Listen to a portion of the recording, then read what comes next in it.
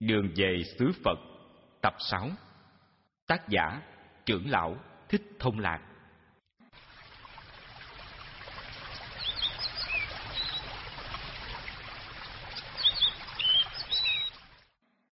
Lời nói đầu. Từ ngày có chương trình vấn đạo đến nay, Những người có đủ duyên được đọc sách Đường về xứ Phật, Lần lượt họ đều hiểu thông đường lối tu hành của đạo Phật và cũng bắt đầu thấy được những điều sai trái trong Phật giáo rất nhiều hiện nay.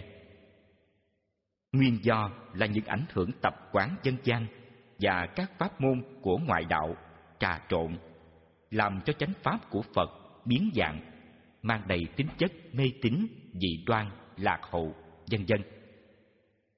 Phần đông số tín đồ Phật giáo đang lầm lạc quay cuồng trong các pháp môn của kinh sách phát triển và thiền tông Trung Hoa, cho đó là pháp môn của Phật giáo. Nhưng nào ngờ, chương trình vấn đạo đã và sẽ lần lượt làm sáng tỏ pháp nào của Phật là của Phật, pháp nào của ngoại đạo là của ngoại đạo, Bà La Môn. Tà đạo không thể ẩn núp trong Phật giáo, chuyên làm việc lừa đảo và lường gạt tín đồ Phật giáo như vậy được đường về xứ Phật sẽ chỉ thẳng và vạch rõ, giúp các bạn không còn hiểu lệch lạc và sai lầm nữa. Đã gần 25 thế kỷ nay, con người đã bị giáo pháp này lừa gạt quá nhiều. Đến giờ này mà mọi người còn đang sống trong giấc mơ của Đại Thừa và Tối Thượng Thừa là của Phật giáo ư. Một giấc mơ tuyệt vời đưa con người vào cõi mộng của thế giới siêu hình. Thường hằng, thường biết, thường nghe, thường thấy, bất biến, hạnh phúc, an lạc. Thường lạc, ngã, tịnh. Đại thừa đã xây dựng một cõi cực lạc tây phương, để thỏa mãn mọi nhu cầu dục vọng của con người thế gian muốn chi được ấy. Do sự diễn tả cảnh giới tây phương cực lạc quá đẹp đẽ như trong kinh Di Đà.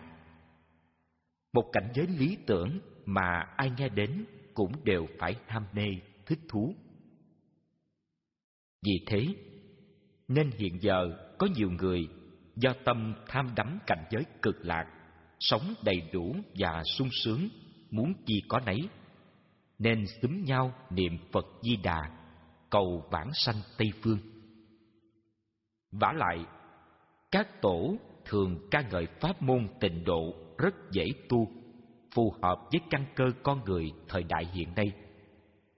Nghe những lời trường mật cám dỗ này, ai mà không ham thích, phải không các bạn? Vấn đạo sẽ lần lượt vạch mặt, vạch tên từng pháp môn của ngoại đạo, để cho tín đồ Phật giáo thấy được bộ mặt thật thâm độc của họ đã và đang cố tình dìm và giết Phật giáo, nhất là đạo đức của đạo Phật. Hiện giờ người ta chẳng biết đạo đức của Phật giáo cụ thể như thế nào.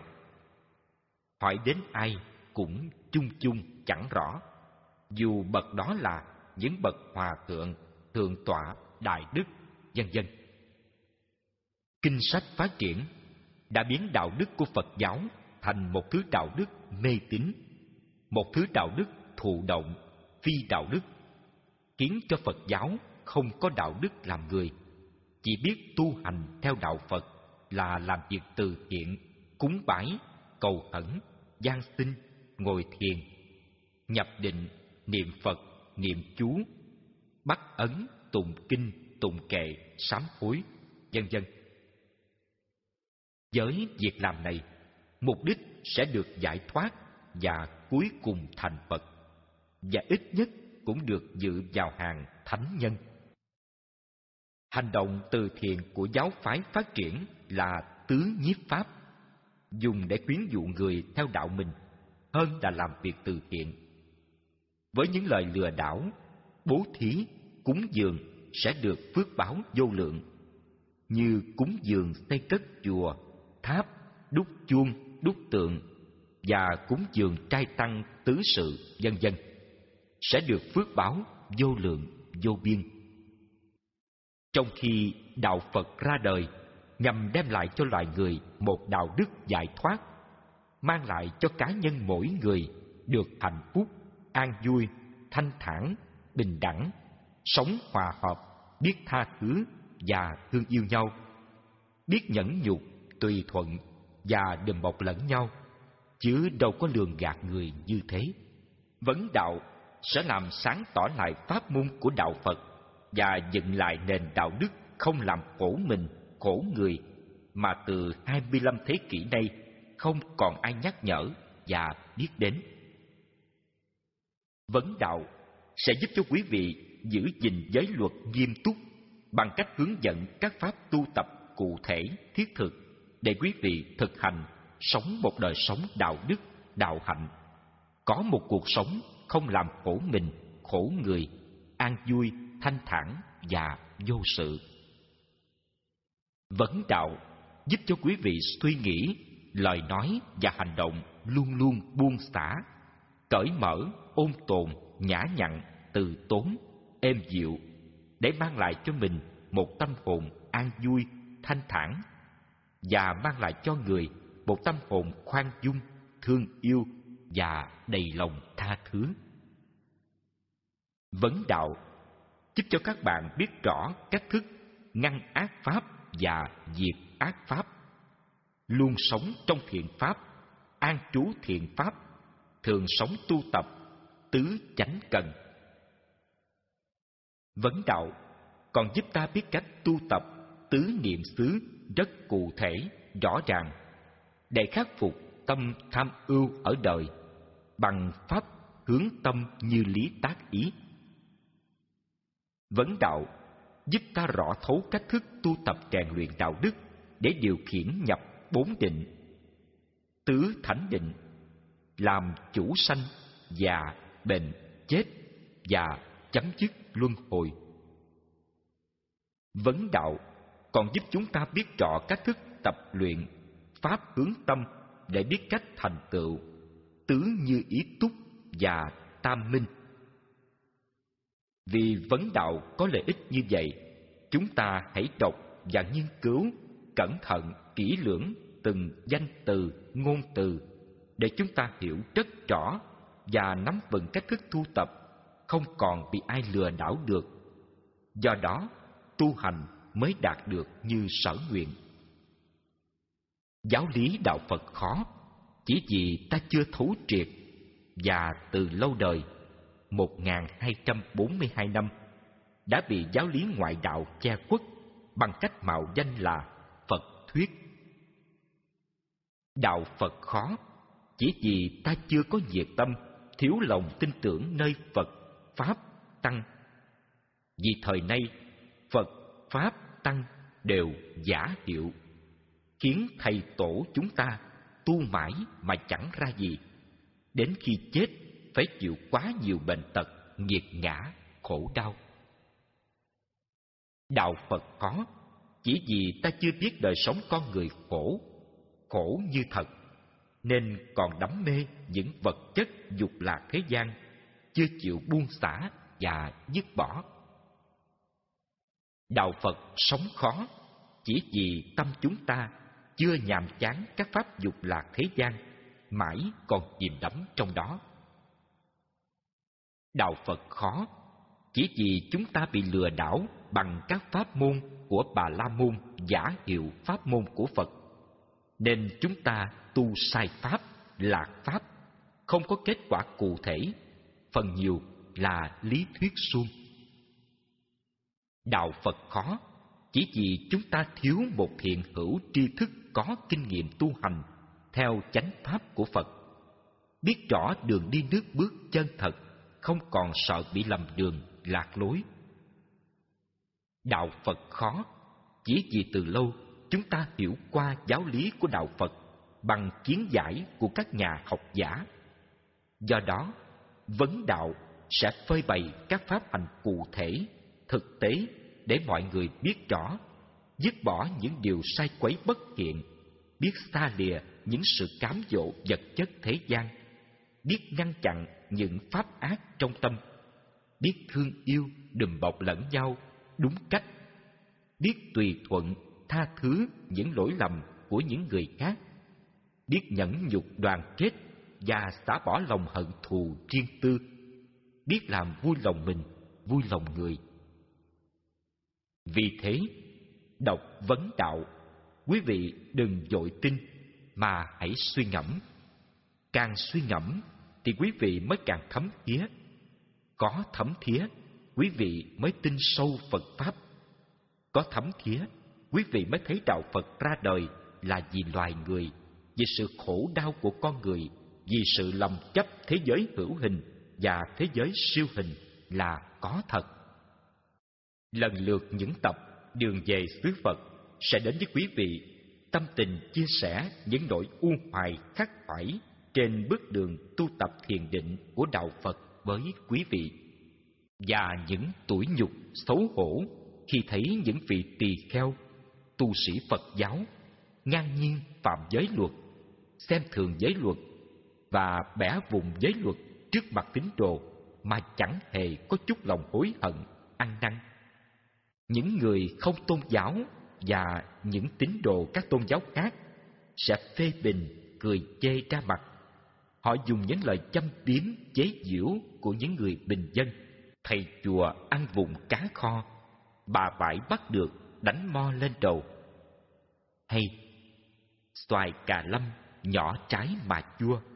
Thầy tu mê gái, bỏ chùa, không ai coi còn rất nhiều câu ca dao tục ngữ dân gian và các thơ văn của các thi sĩ nổi tiếng nói về tu sĩ đạo Phật một cách châm biếm, rất đau lòng xót dạ mà chúng tôi không thể nêu ra đây hết được. Không biết các bậc tôn túc hòa thượng, thượng tọa, đại đức tăng và ni trong cả nước khi phạm giới luật của Phật, quý vị có buồn lòng tự xấu hổ với những việc làm của mình hay không?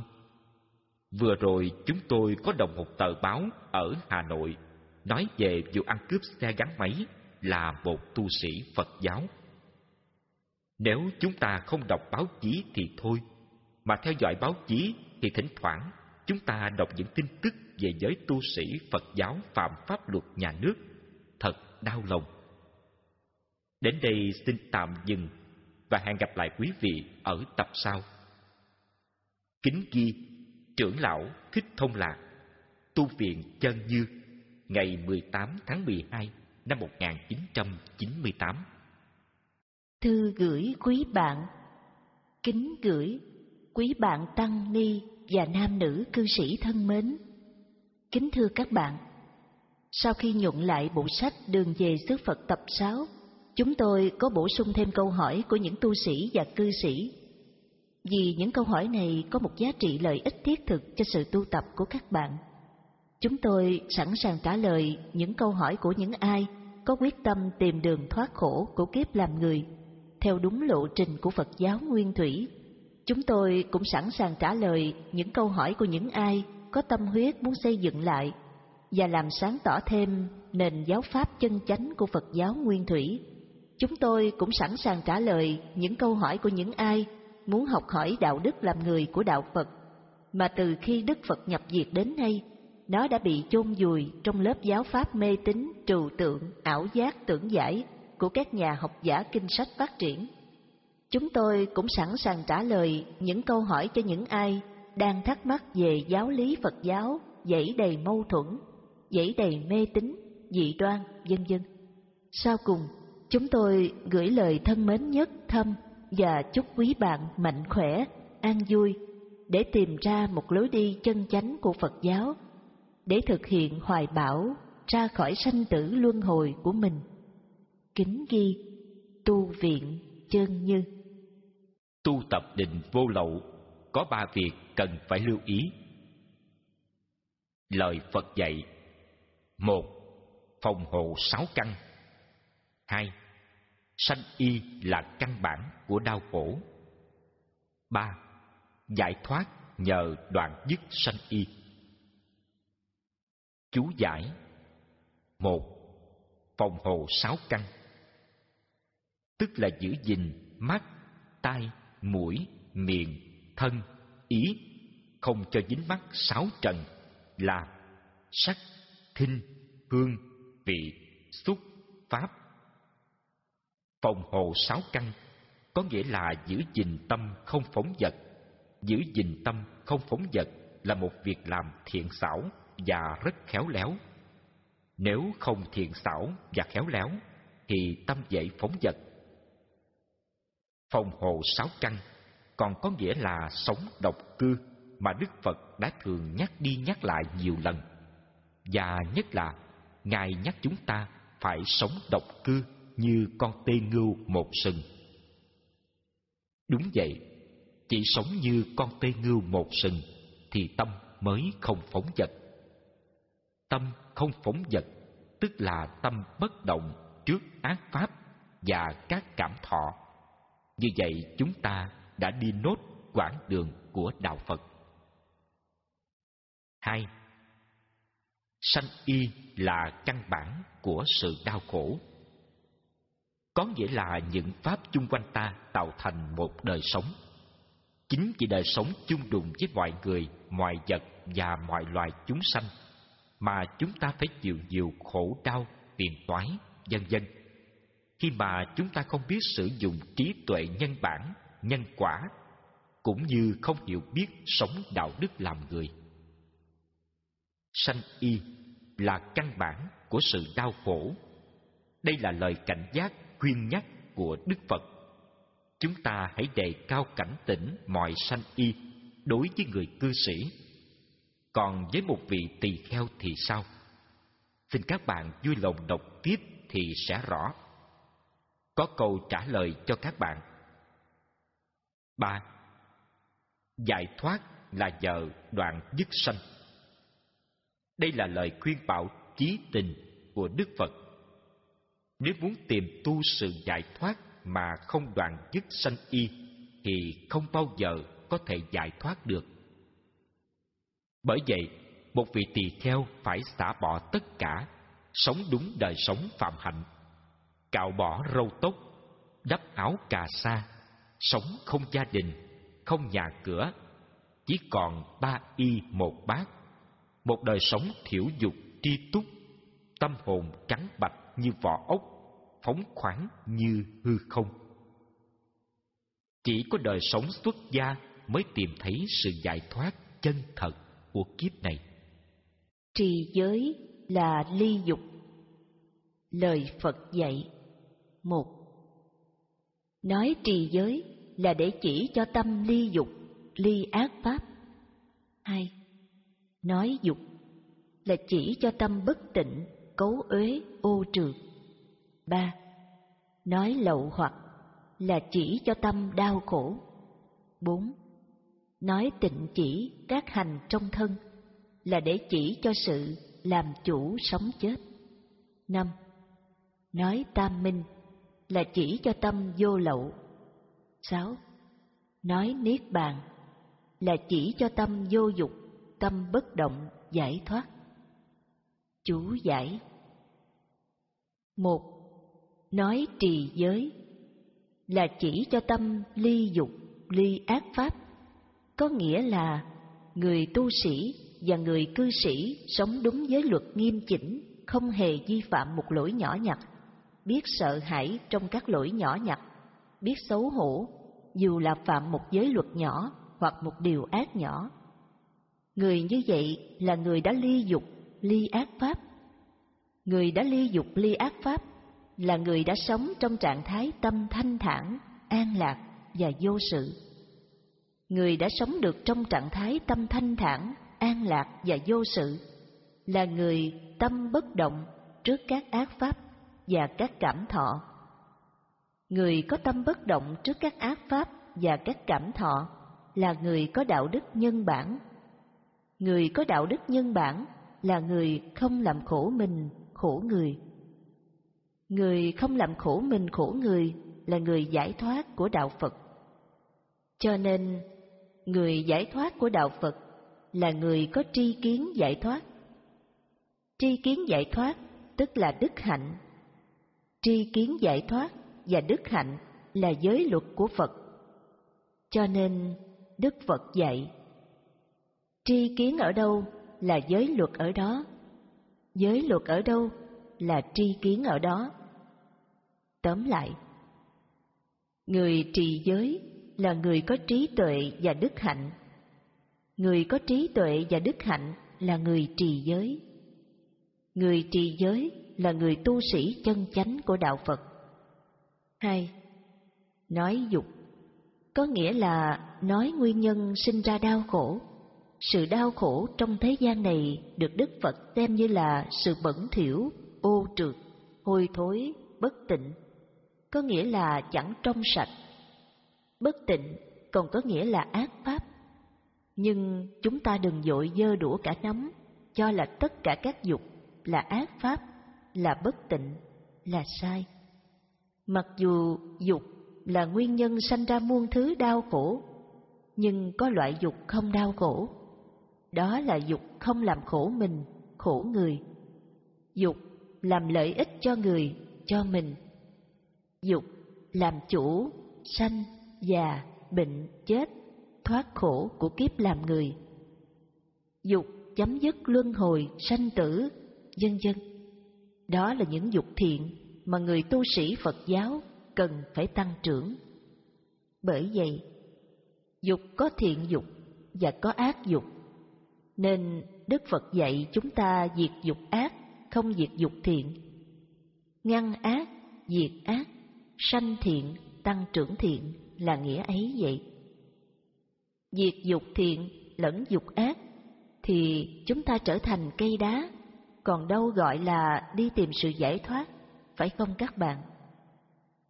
Có người nghe kinh tứ thánh đế, đến diệt đế, họ tưởng rằng diệt hết dục là giải thoát, là niết bàn. Sự hiểu biết như vậy là sự hiểu biết nông cạn, là sai, là không hiểu Phật giáo. Trong kinh Tứ Chánh Cần, Đức Phật đã xác định rõ ràng ngăn ác, diệt ác pháp, sanh thiện, tăng trưởng thiện pháp. Như vậy, chúng ta nên hiểu kinh Tứ Diệu Đế dạy về diệt đế, tức là diệt tâm ham muốn ác, chứ không có dạy diệt tâm ham muốn thiện. Vì tâm ham muốn ác là tâm làm khổ mình, khổ người. Tâm làm khổ mình, khổ người là tâm không có đạo đức nhân bản. Còn ngược lại, tâm ham muốn thiện là tâm không làm khổ mình, khổ người, là tâm làm lợi ích cho mình, cho người, là tâm giải thoát của đạo Phật, là tâm niết bàn. Vì cuối cùng, con đường thiện pháp không làm khổ mình, khổ người, thì tâm ham muốn thiện kia cũng không còn. ba Nói lậu hoặc là chỉ cho tâm đau khổ, có nghĩa là bất cứ một việc gì làm đau khổ nào cho mình, cho người, cho chúng sanh thì đều gọi là lậu hoặc, chứ không phải chỉ có khổ riêng cho mình mới gọi là lậu hoặc. Ác pháp thường đến cho mình và cho nhiều người, không bao giờ đến đơn điệu cho một người. Cho nên nói lậu hoặc tức là nói một chùm nhân quả khổ đau, chứ không phải nghĩa rò rỉ của các chữ nghĩa Hán ngữ. Lậu hoặc là chỉ cho thân tâm đau khổ, nên nó được chia ra làm ba. Một, dục lậu. Hai, hữu lậu. Ba, vô minh lậu. Người tu hành theo Phật giáo diệt trừ được ba lậu hoặc này liền chứng đạo. 4. Nói tịnh chỉ các hành trong thân là để chỉ cho sự làm chủ sống chết, tức là nói về năng lực của Pháp như lý tác ý, điều khiển chủ động bằng tứ như ý túc, tức là tứ thần túc. Tứ thần túc gồm có một Dục như ý túc. Hai Tinh tấn như ý túc. Ba Định như ý túc. Bốn Tuệ như ý túc. Do những thần lực này mà người tu sĩ Phật giáo mới làm chủ được sanh, già, bệnh, chết và chấm dứt luân hồi. năm Nói tam minh là chỉ cho tâm vô lậu dứt hết nghiệp tái sanh luân hồi, lậu tận minh, chứ không phải nói thần thông.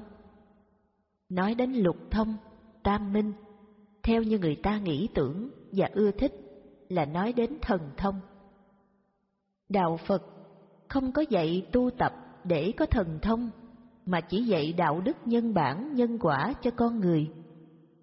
Khi con người sống đúng đạo đức thì tâm thanh tịnh, nghĩa là không còn tâm tham sân si nữa. Thì nơi tâm thanh tịnh ấy lưu xuất ra những thần lực trên.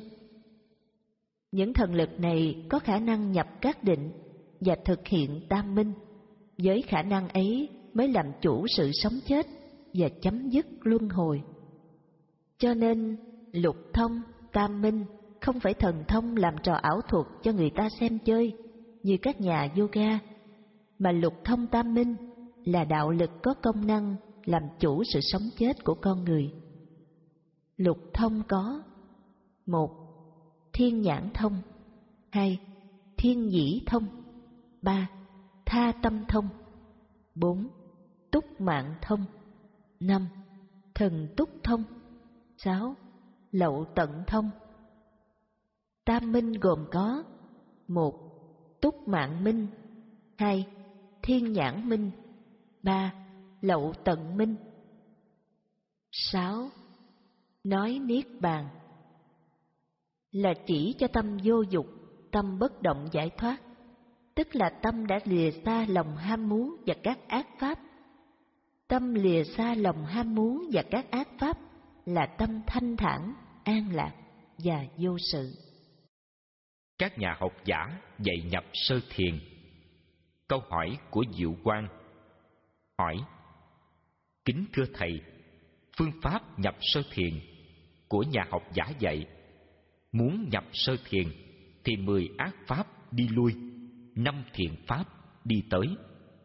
Vậy mười ác pháp là gì? Một mắt đắm sắc. Hai tay đắm tiếng. Ba mũi đắm hương. Bốn lưỡi đắm vị. Năm, thân đắm xúc. Cộng năm thứ ngăn che. Tham, sân, si, mạng, nghi. Kể trên là mười pháp ác. Năm pháp thiện là gì? Đó là một, tầm, hai, tứ, ba, hỷ, bốn, lạc, năm, nhất tâm kính thưa thầy, nhà học giả dạy như vậy có đúng không? Đáp, ở đây, nhà học giả dạy theo kiểu tưởng giải, chứ không đúng ý của phật dạy. Ác pháp gồm chung có rất nhiều, nhưng giới cư sĩ phật dạy chỉ có thập thiện và thập ác. Thập thiện và thập ác là các pháp căn bản gốc đạo đức của đạo phật, để chỉ cho luật nhân quả thiện ác, tạo ra do ba hành động, thân, miệng, ý. Từ đó sanh ra vô lượng pháp ác và pháp thiện. Nhà học giả kể ra mười pháp ác cũng đúng, nhưng lại sai. Vì lấy ngũ triền cái cộng với pháp phòng hộ sáu căn, bỏ bớt một căn để thành năm pháp ác đó là sự nghĩ tưởng của nhà học giả, chấp nối sai lạc kinh sách của phật. Nhà học giả dạy tu hành ở giai đoạn này là giai đoạn ly dục, ly ác pháp. Nó còn để không xảy ra bệnh tật thần kinh tưởng. Nếu là giai đoạn tu tập thiền định và tam minh, thì không tránh khỏi tai họa lớn cho hành giả. Cho nên, nhà học giả kết hợp dạy như vậy thì chỉ có giết người, chứ không phải dạy tu thiền định như vậy. Phật dạy, ly dục, ly ác pháp nhập sơ thiền, chứ không có dạy ly mười pháp ác nhập sơ thiền.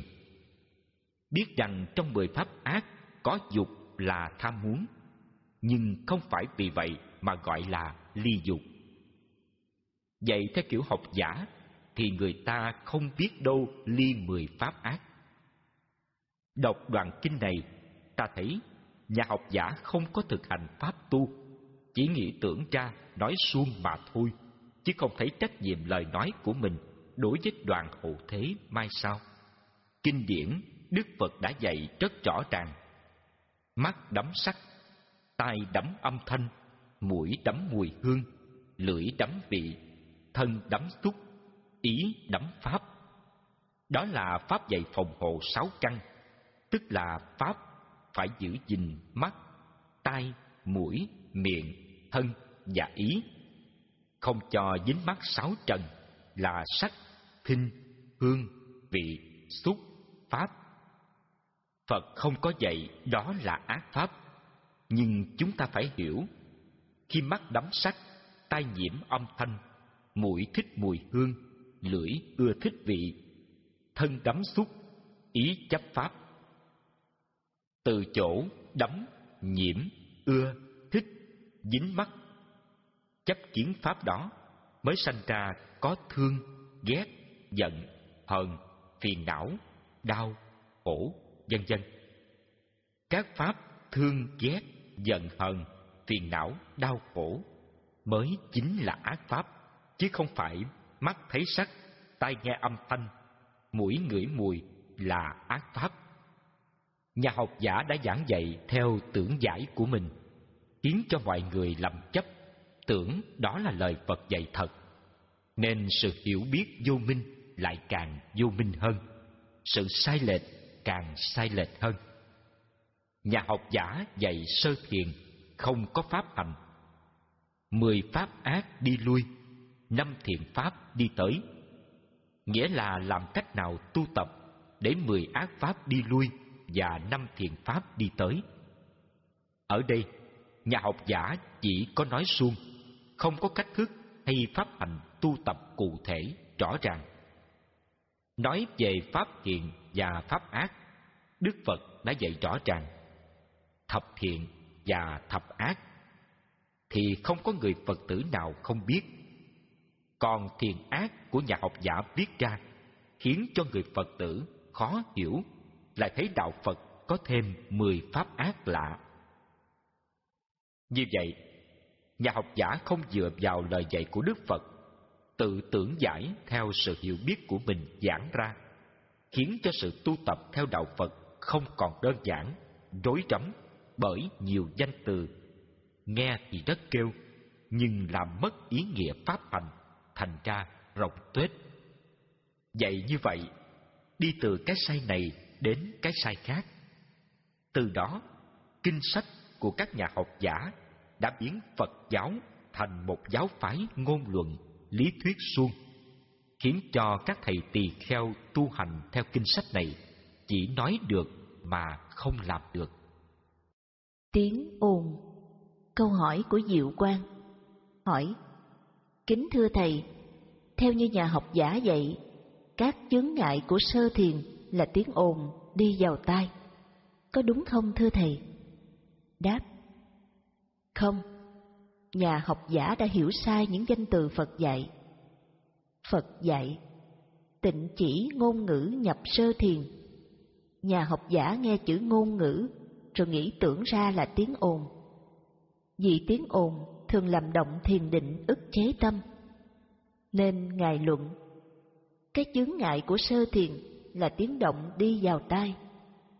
Ngài không hiểu thiền của đạo phật là thiền gì. Ngài cho sơ thiền, ngại tiếng động cũng giống như thiền đông độ và thiền đại thừa sao?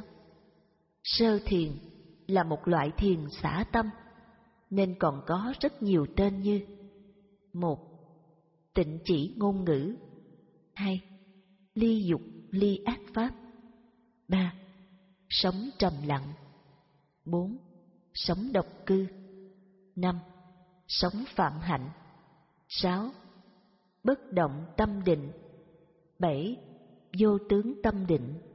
Tám, sơ thiền. Chín, tầm tứ hỷ lạc nhất tâm. Mười, giới luật thanh tịnh. Mười một, tâm không phóng dật. Mười hai, tâm vô dục, vô ác pháp từ xưa đến giờ các nhà học giả không có thực hành hoặc thực hành chưa đến nơi đến chúng Cho nên sự hiểu biết của các ngài bằng tưởng tri, không phải bằng trí tuệ.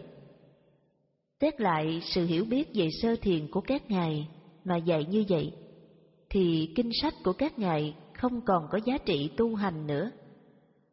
Tịnh chỉ ngôn ngữ, tức là sống độc cư, sống trầm lặng, như Đức Phật đã dạy 42 bài kệ sống độc cư và thường ca ngợi cuộc sống trầm lặng của vị khất sĩ. Nhà học giả không có thực hành bốn thiền hữu sắc, tứ thánh định, nên đã hiểu sai lệch quá nặng, gần như không biết về bốn loại thiền này. Nên ở đời mọi người ít ai chịu mình ngu dốt, cái không biết cứ tưởng mình là biết, từ đó cái sai này dẫn đến cái sai khác. Nhà học giả cũng vậy, không biết về loại thiền tứ thánh định này, dám viết ra sách dạy người tu thiền này. Xem thiên hạ đều là bọn ngu dốt, chẳng biết gì về Phật Pháp cả. Sơ thiền không phải là một trạng thái thiền vắng lặng, không có tiếng ồn đi vào tai. Sơ thiền chỉ là một trạng thái an lạc, thanh thản, có tầm, có tứ, có hỷ, có lạc, có tâm bất động. Nhà học giả chỉ luận theo danh từ trong kinh nên chẳng rõ trạng thái sơ thiền như thế nào. Thấy kinh dạy, tịnh chỉ ngôn ngữ nhập sơ thiền, nên tưởng ra cái chướng ngại của sơ thiền là tiếng ồn đi vào tai. Tịnh chỉ ngôn ngữ mà nhà học giả hiểu là tiếng ồn đi vào tai, làm chướng cho sơ thiền thì rõ ràng nhà học giả chẳng biết gì về sơ thiền cả. Như trên chúng tôi đã nói, hiểu như vậy thật là hiểu sai ngàn dạng dặm. Nhà học giả xưa để hiểu sai như vậy, nhà học giả ngày nay cứ theo lối mòn cũ mà giải thích, khiến cho người đời sau chẳng biết đâu mà tu hành. Ý của Phật dạy ở đây tịnh chỉ ngôn ngữ để nhập sơ thiền tức là phòng hộ sáu căn. Phòng hộ sáu căn, tức là sống độc cư. Chỉ có độc cư mới phòng hộ sáu căn trọn vẹn. Nhờ có phòng hộ sáu căn trọn vẹn, tâm mới không phóng dật. Tâm không phóng dật, tức là tâm mới ly dục, ly ác pháp. Tâm ly dục, ly ác pháp, tức là tâm mới nhập bất động tâm định. Từ bất động tâm định mới nhập được sơ thiền. Vào thiền thứ nhất mà nhà học giả hiểu sai, giảng sai, thì làm sao giảng dạy nhị thiền, tam thiền, tứ thiền và tam minh cho được. Nên đời sau không ai nhập bốn thiền thuộc loại tứ thánh định này. Kinh sách thì dạy rõ ràng, mà người không tu lại giảng kinh sách. Đó là buông Phật, bán Pháp, bán chữ, bán nghĩa mà ăn, làm một nghề bất lương, chứ không phải dạy người tu hành. Mình có tu được chưa mà dám dạy người tu như vậy? Tầm tứ Câu hỏi của Diệu Quang Hỏi Kính thưa Thầy, nhà học giả cho chướng ngại của nhị thiền là tầm tứ. Cho như vậy có đúng không thưa Thầy? Đáp Nhà học giả cho chướng ngại của nhị thiền là tầm tứ. Cho như vậy là đúng. Nhưng Ngài không biết cách tình chỉ tầm tứ. Tình chỉ tầm tứ đâu phải tình tọa ức chế tâm như tu tập thiền tỉnh thức theo hành động, thân và hơi thở. Nếu tu tập theo kiểu đó, thì chẳng khác nào như tu pháp sổ tức quán, niệm Phật các phương pháp khác của kinh sách Đại Thừa và Thiền Đông Độ, thì đó là diệt tầm tứ, ức chế tâm, đâu đúng nhị thiền của Phật đã dạy. Nhị thiền diệt tầm tứ bằng cách dùng pháp hướng tâm tứ thần túc theo đường dây hơi thở, theo như phương pháp Đức Phật đã dạy. Muốn nhập nhị thiền thì định niệm hơi thở khéo tác ý ở đây, nhà học giả không nói lên được pháp hành tu tập nhị thiền, mà chỉ lờ và lướt qua một cách nhẹ nhàng, vốn là để tránh né, vì chẳng biết cách tu như thế nào. Như chúng ta đã biết, sơ thiền là thiền định, thiền định của tâm chứ chưa phải là định của thân.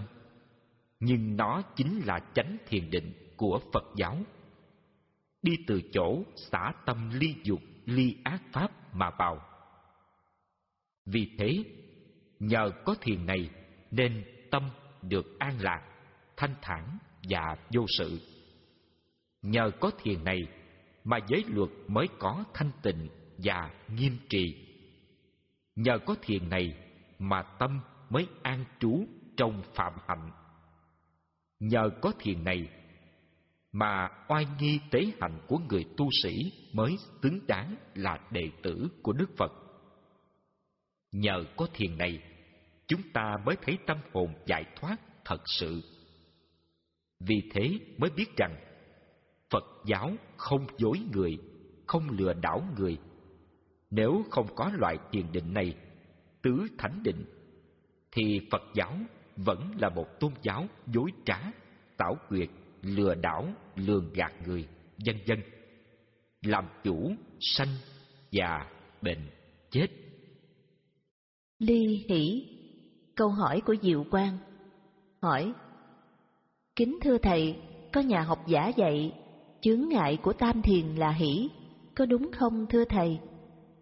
Đáp đúng nhưng nhà học giả không biết pháp hành và không biết hỷ là cái gì sanh ra hỷ. Ở đây sự vui mừng của ý thức không còn nữa, vì sáu thức đã gom lại vào một tụ điểm, nơi hành giả đang an trú trong định. Ở trạng thái này, sáu thức không còn hoạt động, vì thế tưởng thức bắt đầu hoạt động. Nếu ai nhập tam thiền mà không hiểu chỗ này, thì không nhập tam thiền được. Nhà học giả giảng chỗ này không rõ ràng, vì không có kinh nghiệm nhập định nên nói loanh quanh. Chướng ngại của tam thiền là hỷ, mà không biết ly hỷ bằng cách nào, và cũng không hiểu hỷ này thuộc về ý thức, hay tưởng thức, hay là tâm thức. Vào thiền thứ hai và thiền thứ ba, nhà học giả dựa vào những danh từ tịnh chỉ tầm tứ, tịnh chỉ hỷ mà dạy theo kiểu kiến giải của mình, nhưng chẳng biết tịnh chỉ tầm tứ như thế nào, và loại tầm tứ nào tịnh chỉ, tầm tứ nội hay tầm tứ ngoại, và chẳng biết tịnh chỉ loại hỷ nào, tịnh chỉ như thế nào. Và khi ý thức ngưng hoạt động, thì hỷ này thuộc về quẩn nào? Quẩn nào sanh ra hỷ này? Những người không có thực hành tứ thánh định thì không thể nào hiểu nổi những trạng thái này. Muốn thực hành tứ thánh định thì phải có định như ý túc. Không có định như ý túc thì tứ thánh định chỉ có đứng ngoài cổng nhìn vào, chứ không bao giờ nếm được mùi vị gì của thiền định cả. Định như ý túc, từ giới luật sinh ra, giới sinh định, tức là giới sinh ra định như ý túc. Có định như ý túc mới nhập tứ thánh định được. Cho nên, các bạn lưu ý ở chỗ này để tránh những thiền tưởng của ngoại đạo. Tầm tứ Có tầm tứ thiện và có tầm tứ ác. Có tầm tứ nội và có tầm tứ ngoại.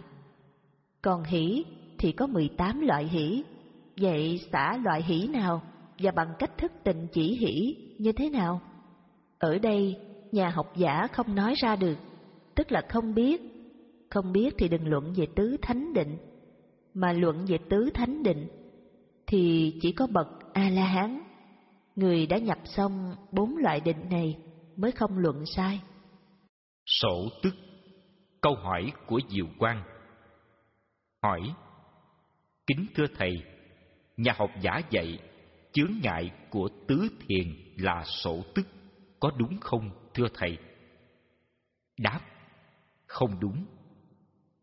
Nhà học giả đã hiểu sai danh từ Phật dạy, tịnh chỉ hơi thở.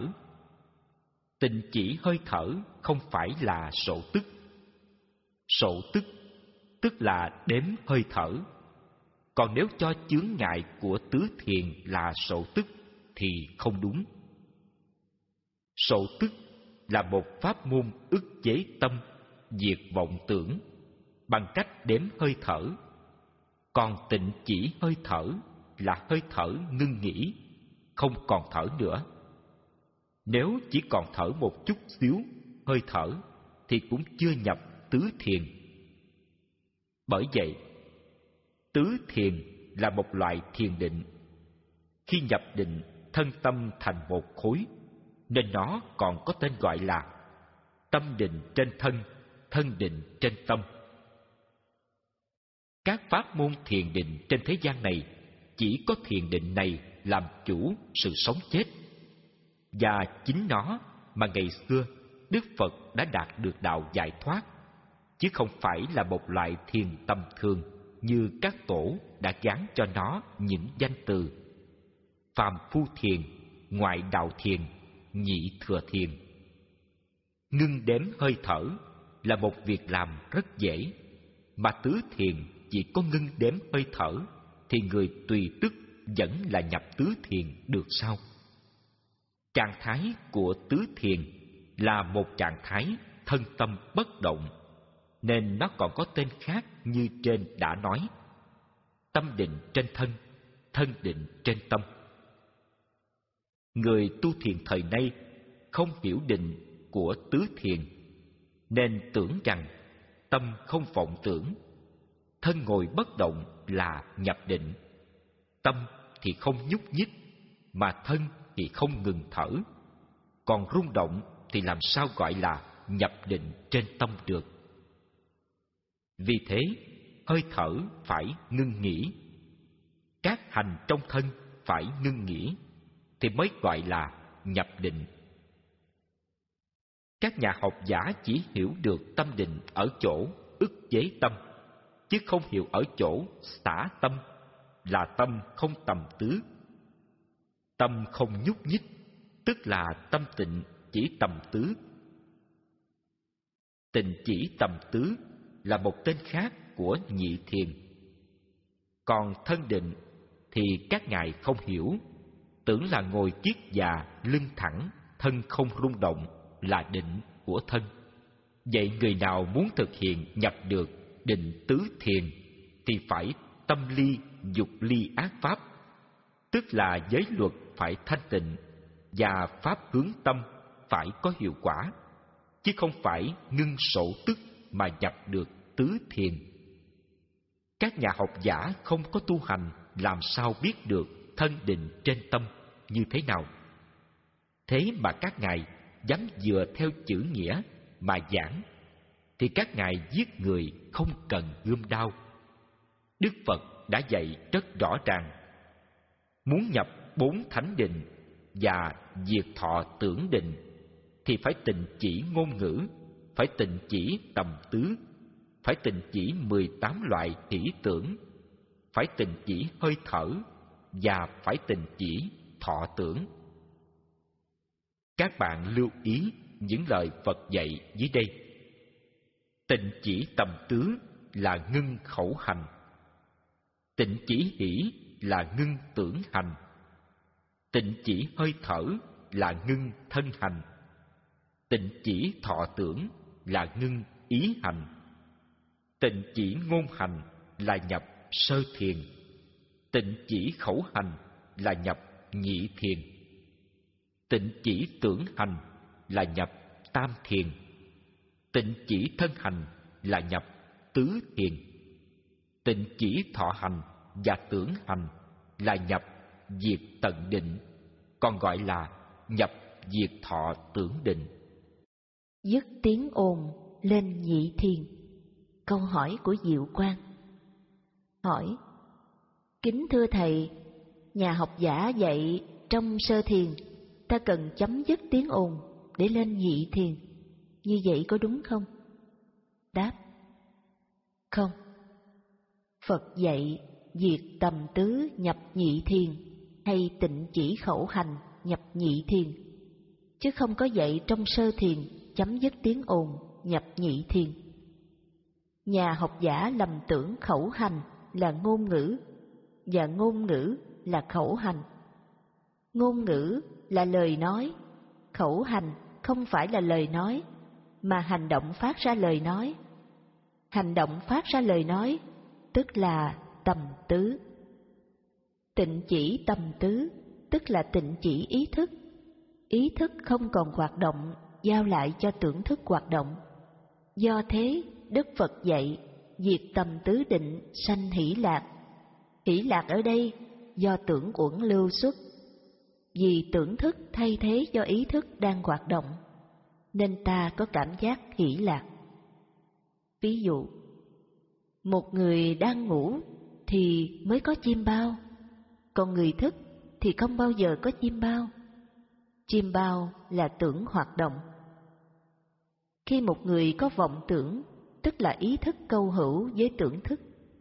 Cho nên thế giới hữu hình và thế giới siêu hình đều ở trong ta và đang hoạt động từng phút giây. Vừa hoạt động kết hợp với nhau mà cũng có những sự hoạt động riêng lẻ như trong giấc mộng. Chấm dứt tầm tứ lên tam thiền.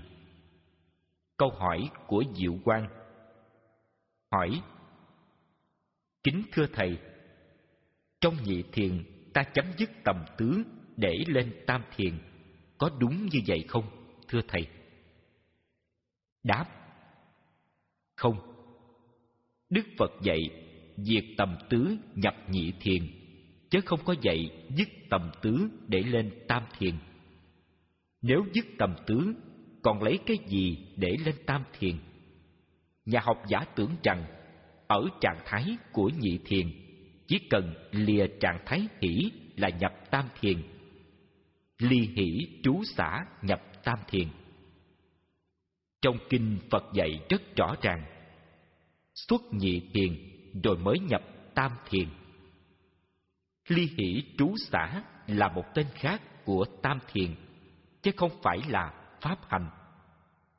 Nếu nói ly hỷ là ly được hỷ liền, thì đâu cần gì phải tu tập.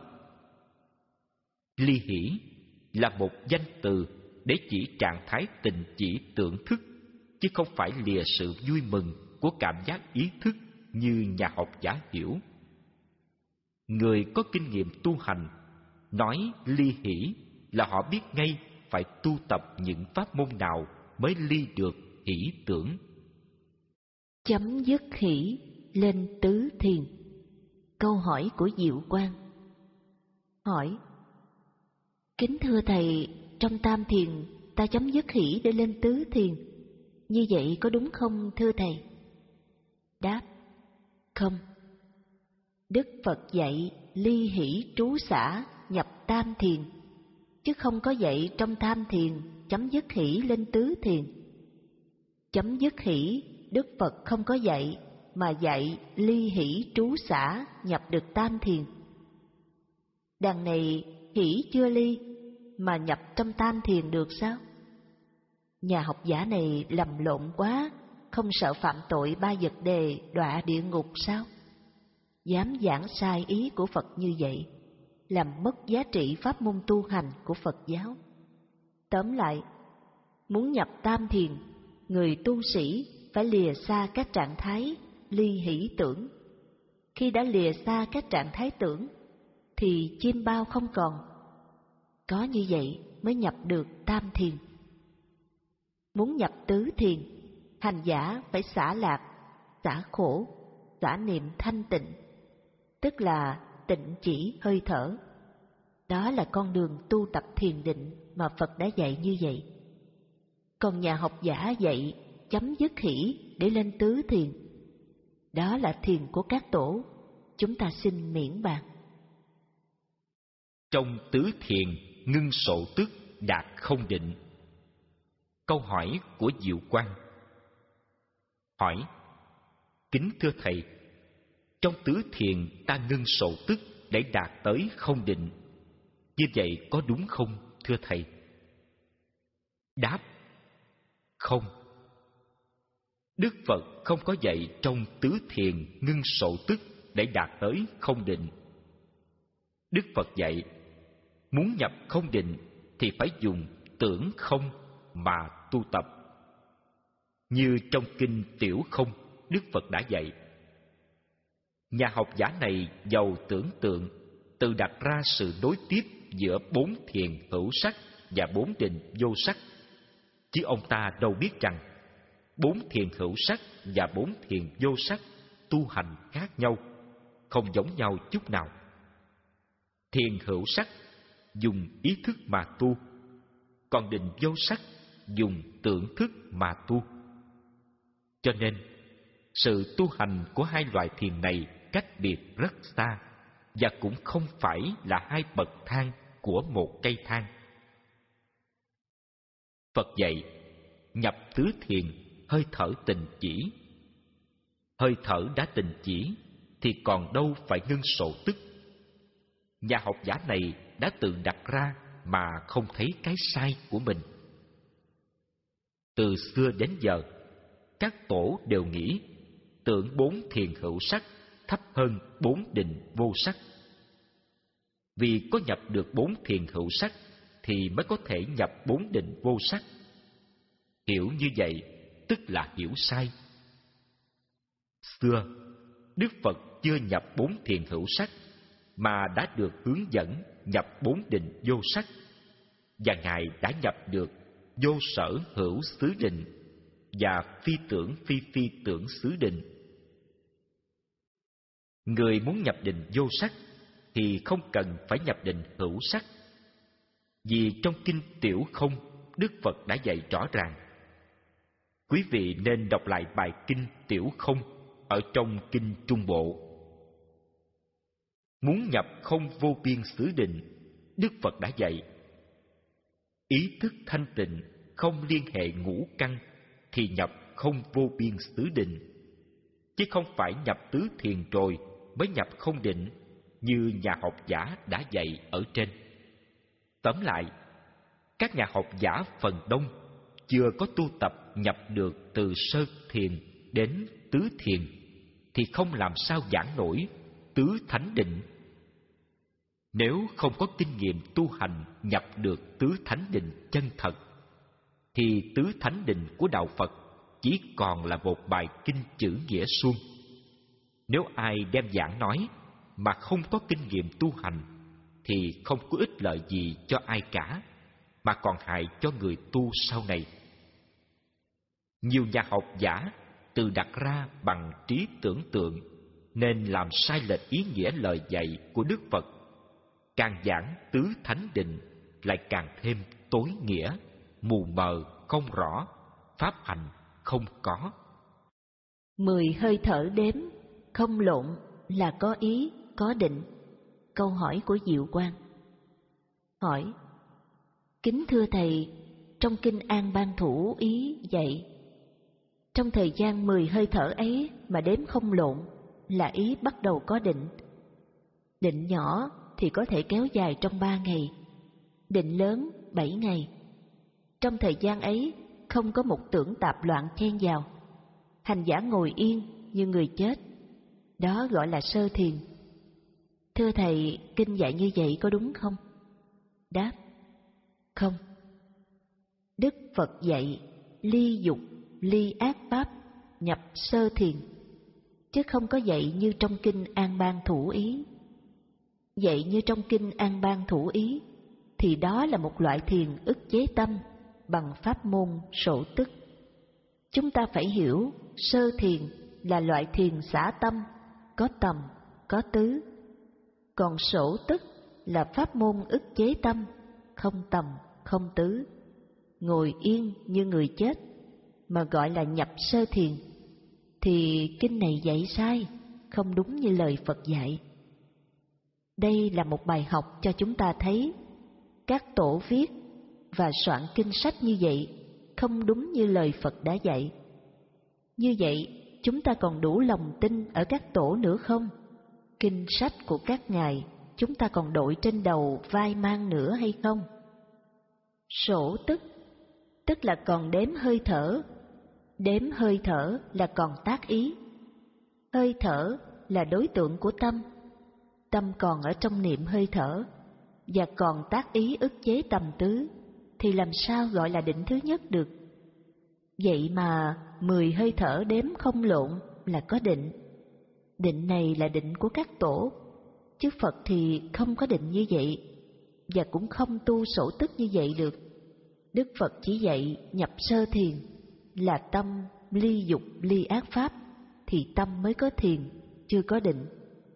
Còn ngược lại, nhà học giả xác định mười hơi thở là có định, thì đó là một sự sai biệt giữa tổ và Phật, một trời một vực.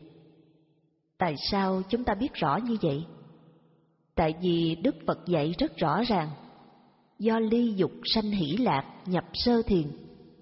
Chỗ sơ thiền Phật không dạy, định sanh hỷ lạc. Mãi cho đến khi nhập nhị thiền, Phật mới nói, định sanh hỷ lạc. Đếm hơi thở và ly dục ly ác pháp là hai việc làm khác nhau. Một đàn thì xả tâm để tâm được thanh tịnh giải thoát, dục và ác pháp. Một đàn thì tu ức chế tâm để tâm không có tầm tứ. Một đàn tu thì còn tầm tứ thiện, một đàn tu thì diệt cả tầm tứ thiện và ác. Do đó, chúng ta thấy rất rõ, đếm hơi thở không thể nào nhập sơ thiền được. Người tu theo đạo Phật phải sống một đời sống phạm hạnh. Nhờ có sống đời sống phạm hạnh, tâm mới ly dục, ly ác pháp. Tâm có ly dục, ly ác pháp thì mới nhập được sơ thiền.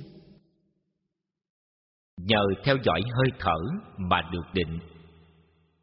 Câu hỏi của Diệu Quang. Kính thưa Thầy, tâm ý sở dĩ định được là nhờ theo dõi hơi thở cấu uế đã được tiêu diệt thì tâm ý dần dần trong sạch đó gọi là nhị thiền. Thưa thầy những lời dạy này có đúng trong kinh điển của đức phật dạy hay không?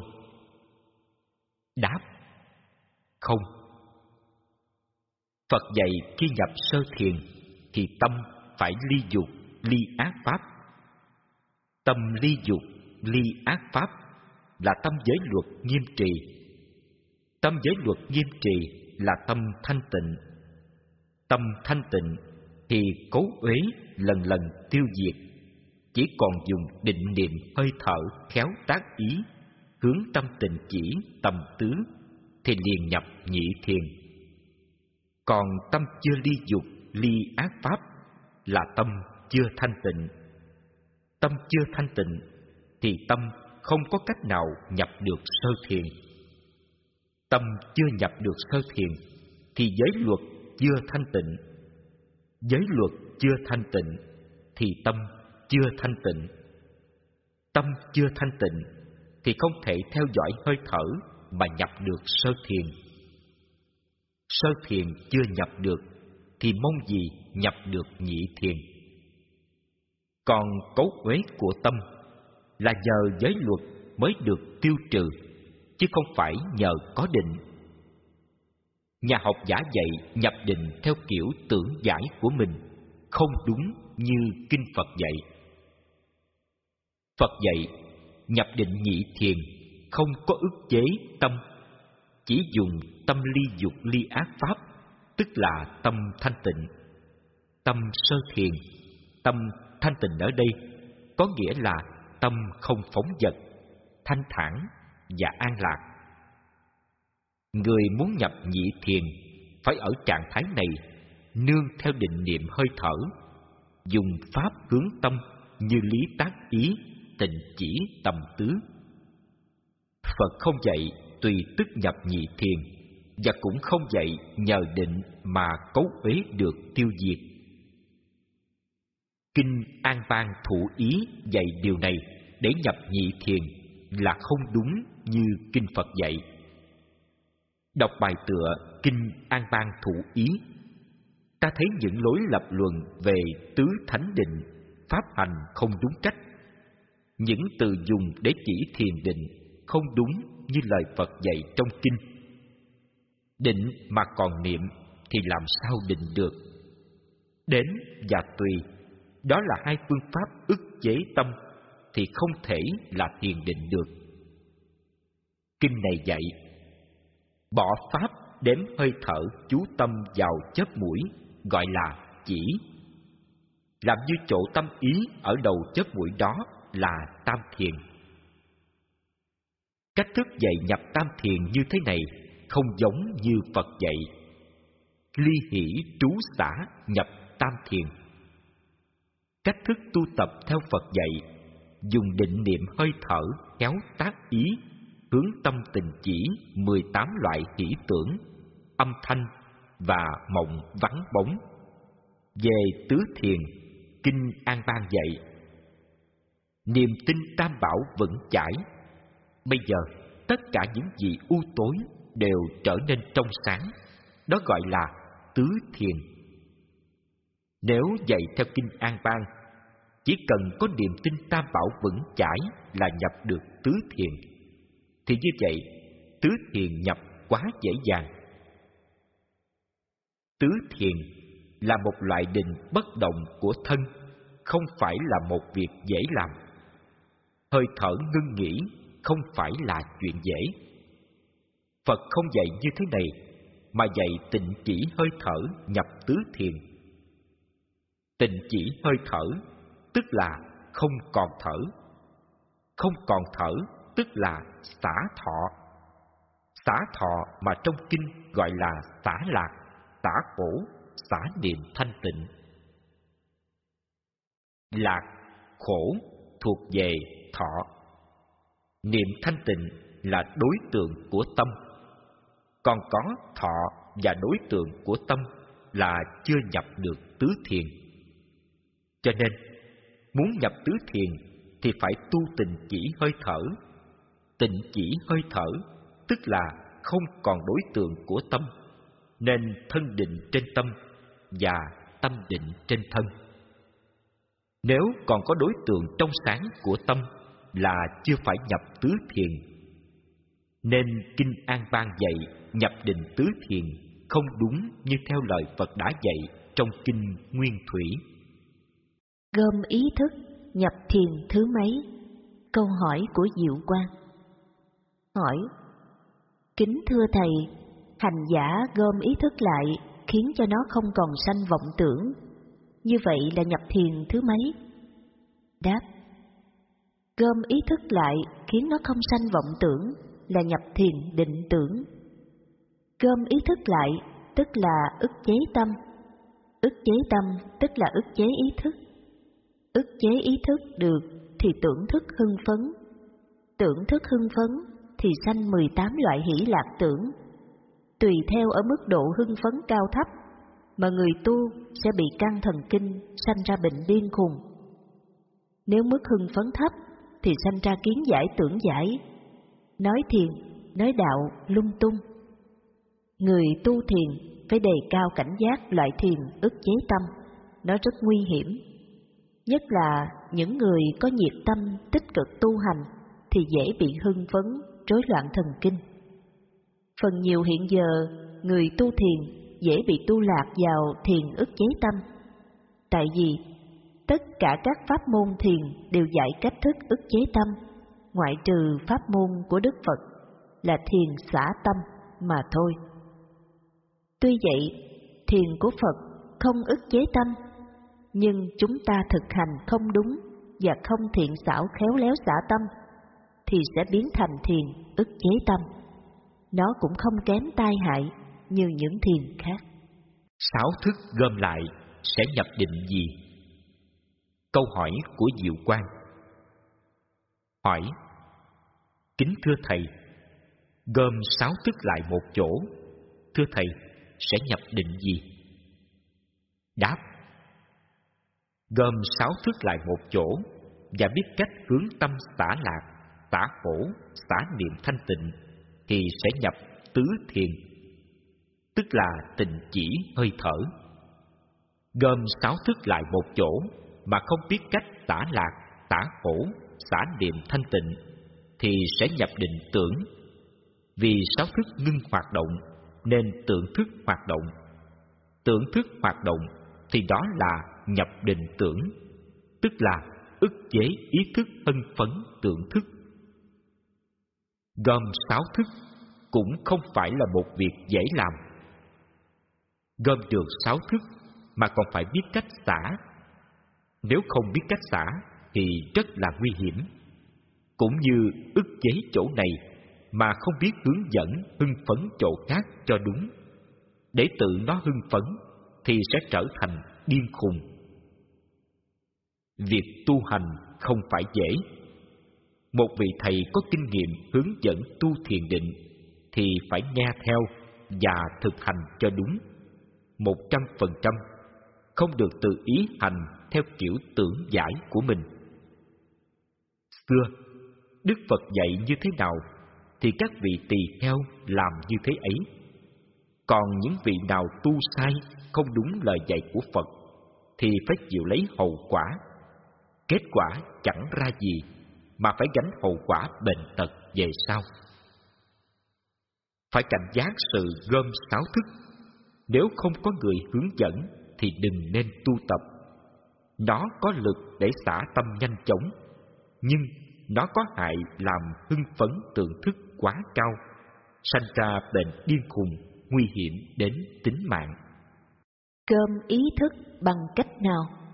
Câu hỏi của Diệu Quang. Hỏi: Kính thưa thầy, gom ý thức bằng cách nào? Đáp: Gom ý thức của các thiền đại thừa và thiền đông độ là bằng cách ức chế tâm do pháp môn sổ tức, tùy tức, niệm Phật, niệm chú, tri vọng, chăn trâu, tham thoại đầu, tham công án vân vân. Tứ thánh định thiền của Phật giáo là thiền diệt ngã, xả tâm, ly dục, ly ác pháp, tâm không phóng dật, tức là thiền định không ức chế tâm. Nói tóm lại, gom ý thức của Đại Thừa và tối Thượng Thừa là ức chế tâm, còn gom ý thức của Phật giáo Nguyên Thủy là xả tâm, tâm không phóng dật, tức là gom ý thức. Xin quý vị cần đề cao cảnh giác các pháp môn thiền định khi muốn tu, phải cẩn thận quán xét thiền nào xả tâm và thiền nào ức chế tâm. Gom ý thức diệt tầm tứ. Câu hỏi của Diệu Quang Hỏi Kính thưa Thầy, gom ý thức để diệt tầm tứ nhập nhị thiền bằng cách nào? Đáp, Gom ý thức diệt tầm tứ để nhập nhị thiền bằng cách nương hơi thở, dùng pháp hướng tình chỉ tầm tứ, chứ không được dùng hơi thở ức chế tâm ở đây chúng ta phải hiểu chữ gom ý thức của thiền phật giáo, nghĩa là tâm không phóng dật đừng hiểu gom ý thức bằng nghĩa ức chế tâm gom ý thức bằng nghĩa ức chế tâm là sổ tức hoặc tùy tức tọa thiền tập trung ý thức bằng hơi thở hoặc bằng câu niệm Phật, vân vân. Gom tâm ở đây cho đúng nghĩa của Phật dạy là tu tập tứ chánh cần. Tu tập tứ chánh cần là ngăn ác pháp và diệt ác pháp. Ngăn ác pháp và diệt ác pháp, tức là ly dục ly ác pháp. Ly dục ly ác pháp, tức là tâm không phóng dật tâm không phóng dật tức là tâm hướng vào trong thân. Nói cách khác, là tâm định trên thân. Tâm định trên thân, tức là gom ý thức, diệt tầm tứ, nhập nhị thiền. Tưởng thức.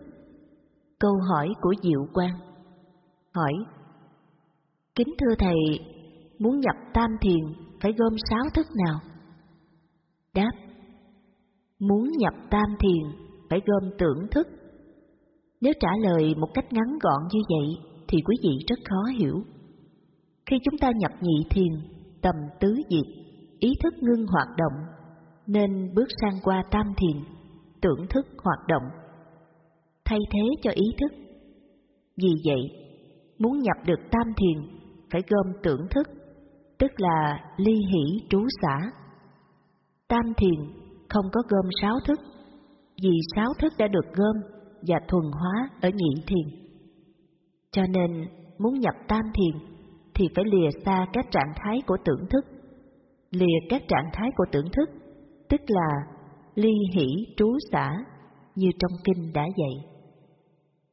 Năm thức Câu hỏi của Diệu Quang Hỏi Kính thưa Thầy, muốn nhập tứ thiền phải gom thức nào? Đáp Muốn nhập tứ thiền phải gom năm thức Thọ thức, nhãn thức, nhĩ thức, tỷ thức, vị thức. Nếu trả lời như vậy Quý vị sẽ cho chúng tôi chẳng hiểu kinh sách Phật. Vì trả lời như vậy trong kinh sách Phật không có dạy. Ở đây chúng tôi tùy theo câu hỏi mà trả lời Nhưng rất đúng nghĩa của Phật đã dạy. Quý vị nhớ lại xem lúc nhập sơ thiền là tâm không phóng dật. Tâm không phóng dật tức là sáu thức đã quay vào trong thân, không còn phóng ra ngoài. Nên thân động dùng việc gì thì sáu thức đều biết rõ. Biết rõ bên trong mà không biết bên ngoài, lúc này gọi là tâm định trên thân. Đến tứ thiền sao lại còn gom năm thức? Gom năm thức, ở đây quý vị cần phải hiểu. Năm thức còn hoạt động bên trong, nên gom năm thức. Tức là tịnh chỉ năm thức. Tịnh chỉ năm thức là điều khiển năm thức ngưng hoạt động. Điều khiển năm thức ngưng hoạt động, tức là tịnh chỉ hơi thở. Tịnh chỉ hơi thở, tức là tả lạc tả khổ, tả niệm thanh tịnh. Hay nói một cách khác là thân hành tịnh chỉ. Thân hành tịnh chỉ tức là nhập tứ thiền. Hay nói cách khác là gom năm thức nhập tứ thiền. Nhân quả Câu hỏi của Diệu Quang Hỏi Kính thưa Thầy, con người từ đâu sanh ra? Chết đi về đâu? Đáp Con người từ nhân quả sanh ra, sống trong nhân quả, chết đi về nhân quả. Trả lời như vậy, quý vị rất khó hiểu và cũng không hiểu được như thế nào là đúng. Các tôn giáo khác thường có câu hỏi, con người từ đâu sanh ra, chết đi về đâu? Có tôn giáo cho con người sanh từ đấng tạo hóa, lại có tôn giáo cho con người sanh ra từ khí âm và khí dương.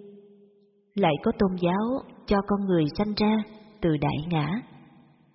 Lại có tôn giáo cho con người từ bản thể vạn hữu sanh ra.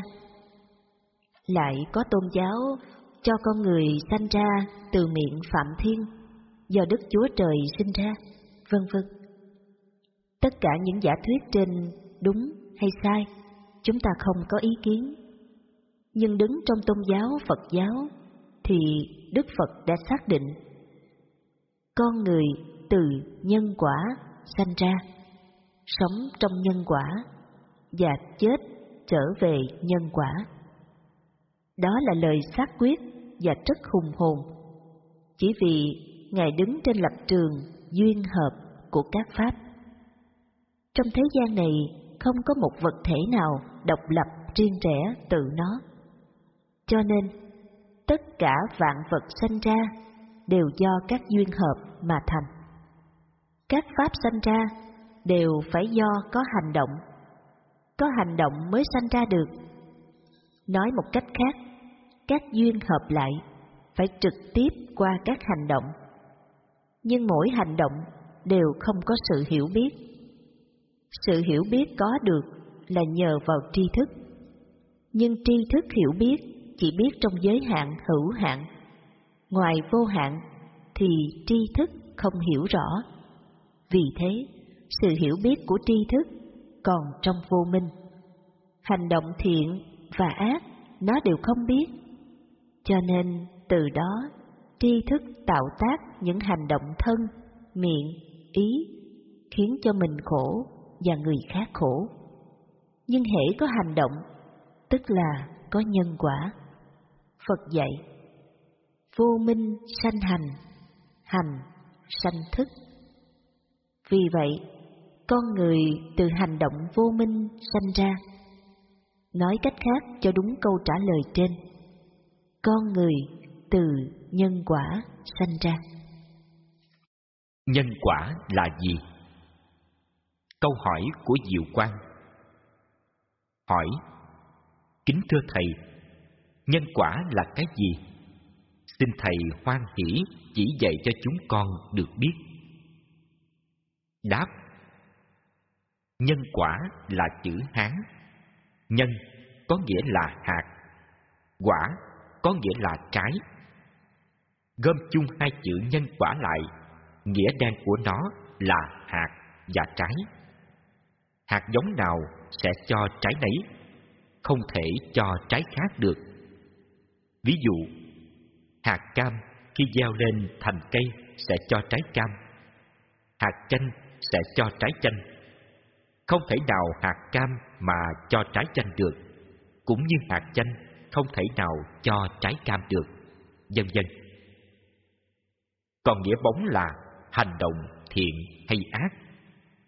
Nếu hành động thiện thì được phước báo an vui, còn hành động ác thì phải thọ lấy sự đau khổ, tức là hành động nào sẽ gặt lấy hậu quả của hành động ấy.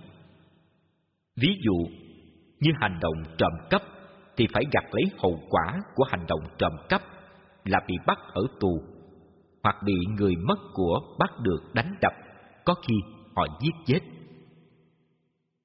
Hậu quả của sự tham lam trộm cắp không những ở trong kiếp hiện tại nghèo nàn, đói khổ, mà còn kéo dài trong các kiếp vị lai nữa.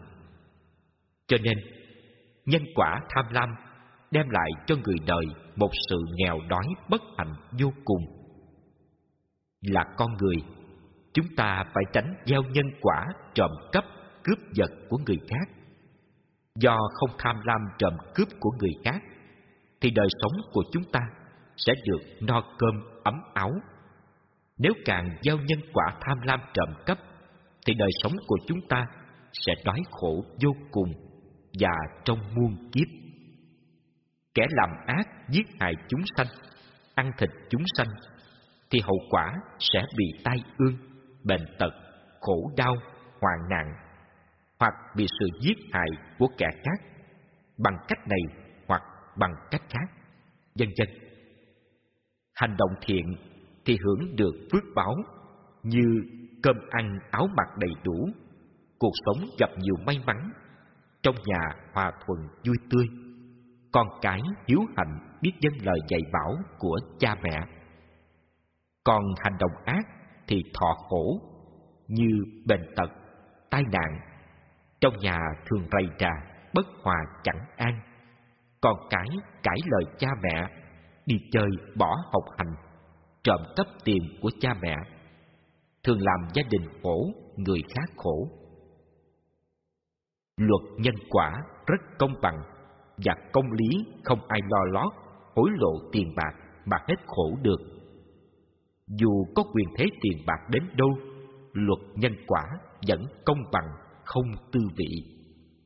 Vì thế, người dân nhân ác không thể cầu khẩn chư Phật, chư Bồ Tát và Ngọc Hoàng Thượng Đế cùng các bậc thánh vạn năng cũng không cứu giúp cho mình được nên vấn đề cầu an, cầu siêu, cầu xin ban phước lành chẳng bao giờ có được, chỉ là một trò lừa bịp lường gạt người khác. Chẳng quyết lợi gì mà còn hao tài tốn của vô lối, chẳng lợi ích gì cho ai cả. Nhân quả do đâu mà có? Câu hỏi của Diệu Quang. Hỏi: Kính thưa thầy, nhân quả do đâu mà xuất phát? Đáp: Nhân quả do ba chỗ xuất phát trong bản thân của mỗi con người, đó là thân, miệng, ý. Ba nơi này là ba nơi nhân quả thường hoạt động, khiến cho con người chịu khổ đau cũng như hưởng hạnh phúc, an vui. Hành động nơi thân, hành động nơi miệng và hành động ý đều xuất phát nhân quả thiện hay ác. Nếu xuất phát nhân quả thiện, thì người ấy được an vui, thanh thản và hạnh phúc. Cuộc sống cơm ăn áo mặc, tiền của dư giả không thiếu hụt, ít tai nạn, ít bệnh tật, thường được mọi người yêu mến và kính trọng. Cuộc sống đầy dẫy hạnh phúc an vui, dù bất kỳ ở nơi đâu cũng vậy. Ngược lại, ba nơi ấy xuất phát nhân quả ác, thì người ấy phải chịu nhiều tai ương hoạn nạn, bệnh tật khổ đau kéo đến bủa vây, không người này đến người khác.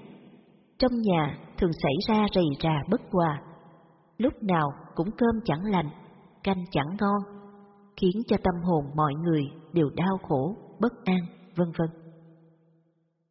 Thân, miệng, ý là ba nơi hoạt động của nhân quả tạo ác, tạo thiện làm mình khổ, người khác khổ, và tất cả chúng sanh khổ cũng chính do ba chỗ này. Vậy ai là người chủ động hoạt động tại nơi ba chỗ này? Ba chỗ này không có người chủ động hoạt động. Chỉ có vô minh và minh hoạt động mà thôi. Nếu vô minh hoạt động nơi ba chỗ này tạo nhân quả ác, chuyển thành nghiệp lực, thì con người và tất cả chúng sanh phải chịu khổ đau tận cùng và tiếp tục tái sanh luân hồi mãi mãi trong dòng nghiệp lực ấy. Nghiệp lực ấy do từ hành động, thân, miệng, ý đã tạo ra nhân quả hạnh phúc hay khổ đau cho chính mình. Thấu hiểu được lý duyên hợp của các pháp do vô minh mà định luật nhân quả sâu sắc này mới có luân hồi. Nên Đức Phật đã dạy chúng ta thấu suốt 12 nhân duyên do vô minh hợp lại thành một thế giới khổ đau, mà con người và chúng sanh phải chịu lấy cái đau khổ này mãi mãi, từ đời này sang đời khác vô cùng, vô tận. Muốn thoát khổ của kiếp làm người và thân chúng sanh, Đức Phật đã dạy cho chúng ta minh để thấu suốt lý nhân quả và đập tan 12 nhân duyên, phá sạch thế giới đau khổ, giải phóng con người thoát khổ, chấm dứt luân hồi làm chủ sanh tử. Vì thế, người học Phật mà không có trí tuệ minh, không phá vỡ 12 nhân duyên, thì chỉ là một học giả nghiên cứu giáo pháp của Phật để nói láo ăn tiền. Muốn phá vỡ 12 nhân duyên, người tu sĩ đạo Phật phải rèn luyện cái thấy của mình đối với các pháp bằng đôi mắt nhân quả và sống đúng đời sống phạm hạnh như Phật, thì 12 nhân duyên sẽ tan rã, thế giới khổ không còn, người tu sĩ giải thoát hoàn toàn. Con người do ba hành động thân, miệng, ý sanh ra. Câu hỏi của Diệu Quang. Hỏi Kính thưa Thầy, tại sao con người sanh ra là do ba nơi hành động thân miệng ý này? Đáp con người sanh ra do ba hành động thân miệng ý. Nếu trong ba hành động thân miệng ý này do vô minh điều khiển tác động thì thế giới đau khổ của một con người sẽ bắt đầu mở ra nếu ba hành động thân miệng, ý này do minh điều khiển, thì thế giới khổ đau của một con người sẽ bắt đầu chấm dứt. Ba nơi này thường tạo ra nghiệp lực của con người theo hành động nhân quả. Như Đức Phật đã dạy cho chúng ta biết, khi con người chết, hoàn toàn không còn một vật gì thường hằng bất di, bất dịch, chỉ còn nghiệp lực thiện hay ác tiếp tục tái sanh và thôi. Ba nơi này sanh ra nghiệp lực. Từ nghiệp lực này mãi mãi tiếp tục sanh tử luân hồi. Cho nên gọi ba hành động này con người từ đó sanh ra là vậy. Vô minh và minh Câu hỏi của Diệu Quang Hỏi Kính thưa Thầy, vô minh là gì? Nó điều khiển nơi ba hành động thân, miệng, ý này mà thế giới đau khổ của một con người mở ra như thế nào? Và minh là gì? nó điều khiển ba nơi thân, miệng, ý, thì thế giới khổ đau của con người chấm dứt. Xin Thầy vì chúng con mà chỉ dạy cho rõ ràng để chúng con tu tập. Đáp, vô minh là sự hiểu biết theo tâm ham muốn của mình, ái dục. Vô minh là sự hiểu biết đối với các pháp không đúng như thật. Hiểu biết một cách lệch lạc, thiếu khoa học. Hiểu biết theo chủ quan thiếu thực tế và cụ thể. Hiểu biết trong các pháp đối đãi hiểu biết trong hạn hẹp và hiểu biết bằng tưởng tượng vân vân. Nói chung, cái hiểu biết bằng trí hữu hạn của con người là vô minh. Vì thế, biết bao nhiêu bài pháp của Đức Phật đã dạch ra cho mọi người thấu hiểu rất rõ ràng.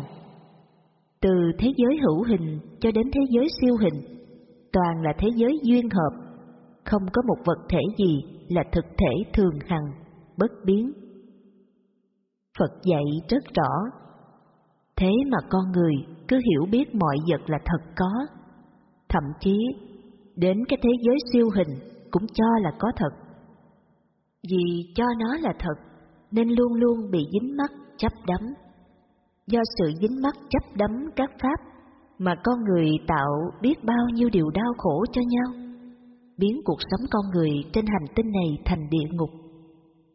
Con người chỉ còn là những ác quỷ giết hại lẫn nhau, chà đạp lên nhau, gian xảo, mánh mung, lừa đảo, lừa gạt, lường lận, hại nhau, mà chẳng có chút lòng thương xót, chỉ vì vật chất cho nó là thật có. Trí tuệ vô minh rất tai hại, tức là sự hiểu biết không thấu suốt các pháp thế gian có người bảo rằng phải học thông suốt tam tạng kinh điển của Phật là hết vô minh, sẽ được giải thoát hoàn toàn. Nói như vậy, các ông có bằng tiến sĩ Phật học là giải thoát hoàn toàn hết sao? Bằng chứng các ông có bằng tiến sĩ Phật học còn dính mắc hơn ai? Sống phạm giới, phá giới. Trong kinh Đức Phật đã chẳng dạy giới luật ở đâu thì trí tuệ ở đó. Trí tuệ ở đâu thì giới luật ở đó. Giới luật làm cho trí tuệ thanh tịnh và trí tuệ làm cho giới luật thanh tịnh. Vậy mà, người ta cho rằng có bằng tiến sĩ Phật học là có trí tuệ. Trí tuệ minh ở chỗ giới luật thanh tịnh. Còn ngược lại, trí tuệ tiến sĩ Phật học mà sống không đúng giới luật phạm giới luật thì đó là trí tuệ vô minh. Do trí tuệ vô minh học hỏi, những nhà học giả này chấp ngã bằng trời hơn ai hết và dính mắc các pháp khó buông bỏ. Bỏ biết bao nhiêu công lao năm tháng học hành, cuối cùng cũng chỉ học nói như một con chim để lừa đảo người, buông Phật, bán Pháp, làm cho cuộc sống trong danh lợi, ô nhục mà vô minh vẫn hoàn là vô minh. Ví dụ, cho thân này là ngã, hoặc cho tâm là ngã, hoặc cho thân này là của ta, hoặc cho tâm này là của ta, hoặc cho các dục là hạnh phúc ưa mến, yêu thích nó, hoặc cho vũ trụ này có thế giới siêu hình, có linh hồn người chết, hoặc cho có chư Bồ Tát, thần, thánh, ma, quỷ, vân vân phò hộ và phá phách.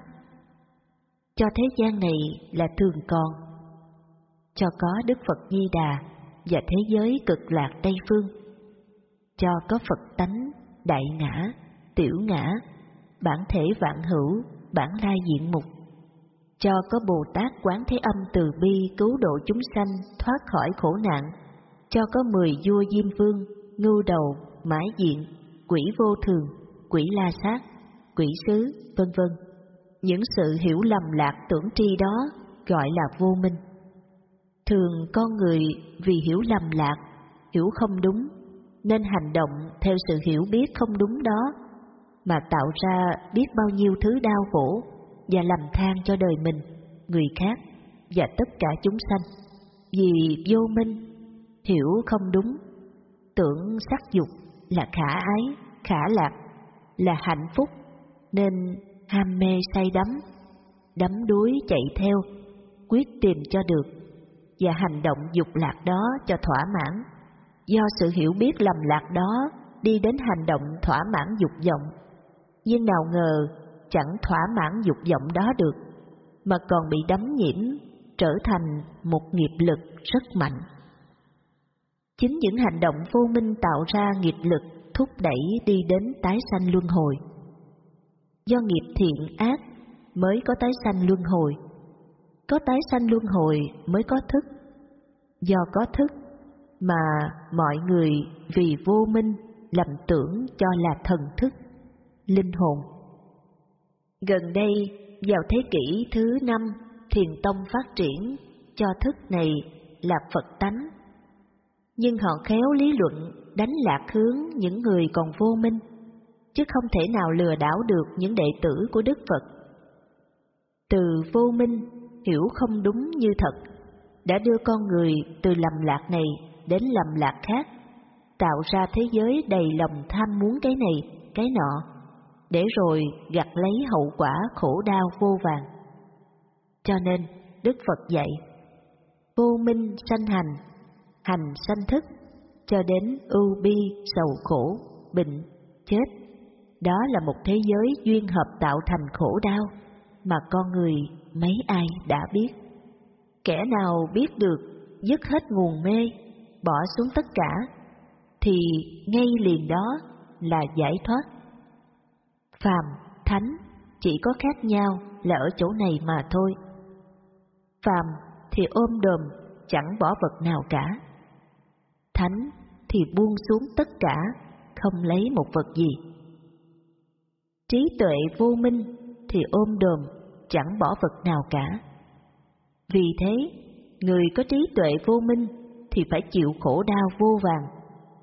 Ngược lại, trí tuệ minh thì buông xuống tất cả, không lấy một vật nào hết. Vì thế, người có trí tuệ minh thì tâm hồn thanh thản, an lạc và giải thoát. Cho nên, minh là sự hiểu biết đúng như thật, không mang theo tâm ái dục, hiểu biết không lệch lạc, không chủ quan. Đúng như Pháp, có khoa học thực tế, cụ thể, rõ ràng, minh chứng và xác thực, vân vân. Nhờ sự hiểu biết như vậy mà đã đập tan 12 nhân duyên này, khiến cho cuộc sống của loài người trên thế gian này được an vui, hạnh phúc.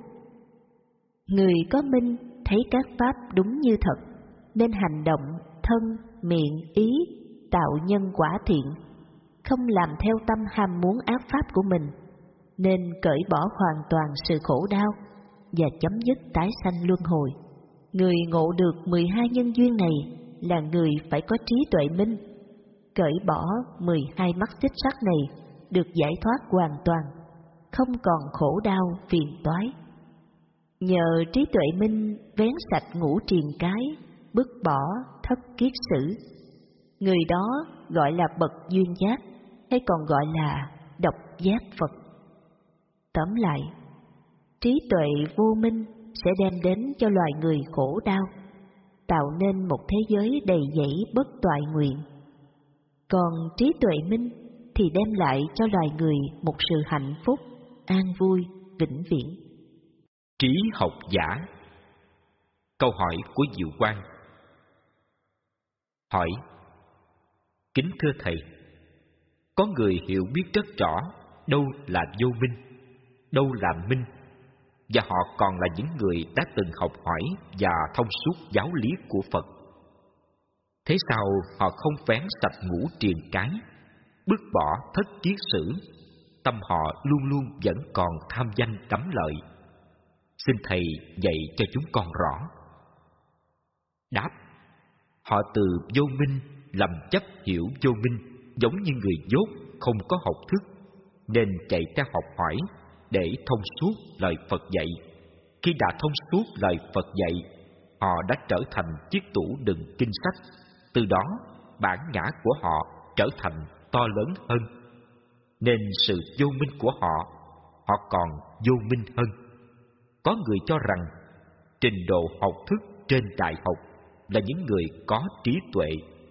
Đối với đạo Phật, trình độ học thức này chỉ là một cái bao đựng gạo, chỉ toàn nhai lại bả mía của người khác, chứ không phải như trí tuệ của Phật đã dạy. Chỗ nào có trí tuệ, chỗ ấy có giới hạnh. Người có giới hạnh nhất định có trí tuệ. Người có trí tuệ nhất định có giới hạnh. Đoạn kinh này đã được xác chứng một cách cụ thể trí tuệ của đạo Phật tương quan giữa sự hiểu biết và đức hạnh rất đặc thù của đạo Phật mà người đời không thể suy nghiệm ra được. Đó chính là trí tuệ giải thoát hay còn gọi là tri kiến giải thoát mà Đức Phật thường tán thán trí tuệ này. Cho nên, sự học thức của thế gian không phải là trí tuệ mà là kiến thức vay mượn. Vì thế, có người đổ bằng tiến sĩ Phật học, tam tạng kinh điển thông suốt. Nhưng đối với đạo Phật, đó không phải là trí tuệ, mà là kiến thức hữu lậu. Càng học hiểu nhiều, lậu hoặc càng sanh nhiều hơn. Trí tuệ của đạo Phật được phát triển là ở chỗ biết, tả tâm, ly dục, ly ác pháp, chứ không phải chỗ học hỏi nhiều. Vì có xả tâm, ly dục, ly ác pháp thì giới luật mới thanh tịnh giới luật có thanh tịnh thì đời sống mới có đạo đức mà đời sống có đạo đức, thì ngay đó là trí tuệ, chứ có học hỏi gì đâu. Họ đâu biết rằng, tại sao lại có vô minh?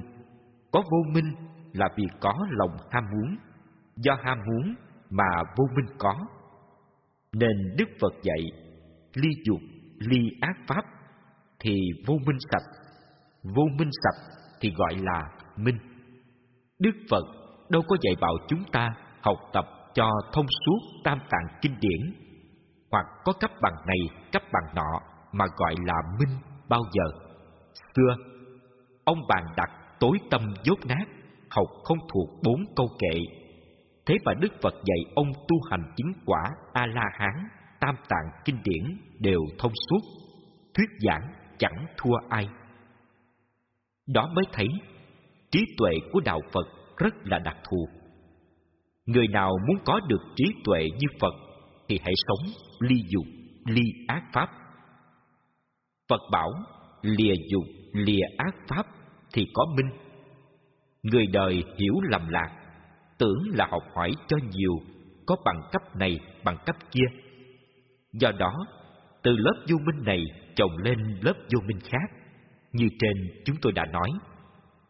Phần đông đó là các giảng sư của phật giáo chúng ta hiện giờ. Bởi muốn phá vô minh, không phải lấy sự học hỏi hiểu biết mà phá được. Chỉ có đoạn dứt duyên sanh, tức là lìa dục. Sanh còn là dục còn, sanh diệt là dục diệt. Dục diệt thì vô minh diệt, vô minh diệt tức là minh sanh. Nên trong kinh thập nhị nhân duyên, phật dạy sanh diệt thì thủ diệt thủ diệt thì hữu diệt hữu diệt thì ái diệt ái diệt thì thọ diệt thọ diệt thì xúc diệt xúc diệt thì lục nhập diệt lục nhập diệt thì danh sắc diệt danh sắc diệt thì thức diệt thức diệt thì hành diệt hành diệt thì vô minh diệt vô minh diệt thì minh sanh. Do đó, đức phật ngày xưa dạy người tu cắt ái ly gia, tuốt gia, cạo bỏ râu tóc, đắp áo cà sa. Sống không gia đình, không nhà cửa là vậy. Vì vậy người nào muốn tu theo đạo phật để được giải thoát thì phải dứt lìa duyên sanh. Dứt duyên sanh, tức là ly gia, cắt ái để trở thành một vị tỳ kheo chân chánh. Người xưa dứt đời tìm đạo để cầu giải thoát. Người nay dứt đời tìm đời qua hình ảnh một lớp áo cà sa của nhà tu để nuôi vợ, nuôi con, nuôi cha, nuôi mẹ. Tây bồ mã ông bà, dòng họ. Hình ảnh một tu sĩ vị tỳ kheo để dễ bề tìm danh, tìm lợi, lừa đảo tín đồ rất dễ dàng. Cho nên, theo đạo Phật, cái học không phải là minh. Chỉ có sống đúng giới luật, hàng ngày tu tập đúng các loại định. Một, định sáng suốt. Hai, định vô lậu. Ba, định chánh niệm tỉnh giác. Bốn, định niệm hơi thở. Nhờ tu các loại định này, thực hiện trên tứ chánh cần, ngăn ngừa và đoạn dứt các ác pháp, khiến cho tâm ly dục ly ác pháp. Do đó, giới luật không vi phạm, không bị bẻ vụn, trở thành thân tâm nghiêm trì giới luật. Giới luật đã nghiêm túc thì thân tâm thanh tịnh. Thân tâm thanh tịnh tức là thiền định. Nên Phật dạy ly dục, ly ác pháp nhập sơ thiền. Thân tâm có định thì trí tuệ triển khai. Trí tuệ triển khai gọi là minh. Người tu theo Phật giáo ngày nay nghĩ tưởng phá vô minh bằng minh. Nên ngay từ lúc ban đầu, theo minh đi vào để phá vô minh, bằng sự học thức hiểu thông tam tạng kinh điển của Phật. Đó là một sự hiểu sai rất lớn. Thay vì phá vô minh, lại chồng lên một lớp kiến chấp học thuật. Vì thế, bản ngã càng to lớn, chẳng chịu ly dục, ly ác pháp. Nên tâm không thanh tịnh. Do tâm không thanh tịnh nên không có định. Không có định thì minh chẳng bao giờ có. Minh chẳng có thì lấy gì phá vô minh? Phá vô minh chẳng được nên chồng thêm một lớp vô minh nữa những người tu sĩ và cư sĩ này giống như một con chim học nói tiếng người chẳng quyết lợi gì cho họ cả theo sự học thức của họ. Từ đó, họ tu tập thiền định, ức chế tâm, nên sanh ra nhiều kiến giải, sản xuất ra nhiều pháp môn thiền định, nhưng toàn là thiền ức chế tâm, hoặc sanh ra những pháp môn tha lực, chuyên cúng bái, tụng niệm, cầu khẩn, tế lễ, vân vân.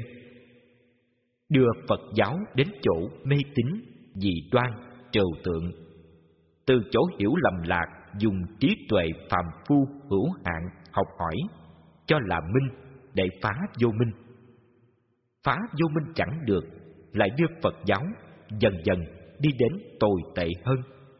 Mà ngày nay phật giáo đã biến thành thần giáo hữu ngã giáo huyền bí giáo vân dân. hỷ lạc có xả bỏ hay không câu hỏi của chân thành hỏi kính thưa thầy thân thọ tâm pháp đều có khổ lạc, bất khổ bất lạc thọ, ở thế gian đều phải xả bỏ. Ngược lại, hỷ lạc, khinh an, khi tu tập thiền định sanh ra, thì có cần phải giữ gìn và tăng trưởng hay phải xả bỏ như thế nào? Nếu không được giữ gìn và tăng trưởng, thì những hỷ lạc này sẽ thối thất, mất mát hoặc hao mòn không, thưa Thầy? Đáp, dục lạc thế gian là nguy hiểm là tai họa, là khổ đau vân vân. Nên tu theo Phật giáo cần phải xả ly, xa lìa những thứ dục lạc đó. Do tu hành thiền định có lạc, có hỷ, hỷ lạc này tùy theo ở mỗi loại định xuất hiện, như hỷ lạc của sơ thiền do ly dục sanh ra. Hỷ lạc này không giống như hỷ lạc của dục lạc. Hỷ lạc của nhị thiền do định sanh Hỷ lạc này cao hơn hỷ lạc do ly dục sanh ở sơ thiền, nhưng phải hiểu nó là do định ly dục sanh ra. Nó không giống hỷ lạc do thiền định ức chế tâm, như thiền đại thừa và thiền đông độ. Hỷ lạc của hai loại thiền này do dục tưởng sanh. Khi tâm không còn ly dục, thì hỷ lạc của sơ thiền liền mất. Không còn ly dục, tức là tâm phóng dật chạy theo các đối tượng của nó sắc, thinh, hương, vị, xúc, pháp. Tâm còn ly dục ly ác pháp, tức là tâm còn an trú trong sơ thiền. Tâm chạy theo dục lạc, tức là tâm xuất sơ thiền. Khi tâm còn tịnh chỉ tầm tứ, tức là tâm an trú nhị thiền. Tâm an trú nhị thiền có hỷ lạc do định sanh. Khi tâm hết hỷ lạc, tức là tâm không tịnh chỉ tầm tứ. Do những điều ở trên, ta muốn giữ gìn hỷ lạc không cho mất. Nếu sơ thiền thì phải giữ gìn tâm không phóng vật, còn nhị thiền thì phải giữ gìn cho tâm tịnh chỉ tầm tứ. Hỷ lạc của sơ thiền và nhị thiền không có tăng trưởng thêm, mà chỉ có một mức độ của nó mà thôi. Dù có kéo dài trạng thái hai loại thiền này ra hai ba ngày, thì sự hỷ lạc cũng chỉ như vậy, không tăng cũng không giảm.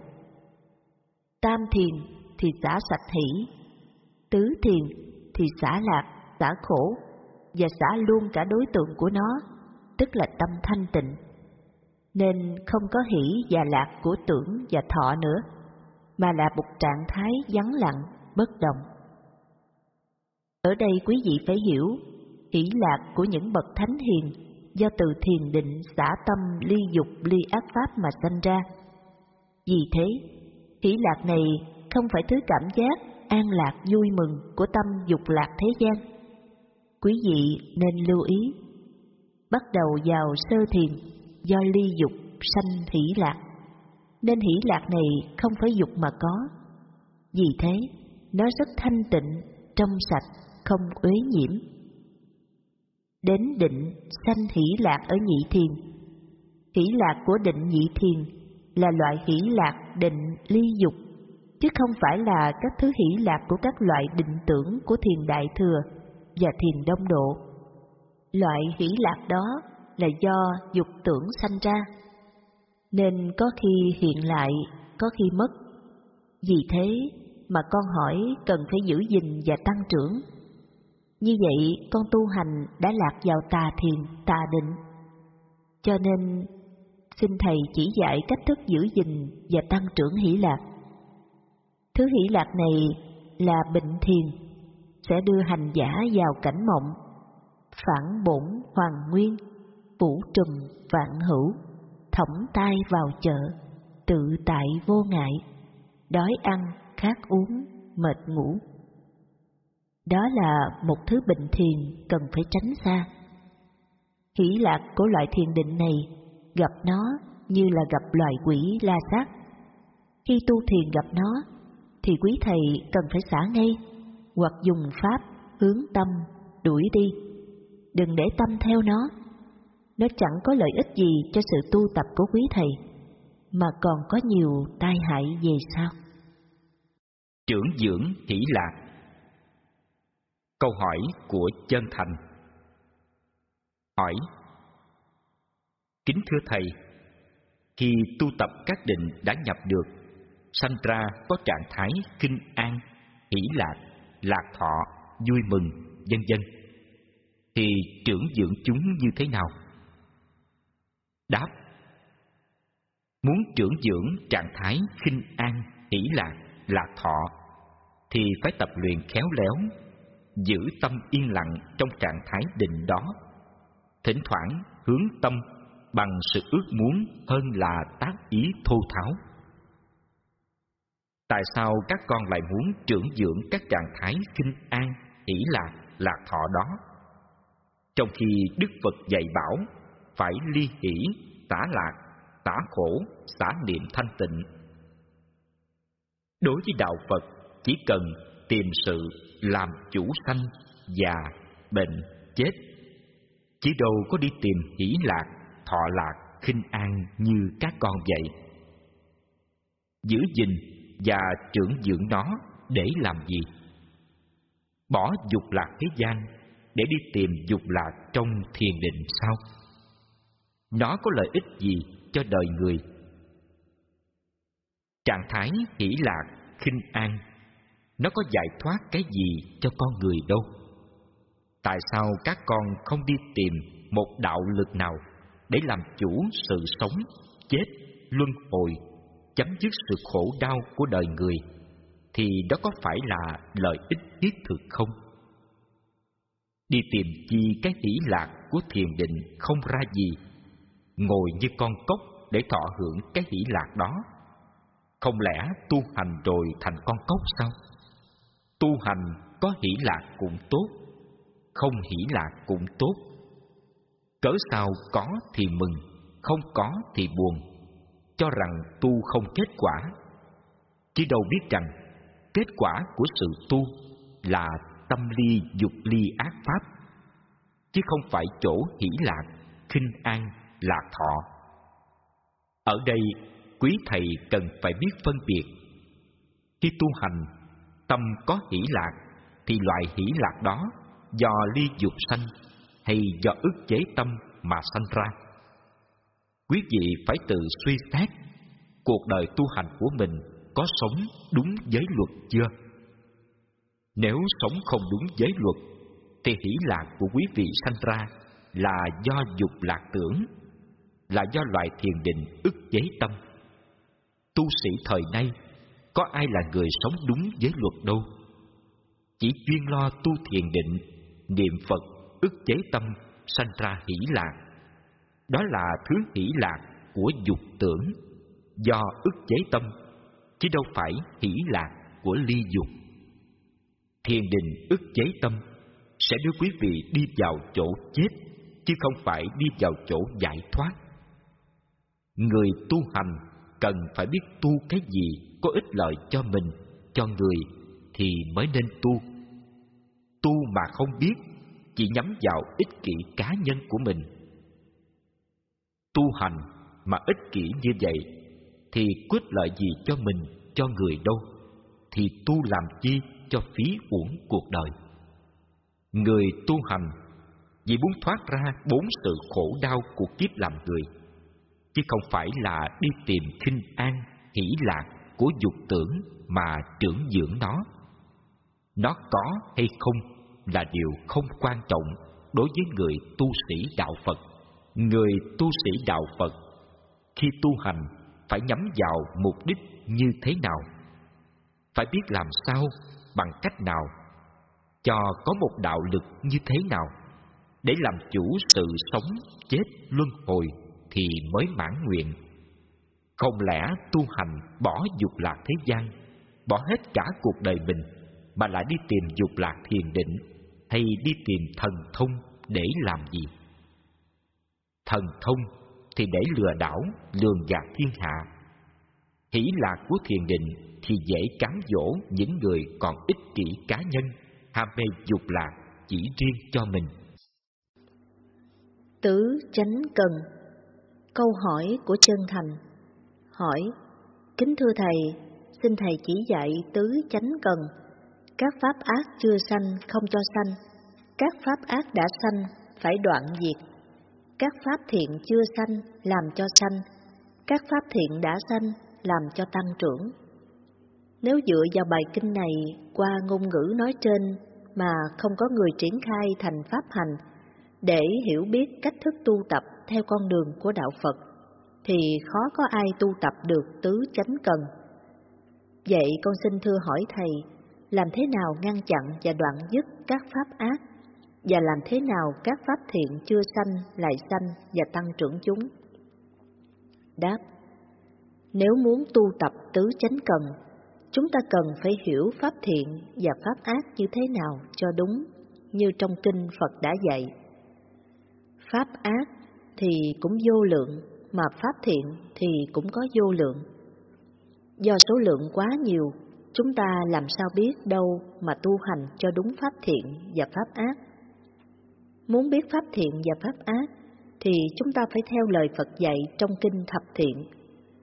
Kinh này dạy rất rõ có 10 pháp thiện và 10 pháp ác. Lấy 10 pháp thiện và 10 pháp ác này áp dụng vào tứ chánh cần thì mới đúng đường lối tu tập mà Đức Phật đã hướng dẫn. Áp dụng vào tứ chánh cần, trước tiên chúng ta phải hiểu có bao nhiêu pháp thiện và có bao nhiêu pháp ác. Pháp thiện như thế nào và pháp ác như thế nào? Có 10 pháp thiện là một không giết hại chúng sanh, không suối bảo người giết hại. Thấy người giết hại không vui theo, thường can ngăn người giết hại chúng sanh. 2. Không gian tham trộm cắp lấy của không cho, dù cây kim sợi chỉ vật nhỏ mọn nhất, nếu người không cho thì không bao giờ lấy. 3. Không tà dâm, có nghĩa là chồng hay vợ không được gian dâm với người khác. Vì gian dâm với người khác tạo ra cảnh bất an cho gia đình mình và gia đình người khác, khiến tan nát cả hai gia đình. Đó là một ác pháp làm đau khổ mình và đau khổ người và khổ cho con cái của chúng ta. 4.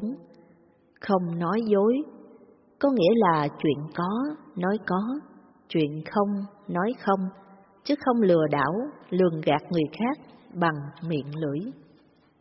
5. Không nói lưỡi hai chiều, nghĩa là không nói lật lọng, tức là không nói qua, nói lại. 6.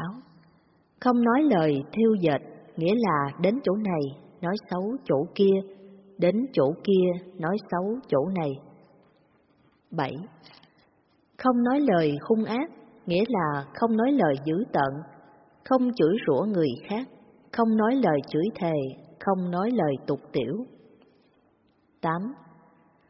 Không ham muốn, nghĩa là không tham muốn những gì mình chưa có, dù mình đã có vật đó cũng không tham muốn. 9. Không sân hận, nghĩa là không tức giận, giận hờn ai hết. 10. Không si mê, nghĩa là không tham ăn, tham ngủ, không làm khổ mình, khổ người, tránh xa các pháp ác, lìa tất cả lòng tham muốn của mình, luôn luôn sống không làm khổ người khác và không làm khổ tất cả chúng sanh. Ngược lại là mười pháp ác. Bây giờ chúng ta đã rõ mười pháp thiện và mười pháp ác. Nếu ngăn chặn và đoạn diệt mười pháp ác được, thì ngay đó là sanh khởi và tăng trưởng mười pháp thiện. Muốn được vậy, chúng ta phải ở trên pháp nào để tu tập cho có kết quả. Như Đức Phật đã dạy, trên pháp tứ niệm xứ, chúng ta quán thân trên thân, tu về hành tướng ngoại, tức là tu trong các hành động của thân, thân hành niệm ngoại. Tu về thân hành niệm ngoại, tức là tu chánh niệm tỉnh giác định. Đó là một pháp môn ngăn các pháp ác tuyệt vời. Nếu trên thân quán thân tu về hành tướng nội, thân hành niệm nội, tức là hơi thở.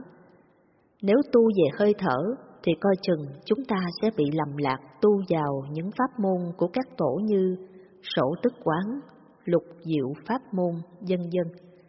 Đó là những pháp môn hơi thở tu ức chế tâm. Còn tu về hơi thở của đạo Phật thì không phải là những pháp môn này. Trong kinh sách Nguyên Thủy gọi pháp môn hơi thở này là định niệm hơi thở. Định niệm hơi thở cũng là một pháp môn ngăn ác diệt ác pháp tuyệt vời. Hai loại thiền định này là pháp môn ngăn chặn 10 pháp ác. Nếu hành giả siêng năng, chuyên cần, tinh tấn tu tập, thì các pháp ác không xen vào được trong tâm mình. Vì thế, tâm không phóng dật, luôn hướng vào trong thân và định vào thân.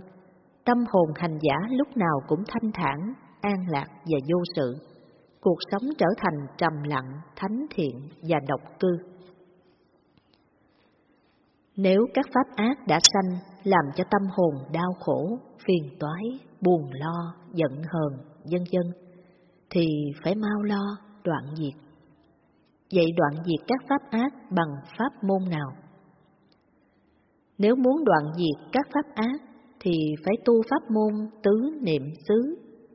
Tu pháp môn tứ niệm xứ là phải ở trên thân quán thân, tu về nhân tướng tức là tu về định vô lậu, quán xét thân thọ tâm và các pháp bằng luật nhân quả, bằng tam pháp ấn, vô thường, khổ, vô ngã, vân vân bằng quán thập nhị nhân duyên, bằng quán tứ diệu đế, bằng quán thân ngũ quẩn, không phải là ta, là của ta, là bản ngã của ta, và bằng quán thân, thọ, tâm pháp bất tịnh, hôi thối, uế trượt, bẩn thiểu, dân dân. Nhờ có tu tập như vậy, các pháp ác mới đẩy lui được, mới đoạn dứt được, mới đem lại sự thanh bình cho tâm hồn, mới làm nên một cuộc cách mạng tư tưởng, mới chiến thắng được tâm mình. Thắng trăm trận không bằng chiến thắng tâm mình. Lời Phật dạy như vậy. Khi ngăn chặn được các ác pháp thì tâm bây giờ lúc nào cũng ở trong thiện pháp. Ở trong thiện pháp tức là sanh trưởng thiện pháp. Nói cách khác là ngăn chặn ác pháp, tức là sanh trưởng thiện pháp. Như kinh thập thiện dạy, mười ác pháp không có mặt, tức là mười thiện pháp có mặt. Như vậy, ta chỉ cần ngăn chặn mười điều ác, tức là ta đã sanh khởi mười điều thiện, hay nói một cách khác nữa, ngăn chặn mười điều ác là một tên khác của sự sanh khởi mười điều thiện.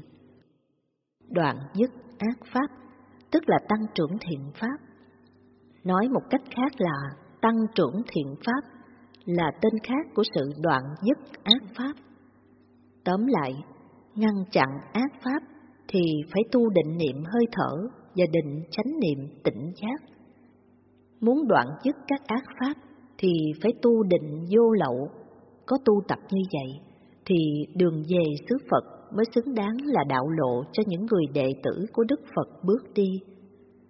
Dù có gian nan, có khó nhọc đến đâu, nhưng tương lai vẫn sáng chói huy hoàng. Đường về xứ Phật sẽ đưa đường dẫn lối cho quý vị đến nơi đến chốn giải thoát hoàn toàn. Một người mù dẫn một đám người mù. Câu hỏi của chân thành hỏi kính thưa thầy người đang tu chưa chứng đắc được gì về pháp môn giới định, tuệ, mà dội lập đạo tràng để giảng đạo cho các người khác tu tập. Thì số phận người giảng sư lẫn các hành giả sẽ đi về đâu trên đường tu tập? Xin thầy chỉ dạy cho chúng con được rõ. Đáp, chẳng đi đến đâu cả. Giống như một người mù dắt đường cho tất cả những người mù khác để ra khỏi rừng sâu núi thẳm nhưng không ngờ mọi người đều sa hầm, lọt hố và chết chìm nhau cả đám. Con người vì đắm mê, danh, lợi, tu chưa tới đâu mà dội đem ra dạy người là người háo danh. Người tham danh mà thầy thường gọi là tưởng giải. Kinh sách Đại Thừa dạy, Một người vừa tu vừa dạy người khác tu là Bồ Tát độ chúng sanh. Kinh sách này khuyến khích những vị tỳ kheo và những cư sĩ thọ Bồ Tát giới thực hiện Bồ Tát hạnh, nghĩa là tu sĩ vừa tu vừa hành Bồ Tát đạo, tức là mình vừa tu vừa dạy người khác tu, còn cư sĩ vừa học tu lại vừa bố thí cúng dường và làm việc từ thiện cũng có khi dạy người khác tu hành như cư sĩ, tâm minh và đoàn trung còn. Thật là đau lòng cho phật pháp. Người ta lấy sự học mà dạy đạo, chứ không phải lấy sự tu chứng mà dạy. Vì thế, phật giáo đi dần về phía tà đạo, không có người tu chứng nữa. Kinh sách này dạy như vậy có đúng đường lối của đạo Phật hay không? Không. Đức Phật dạy người phải tu cho mình được giải thoát, xong rồi mới dạy người khác tu. Trường hợp như ông Phú Lâu Na, khi tu xong, đến xin Đức Phật đi độ chúng sanh.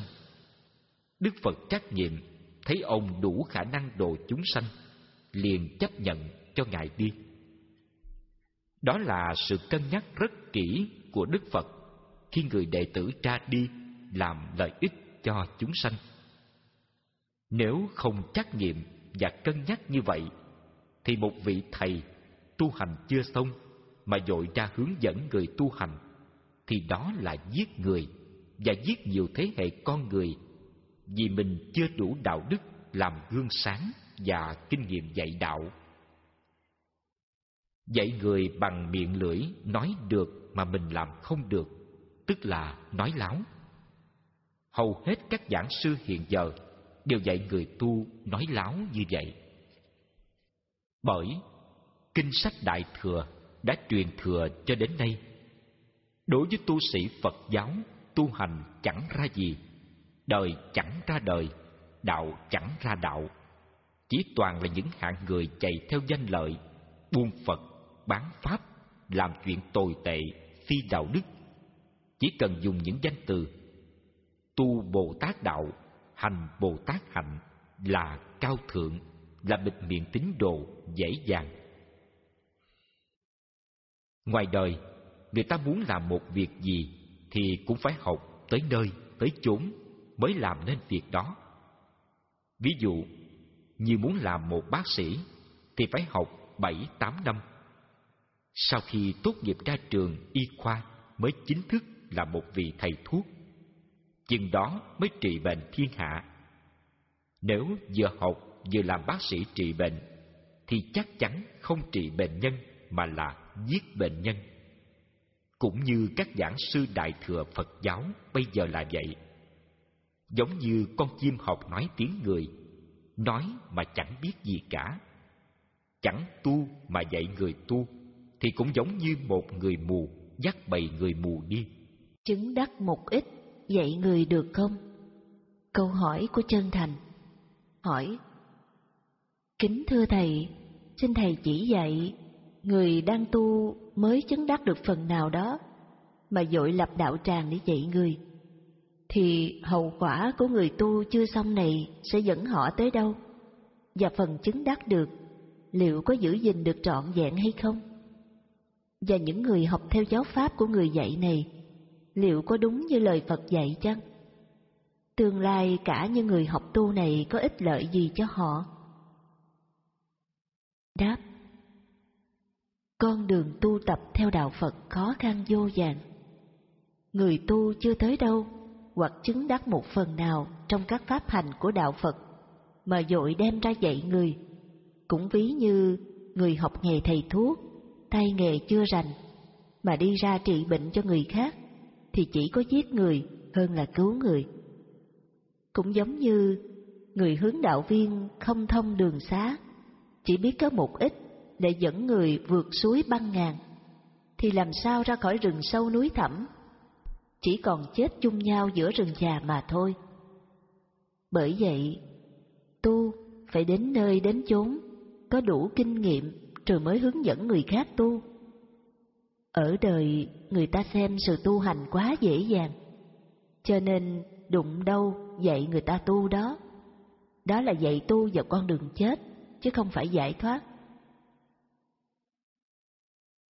Tu chưa đến nơi đến chốn, tức là tâm chưa giải thoát hoàn toàn, thì tâm ham muốn và ác pháp còn đầy dẫy, mà dội ra làm đạo sư, thì danh lợi với sắc dục sẽ cám dỗ và lôi cuốn đi sâu vào các ác pháp thế gian, khiến cho người này giới luật bị bẻ vụn, phạm giới, đức hạnh không có.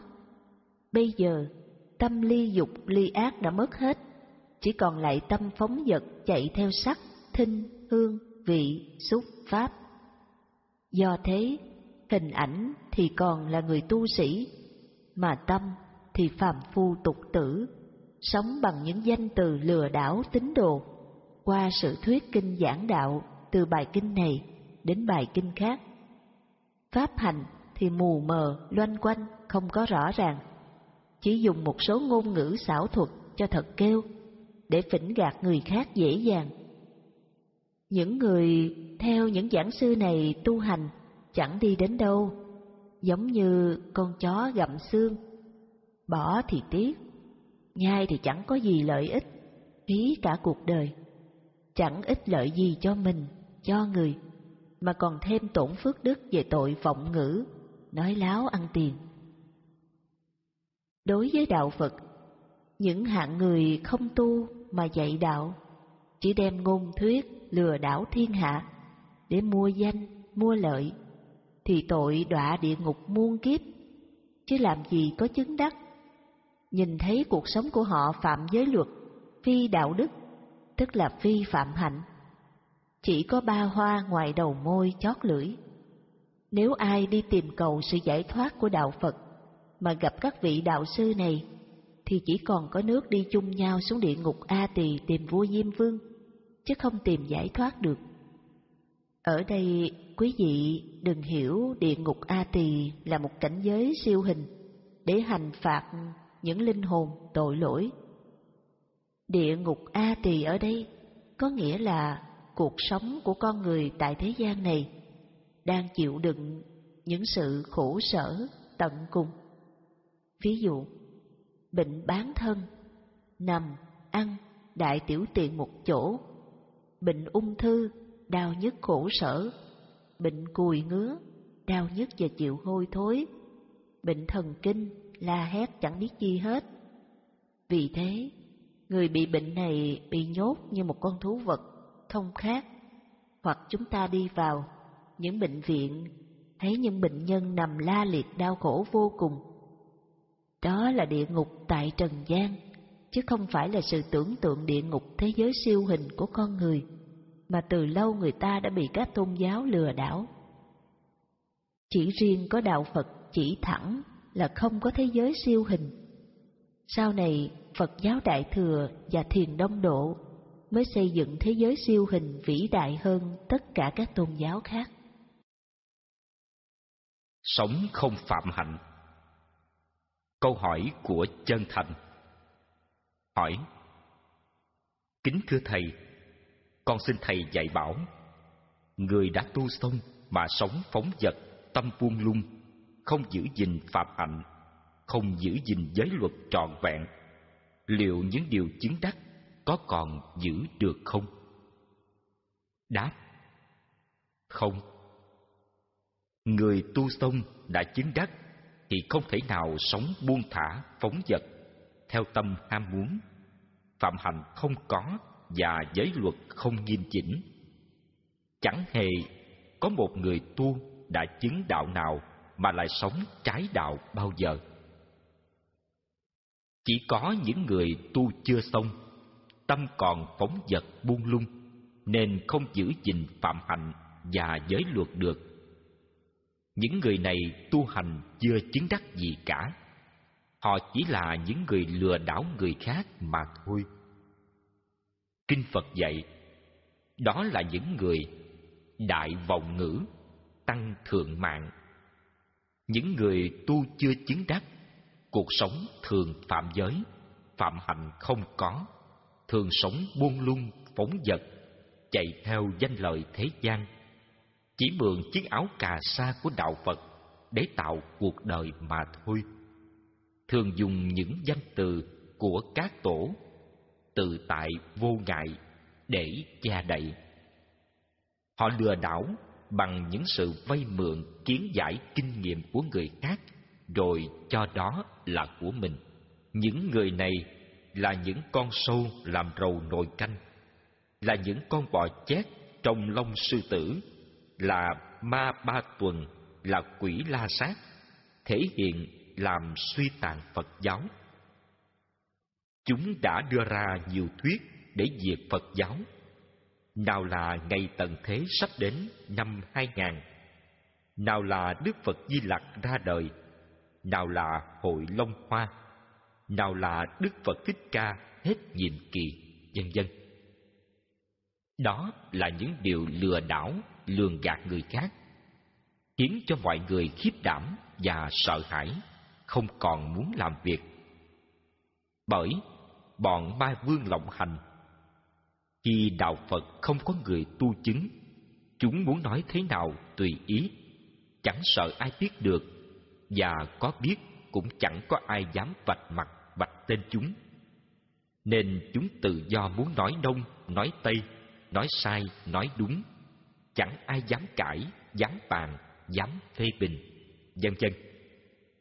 Để chứng minh cho quý vị thấy, một trong những nhà học giả tu hành chưa đến nơi đến chốn như ở Miến Điện, Malaysia và Thái Lan.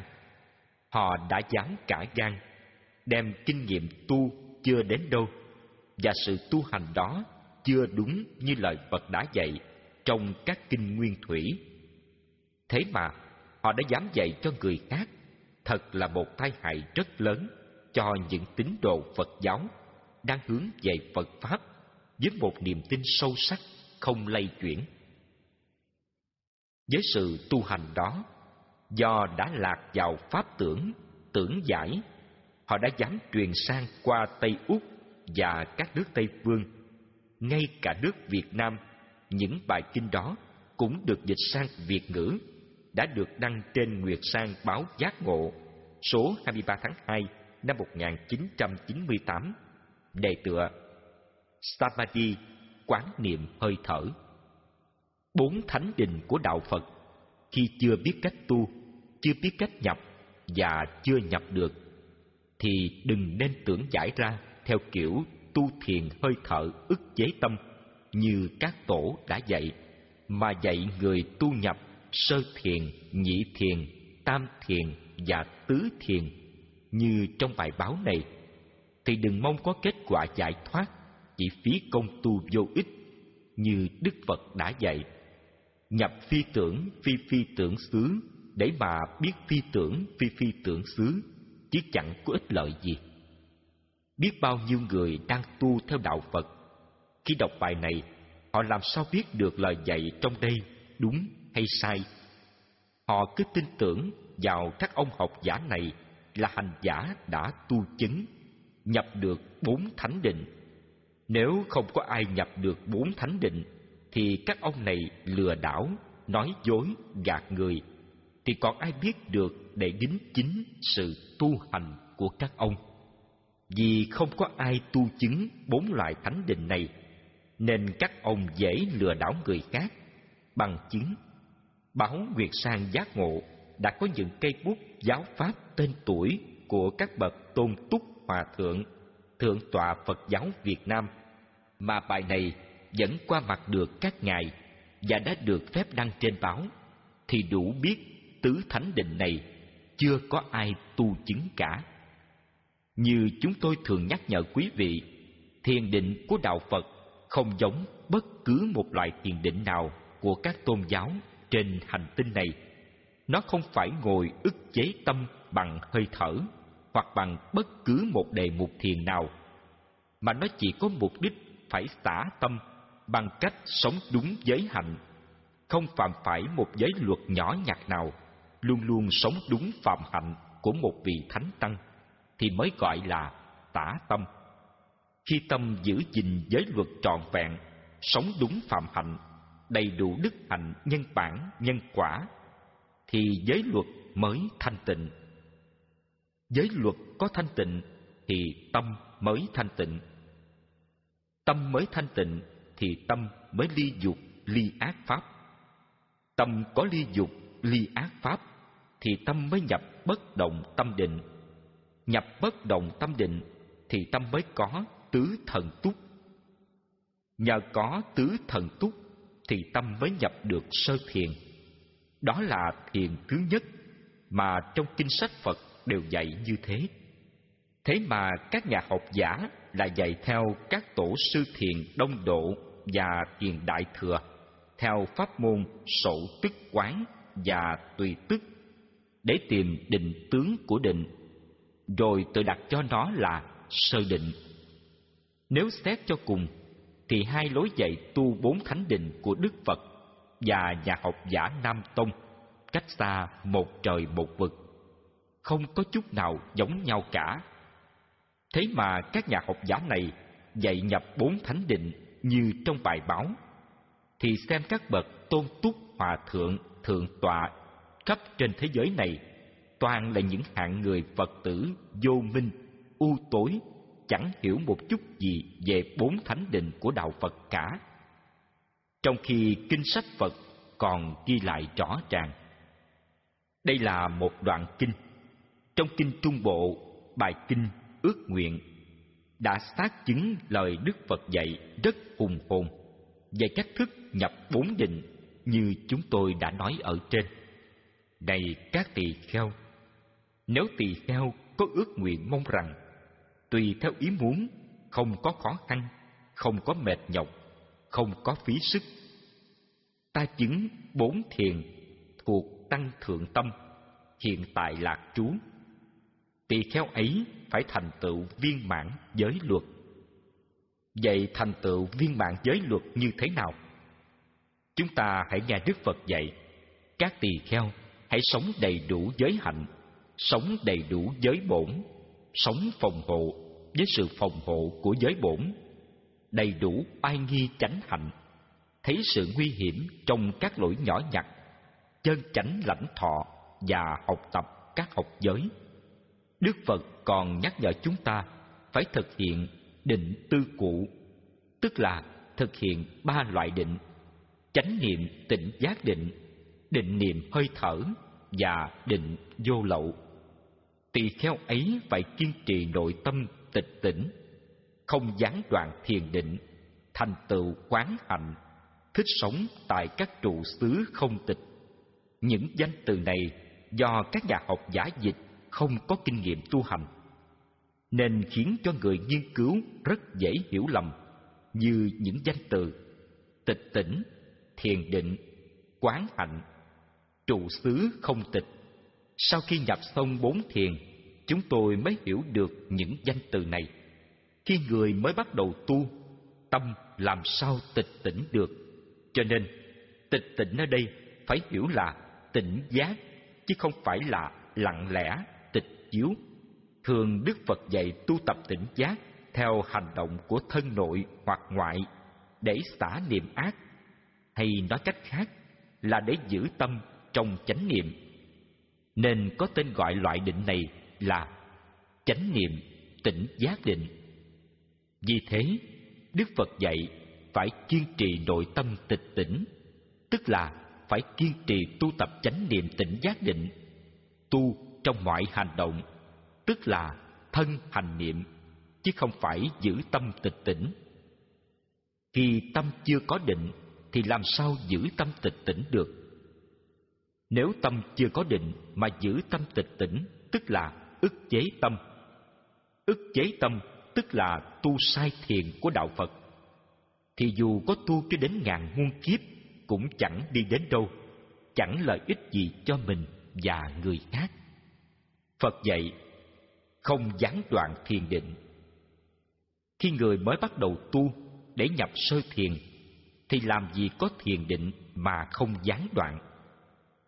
Nếu không có tu nhập được bốn thánh định này, trên những danh từ này mà hiểu thì không ai hiểu nổi và cũng không biết làm sao tu tập cách nào. Phần nhiều, các nhà học giả dối đầu không dám giải thích những danh từ này thường là tránh né hoặc giải thích không đúng, hoặc mượn ý nghĩa theo kinh đại thừa và thiền đông độ mà giảng giải. Do đó, thiền của phật biến thành thiền của ngoại đạo. Vì thế, chẳng có ai tu chứng đạt chân lý làm chủ sanh tử, chấm dứt luân hồi. Không gián đoạn thiền định, tức là đức phật muốn nhắc chúng ta tu định niệm hơi thở tức là nương hơi thở xả tâm, không gián đoạn. Quán ly tham tôi biết, tôi hít vô. Quán ly tham tôi biết, tôi thở ra. Quán ly sân tôi biết, tôi hít vô. Quán ly sân tôi biết, tôi thở ra. Quán thân vô thường tôi biết, tôi hít vô. Quán thân vô thường tôi biết, tôi thở ra. Vân vân đức phật dạy thành tựu quán hạnh. Muốn nhập sơ thiền thì phải thành tựu quán hạnh, tức là phải tu tập, định vô lậu. Đó là một pháp môn diệt pháp ác tuyệt vời mà thành tựu định vô lậu, tức là đã lìa ác pháp, đã lìa ác pháp là nhập sơ thiền. Muốn nhập sơ thiền, đức phật dạy, thích sống tại các trụ xứ không tịch thích sống tại các trụ xứ không tịch, tức là sống, độc cư. Hay nói cách khác là tình chỉ ngôn ngữ để nhập sơ thiền. Ở đây chúng ta phải thấy đường lối tu tập thiền định của đạo phật rất rõ ràng. Ý chung của các bài kinh mà đức phật đã dạy rất cụ thể. Muốn nhập được sơ thiền, phải sống cho đúng giới hạnh. Và còn tu tập bao nhiêu pháp môn khác nữa mới nhập được chứ không phải như các nhà sư Nam Tông đã tu và dạy người tu pháp môn hơi thở, sổ tức, tùy tức để nhập sơ thiền, thì không đúng cách theo đường lối tu tập của Đức Phật đã dạy trong các kinh nguyên thủy. Ngay cả pháp môn hơi thở, các sư cũng còn dạy không đúng như trong kinh, thì dạy nhập các định làm sao đúng được.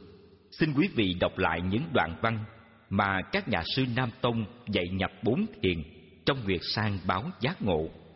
Bài này được trích dịch từ một quyển cẩm nang tu thiền của Ngài Thiền sư Yu Asinan, người Miến Điện, Clyde of Wisdom, Way, Malaysia 1996.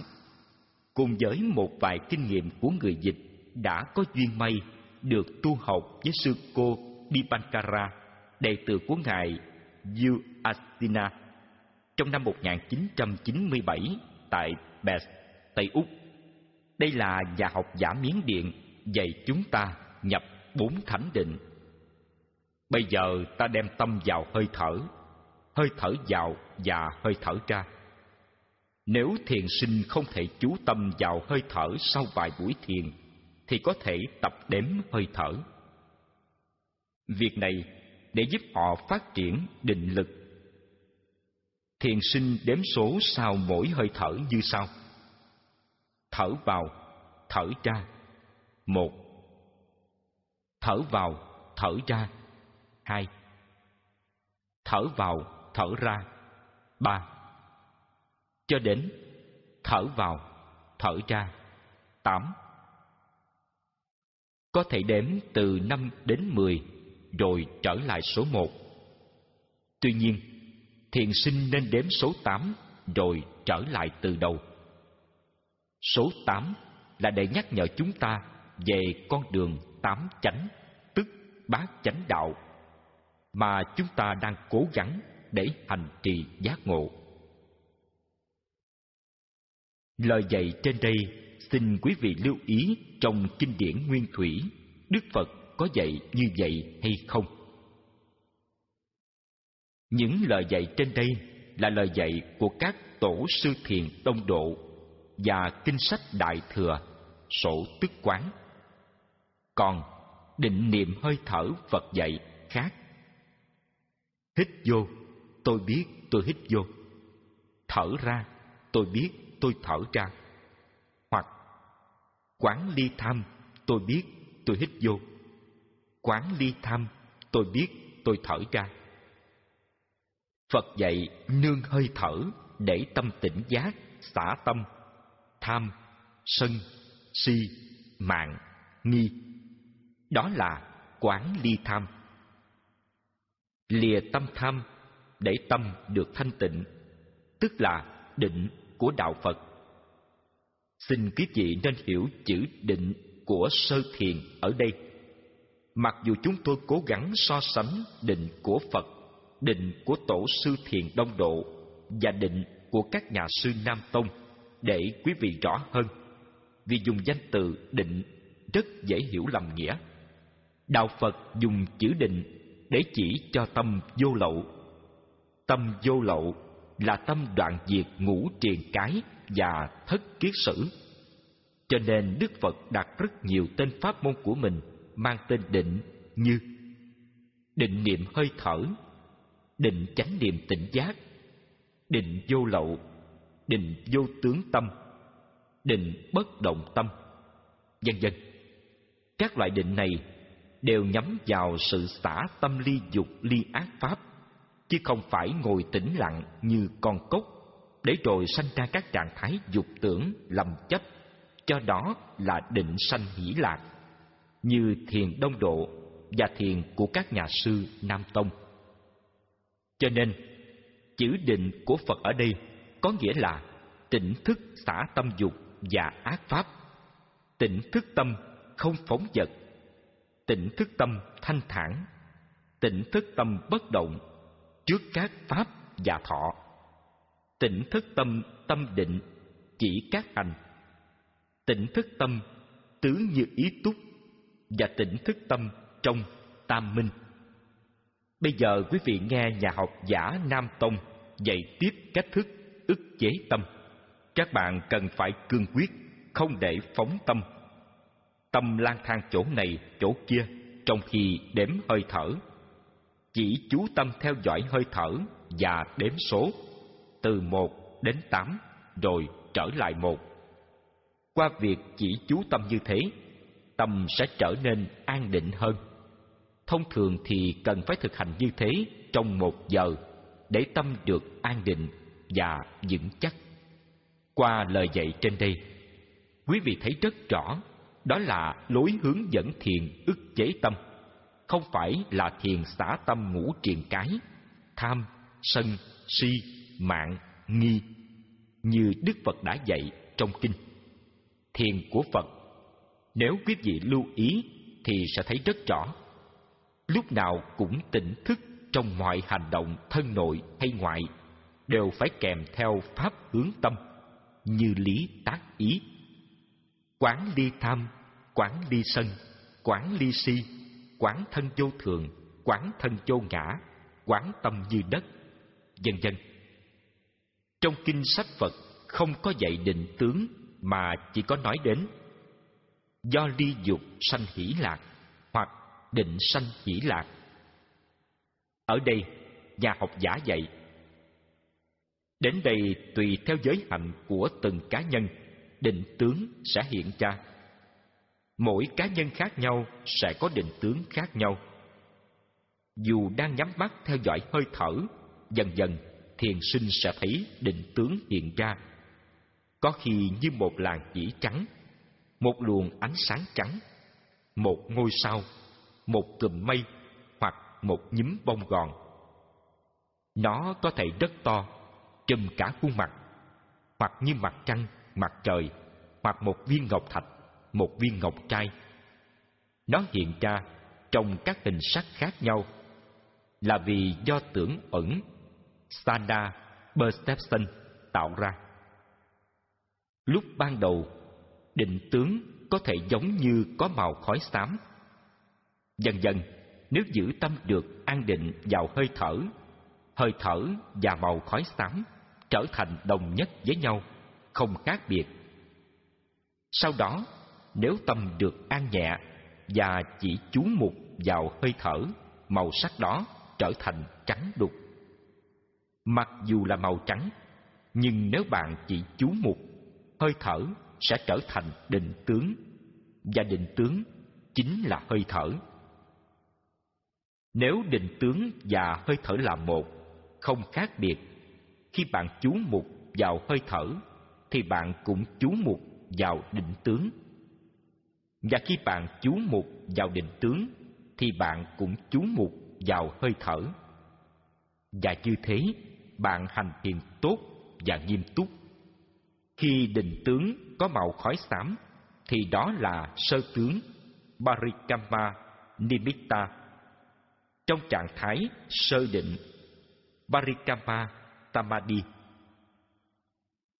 Nếu nó trở thành màu trắng như một nhúm bông gòn, đó là học tướng Ugaha Nimitta. Đây là một trạng thái định khá cao. Đọc qua cách thức hướng dẫn này, chúng ta nhận xét. Nhà học giả ở đây có nhận thức ra giới hạnh sanh định tướng. Đó là đúng. Nhưng nhà học giả lại chẳng biết định tướng của giới hạnh như thế nào. Cho nên, nhầm tưởng định tướng do tưởng uẩn lưu xuất. Điều này rất sai. Định tướng do giới hạnh sanh ra là một trạng thái tâm không phóng vật tâm thường tự động hướng vào nội thân. Trong nội thân hoạt động điều gì thì tâm đều biết rất rõ, mà chẳng biết sự động dụng bên ngoài. Nó không hình tướng như màu khói trắng, hoặc xám, hoặc trắng như nhím bông gòn, hoặc như ngọc thạch, vân vân. Còn định tướng của tưởng uẩn lưu xuất là những định tướng loại ma có hình tướng màu sắc, khói xám hoặc trắng vân vân do tu tập thiền ức chế tâm sanh ra nhà học giả này chỉ mới thấy được sắc tưởng của thiền ức chế tâm mà đã vội cho là định tướng của bốn thiền thì thật là vô minh vô cùng. Nó có sáu loại ma tưởng. Sắc tưởng, hương tưởng, thinh tưởng, vị tưởng, xúc tưởng và pháp tưởng. Vì sư Nam Tông đã rơi vào ma sắc tưởng mà không biết. Thảo nào chúng ta cũng không nên trách các thiền sư đông độ khi họ tu hành ức chế tâm, chẳng niệm thiền niệm ác, nên gặp loại ma pháp tưởng. Do đó, họ tưởng họ đã tu chứng đạo, nên trí tuệ phát triển. Triệt ngộ thấu suốt một bảy trăm công án thiền tông và tất cả kinh sách Đại Thừa đều hiểu rõ, không có câu kinh nào mà họ chẳng hiểu. Nhưng không ngờ, đó lại là ma pháp tưởng của tưởng uẩn, chứ không phải là trí tuệ. Nhìn giới hạnh của các ngài thì biết các ngài đã bị ma pháp tưởng không có khó khăn gì. Vì các ngài đang sống phạm giới luật, dường như tu sĩ từ Đông sang Tây, từ Nam sang Bắc tu hành đều gặp nhau trên một điểm này. Điểm này tức là sáu loại ma tưởng. Không một tu sĩ nào thoát ra khỏi nanh vuốt của sáu loại ma này.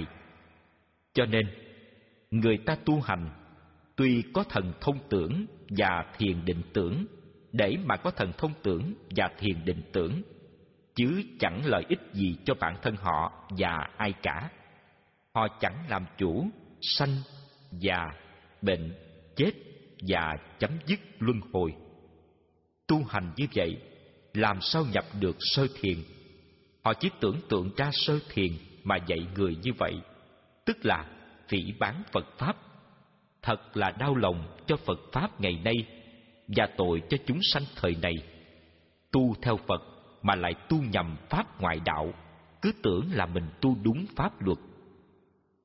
Thưa quý vị học giả nếu quý vị đã tu chứng được thiền định và đạt được tam minh, thì nên mở tu viện, thiền viện hoặc viết kinh sách dạy người tu hành. Bằng không thì thôi, đừng vì danh lợi nhỏ mọn mà giết người như thế này. Tu chưa tới đâu mà dám dạy người ta như những lời dạy trên đây. Quý vị xem cuộc sống và mạng người như cỏ rác ngay cả thiền xả tâm của phật mà không phải kỹ, thì tu hành cũng trở thành thiền ức chế tâm. Cũng có thể xảy ra tai hại cho tánh mạng con người. Huống là tu thiền ức chế tâm, mà các vị đã dạy thì tai hại còn biết bao nhiêu. Quý vị có nghe đức phật đã dạy chăng?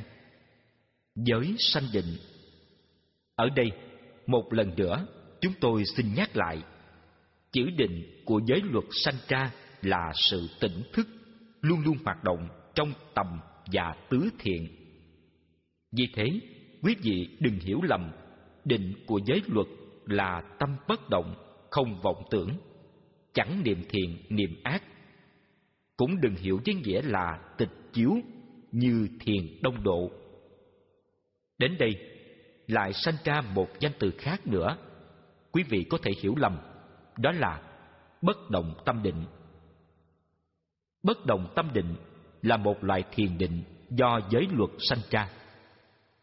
Bất động tâm định tức là tâm bất động trước các ác pháp, trước các cảm thọ, chứ không phải bất động là không vọng tưởng, không niệm thiện niệm ác.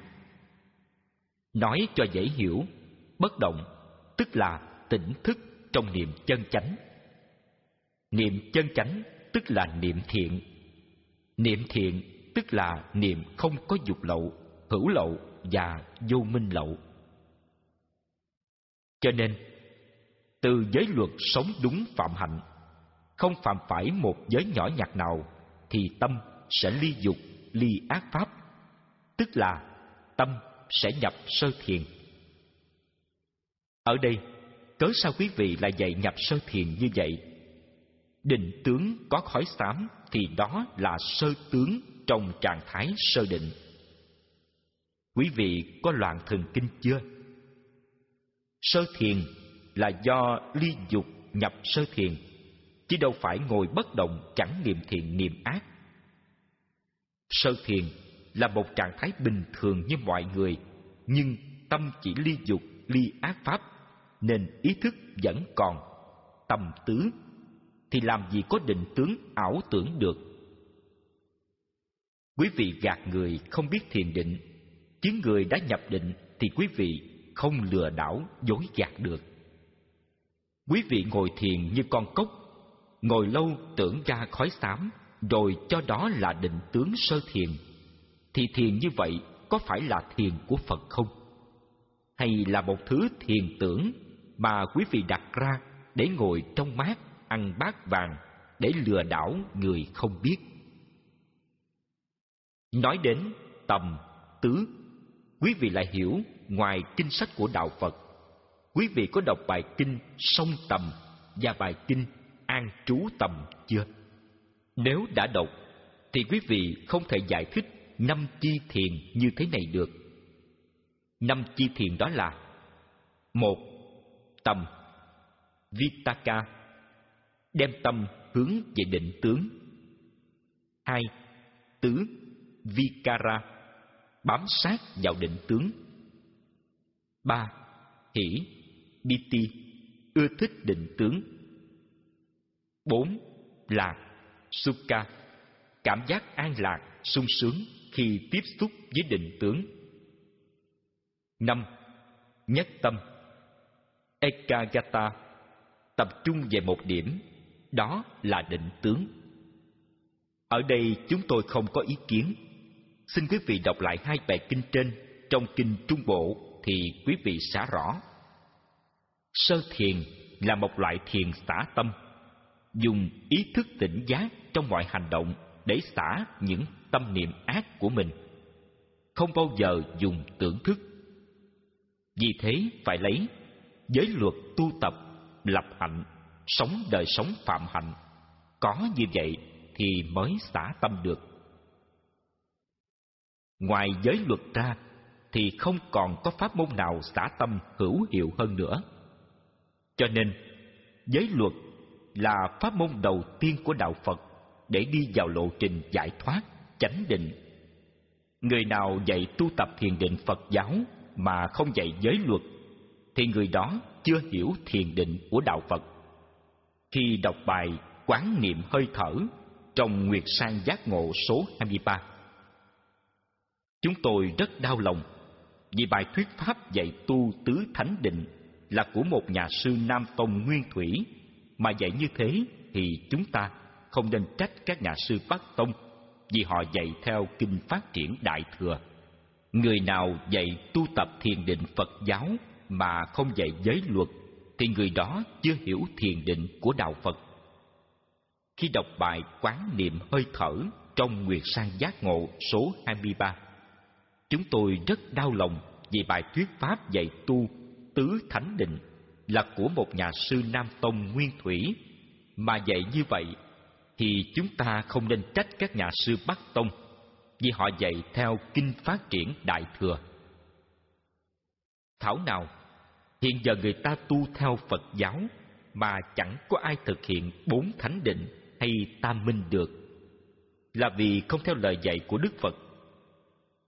Người ta dùng tưởng tu tập thiền định và tu hành chưa tới đâu chẳng làm chủ sanh tử luân hồi được mà cũng lập đạo tràng dạy người tu bằng chứng qua bài viết này chúng ta cùng biết phật giáo hiện giờ không còn ai tu chứng nên những người học giả này muốn dạy như thế nào tùy ý dạy sao không ai dám cãi dám bàn mà còn dám đăng trên báo phổ biến khắp nơi xem các bậc tôn túc trưởng lão hòa thượng thượng tọa ở Việt Nam và các nước trên thế giới là những người vô minh u tối không hiểu kinh sách và lời dạy của Đức Phật.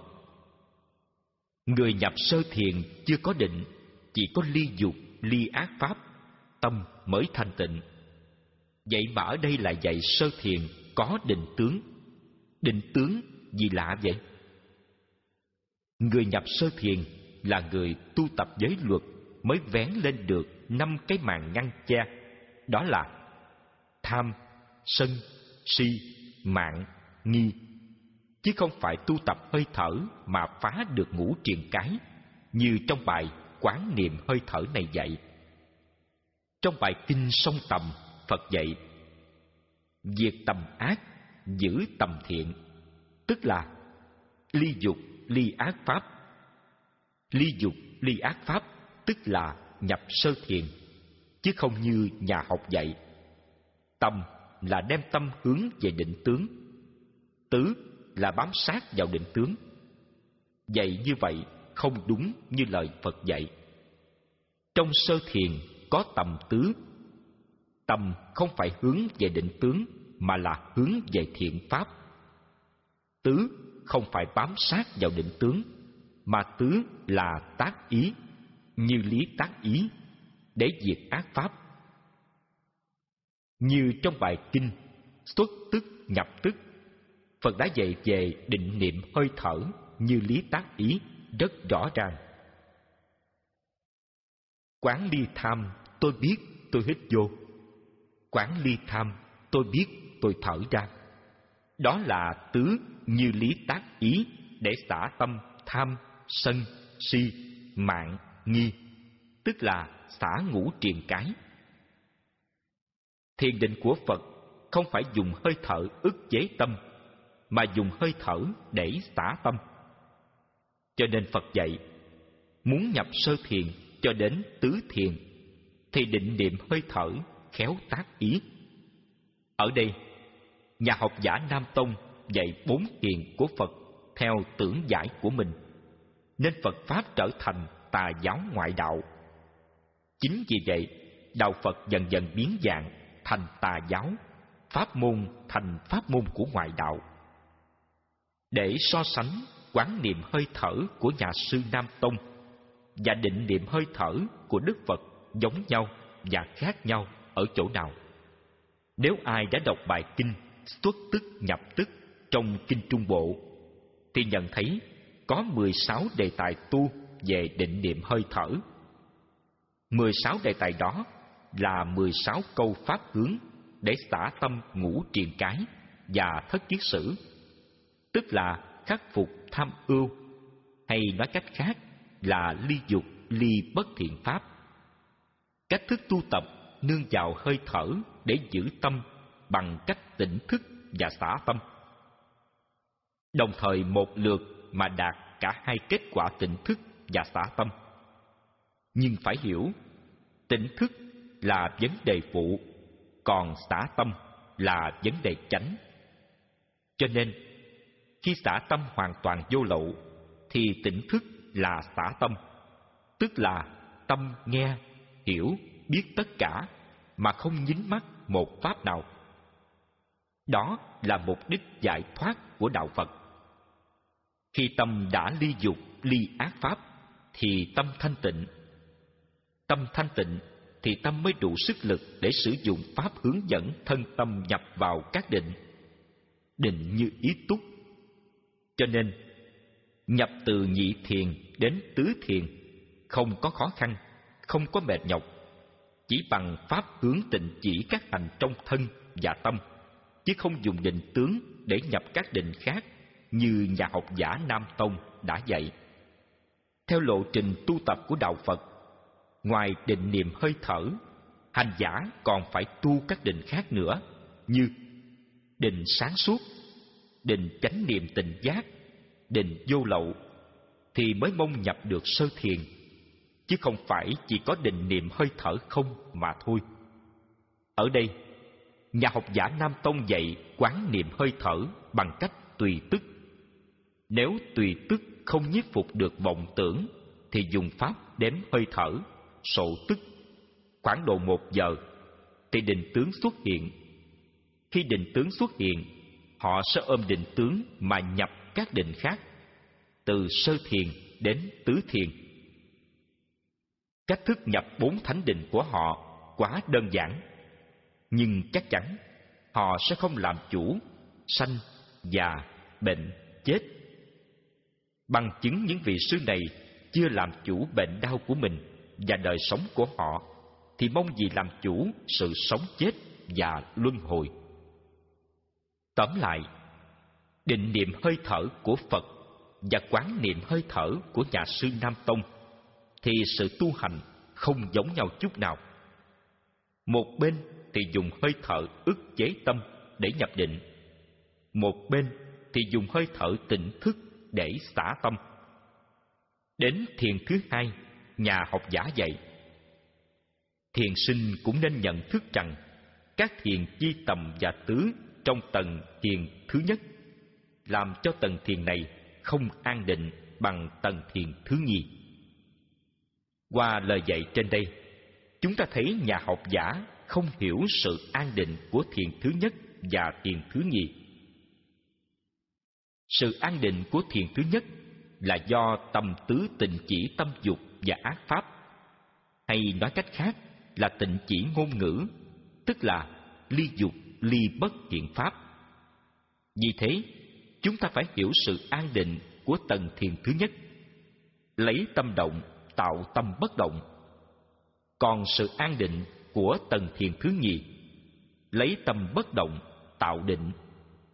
Chứ không như nhà học giả dạy, sự an định của thiền thứ nhì hơn thiền thứ nhất. Hai sự an định của hai loại thiền này không giống nhau, chỉ có hỷ lạc là thiền thứ nhì hơn thiền thứ nhất, như Đức Phật đã dạy trong bài kinh Sa môn quả. Chỗ này muốn cho dễ hiểu hơn, chúng tôi cho một ví dụ thì quý vị sẽ hiểu rõ ràng.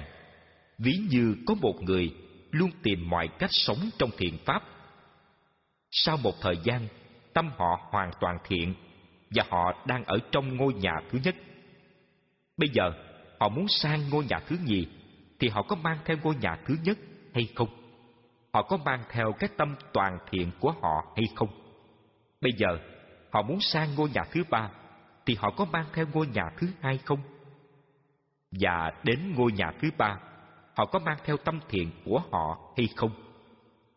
Bây giờ, họ lại muốn sang ngôi nhà thứ tư, họ có mang theo ngôi nhà thứ ba không? Khi đến ngôi nhà thứ tư, họ có mang theo cái tâm thiện của họ không? Nếu tâm không thanh tịnh thì không thể nào nhập được chánh định. Tâm chưa thanh tịnh mà nhập định, tức là tà định, định ức chế tâm. Vì thế, người sống không đúng giới hạnh là người nhập tà định. Đến thiền thứ nhì, nhà học giả lúng túng không biết pháp hành. Đây, chúng ta nghe tiếp đoạn trên. Vì thế, từ ước muốn rời bỏ hai thiền chi này và chỉ còn giữ thiền chi hỷ lạc nhất tâm thiền sinh tiếp tục đem tâm vào tự tướng làm như thế thiền sinh có thể đạt vào tầng thiền thứ nhì đến thiền thứ nhì nhà học giả quên lời phật dạy xả sơ thiền mới nhập nhị thiền. Cái vô minh của nhà học giả đã để lộ chân tướng u tối. Cái không biết của mình quá rõ ràng. Tiếp tục đem tâm vào tự tướng.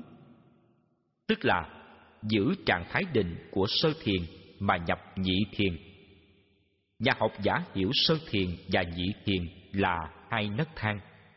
Sơ thiền và nhị thiền không phải là hai nấc thang của một cây thang, mà hai loại thiền định tu tập không giống nhau.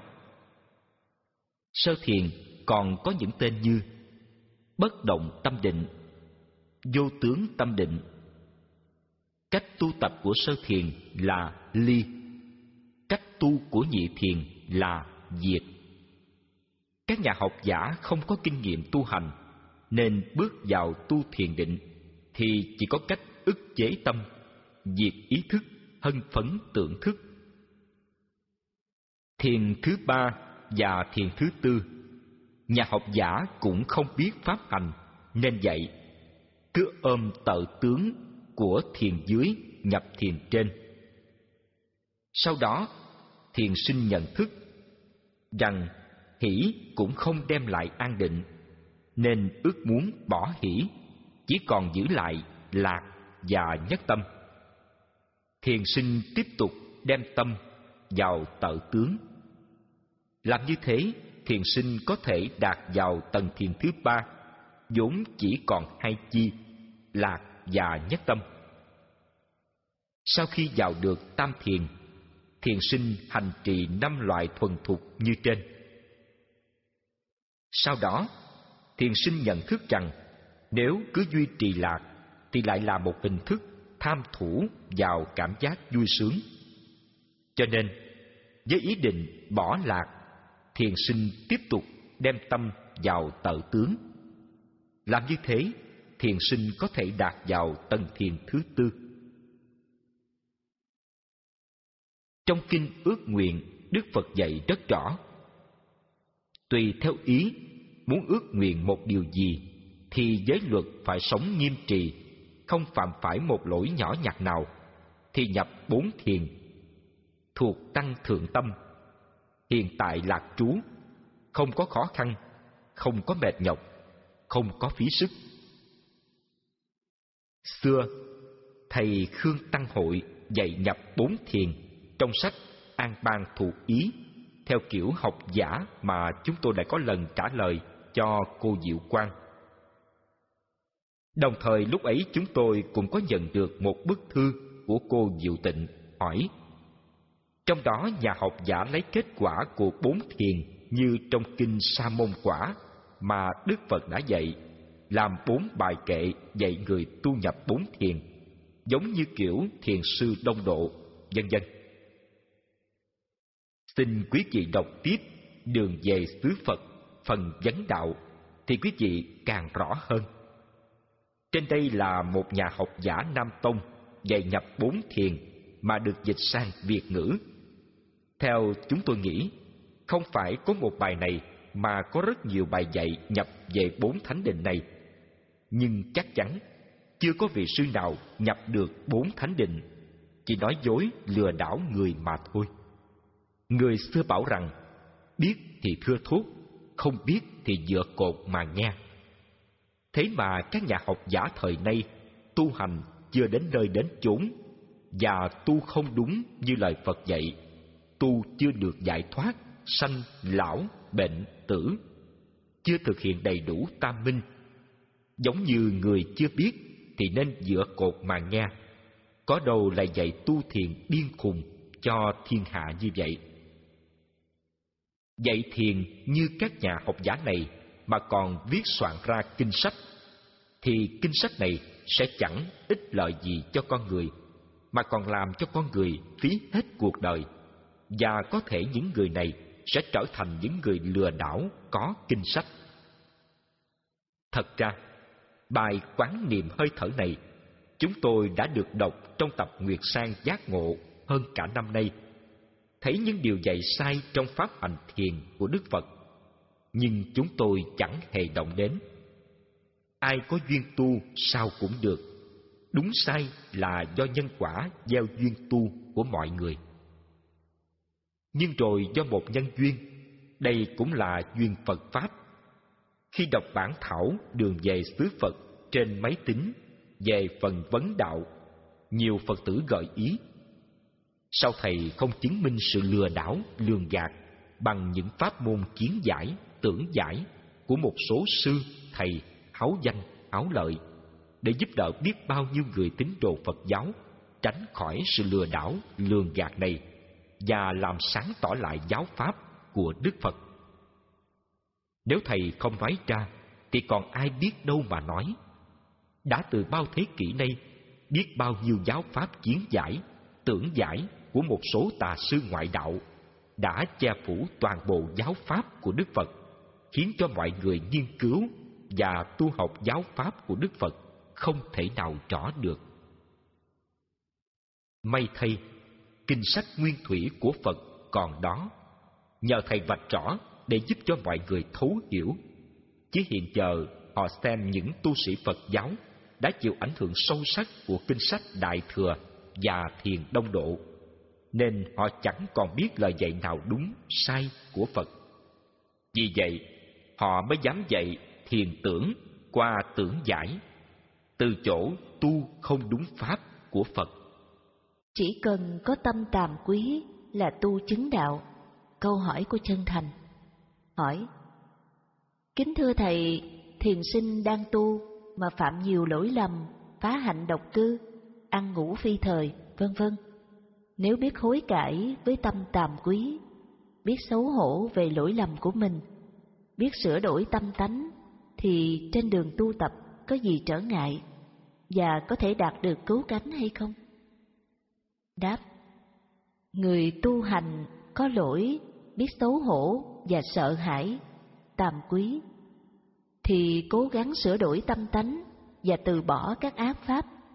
Hàng ngày luôn giữ gìn không cho tái phạm những lỗi lầm cũ, thì người này sẽ tu hành không có trở ngại gì và kết quả sẽ chứng đắc như những người khác. Danh từ xấu hổ nghe thì rất dễ, nhưng mấy ai biết xấu hổ khi đã làm những điều sai quấy. Thường người ta làm sai quấy lỗi lầm, nhưng ít có người dám nhận sự sai quấy lỗi lầm của mình. Cứ mãi cố gắng che đậy và tự bào chữa cho mình là không sai quấy lỗi lầm. Luôn luôn lúc nào cũng dối quanh, dối quất, đổ lỗi cho kẻ khác. Vì không đủ can đảm nhận lỗi những sự sai quấy của mình, cho nên hai chữ xấu hổ chỉ để nói cho vui chơi, chứ không áp dụng vào đời sống của ai được cả. Nếu kẻ nào biết áp dụng xấu hổ vào sự lỗi lầm, sai quấy của mình, không sớm thì muộn, người ấy sẽ trở thành những bậc thánh hiền. Chỉ có hai chữ xấu hổ, mà trên đời này ai là người đã thực hiện được xấu hổ để sửa sai những lỗi lầm của mình, cũng như hai chữ độc cư, mấy ai đã làm được. Nếu trên đời này ai là người biết xấu hổ mà đừng che giấu, biết sửa sai những lỗi lầm của mình, thì người đó là người đạo đức trọn vẹn, là người tốt nhất trong xã hội, là người ly dục, ly ác pháp, là người dễ thành tựu sơ thiền của Phật. Cho nên, Đức Phật đã dạy, ta có một pháp đưa con người đến cứu kính giải thoát, đó là pháp tàm quý. Trong Phật Pháp, khi một người tu hành có làm những điều lỗi lầm mà biết xấu hổ sửa sai, là tương lai người ấy sẽ chứng đạo, sẽ trở thành những bậc thánh nhân. Bậc thánh nhân là những người biết xấu hổ, biết sửa sai, biết xấu hổ, biết sửa sai, tức là biết độc cư. Độc cư tức là sống trầm lặng, sống trầm lặng tức là cuộc sống thánh thiện. Cuộc sống thánh thiện là cuộc sống của những bậc thánh nhân. Cho nên, người phàm phu tầm thường không thể nào sống độc cư nổi. Sống không nổi hạnh độc cư thì đừng hòng đi tìm con đường giải thoát của đạo Phật mà có được. Con đường ấy không thể để dành cho những kẻ có tâm ham vui, ưa thích dục lạc thế gian. Con đường ấy không thể để dành cho những kẻ tâm còn ràng rịch bởi những sợi dây tình cảm luyến ái. Con đường ấy không thể để dành cho những kẻ thiếu đạo đức, thiếu đức hạnh. Mọi người đều là tu sĩ đi xin ăn, thì thế gian này sẽ ra sao? Câu hỏi của chân thành. Hỏi Kính thưa Thầy, giả sử cả đất nước này đều là những người xuất gia tu hành theo đạo Phật ba y một bát đi xin ăn thì ai là người trồng cây và sản xuất ra lương thực và thực phẩm? Vậy phải xin ăn ở đâu? Xin thầy chỉ dạy cho chúng con được rõ đáp,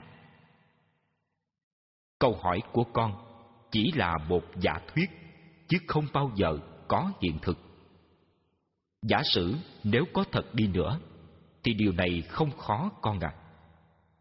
từ các cấp lãnh đạo trong nước cho đến toàn dân đều tu hành theo đạo phật hết, thì con nên nhớ, đạo phật là đạo trí tuệ khi trường hợp ấy xảy ra thì các nhà lãnh đạo trong nước sẽ chia tu sĩ thành hai dòng tu một dòng tiếp hiện hai dòng chuyên tu dòng tiếp hiện tổ chức giữ gìn trật tự an ninh bờ cõi và sản xuất lương thực, thực phẩm, giúp đỡ cho dòng chuyên tu có thực phẩm sống hàng ngày. Ngày một bữa để thực hiện chiều sâu của Phật Pháp. Nếu những tu sĩ dòng chuyên tu, tu hành đã xong, thì rời khỏi dòng chuyên tu, để thay thế cho những tu sĩ dòng tiếp hiện, giữ chức vụ, vai trò, thực hiện để tiếp tục giữ gìn an ninh đất nước và sản xuất lương thực, thực phẩm, vân vân. Vậy, lúc bấy giờ, tu sĩ chuyên tu có chỗ, nơi đi khất thực và có tổ chức hẳn hoài, chứ có gì đâu mà sợ không có thực phẩm để sống tu hành. Đó là một điều kiện được đặt ra giả thuyết cho mọi người trên hành tinh này đều là tu sĩ Phật giáo hết, thì việc tổ chức hai dòng tu như vậy là hợp lý. Dù con người có tu hay không tu, khi mà có người theo tôn giáo tu hành, thì sự tổ chức của tôn giáo phải có chia làm hai dòng tu, thì tôn giáo đó mới bảo đảm cho những người theo tu hành.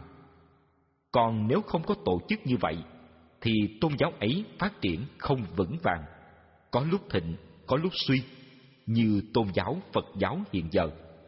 Sự tổ chức của Phật giáo hiện giờ thiếu chặt chẽ, phát triển theo anh hùng cá nhân, không phải phát triển theo tập thể. Một tôn giáo tổ chức phát triển theo tập thể có chiều sâu và có chiều rộng thì thế đứng vững vàng. Còn phát triển theo anh hùng cá nhân, khi cá nhân ấy mất đi hoặc là một điều gì mất uy tín, thì tôn giáo ấy sẽ bị suy vong và sụp đổ. Cho nên, đứng về mặt tôn giáo, muốn tôn giáo đó hưng thịnh mãi mãi, thì phải xây dựng nền kinh tế của tôn giáo đó vững vàng, và mỗi tín đồ phải được trang bị học tập và trau dồi đức hạnh. Một nền đạo đức nhân bản, nhân quả, sống không làm khổ mình, khổ người. Có được như vậy, thì tôn giáo ấy mới sống mãi trường tồn với loài người. Trên thế gian này, nếu có một tôn giáo biết tổ chức được như vậy, thì loài người trên hành tinh này sẽ sống trong cảnh thiên đàng, cực lạc, niết bàn thực tế, chứ không phải còn là một giấc mơ mà con người hằng mơ ước từ bao thế kỷ nay. Đối với con người trên thế gian này, nếu tất cả đều biết tu hành theo Phật giáo, sống thiện, sống không làm khổ mình, khổ người và khổ tất cả chúng sanh, thì phước báo vô lậu vô lượng nên cây cỏ thảo mộc tự ra hoa trái đầy đủ sung mãn nên có lo gì đến sự đi khất thực phải không con? Lục căn hư hoại hỏi kính thưa thầy những người bị hư hoại lục căn nhưng trí tuệ không bị hư hoại có ảnh hưởng gì trong việc tu tập theo đạo phật không? Đáp Xưa, thời Đức Phật còn tại thế, người đau bệnh cùi, cục tay, cục chân, Đức Phật vẫn nhận họ làm đệ tử tu hành xuất gia. Và những vị này đã tu hành chứng quả A-la-hán. Thời nay, các tổ biên soạn giới luật, người cục tay, cục chân, chột mắt, nói chung là lục căn bị hư hoại, thì không được thọ đại giới như những người khác chỉ có cho thọ giới sa di mà thôi. Đạo Phật là đạo trí tuệ. Nếu ai có trí tuệ, biết giữ gìn giới luật đức hạnh, sống đúng đời sống phạm hạnh như Phật, biết sửa những sự sai quấy lỗi lầm, biết xấu hổ khi phạm phải giới luật, biết ngăn ngừa các việc làm ác, biết ly dục, ly ác pháp, biết xả tâm, diệt ngã, thì dù cục tay, cục chân, chột mắt, đuôi mù, mẻ sức, khuyết tật, thì cũng vẫn tu chứng đạo, không ảnh hưởng gì trong sự tu tập theo đạo Phật cả. Đời sau, người ta cho những kẻ thiếu căn là những người phước mỏng không được thọ đại giới của Phật giáo, tức là không được có mặt trong hàng giáo phẩm như Đại Đức, Thượng Tọa, Hòa Thượng, vân vân. Trong thời Đức Phật, người ta tu hành chỉ cần chứng đạo xong thì người ấy được gọi là trưởng lão. Còn người tu chưa chứng, dù có tuổi đạo bao nhiêu, cũng không được gọi là trưởng lão. Đạo Phật không có giai cấp trong hàng giáo phẩm, chỉ có một giai cấp tu chứng tam minh mà thôi. Từ con người phàm phu, bình thường đến tu chứng gọi là trưởng lão. Đạo Phật ra đời nhằm phá giai cấp của loài người trên hành tinh này, để đem lại sự bình đẳng cho mọi người như nhau, không phân biệt nam nữ. Thế mà bây giờ Đạo Phật lại có giai cấp trong hàng giáo phẩm để lãnh đạo giáo hội, chứ không phải tu hành chứng đắc mà chỉ có học thức và tu lâu năm thì lên chức thượng tọa, hòa thượng. Nhưng lại có bà thượng tọa và bà hòa thượng thật là đau lòng cho Phật giáo ngày nay. Có nhà thơ đã chăm biếm tu sĩ Phật giáo, tu lâu cũng thành sư cụ, không thành đạo quả mà lại thành sư cụ, thì thật là xấu hổ vô cùng. Đức Phật đã nhìn thấy thân người do bốn đại hợp thành. Nó giòn bở, không bền chắc và bất tịnh, uế trượt, hôi thối, chỉ tạm bỡ sống một trăm tuổi là cao. Đức Phật ví thân này như chiếc bè, mượn nó để sang sông. Dù thân người có chột mắt, cục tay, cục chân, vân vân, vẫn mượn làm bè sang sông cũng tốt vậy. Chỉ sợ người ấy không có trí tuệ thì không tu được, còn có trí tuệ là còn tu được. Sáu căn quay vào trong Câu hỏi của chân thành Hỏi Kính thưa Thầy có lợi ích gì cho người tu tập Khi mắt, tai, mũi, miệng, thân và ý quay vào trong thân? Mắt nhìn vào thân mắt sẽ thấy những gì trong thân. Tai nghe vào thân tai sẽ nghe những gì trong thân. Mũi quay vào trong thân mũi sẽ ngửi những gì trong thân. Miệng quay vào trong thân miệng sẽ ném những gì trong thân xúc quay vào trong thân xúc sẽ cảm nhận những gì trong thân. Ý quay vào trong thân ý sẽ biết những gì trong thân. Đáp. Khi mắt, tai, mũi, miệng, thân và ý quay vào trong tụ điểm, điểm định nơi thân của người ấy, thì người ấy đã làm chủ sự sống chết, tức là tâm định trên thân, thân định trên tâm. Người ấy đã nhập định tứ thiền, đó là một loại thánh định. Nên hơi thở tình chỉ hoàn toàn các hành nơi thân ngưng hoạt động. Đây là giai đoạn định để thực hiện tam minh. Một loại định mà trên thế gian này ít có người tu tập thực hiện được. Nó là một kết quả lợi ích rất lớn cho người tu sĩ đã thực hiện được nó.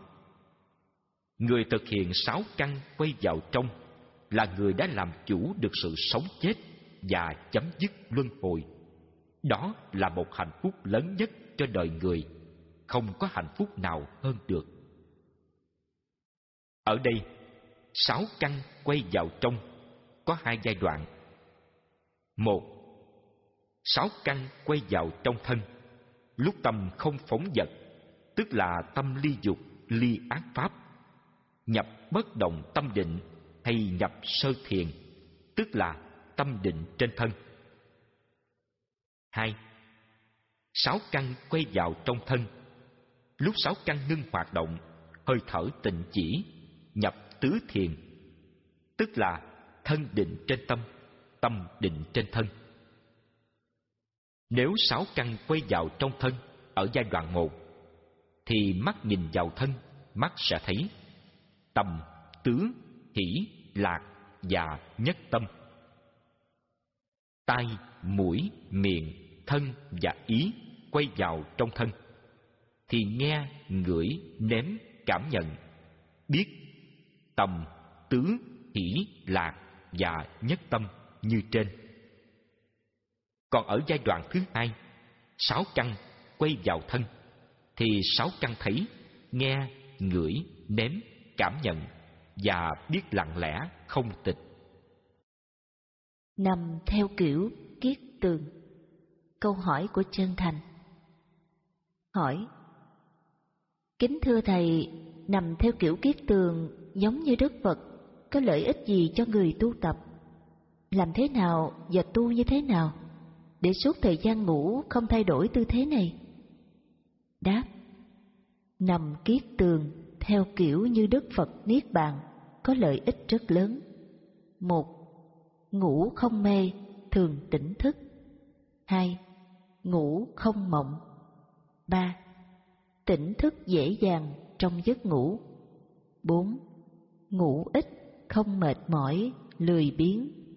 Năm, nằm ngủ kín đáo, có quai nghi tế hạnh, giống như con sư tử nằm mà đức phật thường tán thán ca ngợi cách nằm này. Ngày xưa phật không ngủ chỉ nằm kiết tường nghỉ ngơi khoảng ba mươi phút rồi dậy đi kinh hành. Người nằm kiết tường ngủ nhiều không đúng cách vì kiểu nằm kiết tường là cách nằm tỉnh thức chứ không phải nằm ngủ như người thế gian. Nếu cố gắng tập luyện sẽ nằm suốt được từ một giờ đến hai giờ, rất dễ dàng. Ngồi kiết già hai ba giờ đồng hồ còn được, huống là nằm kiết tường hai ba tiếng đồng hồ thì không có khó khăn gì. Khi tập nằm kiết tường, đừng lăn trở nằm theo kiểu khác. Chỉ chịu khó tập nằm từ 30 phút lên một giờ, rồi đến 2 giờ, 3 giờ thì sẽ đạt được như ý muốn. Nằm kiết tường, tướng nằm rất kín đáo và khoan thai, không có cách nằm nào hơn được. Nằm ngửa, nằm sấp, nằm co đều là những tướng nằm rất xấu, giống như loài thú vật nằm. Cho nên, tư cách nằm ngủ của con người phải đúng cách của nó. Phần nhiều con người nằm ngủ không đúng cách thì chẳng khác nào như con thú nằm ngủ. Đạo Phật chỉ chọn được cách nằm của bậc thánh hiền, nằm kiết tường, mà Đức Phật gọi là dáng nằm của con sư tử. Giả thiết, có một vị thánh hiền mà nằm co ngủ như một con chó, thì chúng ta có tin họ là thánh hiền không? Cũng như một vị thánh tăng mà nằm sắp ngủ như một con bò, thì chúng ta có thể tin họ là thánh tăng không? Bởi cách thức nằm ngủ rất quan trọng. Thấy cách nằm biết được giá trị của con người đó thuộc về hạng người nào. Vì thế, chúng ta hãy tập cách nằm kiết tường như Đức Phật đã chọn và thực hiện suốt cuộc đời của mình trong tư thế nằm ngủ như một con sư tử chúa. Nhân tướng nội ngoại của thọ Câu hỏi của chân thành Hỏi Kính thưa Thầy, thế nào là một Nhân tướng nội của thọ. Hai, Nhân tướng ngoại của thọ. Ba, Nhân tướng hành của thọ. Xin Thầy chỉ dạy cho chúng con được rõ và cách thức áp dụng vào tứ niệm xứ. Đáp, Nhân tướng nội của thọ là cảm thọ hành bên trong, hay nói cách khác cho dễ hiểu là sự cảm nhận, cảm giác, sự hoạt dụng hỷ lạc khinh an và đau nhất bên trong của thân. Nhân tướng ngoại của thọ là sự cảm thọ bên ngoài, hay nói một cách khác cho dễ hiểu là sự cảm nhận, cảm giác, sự hoạt dụng hỷ lạc khinh an và đau nhức bên ngoài của thân. Nhân tướng hành của thọ là sự tăng giảm hoặc dùng cảm nhận, cảm giác khinh an hỷ lạc thanh thản, thoải mái đau nhức khó chịu và sự trung động trong nội ngoại của thân muốn áp dụng sự tu tập nhân tướng nội ngoại hành của thọ vào tướng niệm xứ bằng định vô lậu như trong kinh Phật đã dạy. Tìm một nơi vắng vẻ, ngồi kiết già, lưng thẳng, khởi niệm tư duy. Các hành cảm nhận và cảm giác hỷ lạc, kinh an và đau khổ là vô thường. Cái gì vô thường là cái đó có khổ, nó không có thật, và nó là vô ngã. Nó không phải là ta, không phải của ta, không phải bản ngã của ta. Vì thế, tất cả cảm nhận và cảm giác của hành thọ nội ngoại không phải là một pháp có thật. Ta đừng sợ hãi và lo lắng, đừng để tâm dao động trước các hành thọ. Ta phải xem nó như một chiếc áo rách bỏ, một vật không có giá trị, một món đồ vô dụng. Muốn áp dụng pháp hướng tâm trên nhân tướng nội, ngoại, hành của thọ vào tứ niệm xứ trong ba loại định chánh niệm tỉnh giác định định niệm hơi thở và định vô lậu bằng câu pháp hướng tâm như các cảm thọ nội ngoại hành hỷ lạc khinh an, đau khổ, nhức nhối, khó chịu hãy đi đi, rời khỏi nơi đây. Hoặc, thọ là vô thường, khổ đau, vô ngã, không thật có, hãy đi. Rời khỏi nơi đây, không được ở đây, đi cho khỏi, cút cho mất, vân vân. Nhiếp phục và phá thọ, câu hỏi của chân thành. Hỏi, kính thưa thầy, dạy với tu như thế nào để khắc phục và phá thọ. Đáp muốn nhiếp phục và phá thọ xả lạc xả khổ xả niệm thanh tịnh thì phải tịnh chỉ hơi thở. Trước khi muốn tịnh chỉ hơi thở thì phải tu tập tâm ly dục ly ác pháp. Khi tâm đã ly dục ly ác pháp, thì tâm đã thanh tịnh mới dùng pháp hướng xả lạc, xả khổ, xả niệm thanh tịnh, tức là tịnh chỉ thân hành. Nhờ đó sẽ nhiếp phục và phá thọ dễ dàng. Nói như vậy, nghe thì rất dễ, nhưng phải biết, đó là một công trình tu tập vĩ đại. Nếu không biết pháp hành thì khó mà nhiếp phục các thọ. Một người có tâm tha thiết cầu đạo giải thoát mà không đủ niềm tin ở một vị thầy có kinh nghiệm, thường có tính ngã mạn, xem thường thầy, không chịu nghe lời dạy bảo, tu hành theo ý của mình thì chẳng đời nào vị thầy ấy sẽ đem hết kinh nghiệm dạy cho người học trò bướng bỉnh. Một vị thầy có kinh nghiệm dạy đạo không bao giờ dạy bừa bãi chọn người học trò có đức hạnh, có tình, có nghĩa mới dạy. Còn những học trò thiếu đạo đức không tình, không nghĩa, thì vị thầy ấy chỉ dạy những điều tầm thường và không bao giờ đem những bí quyết dạy cho những người đệ tử này. Nếu có dạy cho những người đệ tử vong ân bội nghĩa này, khi thành tựu, họ sẽ hại lại vị thầy và còn mang đến cho xã hội loài người một tai nạn rất lớn. Chính vì tâm tham vọng của họ còn dẫy đầy. Nếu họ có thần thông siêu việt, thì loài người sẽ điêu đứng. Cho nên, vị thầy có kinh nghiệm, không bao giờ dạy cho những người đệ tử thiếu đạo đức, thiếu lòng tôn kính thầy, như Tứ Thánh Định và Tam Minh.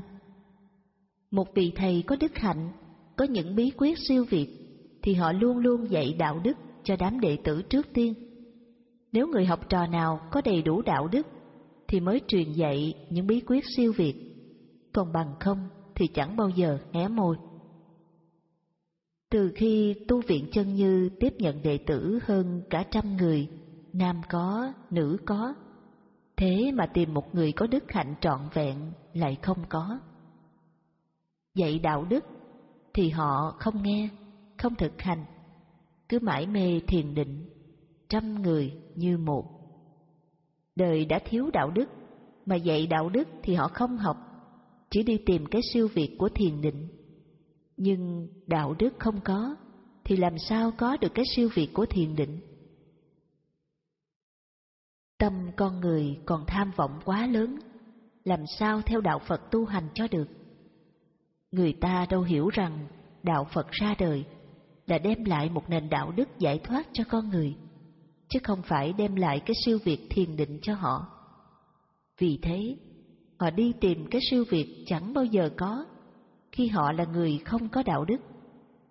Nhưng khi con người có đạo đức, thì cái siêu việt thiền định của đạo Phật mới có. Dù họ không muốn, nó vẫn có. Vì thế, giáo pháp của Phật lấy đức hạnh làm đầu giới luật. Giới tức là đức hạnh của đạo Phật. Thế mà tu sĩ đạo Phật thời nay xem giới luật quá rẻ, nên đạo đức chẳng ra gì. Con người thời nay tu hành chỉ đi tìm cái mơ mộng, không thiết thực. Còn cái tu hành có đạo đức, ích lợi và thiết thực cho đời sống của mình và đời sống của người khác, thì họ chẳng thèm tu. Con người nhờ có tu hành đạo đức nhân quả thì mới có những hành động sống giải thoát, không còn khổ đau nữa, chứ không phải đạt được những thiền định và những thần thông siêu việt hoặc cầu cạnh thần, thánh, chư Phật, chư Bồ Tát để gia hộ cho họ hết khổ. Đó là một điều mơ mộng, không thiết thực, cụ thể. Cho nên, hiện giờ, người tu hành không giải thoát là vì tu không đúng chánh pháp, giới, định, tuệ. Nhân tướng của nội tâm Câu hỏi của chân thành Hỏi Kính thưa Thầy, thế nào là nhân tướng nội của tâm, ngoại của tâm, hành của tâm? Đáp Nhân tướng nội của tâm là những niệm vi tế, nhân tướng ngoại của tâm là những niệm thô phù.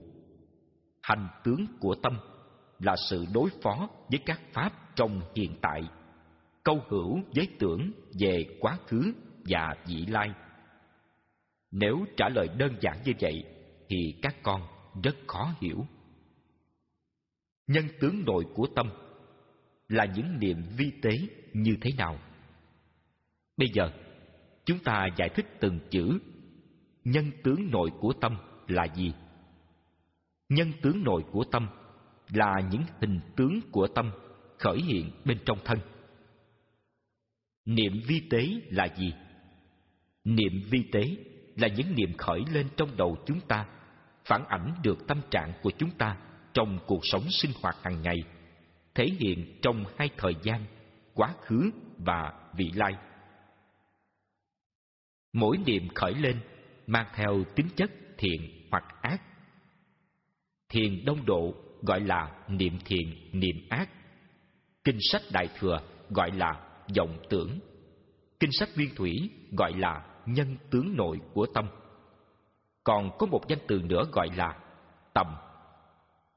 Nói cho dễ hiểu, đó là những vọng tưởng sanh khởi liên tục trong tâm của chúng ta. Nhân tướng ngoại của tâm là gì? Là những tướng trạng khởi lên trong đầu chúng ta đang giải quyết một vấn đề gì trong hiện tại. Kinh sách Đại Thừa gọi là vọng tưởng thiền đông độ gọi là niệm thiện niệm ác.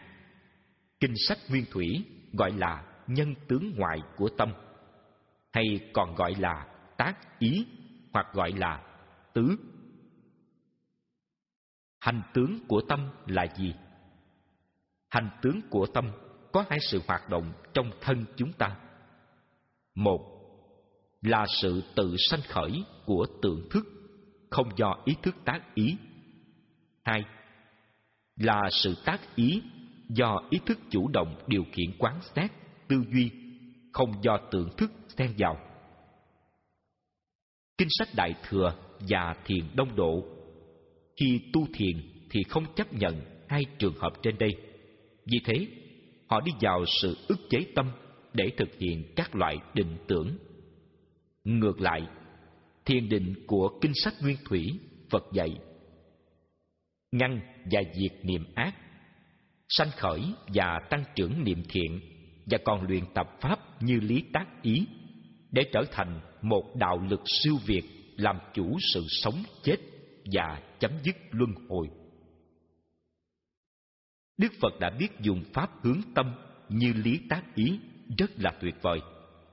Nhờ pháp đó mà ngài mới làm chủ bốn sự khổ đau của kiếp con người trên thế gian này, Ngài là người duy nhất làm chủ bốn sự đau khổ, sanh, già, bệnh, chết. Qua bốn câu kệ của Ngài đã xác minh cụ thể. thiên thượng thiên hạ duy ngã độc tôn nhất thiết thế gian sanh lão bệnh tử tóm lại đức phật đã biết dùng vọng tưởng và tác ý để xả tâm ly dục, ly ác pháp, để thành tựu đạo giải thoát, để ra khỏi nhà sanh tử luân hồi, để đầy đủ tam minh, trở thành người siêu việt. Và nhất là đức phật đã trở thành một nhà đạo đức nhân bản, không làm khổ mình, khổ người, phi giai cấp. Ngăn ác, diệt ác, câu hỏi của chân thành. Hỏi kính thưa thầy, phải tu như thế nào để phá cái tâm bất thiện và khắc phục được nó? Đáp, đừng để thất niệm thiện trong định niệm hơi thở và chánh niệm tỉnh giác là đã phá cái tâm bất thiện. Còn nếu muốn khắc phục tâm bất thiện thì nên tu định vô lậu. Nói một cách dễ hiểu hơn, muốn phá cái tâm bất thiện thì phải tu tập tứ chánh cần, ngăn ác pháp, diệt ác pháp sanh khởi thiện pháp và tăng trưởng thiện pháp. Đó là con đường tu tập thiền định của đạo phật chân chánh, mà không giống bất cứ một loại thiền định nào của ngoại đạo trên thế gian này. Con đường tu tập thiền định của đạo phật không phải ngồi thiền ức chế vọng tưởng, cũng không phải giữ tâm, không niệm thiện, niệm ác, cũng không phải niệm phật mà thành định, cũng không phải tham công án, tham thoại đầu mà có định cũng không phải bắt ấn niệm chú mà thành định. Định là do tâm bất động trước các pháp. Muốn có định, tâm bất động trước các pháp, thì chỉ có tu tứ chánh cần. Tức là pháp môn ngăn ác, diệt ác pháp. Muốn thực hiện tứ chánh cần được trọn vẹn, thì phải tu tập tứ niệm xứ muốn thực hiện tứ niệm xứ để khắc phục tâm tham ưu ở đời, thì suốt ngày đêm phải thực hiện ba loại định. Một, chánh niệm tỉnh giác định. Hai, định niệm hơi thở. Ba, định vô lậu. Ba loại định này sẽ thực hiện cộng chung với đời sống giới luật nghiêm túc và hạnh độc cư, thì quý vị sẽ đạt được tâm bất động trước các ác pháp tức là quý vị nhập bất động tâm định. Bất động tâm định là một loại thiền định rất cần thiết và lợi ích cho cuộc sống con người trên hành tinh này. Nó có một sức tỉnh thức tuyệt vời, nhìn thấu suốt lý nhân quả trong các pháp. Nên người nào đã thực hiện được đều có một đạo đức nhân bản, không làm khổ mình, khổ người. Nhưng muốn có một đạo đức như vậy thì cần phải trao dồi, rèn luyện thân tâm trong giới luật và tứ chánh cần. Không phải trong một giờ, một ngày mà có được, mà phải có thời gian rất dài. Tóm lại, bất động tâm định là một pháp môn thiền định. Kết quả của sự ngăn ác và diệt ác pháp rất tuyệt vời, mà không có một pháp môn nào hơn được. Đó chính là mục đích của đạo phật, là mục tiêu mà người tu sĩ đạo phật cần phải nhắm đến. Nhân tướng, câu hỏi của chân thành. Hỏi, kính thưa thầy, thế nào là nhân tướng nội, nhân tướng ngoại và hành tướng của các pháp? Phải tu như thế nào để khắc phục và phá các pháp bất thiện? Đáp, nhân tướng nội của các pháp là hình trạng và tính chất bên trong của các pháp. Trả lời như vậy khiến cho quý vị khó hiểu. Vậy nhân tướng là gì? Nội là gì? Ngoại là gì? Và các pháp là gì? Nhân tướng là hình tướng của nó.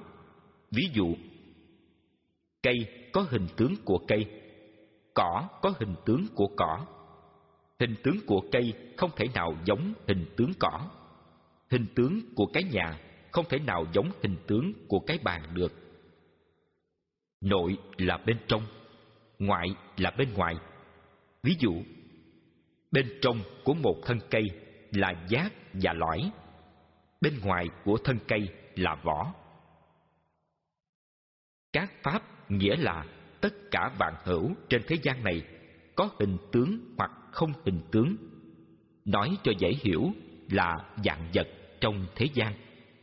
Ví dụ, thân ta là một pháp, cái nhà là một pháp, bàn ghế tủ giường cây cỏ rừng núi sông rạch vân vân mỗi thứ là một pháp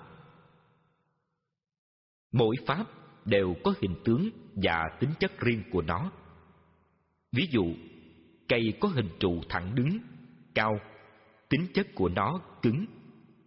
Cỏ có hình tướng thấp, ngã nghiêng, tính chất nó mềm yếu vân vân nhân tướng nội của bên trong thân là tim, gan, phèo, phổi, mật, lá lách vân vân nhân tướng ngoại của thân là da, lông, tóc, móng tay, móng chân vân vân hành tướng của các pháp là sự rung động của các pháp muốn khắc phục và phá các pháp bất thiện thì phải tu tập tâm bất động trước các pháp như thầy đã dạy ở trên tuy nhiên thầy đã dạy quý thầy rất nhiều về pháp môn ngăn ác và diệt ác rất đầy đủ. Nếu quý thầy chỉ cần hiểu rõ sự ích lợi của nó, thì các ác pháp không xâm chiếm vào tâm của quý vị được. Ngay đó, quý vị có một đời sống giải thoát hoàn toàn, đầy đủ hạnh phúc, an vui mà không tìm nơi đâu có được. Nếu quý thầy biết rằng thiền định mà có được là do tâm bất động chứ không phải do có thiền định rồi tâm mới bất động sao? Tâm bất động là nhờ giới luật chứ không phải nhờ thiền định. Bởi nhìn sự tu hành của quý thầy mà biết được sự tu sai hay tu đúng, có kết quả hay không có kết quả, có giải thoát hay không có giải thoát. Chỉ vì pháp môn tu hành của Phật dạy rất rõ, phải tu tập đạo đức trước tiên. Nhờ có đạo đức thiền định mới không lầm lạc vào tà thiền, tà định. Người tu thiền định sống không đúng giới luật, không có đạo đức là người tu tà thiền, tà định, chẳng bao giờ có kết quả giải thoát. Họ chỉ là những vị thầy lừa đảo tín đồ bằng miệng lưỡi. Đặt tướng Câu hỏi của chân thành Hỏi Kính thưa thầy, thế nào là đặc tướng của thân, thọ, tâm, pháp? và pháp tu chứng như thế nào đối với thân thọ tâm pháp đáp đặc tướng là tướng riêng biệt của thân thọ tâm pháp của mọi người người tu theo đạo phật phải tùy theo đặc tướng của mình thì sự tu tập mới có kết quả nhanh chóng. Không theo đặc tướng của mình tu tập thì kết quả khó thành tựu. Đặc tướng còn gọi là khả năng riêng biệt của mọi người, không phải trời phú cho, mà do họ khéo quân tập trong nhiều kiếp. Ví dụ, một người nghe Đức Phật thuyết pháp xong thì chứng quả tu đà hoàng, có đầy đủ pháp nhãn, nhưng lại có người cũng nghe thuyết pháp xong mà tật nào vẫn còn tật nấy, không bỏ được. Cuộc đời hành đạo của Thầy Thầy đã đem chánh pháp của Phật ra nói khang cả cổ. Chỉ có một pháp duy nhất là nhìn cuộc sống bằng đôi mắt nhân quả, để tâm ly dục, ly ác pháp, là đem lại sự giải thoát cho mình, cho người. Một cuộc sống hạnh phúc vô cùng, vô tận, thế mà mọi người ai cũng nghe, và cũng thấy biết rõ ràng như vậy. Nhưng bỏ ác pháp và ly dục thì chẳng ai bỏ được cứ mãi ôm ấp trong lòng để mà khổ, mà đau, mà phiền não, mà tức giận, vân vân. Nhiều khi thầy tự đặt câu hỏi, tại sao vậy? Tại sao vậy? Đấy cũng là đặc tướng của mỗi con người, chúng ta biết làm sao hơn. Khi tu hành, thầy chỉ nhận ra ý này của Phật mà buông xả xuống hết chỉ trong vòng sáu tháng là thành tựu tứ thánh định và tam minh một cách cụ thể và rõ ràng. Thế mà chẳng ai tin. Nếu một người không thành tựu được như vậy, thì đời sống giới luật không bao giờ nghiêm túc và không bao giờ bất động tâm trước các pháp. Người ta đánh giá trị của một tu sĩ ở đức hạnh, chứ không phải đánh giá trị ở thần thông và thiền định. Đức hạnh sanh thiền định và thần thông chứ thiền định và thần thông không sanh đức hạnh. Nói cách khác cho đúng như lời Đức Phật đã dạy. Giới sanh định, định sanh tuệ. Chứ đâu có tuệ sanh định, định sanh giới. Đặc tướng tốt hay xấu đều do nhân quả quân tập nhiều đời, nhiều kiếp mà thành, chứ không phải quân tập trong một sớm một chiều mà có được. Cho nên, người có tài ba lỗi lạc là do sự quân tập nhiều đời, nhiều kiếp, cũng như người tu nhanh chậm. Nếu chúng ta nói rằng mình tu chậm, thì bỏ cuộc tu, tức là không quân tu nữa, thì như vậy đặc tướng của chúng ta sẽ xấu và cuộc đời sẽ trôi lăn trong sáu nẻo luân hồi, chịu khổ đau mãi mãi. Người ta tu nhanh là nhờ người ta tu nhiều kiếp rồi, còn mình tu chậm là do mình mới tu trong kiếp này mà thôi. Chính đó là đặc tướng của mỗi người. Vì thế, càng tu chậm lại, càng tu tập nhiều hơn. Càng tu chậm lại, càng tu tập kỹ hơn. Thọ hành Câu hỏi của chân thành Hỏi Kính thưa Thầy, trong quá trình tu tập bị thọ hành quấy nhiễu thì dùng pháp gì để đoạn diệt nó? Có ai trong quá trình tu tập mà không bị thọ hành không?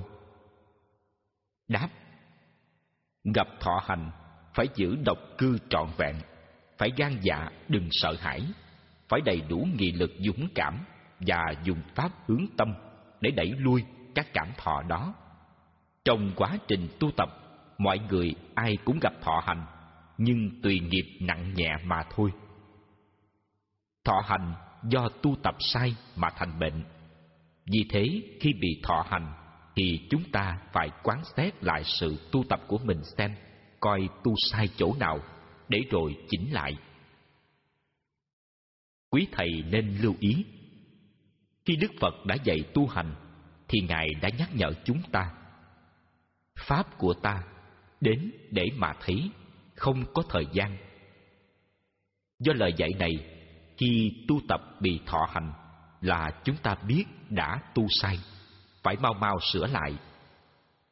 Khi tu tập, cảm giác thấy toàn thân thoải mái, dễ chịu, cảm giác toàn tâm an lạc, thanh thản, vô sự, thì đó là tu đúng. Còn ngược lại là tu sai pháp phật tu hành rất dễ nhận xét, sai đúng. Như pháp xả tâm, tứ chánh cần ly dục, ly ác pháp.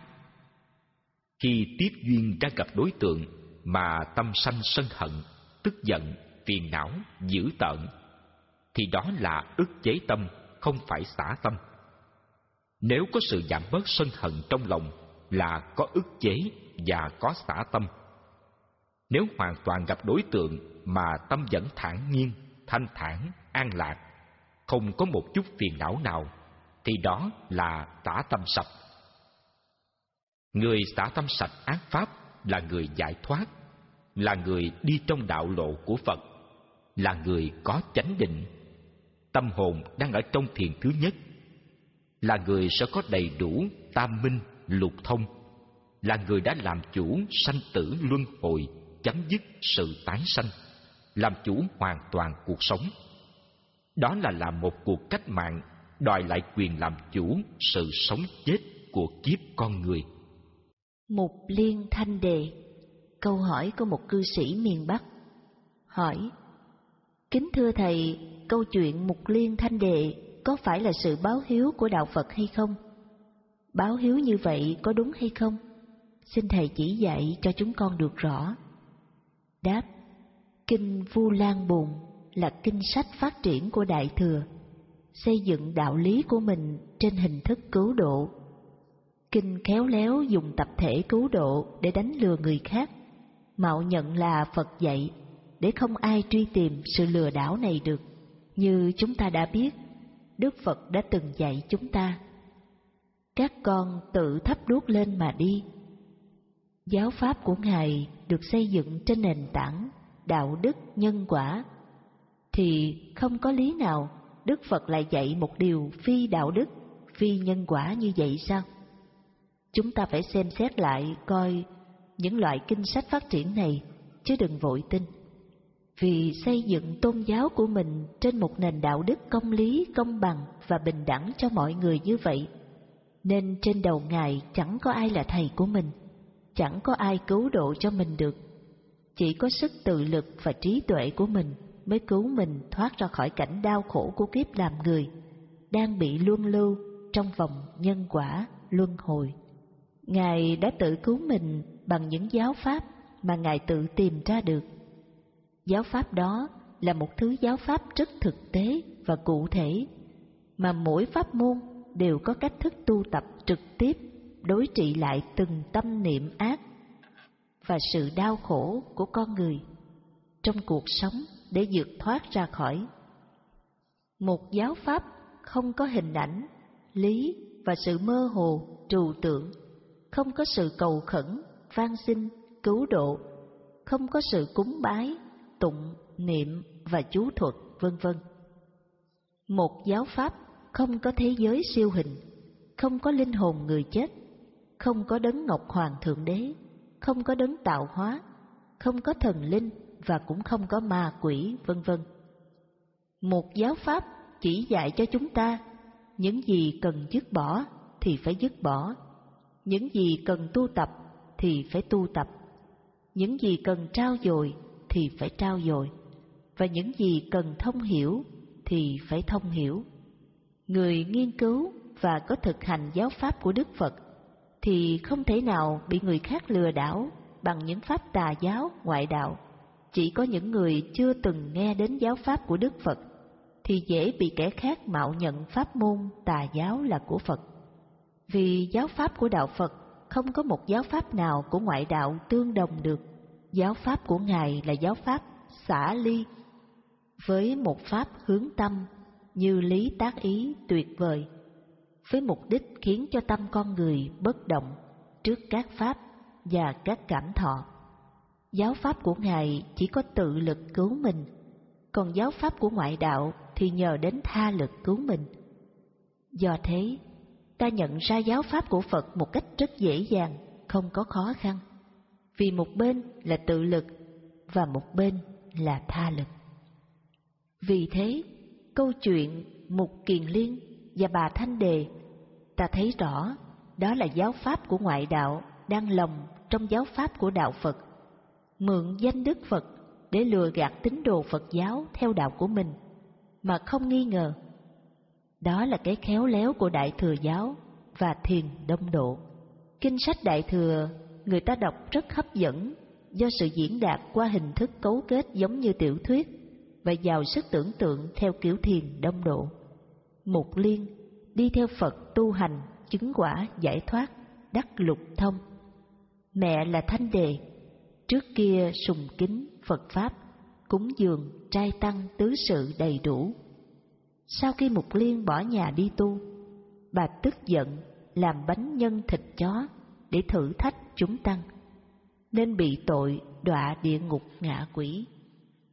Mục Liên chứng đắc thần thông, dùng thiên nhãn, thấy mẹ mình đang đọa địa ngục ngạ quỷ, đói khát vô tận. Thương mẹ, Ngài dùng thần thông xuống địa ngục thăm và mang theo một bát cơm cho mẹ. Thanh đề đang đói khát, thấy cơm, bà đón nhận và bốc ăn liền, nhưng không thể ăn được vì cơm đã cháy thành than. Mục Liên thấy mẹ thọ lãnh quả khổ đói khát như vậy, muốn ăn mà ăn chẳng được. Chẳng biết làm cách nào cứu mẹ được, nên Ngài trở về bạch với Đức Phật và mong nhờ Đức Phật chỉ giáo cứu mẹ mình. Đức Phật bày vẽ, trong mùa an cư kiết hạ, chúng tăng đang tu học thân tâm thanh tịnh. Ngày rằm tháng bảy là ngày giải hạ, nên cung thỉnh chư tăng cúng dường trai phạn tứ sự. Nhờ ơn công đức tu hành của các ngài hợp lại thành một sức mạnh to lớn, với công đức này có thể mới cứu mẹ ngài thoát cảnh địa ngục. Mục liên vân lệnh Phật làm y như lời dạy. mẹ ngài thoát cảnh địa ngục. Qua sự tích này đã biến ngày rằm tháng bảy trở thành một phong tục trong dân gian, ngày báo hiếu, ngày xá tội vong nhân, vân vân. Câu chuyện Mục Liên Thanh Đề là một câu chuyện phi đạo đức trong Phật giáo Đại Thừa. Một câu chuyện được dựng lên trong thời đại phong kiến, lúc vua quan chuyên ăn lo hối lộ, mua quan, bán chức, làm những điều bất công, không công bằng, công lý. Đạo Phật Nguyên Thủy chủ trương tự độ, không cầu tha lực độ mình. Cầu tha lực độ mình là giáo pháp của ngoại đạo, là của Phật giáo phát triển Đại Thừa, như trên chúng tôi đã nói. Đó là một thứ giáo pháp phi đạo đức, phi nhân quả, không công bằng và công lý. Đọc truyện Mục Liên Thanh Đề, chúng ta thấy đạo Phật tổ chức giống như chế độ phong kiến không khác chút nào. Ăn lo hối lộ với những danh từ rất cao thượng, độ chúng sanh. Cha mẹ làm tội ác, bị nhà vua bắt giam cầm, tù tội. Con thi cử làm quan, không cứu cha mẹ được vì tội quá nặng, nên phải nhờ những vị quan lớn khác bằng cách phải lo lót hối lộ. Trai tăng cúng dường tứ sự. Nhờ có lo lót như vậy, bà Thanh Đề mới thoát khỏi cảnh tù tội A tỳ địa ngục. Đối với một tôn giáo lớn như Phật giáo Đại Thừa mà còn có hình thức ăn lo hối lộ như vậy, thì trên đời này còn có nghĩa lý gì là đạo đức công bằng và công lý? Còn có nghĩa lý gì gọi là đạo đức nhân quả, không làm khổ mình, khổ người? Còn có nghĩa lý gì là mang danh là tôn giáo khi dạy tín đồ làm điều phi đạo đức như vậy? Nếu trên thế gian này không có một đạo luật nhân quả, thì loài người đừng nói đến hai chữ công bằng và công lý. Vì không bao giờ có công bằng và công lý khi mà không có luật nhân quả. Không có một đấng dạng năng hay một đấng tạo quá, hoặc một đức chúa trời, hoặc một ngọc hoàng thượng đế nào cầm cán cân công bằng và công lý cho loài người này được. Chỉ có luật nhân quả mới giữ vai trò công bằng và công lý này mà thôi. Vì nhân quả là do hành động của mọi người tự làm tội hay vô tội đều chính nơi họ. Cho nên luật nhân quả chính là con người tạo ra. Để xử phạt hay ban thưởng chính lại họ, chứ không có một kẻ thứ hai nào khác thưởng phạt. Vì thế, nó rất công bằng và công lý, không ai lo lót và hối lộ nó được. Kẻ nào làm ác thì phải thọ lấy quả khổ, kẻ nào làm thiện thì hưởng được phước báo. Sau khi tu hành chứng đạo, Đức Phật dẫn tâm đến lậu tận minh. Ngài đã thấy luật nhân quả rất rõ ràng, công bằng và công lý vô cùng. Cũng vì luật nhân quả có công bằng công lý như vậy, nên con người phải chịu trôi lăn trong sáu nẻo luân hồi, thọ biết bao nhiêu sự đau khổ, từ kiếp này đến kiếp khác, đều do chính hành động nhân quả của họ. Ở trên đời người ta có tiền, có thế lực, thì người ta có thể mua được tội lỗi. Nhưng với luật nhân quả thì không thể mua tội được. Trải qua một thời gian dài, từ chế độ bộ lạc mãi nô đến chế độ phong kiến, đã chứng minh điều này. Đa kim ngân phá luật lệ. Và mãi sau này, dù cho bất cứ một chế độ nào, thì sự công bằng và công lý sẽ chẳng thực thi được trọn vẹn. Dưới chế độ phong kiến, con cháu của vua quan có làm tội giết người, cướp của, vẫn ung dung phe phẩy tự do mà không ai làm tội làm tình được. Pháp luật đối với những hạng người này như bắt cóc, bỏ dĩa. Cho nên, Đại Thừa Giáo là một tôn giáo bị thế tục phong kiến hóa, với sự lý luận dụng về để lộ chân tướng thế tục. Khi chư Tăng chấp nhận thọ dụng trai tăng và tứ sự cúng dường, thì hợp lại công đức tu hành của mình thành một công đức vô lượng. Công đức đó sáng chói như ngọn đuốc trí tuệ, khiến cho tâm bà Thanh Đề giác ngộ, nên bà mới thoát khỏi địa ngục. Đó là hình thức ăn lo tập thể của chế độ phong kiến mà Phật giáo Đại Thừa đã bị đồng hóa. Đó là cách lý giải không chân thật của các nhà Đại Thừa khéo che đậy lừa đảo những tín đồ mê tín, vô minh, chứ không thể nào che đậy với những người đệ tử của Phật đã được trang bị đạo đức nhân quả. Vì giáo pháp của Đức Phật dạy rõ ràng, cụ thể, người tu sĩ phải lấy đức hạnh, giới luật làm đầu. Chỉ có đạo đức nhân quả thì mới có công bằng, công lý và từ bi đối với mọi người, mọi loài chúng sanh. Và vì thế, không thể nào có sự gian xảo lừa đảo dối trá theo kiểu dạy của kinh sách Đại Thừa như trên. Bài Kinh Du Lan Bồn chỉ gạt những người chưa hiểu giáo lý chân chánh và đạo đức nhân quả của Đạo Phật. Bài Kinh Du Lan hôm nay đã trở thành một sự lừa đảo có sách vở và đã trở thành một truyền thống báo hiếu vô đạo đức trong lòng tín đồ Phật giáo Việt Nam hơn cả nghìn năm mà không ai phát giác ra được. Mùa Du Lan, mùa báo hiếu. Những danh từ này đã lặp đi lặp lại trong lòng người Phật tử hiếu hạnh Việt Nam, nhưng mấy ai đã biết sự hiếu hạnh này là phi hiếu hạnh, là sự bị lừa đảo. Hàng năm, người Phật tử đã tốn biết bao nhiêu tiền của trong mùa Vu Lan, mùa báo hiếu. Một việc làm chẳng ích lợi gì cho những người thân thương quá cố của mình, chỉ có làm lợi ích cho các nhà sư đại thừa mà thôi. Nếu mọi người ai cũng đều thông hiểu đạo đức nhân quả của đạo Phật, thì những kinh sách phi đạo đức của Đại Thừa không thể lừa gạt họ được như Du Lan Bồn Kinh, Phẩm Phổ Môn trong bộ Diệu Pháp Liên Hoa Kinh, Di Đà Kinh, Bát Dương Kinh, Thủ Lăng Nghiêm Kinh, Duy Ma Cật Kinh, dân dân. Đó là những loại kinh sách phi đạo đức, phi chân thật, phi Phật Pháp. Nó không triển khai tri kiến giải thoát và tri kiến đạo đức nhân quả. Nó khiến cho trí tuệ con người u mê, vô minh, đen tối. Liệt tuệ thường sống với sự hiểu biết mơ hồ, trừu tượng, mê tín của thế giới siêu hình tưởng. Nó dạy người làm những việc thiếu đạo đức và thiếu chân thật. Thường cúng tế, cầu cạnh, gian sinh, gia hộ, hộ trì, dân dân, với lòng đại từ, đại bi của chư Phật và chúng thánh tăng theo như trong kinh Vu Lan Bồn đã dạy ông một Kiền Liên cứu mẹ.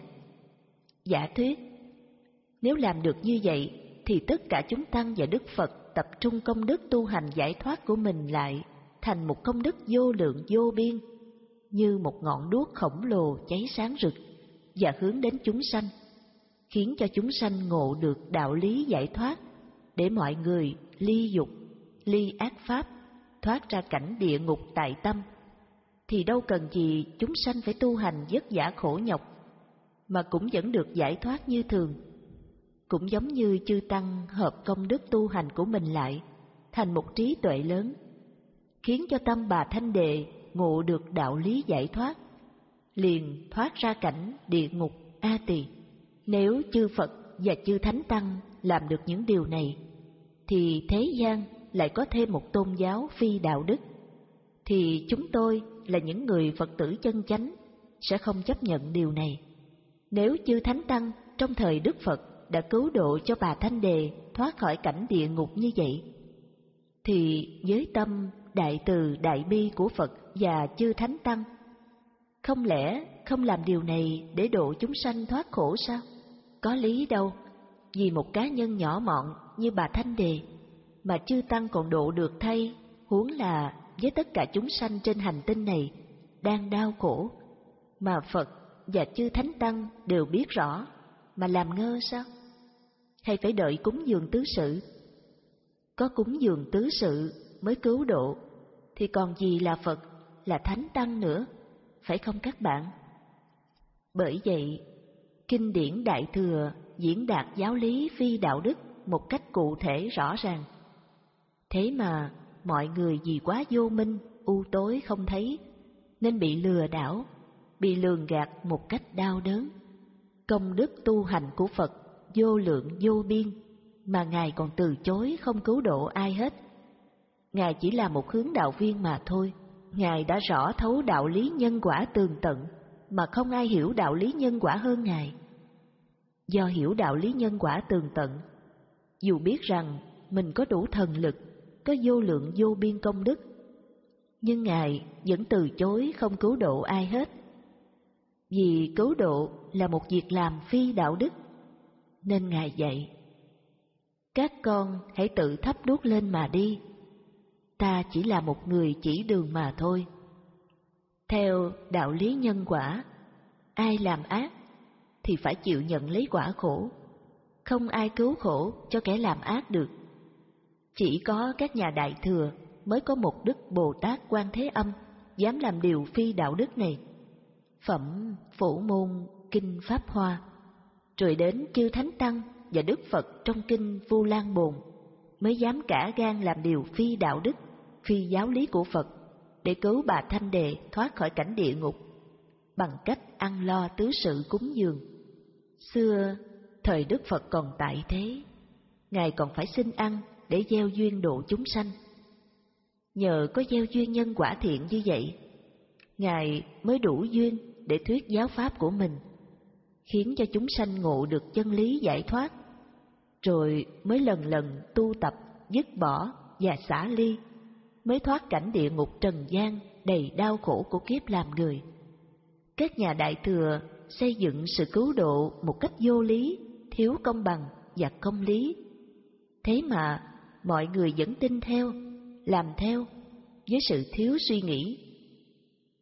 Đem công đức tu hành giải thoát của mình hợp lại làm một ngọn đèn sáng, khiến cho người đang mê gặp ngọn đèn này, trí tuệ bừng sáng, thoát cảnh địa ngục.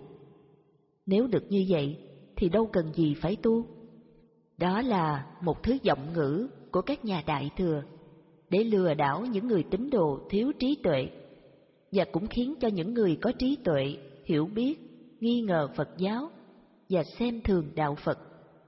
Cho rằng Phật giáo là một tôn giáo mê tín, một tôn giáo không có đạo đức.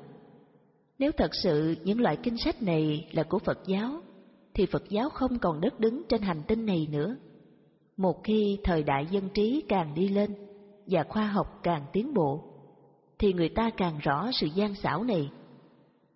Trên hành tinh này, Duy chỉ cần phải có một đạo đức nhân quả, và đạo đức ấy phải được phát triển đúng mức để quân bình vật chất và tinh thần của con người được cân bằng, thì xã hội loài người mới có sự an vui hạnh phúc.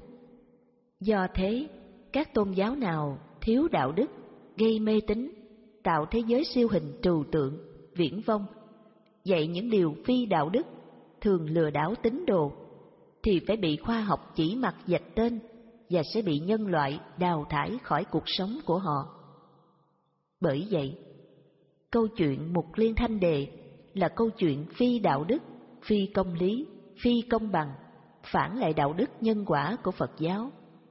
Sự báo hiếu của đạo Phật như trong kinh sách Đại Thừa là không phải của đạo Phật. Kinh sách này đã bị dân gian thế tục quá Phật giáo theo thời đại phong kiến của nó. Người tu sĩ đạo Phật muốn báo hiếu cha mẹ thì phải tu hành, sống đúng giới hạnh, không hề vi phạm một lỗi nhỏ, sống thiểu dục tri túc, ăn ngủ, độc cư đúng cách, đầy đủ oai nghi chánh hạnh, tâm thường thanh thản, an lạc, ly dục, ly ác pháp, và nhập sâu bốn thánh định thực hiện tam minh, làm chủ sự sống chết và luân hồi thì mới báo hiếu trọn vẹn. Còn người tín đồ muốn báo hiếu thì phải giữ gìn năm giới nghiêm túc, thường khuyên cha mẹ giữ gìn làm điều thiện, đừng làm điều ác. Đó là sự báo hiếu chân thật của Phật giáo. Thực hiện được những điều này qua đời sống gương hạnh cao quý, khiến cho cha mẹ nhiều đời nhiều kiếp vì có nhân duyên nhân quả, nên quy tự gặp lại nhau để nhận lấy gương hạnh đạo đức giải thoát và giáo pháp của Phật, hướng dẫn cho những người thân thương của mình từ vô lượng kiếp để thoát ra cảnh đời đầy đau khổ. Đó là báo hiếu cha mẹ, chứ không phải làm lễ trai tăng cúng dường tứ sự để nhờ công đức của chư tăng cứu độ cha mẹ là báo hiếu. Báo hiếu kiểu đó là báo hiếu không thực tế, thua xa các nhà nho giáo đạo khổng, quạt nồng, ấm lạnh, không làm cho cha mẹ buồn rầu, thường làm vui lòng cha mẹ.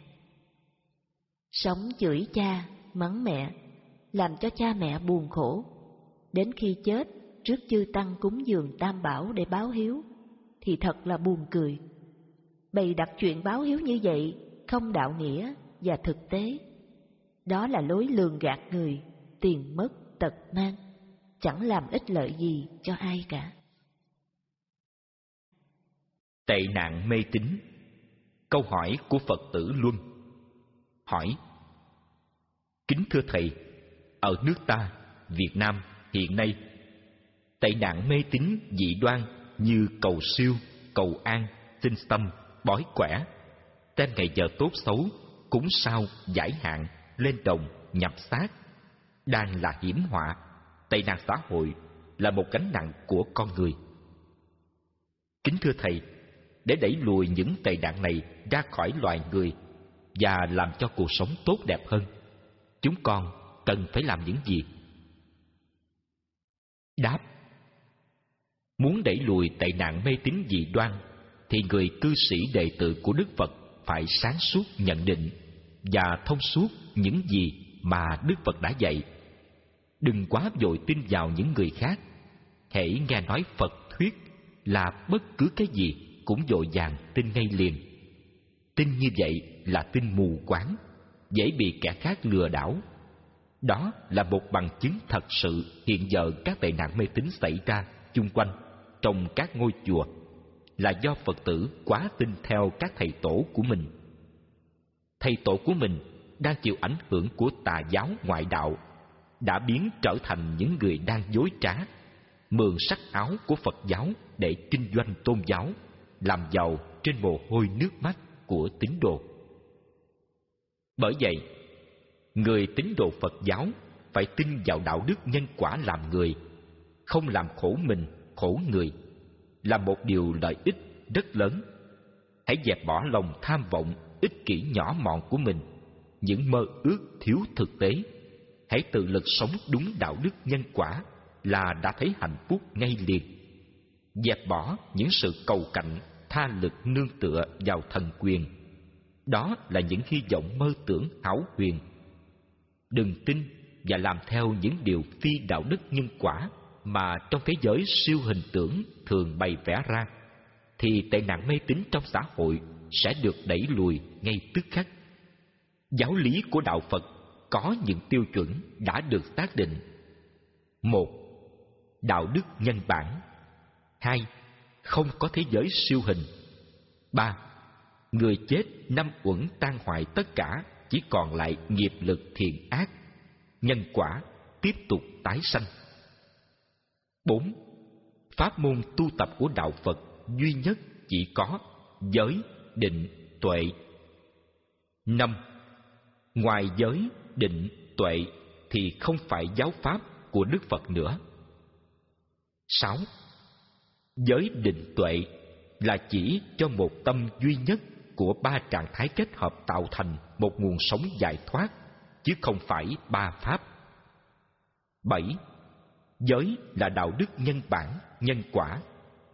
tám Định là tỉnh giác. chín Tuệ là sự hiểu biết. Ba vấn đề này gom chung vào một tâm.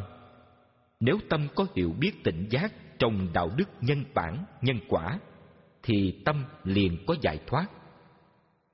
Đó là một vấn đề giới, định, tuệ duy nhất của đạo Phật giúp cho con người vượt qua khổ đau của kiếp làm người. Ngoài vấn đề này thì không có giáo pháp nào của Đức Phật dạy cầu tha lực cả. Nếu có giáo pháp cầu tha lực là giáo pháp của ngoại đạo, đó là một sự xác định nghiêm túc của đạo Phật. Đạo Phật cấm kỵ nhất là thần thông và thế giới siêu hình.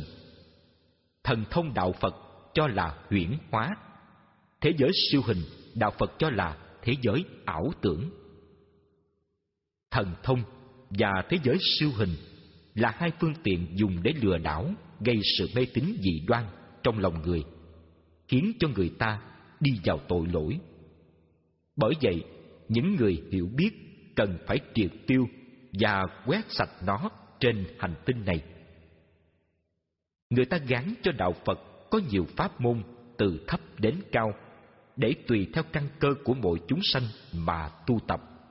Đó là lối biện luận lừa đảo những người mạo danh Phật giáo. Ngoài bát chánh đạo để thực hiện giới, định, tuệ, thì không còn pháp môn nào được gọi là của đạo Phật nữa. Đừng đem những tà giáo mê tín dị đoan mà gán cho đạo Phật. Đó là một việc làm tội lỗi đối với con người trên hành tinh này. Khi quý vị đã rõ thấu giáo pháp của Đức Phật là giới, định, tuệ, thì bất cứ một ngôi chùa nào mà dạy khác pháp môn giới, định, tuệ, thì quý vị không chấp nhận, không nghe theo, không cúng dường, không đến chùa đó nữa, không thọ nhận hoặc tu tập theo giáo pháp ngoại lai đó. Từ khi Đức Phật tịch, giáo đoàn Phật giáo bị phân hóa chia thành nhiều bộ phái do những vị tu sĩ lãnh đạo tham danh đắm lợi đã nở tâm giết Phật giáo chết. Từ đó các ngài đưa vào những giáo pháp của ngoại đạo để lừa đảo tín đồ Phật giáo. Do đó mới có những kinh sách dạy cầu siêu, cầu an, tinh tâm, bói quẻ, đem ngày giờ tốt xấu, cúng sao, giải hạn, lên đồng, nhập xác, làm đủ mọi điều mê tín dị đoan nó được xem là một hiểm họa rất lớn, một tệ nạn xã hội. Các chùa đang hành những nghề nghiệp này là đã tạo một gánh nặng cho xã hội loài người. Muốn đẩy lùi những tệ nạn này, thì trong các chùa, quý thầy trụ trì phải đình chỉ ngay liền những nghề nghiệp lừa đảo, phi đạo đức này, thì tệ nạn mê tín dị đoan sẽ được chấm dứt. Đó là dứt trừ tận gốc phát sanh ra nó. Muốn đẩy lùi tệ nạn này, thì quý vị cư sĩ không nên tin và không làm theo những giáo pháp mê tín phi đạo đức này bằng cách không đến những ngôi chùa có hành nghề như vậy và cũng không cúng dường cho các vị tăng ở đây. Có như vậy mới có thể đẩy lùi và dẹp sạch những tà giáo phi nhân quả này thì loài người mới thoát khỏi gánh nặng khổ đau này. Làm lễ quy y cho người chết Câu hỏi của Phật tử Luân Hỏi, Kính thưa Thầy trong kinh Thập Nhị Nhân Duyên Đức Phật đã xác định rõ ràng Không có thế giới siêu hình Tức là không có linh hồn, thần thức Sau khi chết. Vậy mà tại sao chúng con thấy quý thầy quý cô Và quý cư sĩ Phật giáo Lại dựa vào đâu Mà cho rằng có thế giới siêu hình? Bằng chứng quý thầy quý cô và quý cư sĩ đứng ra bày vẽ tổ chức lo toan đám ma, cúng vong, tiễn linh, chẩn tế cô hồn, giải oan bạc độ. Thậm chí, còn có rất nhiều quý thầy ngang nhiên ngồi trên pháp tòa để thuyết pháp giảng đạo, làm lễ quy y tam bảo và thọ ngũ giới cho những phong linh. Những việc làm của quý thầy, quý cô và quý cư sĩ đã đi ngược lại lời dạy chân thật của Đức Phật và làm lệch lạc đường đi chân chánh của đạo Phật, khiến cho mọi người có hiểu biết, sẽ nghi ngờ Phật giáo. Xin Thầy chỉ dạy cho chúng con được rõ và khiến cho mọi người không còn nghi ngờ Phật giáo nữa.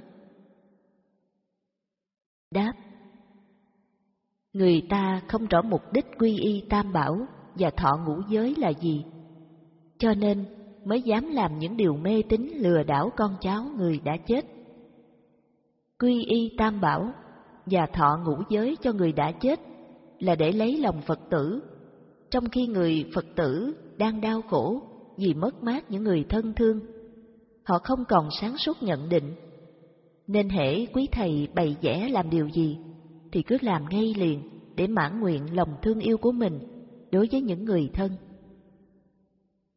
Mục đích quy y tam bảo và thọ ngũ giới là để sống và thực hiện một đời sống đạo đức làm người không làm khổ mình, khổ người, sống trong thiện pháp, sống biết tha thứ và thương yêu mọi người, mọi loài, chứ không phải quy y tam bảo là để được làm đệ tử của Phật, để ở cõi diêm đình, vua diêm dương nể mặt, quỷ sứ, ngục tốt ngưu đầu, mã diện, không dám hành hạ. Hiểu như vậy là mê tín, là sai không đúng chánh tri kiến của đạo Phật. Còn nếu bảo rằng quy y tam bảo là để gieo duyên với Phật Pháp, thì lại còn sai hơn nữa. Khi cha mẹ còn sống không bằng lòng thọ tam quy ngũ giới, đến khi chết con cháu nhờ sư thầy làm lễ quy y tam bảo, thì vấn đề này không phải tự tâm nguyện của ông bà, mà là một sự ép buộc của con cháu. Như vậy thử hỏi, làm sao có sự gieo duyên cho được, khi mà tâm không thành, ý không muốn. Các sư thầy ngang nhiên ngồi lên pháp tòa thuyết pháp giảng đạo hoặc làm lễ quy y tam bảo. Cho những dông linh này là một việc làm mê tín, vô minh, không thông hiểu đạo Phật, là một điều phi Phật giáo, vì Phật giáo là một tôn giáo tự lực cánh sinh, chứ không nhờ vào tha lực nào cả, mà phải tự mình khi còn sống có một sự thành tâm ước muốn để trở thành một con người có đạo đức làm người, không làm khổ mình, khổ người, để trở thành một con người sống toàn thiện và để trở thành một con người sống như một tâm hồn thanh thản, an lạc, bất động trước các pháp.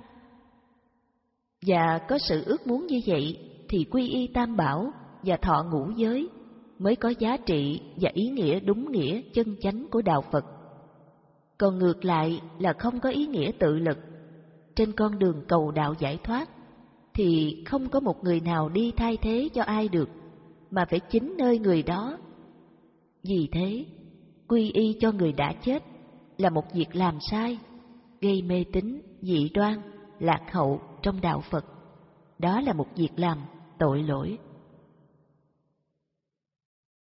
Đạo Phật không chấp nhận sự thường hằng của linh hồn, thế mà sư thầy lên pháp tòa thuyết pháp, quy y tam bảo và truyền ngũ giới cho vong linh, thì đó là một việc làm của ngoại đạo, lừa đảo lòng hiếu hạnh và tình thương yêu của tín đồ Phật giáo đối với người quá cố.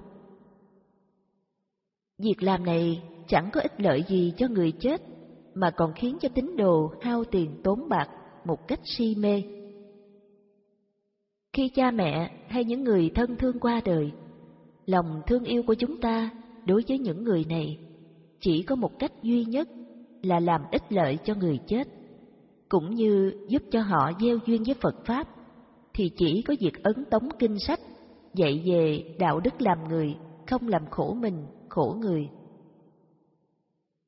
Nhờ có kinh sách này mà người sống có lợi ích rất lớn, thì người chết cũng có lợi ích rất lớn. Tại sao vậy? Tại vì người chết nghiệp lực sẽ tiếp tục đi tái sanh luân hồi ngay liền sau khi chết và đã trở thành một người mới. Có nghĩa là chết đây sanh kia, cũng giống như cây đuốc. Cây đuốc này vừa tắt, thì cây đuốc kia cháy sáng ngay liền, để giữ ánh sáng liên tục không bị gián đoạn.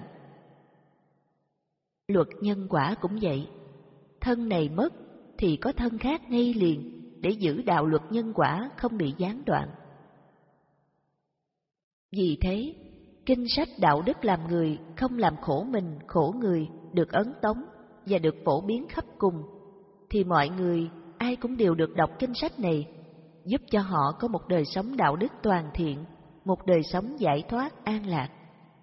Đó là sự ấn tống kinh sách đạo đức nhân quả, là gieo duyên quy y tam bảo và thọ ngũ giới cho những người thân thương đã quá cố. Đó là sự báo hiếu rất lớn của chúng ta khi cha mẹ đã qua đời. Những việc làm này đem đến lợi ích ngay liền là những người chung quanh chúng ta đang sống. Họ trở thành những người sống có đạo đức làm người, biết mang lại sự không đau khổ cho nhau. Đó là chân hạnh phúc của loài người thiết thực và cụ thể hơn. Những kinh sách mê tín Câu hỏi của Phật tử Luân Hỏi Kính thưa Thầy, Đạo Phật chủ trương phải tự cứu mình, tức là phải dùng sức tự lực của bản thân để ly dục ly ác pháp không làm khổ mình khổ người và khổ muôn loài chúng sanh giải thoát sanh tử khổ đau luân hồi của kiếp người. Vậy thì tại sao lại có các loại kinh? Thủy sám lương hoàng sám pháp hoa a di đà địa tạng vu lan bồn dạy toàn tha lực tức là lo tụng niệm vang xin chư phật, chư vị bồ tát, thiên long bát bộ, hộ pháp và lam, chư vị thiên thần, gia hộ cho tai qua nạn khỏi, bệnh tật tiêu trừ, hoặc tiếp dẫn hương linh về cõi cực lạc tây phương của đức phật a di đà như vậy, có quá mâu thuẫn không, thưa thầy? Xin thầy vạch rõ chỗ đúng sai để chúng con được biết. Đáp kinh sách đại thừa phát triển là kinh sách chịu ảnh hưởng của bà la môn giáo, nhất là chịu ảnh hưởng của kinh sách vệ đà, thuộc về tư tưởng văn minh ấn độ.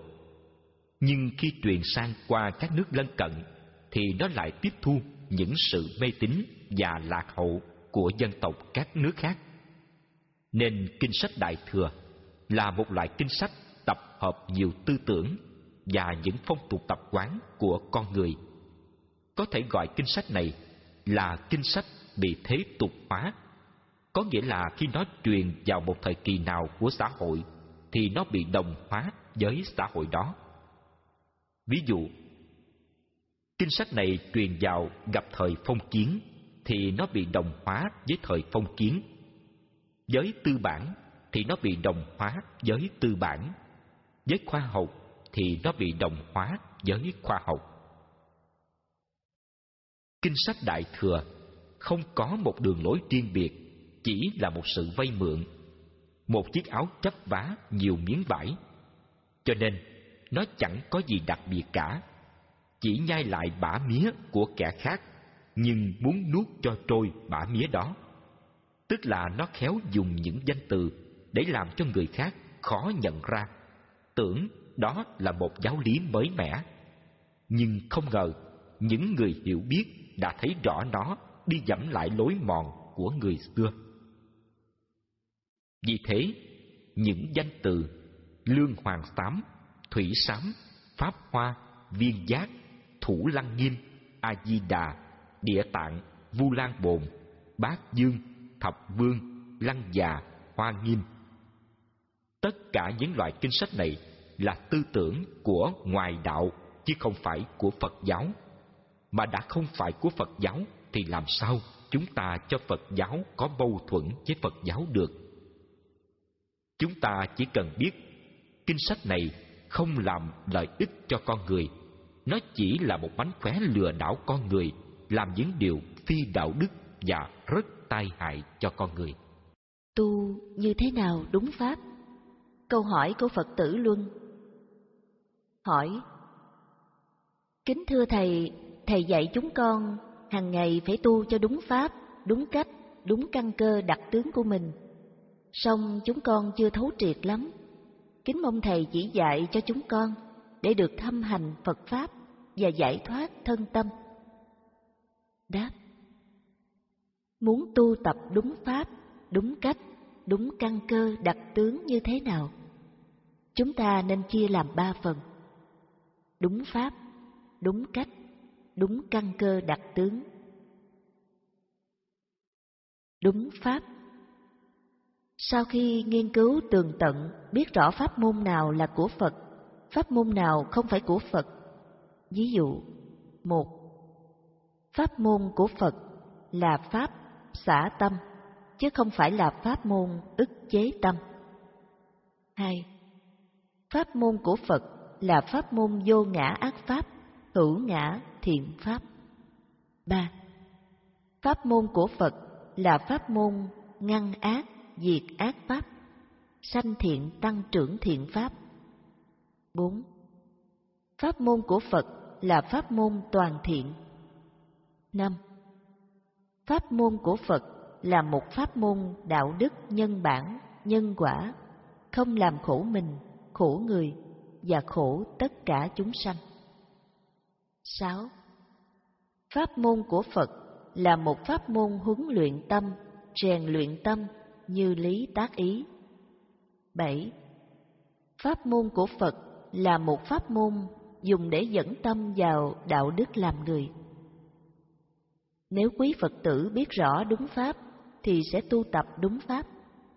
Ngoài bảy sự hiểu biết trên đây là đúng về Phật pháp, còn là sự hiểu sai, hiểu sai Phật pháp tức là tu sai. Tu sai thì phí công vô ích, mà còn tạo thêm gánh nặng cho Phật tử, tín đồ, cúng dường. Cho nên, trước khi đi tu thì phải nghiên cứu cho tường tận lời dạy của Đức Phật, rồi mới tu. Đúng cách Tu tập đúng cách, tức là tu tập xả tâm. Xả tâm đúng cách, tức là phải khéo léo, thiện xảo. Tu tập đúng cách là không bao giờ ức chế tâm. Tu tập đúng cách là phải biết pháp nào tu trước, pháp nào tu sau. Ví dụ, như pháp tam vô lậu học, thì giới luật phải tu trước. Sau khi tu giới luật xong, nghĩa là sống đúng giới luật, không có vi phạm một lỗi nhỏ nhặt nào, thì mới tu tập thiền định. Còn vi phạm giới luật, dù là một giới rất nhỏ, thì cũng còn phải tu giới luật trở lại, chứ không được tu thiền định. Chừng nào giới luật thanh tịnh, thì mới bắt đầu tập tu thiền định. Sau khi nhập xong tứ thiền, thì mới bắt đầu tu trí tuệ. Thiền định chưa xong, mà dội tu trí tuệ là tu sai. Tu như vậy trở thành tưởng tuệ chứ không phải là trí tuệ. Cũng như tu tập tứ thánh định thì phải tu tập sơ thiền trước tiên. Sau khi sơ thiền được sung mãn thì mới tu tập nhị thiền. Sau khi nhị thiền được sung mãn thì mới tu tập tam thiền. Sau khi tam thiền được sung mãn thì mới tu tập tứ thiền. Nếu chúng ta tu tập không đúng cách thì cũng giống như con bò, chân trước chưa bước mà chân sau đã bước, thì con bò không thể nào đi được. Cũng giống như vậy, người tu sĩ đạo Phật giới luật chưa nghiêm trì, mà tu thiền định thì chẳng bao giờ có thiền định được.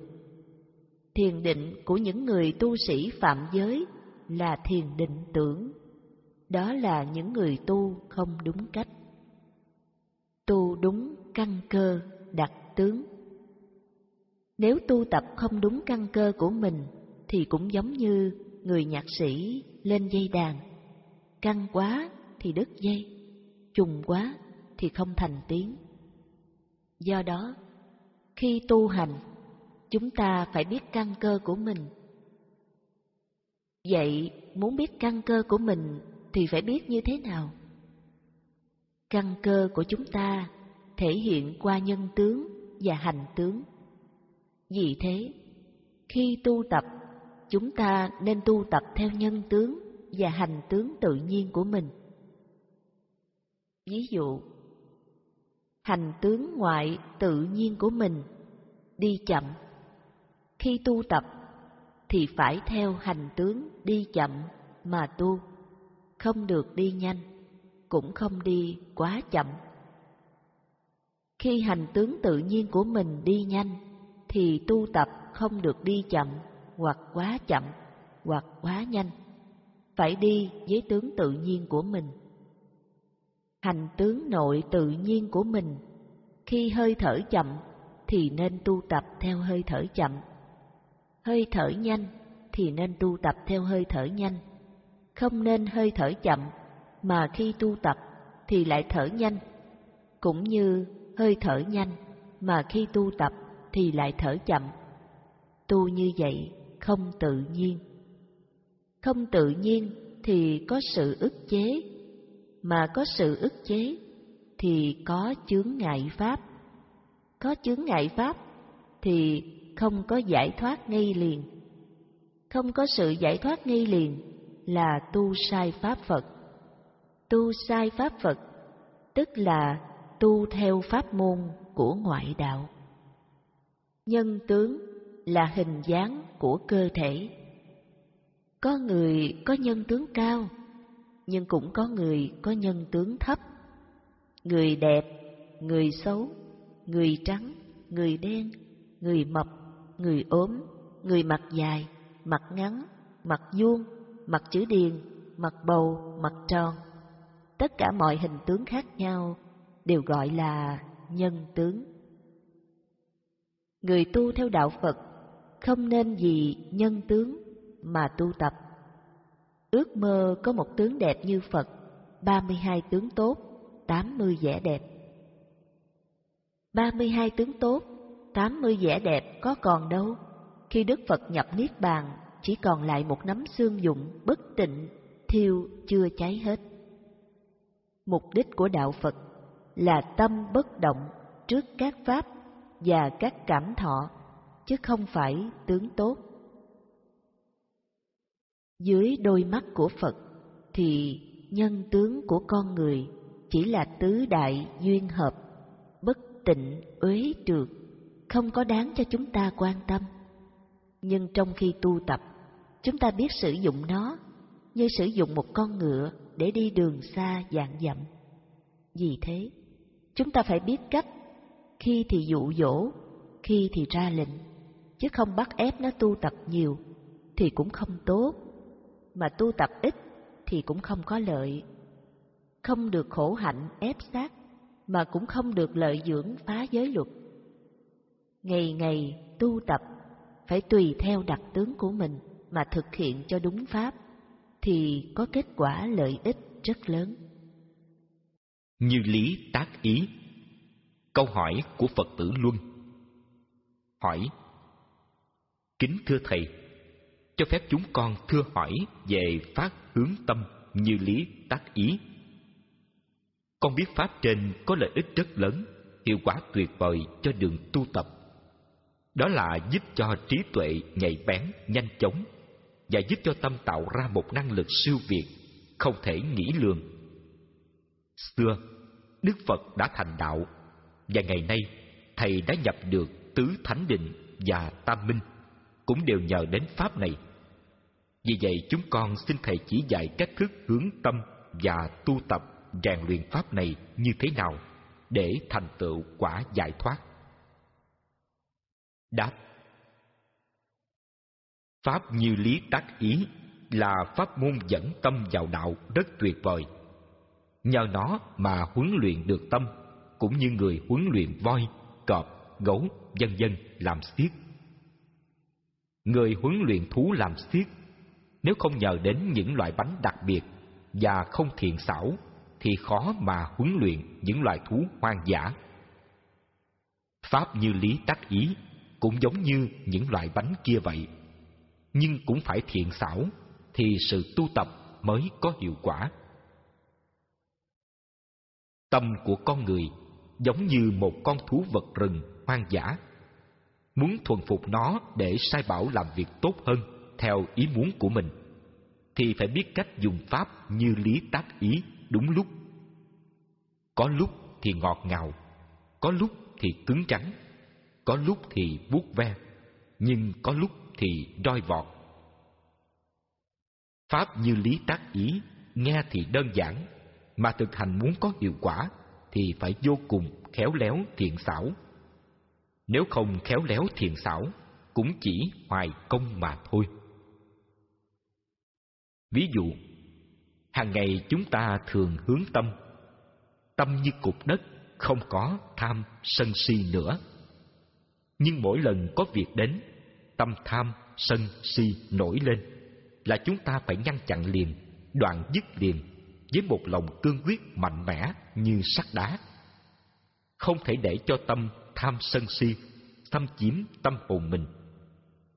Sự kiên quyết, dũng cảm, mạnh mẽ ngăn chặn như vậy cũng giống như con thú trợ chứng, ương ngạnh thì phải roi vọt, đánh trị, khiến cho nó sợ thì mới có thể dễ sai nó được. Nhưng cũng không phải lúc nào cũng dùng roi vọt, đánh trị, mà cũng phải có lúc vuốt ve an ủi, gần gũi, âu yếm, chăm sóc thương yêu.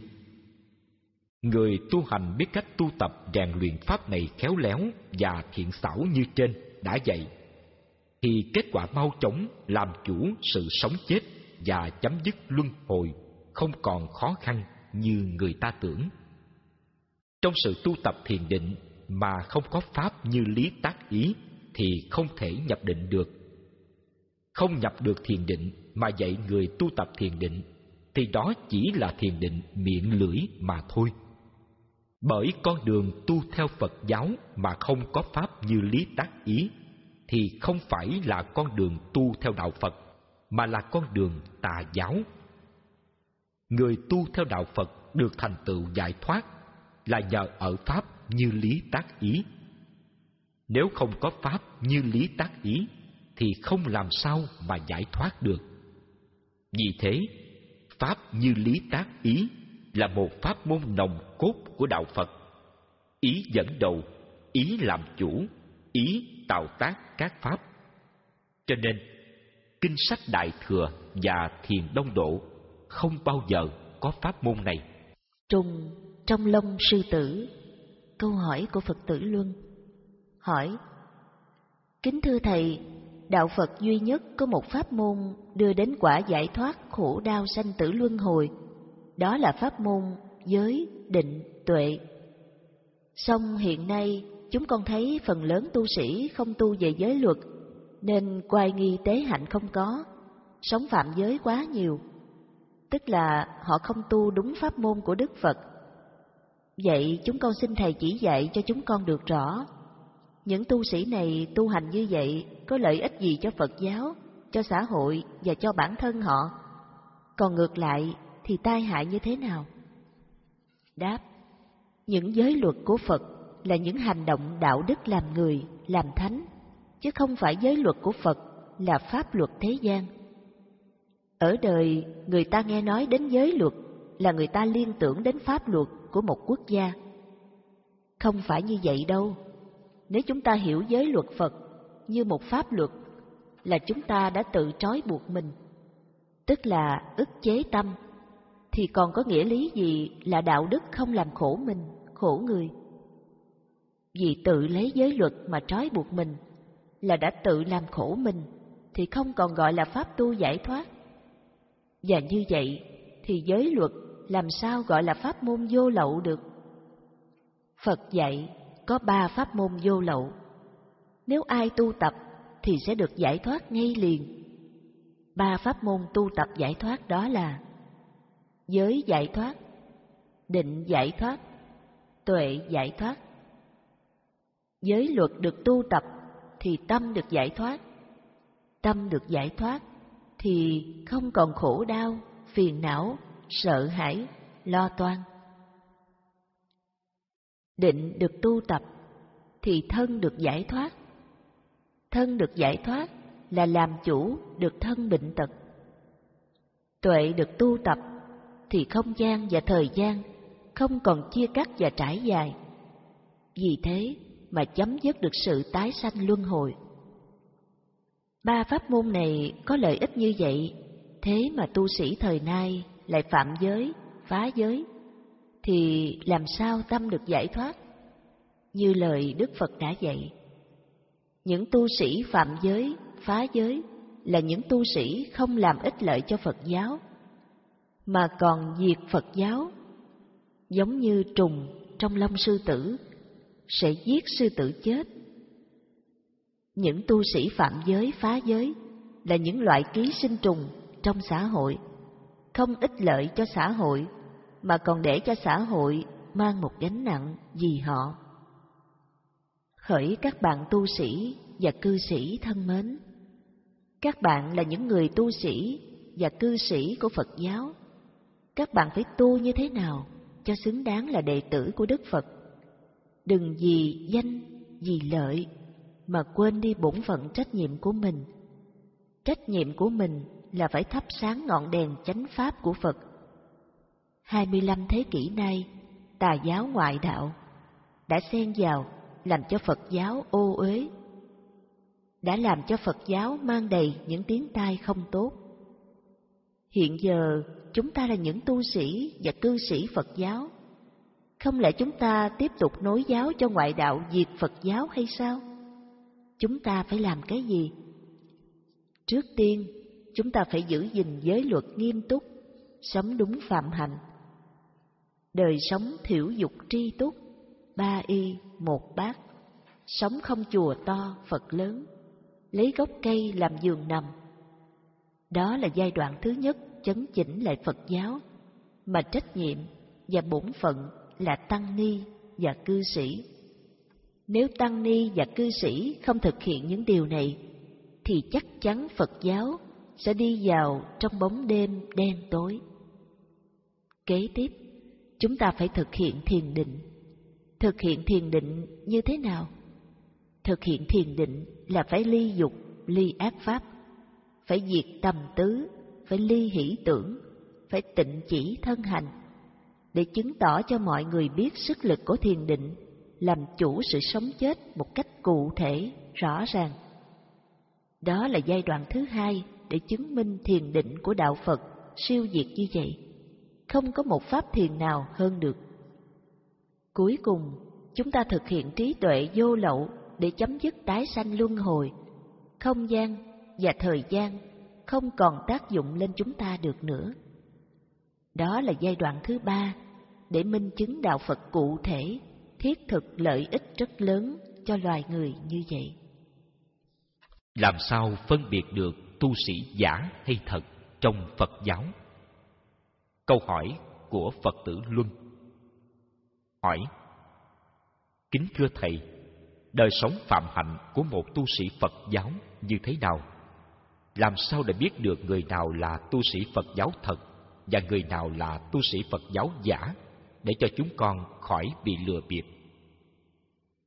Đáp Đời sống phạm hạnh của một tu sĩ Phật giáo là đời sống đức hạnh của một bậc thánh tăng.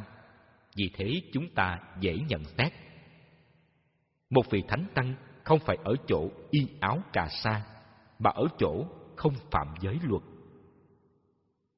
Trong giới luật của một vị tu sĩ giải thoát, thì sự ăn mặc không cần sang đẹp, nhưng phải ăn mặc đàng hoàng, sạch sẽ. Dù là chiếc y phấn tảo cũng phải được giặt sạch sẽ. Khi bước ra khỏi thất, thì y áo phải được tề chỉnh nghiêm trang. Mặc y không được để bày da hở thịt.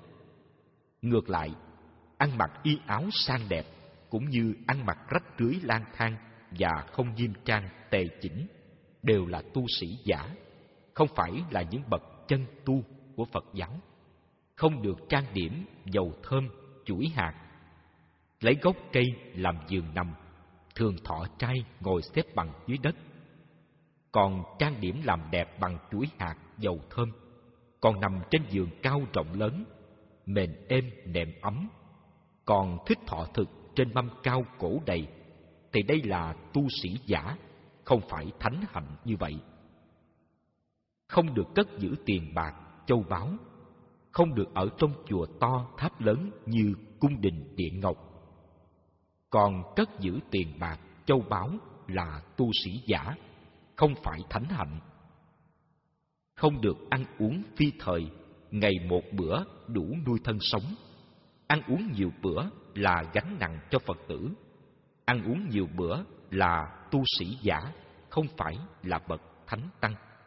Hộ trì các căn Câu hỏi của Nhật Lý Hỏi Kính mong Thầy từ bi chỉ dạy cho chúng con Để hộ trì các căn như Đức Phật dạy Chớ có nắm giữ tướng chung Chớ có nắm giữ tướng riêng.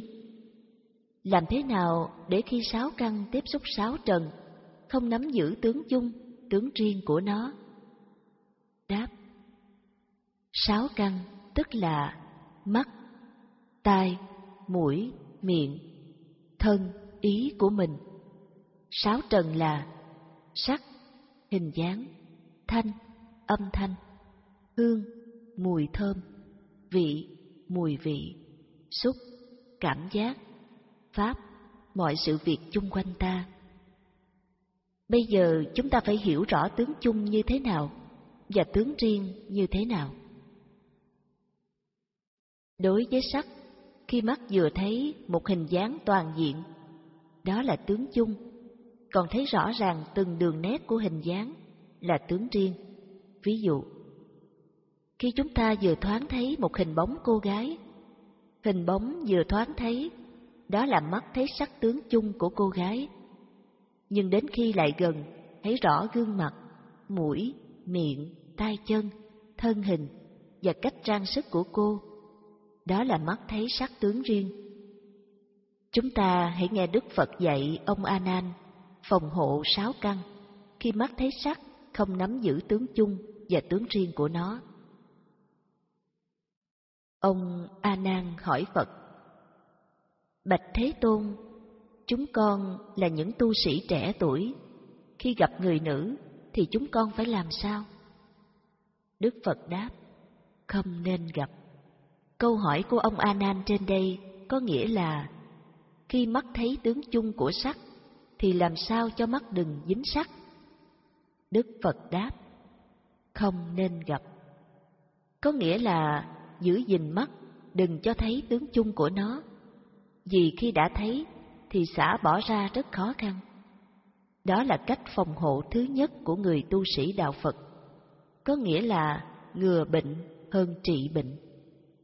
Vì vậy, người tu sĩ đạo Phật muốn phòng hộ sáu căn để khỏi tiếp xúc sáu trần, thì khi đi, đứng, nằm, ngồi, mắt phải nhìn xuống, không ngó qua, ngó lại, không liếc ngược, liếc xuôi. Tai cũng vậy, cố lắng nghe mọi sự hoạt động trong thân, không được lắng nghe âm thanh bên ngoài. Vì thế, Đức Phật dạy chúng ta tu tập thân hành niệm nội hay ngoại cũng nhằm mục đích phòng hộ mắt, tai, mũi, miệng, thân, ý của mình không cho dính mắc sáu trần.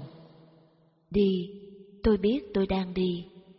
Thở, tôi biết tôi đang thở. Hoặc làm việc gì thì tôi biết tôi đang làm việc đó. Đó là pháp phòng hộ sáu căn đệ nhất của đạo Phật mà các nhà học giả họ không hiểu nên thường dạy mọi người tu trong việc làm. Pháp phòng hộ mà thành pháp ức chế tâm thật là buồn cười cho những người mù dắt một đám người mù đi. Ông A Nan hỏi tiếp: Bạch Thế Tôn, lỡ chúng con gặp thì sự giữ gìn không cho mắt dính sắc thì chúng con phải làm như thế nào? Đức Phật đáp: Đừng nói chuyện. Đây là cách phòng hộ thứ hai, có nghĩa là thấy được tướng chung của đối tượng thì phải mau mau tránh xa. Đừng nói chuyện, có nghĩa là đừng sáp lại gần. Sáp lại gần, tức là thấy tướng riêng. Vì tướng riêng khó bỏ hơn tướng chung. Trên đây là hai pháp ngăn ngừa. Người tu sĩ biết dùng pháp ngăn ngừa là tốt nhất trong sự tu tập phòng hộ sáu căn. Pháp ngăn ngừa thứ nhất, như ông A Nan đã hỏi Đức Phật ở trên là không cho thấy tướng chung, không thấy tướng chung thì làm sao có dính mắt được. Pháp thứ hai là pháp ngăn ngừa không cho thấy tướng riêng, mà đã không thấy tướng riêng thì làm sao dính mắt được. Bây giờ chúng ta đọc lại câu hỏi. Để hộ trì các căn, Đức Phật dạy, chớ có nắm giữ tướng chung, chớ có nắm giữ tướng riêng. Chúng tôi lấy câu chuyện ông A Nan hỏi Phật để trả lời và giảng rộng cách thức hộ trì các căn mà Đức Phật đã cô động qua lời nói ngắn gọn, khiến cho chúng ta không biết đâu mà thực hành. Tóm lại, sự phòng hộ, hộ trì các căn là tu chánh niệm tỉnh giác thân hành niệm, thì tâm không dính mắc sáu trần. Đó là pháp môn ngăn ác pháp ly dục tuyệt vời của đạo Phật. Chúng ta nên nhớ lấy mà tu tập. Phần nhiều tu sĩ thời nay không tu tập phòng hộ, hộ trì các căn. Vì thế, tâm thường phóng dật chạy theo sáu trần. Do đó mà tu mãi không thành tựu. Về cách thức hộ trì sáu căn như câu chuyện ông A Nan hỏi Phật, thì quý thầy cũng đã hiểu rồi. Nhưng câu hỏi của con ở đây nhắm vào chỗ tu tập khi sáu căn tiếp xúc sáu trần, chứ không còn là phòng hộ, hộ trì nữa, mà là đi sâu vào phương pháp hóa giải cho căn và trần không dính mắt. Muốn biết pháp hóa giải căn và trần không dính mắt, thì chúng ta lắng nghe ông A Nan hỏi Phật. Ông A Nan hỏi Phật: Lỡ chúng con nói chuyện thì làm sao? Đức Phật đáp: Quán như em như chị, như mẹ. Trong hội chúng này có vua Ba Tư Nặc tham dự, nên nhà vua quỳ xuống hỏi Phật. Bạch Thế Tôn, chúng con là hàng cư sĩ, không thể quán như vậy được. Đức Phật đáp, quán bất tịnh. Qua hai câu trả lời trên đây, chúng ta hiểu Đức Phật đã dạy chúng ta tu tập pháp môn định vô lậu. Đối với sắc tướng của nữ giới, để không dính mắc tâm mình, thì phải quán như em, như chị, như mẹ. Và nếu còn dính mắc, thì phải quán bất tịnh. Đối với các sắc pháp của dạng hữu, thì ta phải quán vô thường, khổ, vô ngã. Phải thấy sự nguy hiểm, sự tai hại, sự khổ đau của các sắc pháp. Phải tưởng nhàm chán các sắc pháp. Có tưởng có quán như vậy, thì tướng chung, tướng riêng không dính mắt. Tóm lại, khi sáu căn tiếp xúc sáu trần không nắm giữ tướng chung, tướng riêng của nó, thì chúng ta nên tu định vô lậu, tức là diệt các ác pháp và ly dục trong ta. Cách thức tu tập như vậy gọi là phòng hộ, hộ trì các căn, không nắm giữ tướng chung và tướng riêng của nó. Thế giới siêu hình, Câu hỏi của Mỹ Linh, Tú Hỏi, Kính thưa Thầy, Trong giáo án tập 3 Thầy nói, Khi còn sống, Mọi hoạt động của con người Đều lưu lại ở từ trường Trong không gian, Và chỉ người nào có tượng thức mạnh Mới giao cảm được với tần số Của từ trường ấy Mà thấy và nghe được Những sự việc đã diễn ra Của người chết như cô Khang bị rứt móng tay. Tóm lại, vậy là có linh hồn người chết, nhưng người thấy người không. Chỉ nói không có linh hồn, thì mọi người không ai chịu tin hết thầy ạ. Rồi họ đưa ra việc cầu hồn, thấy ma. Thưa thầy, hay là Phật nói không có linh hồn, vì nó có nhưng không thật, hay để con người không nhớ thương, không ỷ lại nương tựa tha lực? Đáp không phải vậy. Không phải vì lý do nhớ thương hay ỷ lại mà đức phật nói không có thế giới siêu hình mà thật sự hoàn toàn thế giới siêu hình không có. Trong vấn đề linh hồn người chết có hay không? Điều này đã mang nặng một dấu ấn trong tâm của mọi người là có linh hồn người chết. Muốn xác định cho rõ ràng điều này, thì không có cách nào hay hơn bằng chính người ấy phải tự nhập tứ thánh định, an trú trong ấy, rồi dùng trạch pháp giác chi hướng tâm đến thiên nhãn minh, quan sát thế giới siêu hình, thì chừng đó mới xác quyết chắc chắn rằng người chết không còn có linh hồn tồn tại hay là không có sự sống sau khi chết. Ở đây thầy đã giải thích rất nhiều về vấn đề thế giới siêu hình. Nhưng ai là người hiểu vấn đề này? Người tri âm khó gặp, tri kỷ khó tìm. Người nghe được tiếng đàn của bá nha chỉ có tử kỳ mà thôi. Nhưng tử kỳ chết, bá nha đập nát chiếc đàn. Vì trên đời này còn có ai nghe được tiếng đàn của mình. Thầy cũng vậy. Chỉ có người nào tu chứng quả a la hán mới hiểu được tiếng nói của thầy. Thầy sẽ không phụ lòng những câu hỏi của các con. Thầy cố gắng trả lời cho các con hiểu. Các con nên hiểu, thế giới mà loài người đang sống là một thế giới sắc tướng, có sự sống, có vạn vật hiện hữu. Thế mà đức phật gọi nó là thế giới tưởng thì chúng ta có tin không?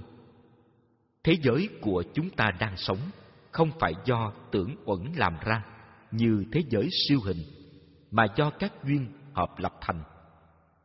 Vì thế, không có một vật gì thường hằng luôn tan hoại theo thời gian năm tháng. Thế mà chúng ta điên đảo tâm, điên đảo tưởng, điên đảo tình, điên đảo kiến chấp thủ mọi vật là có thật là ta là của ta vân vân Thế giới hiện hữu là không có thật. Vì thế mọi vật thường vô thường. Trên thế gian không có một vật gì là trường cửu. Vậy mà mọi người cho nó là có thật, thì không phải đó là điên đảo sao? Do cho nó có thật, nên mọi người cố làm ra cho nhiều. Cố làm ra cho nhiều, nên làm ra nhiều điều ác. Do làm nhiều điều ác, nên phải thọ chịu những quả khổ đau. Với đôi mắt của Phật, nhìn mọi vật trên thế gian này như bong bóng nước, như hoa phù du, sớm nở, tối tàn.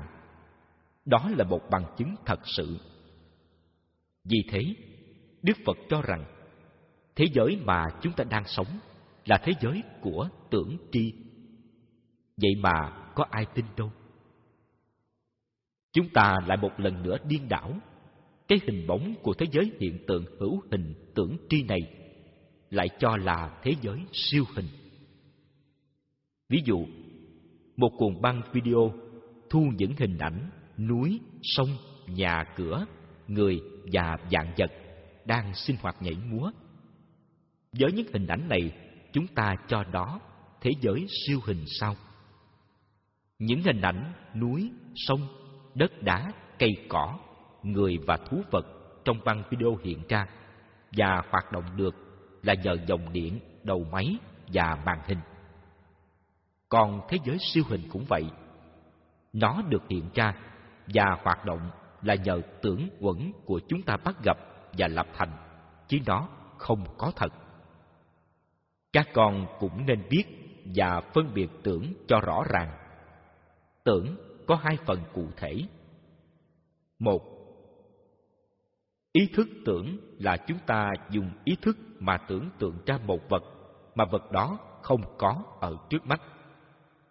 Hai, tưởng thức tưởng là do năng lực hoạt động của tưởng uẩn khiến cho những hình ảnh của thế giới sắc tướng hiện hữu của loài người đang sống đã được lưu lại trong không gian trở thành linh động khiến cho mọi người, chưa đủ trí tuệ sáng suốt, đang sống trong điên đảo tâm, điên đảo kiến, điên đảo tưởng, điên đảo tình, mới cho những hình ảnh ấy là có thật, thế giới siêu hình thật. Vì thế mới có việc cầu cơ, cầu hồn, thấy ma, thấy quỷ, vân vân. Phật giáo đại thừa. Câu hỏi của thượng tọa sắc tứ. Hỏi, kính thưa thầy phật giáo đại thừa có phải là phật giáo chánh thống không? Đáp, phật giáo đại thừa không phải là phật giáo chánh thống, mà là phật giáo theo kiểu kiến giải giáo pháp của bà la môn. Hay nói cách khác, phật giáo đại thừa là đạo bà la môn, lấy tên là phật giáo đại thừa để lừa đảo tín đồ phật giáo. Cho nên, nghĩa lý toàn bộ kinh sách đại thừa là giáo pháp của bà la môn, chính gốc. Thiền đông độ. Câu hỏi của thượng tọa sắc tứ. Hỏi, kính thưa thầy thiền đông độ có phải là của phật giáo hay không? Đáp thiền đông độ không phải là của phật giáo, mà là của lão giáo trung hoa. Tiên đạo, tư tưởng lão trang trung hoa phát triển, có những điểm tương đồng với tư tưởng kinh sách phát triển đại thừa giáo, ấn độ giáo. Vì thế, sau này phật giáo đại thừa đồng hóa tư tưởng lão giáo, lấy tên là phật giáo tối thượng thừa, hay còn gọi là thiền tông. Chủ trương của thiền tông là kết hợp lão giáo và đại thừa, nên thường gọi là thiền giáo đồng hành. Phật giáo đại thừa là phật giáo bắc truyền thuộc bà la môn giáo và ấn độ giáo kết hợp và phát triển theo tưởng giải tạo ra. Cho nên, những tư tưởng trong kinh sách đại thừa là tư tưởng của hai giáo phái này. Tư tưởng của hai giáo phái này mang tính chất trừu tượng, mơ hồ, ảo giác và đầy dẫy sự mê tín vân vân lấy thế giới siêu hình làm nơi an trú cuối cùng. Niên lịch phật giáo câu hỏi của thượng tọa sắc tứ hỏi, kính thưa thầy, phật lịch 2546 năm và 2626 năm vậy niên lịch nào là đúng và niên lịch nào sai? Xin Thầy dạy cho chúng con biết. Đáp, Hiện giờ tín đồ Phật giáo trong nước cũng như ở khắp thế giới đều không biết rõ ngày tháng năm sanh của Đức Phật. Vì lịch sử của Đức Phật không có ghi chép cụ thể. Hiện giờ tín đồ Phật giáo đều dùng Phật lịch 2546 năm theo hệ Nam Tông, chứ ít ai dùng 2626 năm theo hệ Bắc Tông. Niên lịch Phật giáo Bắc Tông không đáng cho tín đồ Phật giáo tin tưởng. Vì thế mà không dùng niên lịch Bắc truyền. Mặc dù lịch sử chưa chứng minh được Phật lịch năm nào đúng sai, là vì không có sử liệu ghi chép lại chính xác. Cho nên, năm 2546 và năm 2626 đều không đúng. Nhưng hiện giờ chúng ta dựa vào những cuộc họp Phật giáo thế giới, chấp nhận lấy năm 2546 làm niên lịch Phật giáo. Bây giờ phần đông tín đồ Phật giáo quen dùng niên lịch Phật giáo năm 2546 năm là đúng hơn 2626 năm. Thuyết pháp 45 năm và 49 năm, năm nào đúng? Câu hỏi của Thượng tọa Sắc Tứ Hỏi Sai biệt giữa Nam Tông và Bắc Tông về thời gian trụ thế và thuyết pháp của Đức Phật 45 năm theo Nam Tông, 49 năm theo Bắc Tông. Thưa Thầy, bên nào đúng? Đáp Căn cứ theo kinh sách Nguyên Thủy là loại kinh sách gốc của Phật thuyết, nên 45 năm thuyết pháp đúng hơn. Còn 49 năm theo Bắc Tông là sai. Vì kinh sách theo Bắc Tông do kiến giải của các tổ viết ra, nên có sự bóp méo sự thật. Vì thế, 49 năm thuyết pháp không đúng. Bởi vì Bát Tông cho bộ kinh Bát Nhã là quan trọng, là đệ nhất trong các kinh, nên nói rằng Đức Phật thuyết pháp cho hàng Bồ Tát 20 năm mới xong bộ kinh này. Vì thế, 49 năm thuyết pháp là không đúng theo lịch sử chân thật của Phật giáo. Nếu chúng ta tính thời gian tu chứng và bắt đầu giảng đạo cho đến chết thì sẽ rõ thời gian. Kinh sách Nguyên Thủy và Đại Thừa, kinh nào đáng tin cậy? Câu hỏi của Thượng tọa Sắc Tứ. Hỏi: Kính thưa thầy, những kinh sách nào đáng được tin cậy để tu được giải thoát? Xin thầy chỉ dạy cho chúng con được rõ. Đáp: Kinh sách Nguyên Thủy là kinh sách đáng được tin cậy nhất, vì đó là lời dạy của Đức Phật.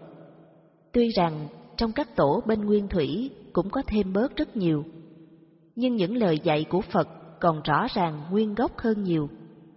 Còn kinh sách Đại Thừa không đáng tin tưởng, vì các tổ tự viết kiến giải theo tư tưởng của giáo lý Bà La Môn mà viết ra kinh Đại Thừa. Nên đường lối và cách thức tu tập đều quá sai. Từ cúng bái, tụng niệm, chú thuật đều chịu ảnh hưởng của Bà La Môn. Cho đến pháp tu về thiền định cũng đều thuộc về thiền tưởng của ngoại đạo. Cho nên, thầy tổ sau này tu hành chẳng có kết quả giải thoát. Vì thế, kinh sách Đại Thừa là những loại kinh sách không đáng tin cậy. Nó là những loại kinh tưởng, kinh nói không đúng sự thật, kinh nói những điều mơ hồ, trừu tượng, kinh dùng để tranh cãi hơn thua, chứ không phải kinh dùng để tu tập giải thoát, làm chủ bốn sự khổ đau của kiếp người. Cho nên, kinh sách Đại Thừa, các bạn phải đề cao cảnh giác. Nếu các bạn không cảnh giác, thì cuộc sống tu hành của các bạn chẳng đi đến đâu. Đời chẳng ra đời, mà đạo chẳng ra đạo, rất uổng phí cho một kiếp làm người. Kinh sách Đại Thừa có phải là chánh pháp không? Câu hỏi của Thượng tọa Sắc Tướng Hỏi Kính thưa Thầy Kinh Di Đà, Di Lạc, Địa Tạng, Pháp Hoa, Kim Cang, Lăng Nghiêm và Mật Chú vân vân có phải chánh pháp của Phật nói hay không?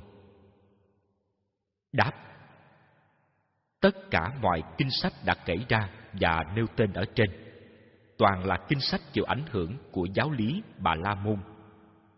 Từ pháp hành, cúng bái, tụng niệm cho đến pháp thiền đều có vẻ mơ hồ, trừu tượng, mê tín.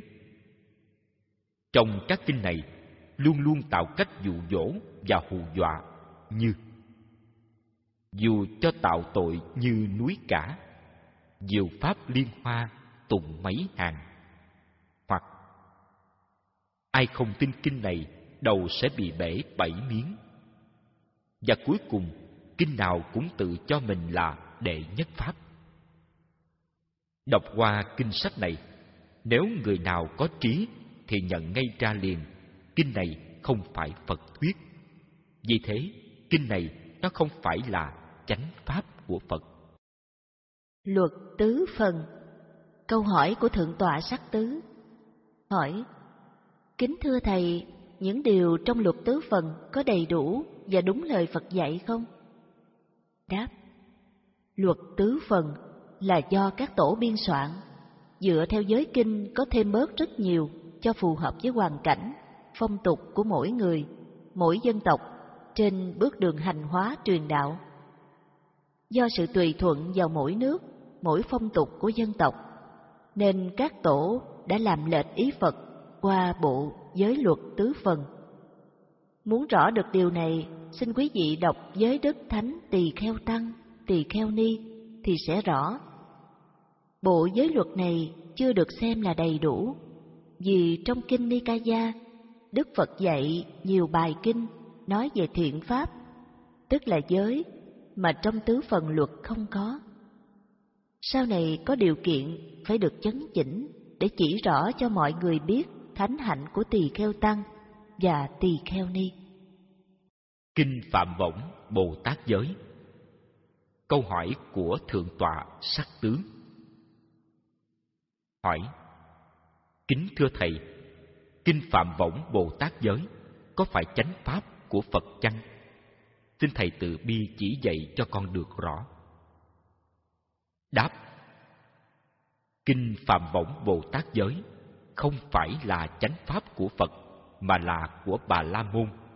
Có thâm ý muốn diệt phật giáo, nên mới chế ra bồ tát giới. Mục đích của bồ tát giới là bộ sách có hình thức tổ chức người cư sĩ thành một tổ chức để phục vụ cho phật giáo đại thừa. Phần thứ nhất là khuyến dụ người cư sĩ thọ bồ tát giới để góp công, góp của, xây dựng đạo pháp của bà la môn. Nhưng sự thật là phục vụ cho quý thầy đại thừa. Một cúng bái tế lễ để cho phật tử bỏ tiền ra đóng góp. Hai, làm từ thiện cũng do phật tử đóng góp. Ba, xây cất chùa to, phật lớn cũng do phật tử đóng góp. Bốn, cấm phật tử không được tu theo phật giáo nguyên thủy, tiểu thừa. Năm, làm tất cả mọi công việc trong chùa, chuyện lớn, chuyện nhỏ hoặc chuyện nặng nề khó khăn đều do phật tử đóng góp công sức, gọi là công quả. Bồ tát giới là một bộ sách khuyến dụ phật tử để lừa công sức và lừa của cải tiền bạc của họ. Bồ tát giới là một loại kinh sách với thâm ý diệt phật giáo. Quý vị đọc cho kỹ lại bộ sách thì mới thấy rõ âm mưu thâm độc của phật giáo phát triển đại thừa sự sai biệt giữa phật giáo và bà la môn. Câu hỏi của thượng tọa sắc tứ. Hỏi, kính thưa thầy, sự sai biệt giữa bà la môn giáo và phật giáo như thế nào? Đáp, sự khác biệt giữa bà la môn giáo và phật giáo có rất nhiều sự sai khác mà ít người để ý đến như, một, phật giáo bình đẳng không chấp nhận giai cấp, nên giai cấp nào đến với phật giáo đều được hướng dẫn tu tập như nhau và đều được chứng quả a la hán không khác nhau. Trong xã hội phật giáo, không có giai cấp nào cả, chỉ toàn là những người giới luật nghiêm chỉnh, gọi là hiền giả. Đó là những bậc chưa chứng quả a la hán còn những bậc vô lậu chứng quả a la hán gọi là thánh giả, còn gọi là trưởng lão. Ông Ca Chiên Diên là người sanh ra trong giai cấp cùng đinh, được Phật tiếp độ tu tập chứng quả A-la-hán. Đó là đã phá giai cấp trong xã hội lúc bấy giờ. Cho giới nữ xuất gia chứng quả thánh A-la-hán. Đó cũng là đập phá tư tưởng trọng nam khinh nữ của xã hội Phật giáo lúc bấy giờ. Bà La Môn chấp chặt bốn giai cấp trong xã hội, cho giai cấp mình là trên hết, chấp nhận với tinh thần trọng nam khinh nữ của xã hội. Đó là sự khác biệt giữa Phật giáo và Bà La Môn giáo.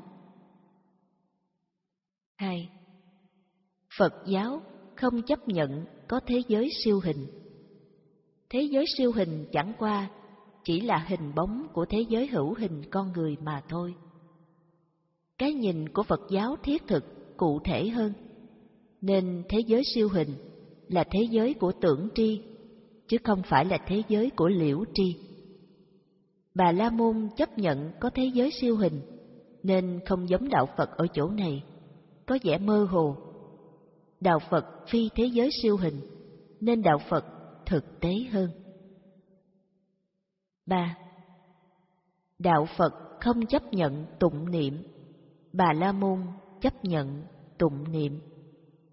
Đức Phật dạy, Này Bà La Môn, một người tụng niệm chú thuật giỏi mà phạm giới còn tham lam, trộm cắp, còn giọng ngữ, tà dâm, thì người ấy có xứng đáng là Bà La Môn không? Xin các bạn trả lời. Một người không tụng niệm, không vi phạm giới luật, không giết hại, trộm cắp, tà dâm, vọng ngữ, thì người ấy là người có xứng đáng là bà la môn không? Do sự so sánh này giữa tụng niệm và không tụng niệm, giữa trì giới và không trì giới, mà chúng ta biết rất rõ Đức Phật không chấp nhận tụng niệm. Thế mà đạo Phật bây giờ đi ngược lại đạo Phật ngày xưa. Đạo Phật ngày xưa có tiến bộ hơn đạo Phật bây giờ. Đạo Phật bây giờ lùi lại ở thế kỷ lạc hậu ngày xưa. Như vậy, đạo Phật có sự sai khác với đạo Bà La Môn. Nhưng hiện nay, các chùa mang danh là Phật giáo, mà thực sự là chùa Bà La Môn. Vì tứ thời tụng niệm ê a, tiếng chuông, tiếng mỏ, gian rền.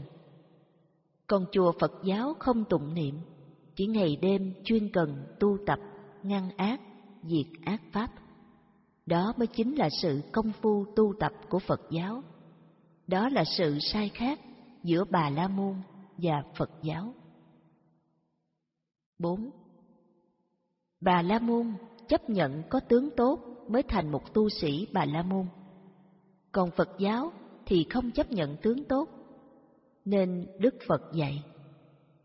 Người có tướng tốt mà còn tham lam, trộm cướp, tà dâm, vọng ngữ, còn ăn uống phi thời, còn cất giữ tiền bạc, thì chưa thành một bà la môn. Kinh sách Đại Thừa thường ca ngợi 32 tướng tốt, 80 vẻ đẹp của Đức Phật.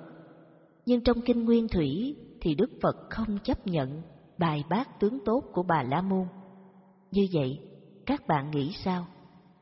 32 tướng tốt, 80 vẻ đẹp, có phải là của Phật giáo không? Đó là sự khác biệt giữa Bà La Môn và Phật giáo. 5. Phật giáo không mê tín Bà La Môn giáo mê tín Kinh sách dạy mê tín như Kinh Địa Tạng Vương, Kinh Vu Lan Bồn, Kinh Di Đà, Kinh Bát Dương, Kinh Viên Giác. 6. Phật giáo nương vào tự lực của mình, Bà La Môn giáo nương vào tha lực của thần quyền như Kinh Pháp Hoa Phẩm Phổ Môn, Kinh Quy Ngôn, Kinh Vô Lượng Quan, Kinh Di Đà. 7. Phật giáo không khổ hạnh, chỉ tu tập xả tâm. Bà La Môn khổ hạnh như đứng một chân, ngồi kiết già nhiều giờ, khiến cho thân mỏi mệt và đau nhức. Ăn quá ít, mùa đông nằm trong nước lạnh, làm cho thân chịu nhiều khổ đau. Phật giáo không làm khổ mình như vậy. Những pháp môn của Phật giáo thường tu tập xả tâm, đẩy lui các chướng ngại pháp trong thân, thọ, tâm, pháp. Sống một đời sống thanh thản, an lạc và vô sự. Đó là sự sai khác giữa Phật giáo và Bà La Môn giáo. 8. Thiền Phật giáo tu tập chế ngự và xả tâm, nên có bảy năng lực giác chi xuất hiện, giúp cho hành giả nhập các định và thực hiện tam minh. Ngược lại, thiền bà la môn tu tập ức chế, không xả tâm, không ly dục ly ác pháp, nên rơi vào thiền định tưởng. Đó là sự sai khác giữa đạo Phật và bà la môn. 9. Bà la môn giáo chấp có đấng giáo chủ, Phật giáo chấp không có đấng giáo chủ. Người ta tôn xưng Đức Phật lên làm đấng giáo chủ, nhưng Đức Phật chỉ xem mình là một bà la môn sống đúng phạm hạnh, chứ không phải như những bà la môn phạm giới, phá giới, bẻ vụng giới, chuyên cúng tế, cầu siêu, cầu an, vân vân. Xin quý vị nên đọc lại kinh Pháp Cú sẽ thấy Đức Phật xác định bà La Môn đúng và bà La Môn sai. Rồi suy ngẫm ra mới thấy đạo Phật được mọi người suy tôn thành đạo Phật, chứ không phải tự Đức Phật thành lập ra đạo Phật như các tôn giáo khác. Đức Phật khi tu xong, Ngài chỉ mong đem giáo pháp chân thiện mỹ của mình làm lợi ích cho mọi người, khiến cho mọi người sống biết thương nhau, đem lại hạnh phúc cho nhau, không còn làm khổ mình, khổ người nữa. Đấy là ước nguyện của Phật cũng đủ lắm rồi. Chứ Ngài đâu có nghĩ rằng ngày nay Phật giáo là một tôn giáo thật sự như vậy. Một tôn giáo ngoài sự ước muốn của Đức Phật. Những điều chúng tôi nói trên đây là một sự thật. Các bạn hãy nghe lời dạy cuối cùng của Đức Phật trước khi chết. Sau khi ta nhập diệt, các thầy tỳ kheo hãy lấy giới luật và giáo pháp của ta làm thầy. Lời dạy này rõ ràng đạo Phật không phải là một tôn giáo, mà là một môn học về đạo đức nhân bản, nhân quả, có phương pháp học tập và rèn luyện hẳn hoi. Như vậy, đạo Phật và đạo Bà La Môn không giống nhau, khác xa mọi mặt. 10. Bà La Môn với Phật giáo khác nhau một trời một vực. Bà La Môn xây dựng có tiểu ngã và đại ngã. Đại ngã là bản thể của dạng hữu, ví như nước biển. Tiểu ngã là thể tánh của mỗi sinh vật, ví như giọt nước. Khi một chúng sanh chết, thì thể tánh ấy giống như giọt nước rơi vào biển cả, thì chỉ còn là một khối nước. Ngược lại, Phật giáo cho thế giới hữu sắc và vô sắc đều là thế giới tưởng, không có một vật gì thường hằng, vĩnh viễn, luôn luôn vô thường, thay đổi từng sát na. Dạng vật sinh ra trong vũ trụ do các duyên hợp thành, nên khi tan hoại thì không còn một vật gì tồn tại. Thân tâm con người đã là không thật, thì không còn có một vật gì một thế giới vô hình ảo ảnh nào là chân thật cả. Vì thế, đạo Phật là đạo vô ngã, chứ không hữu ngã. Mà cũng không phải vô ngã theo kiểu Đại Thừa và Thiền Tông. Vô ngã mà còn có Phật tánh, còn có cõi Niết Bàn, cực lạc Tây Phương. Vô ngã mà còn có Ngọc Hoàng Thượng Đế. Vô ngã thì không có đại ngã và tiểu ngã, vân vân. Đó là những sự khác biệt giữa Phật giáo và Bà La Môn. Thâm ý của Bà La Môn với Phật giáo Câu hỏi của Thượng tọa Sắc Tứ Hỏi Kính thưa Thầy, thâm ý của Bà La Môn với Phật giáo như thế nào? Xin Thầy dạy rõ cho chúng con biết. Đáp Thâm ý của Bà La Môn đối với Phật giáo là muốn diệt Phật giáo bằng nhiều thủ đoạn. Một, chế Bồ Tát giới cấm cư sĩ và tu sĩ học không được tu tập theo kinh sách nguyên thủy, tiểu thừa. Hai, dùng lý luận trí tuệ bát nhã đập phá chân lý của Phật giáo, vô khổ, tập, diệt, đạo. ba Luồn lách đưa giáo lý của mình vào để thay thế giáo lý của Phật giáo. 4. Đưa Đức Phật Di Lặc ra để thay thế Đức Phật Thích Ca làm giáo chủ Phật giáo trong thời vị lai. Bà La Môn, câu hỏi của Thượng tọa Sát Tứ. Hỏi: Kính thưa thầy, Bà La Môn trong kinh Pháp Cú mà Đức Phật ca ngợi và Bà La Môn nào mà Đức Phật chê, bài bác? Xin thầy dạy cho chúng con được rõ. Đáp: Bà La Môn được Đức Phật khen ngợi là một Bà La Môn sống đúng giới luật và chánh pháp của Phật. Còn sống không đúng giới luật và chánh pháp của Phật thì Đức Phật chê, không chấp nhận. Vậy chúng ta hãy đọc lại những bài kinh Pháp Cú thì sẽ biết rõ ràng hơn. Với người thân, miệng, ý, không làm các ác hạnh, ba nghiệp được phòng hộ, ta gọi bà La Môn. Thân, miệng, ý, không làm các ác hạnh, tức là sống đời sống giới luật nghiêm chỉnh, thường tu tập các pháp ly dục, ly ác pháp, diệt ngã, xả tâm, tức là phòng hộ ba nghiệp.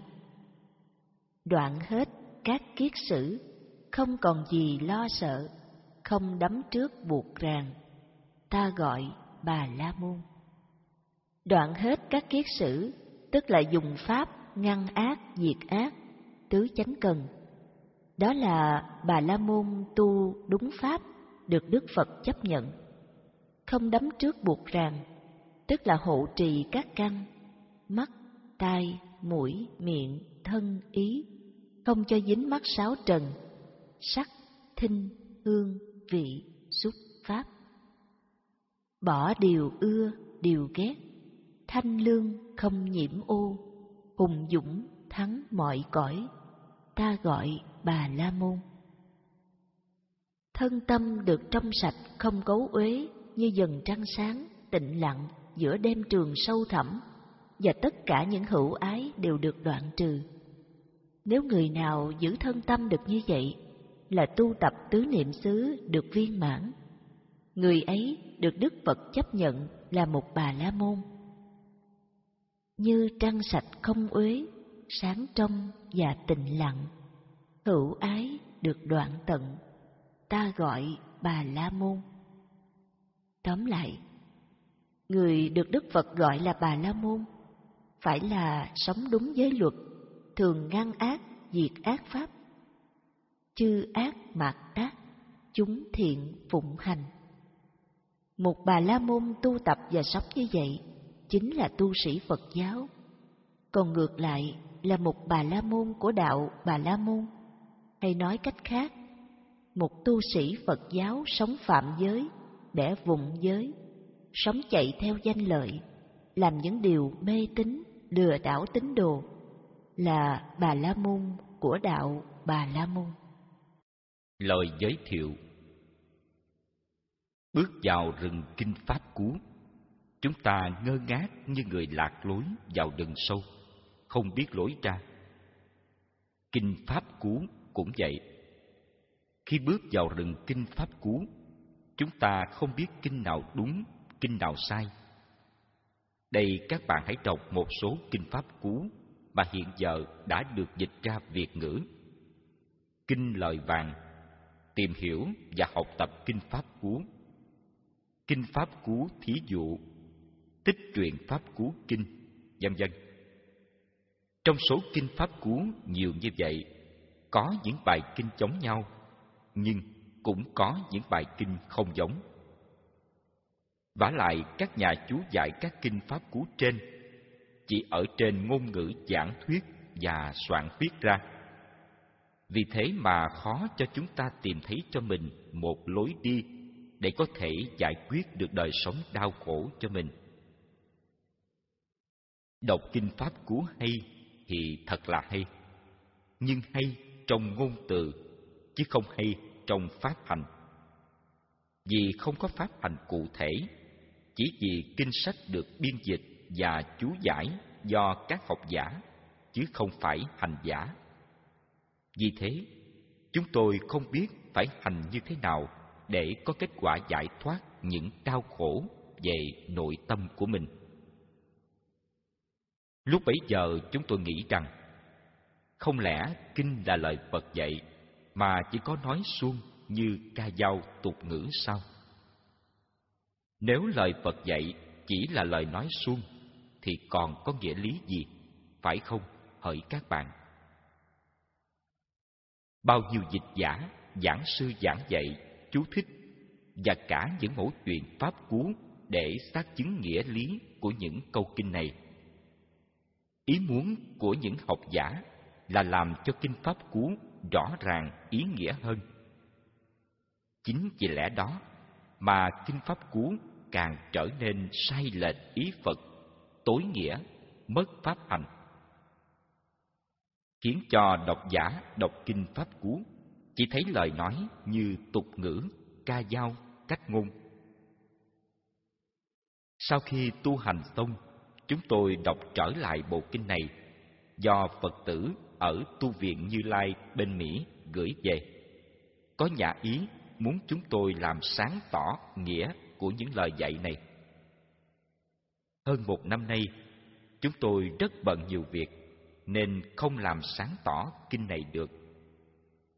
Nay đã đủ duyên, chúng tôi quyết định làm sống lại phương pháp tu tập tứ thánh định trong kinh pháp cú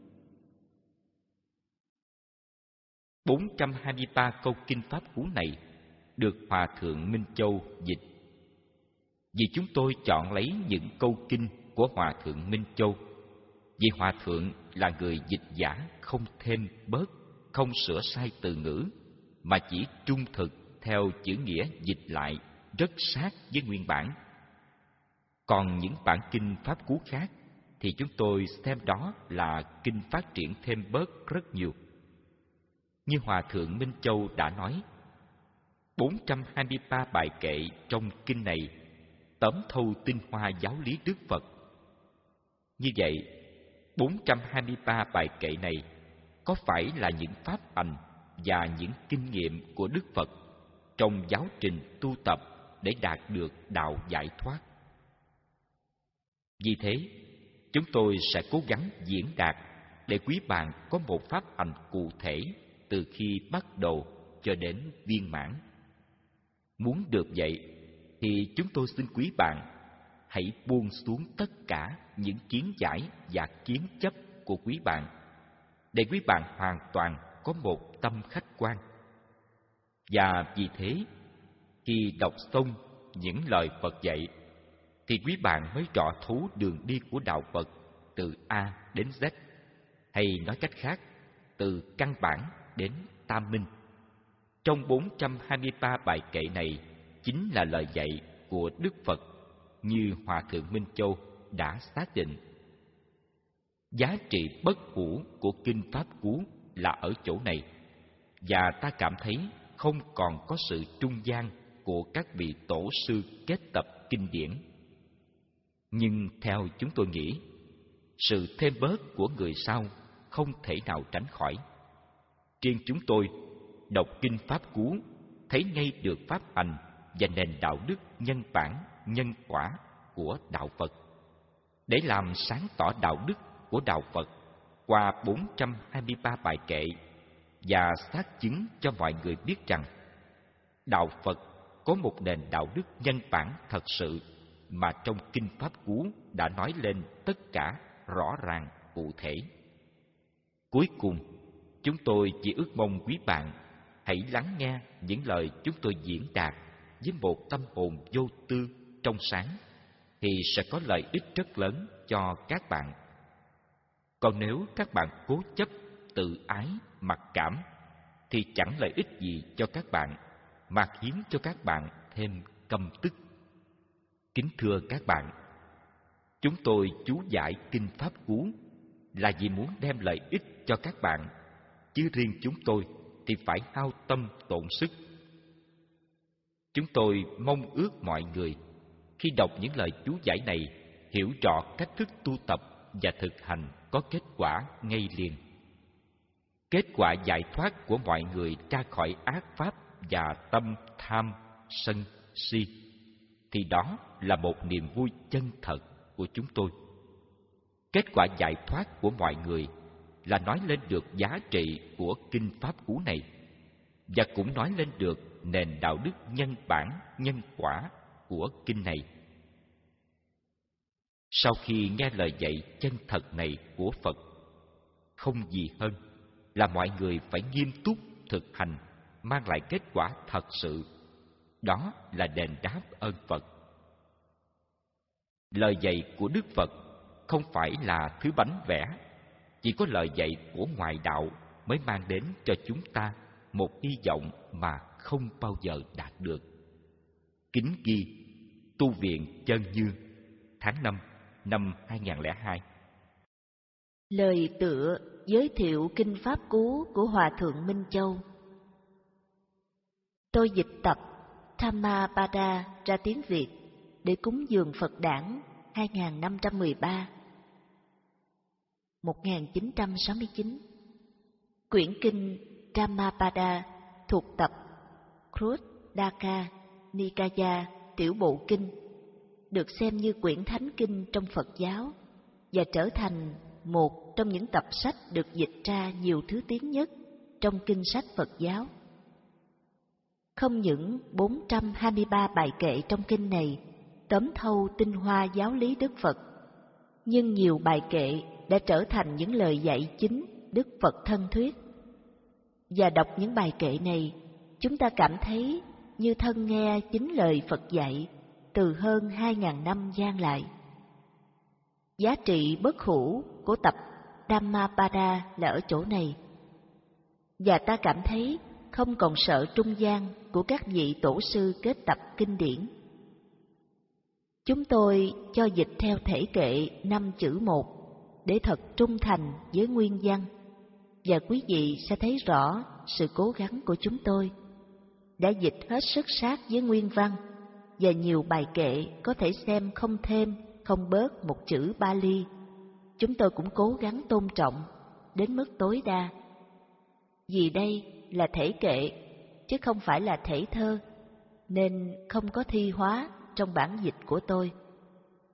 Dịch tập Thammapada này ra thể kệ, chúng tôi chỉ có một tâm nguyện, mong sao những lời dạy này của Đức Phật sẽ soi sáng dẫn đường cho mọi hành động, tâm tư, ngôn ngữ của chúng ta. Và ở trong một thời đại đầy máu lửa đau thương nước mắt, đầy những phân hóa, hỗn tạp, hận thù, láo khoét, những lời dạy này của Đức Phật xoa dịu một phần nào cho tâm tư đã quá căng thẳng hay buồn nản của con người Việt Nam, làm con người Phật tử trở lại con người Phật tử.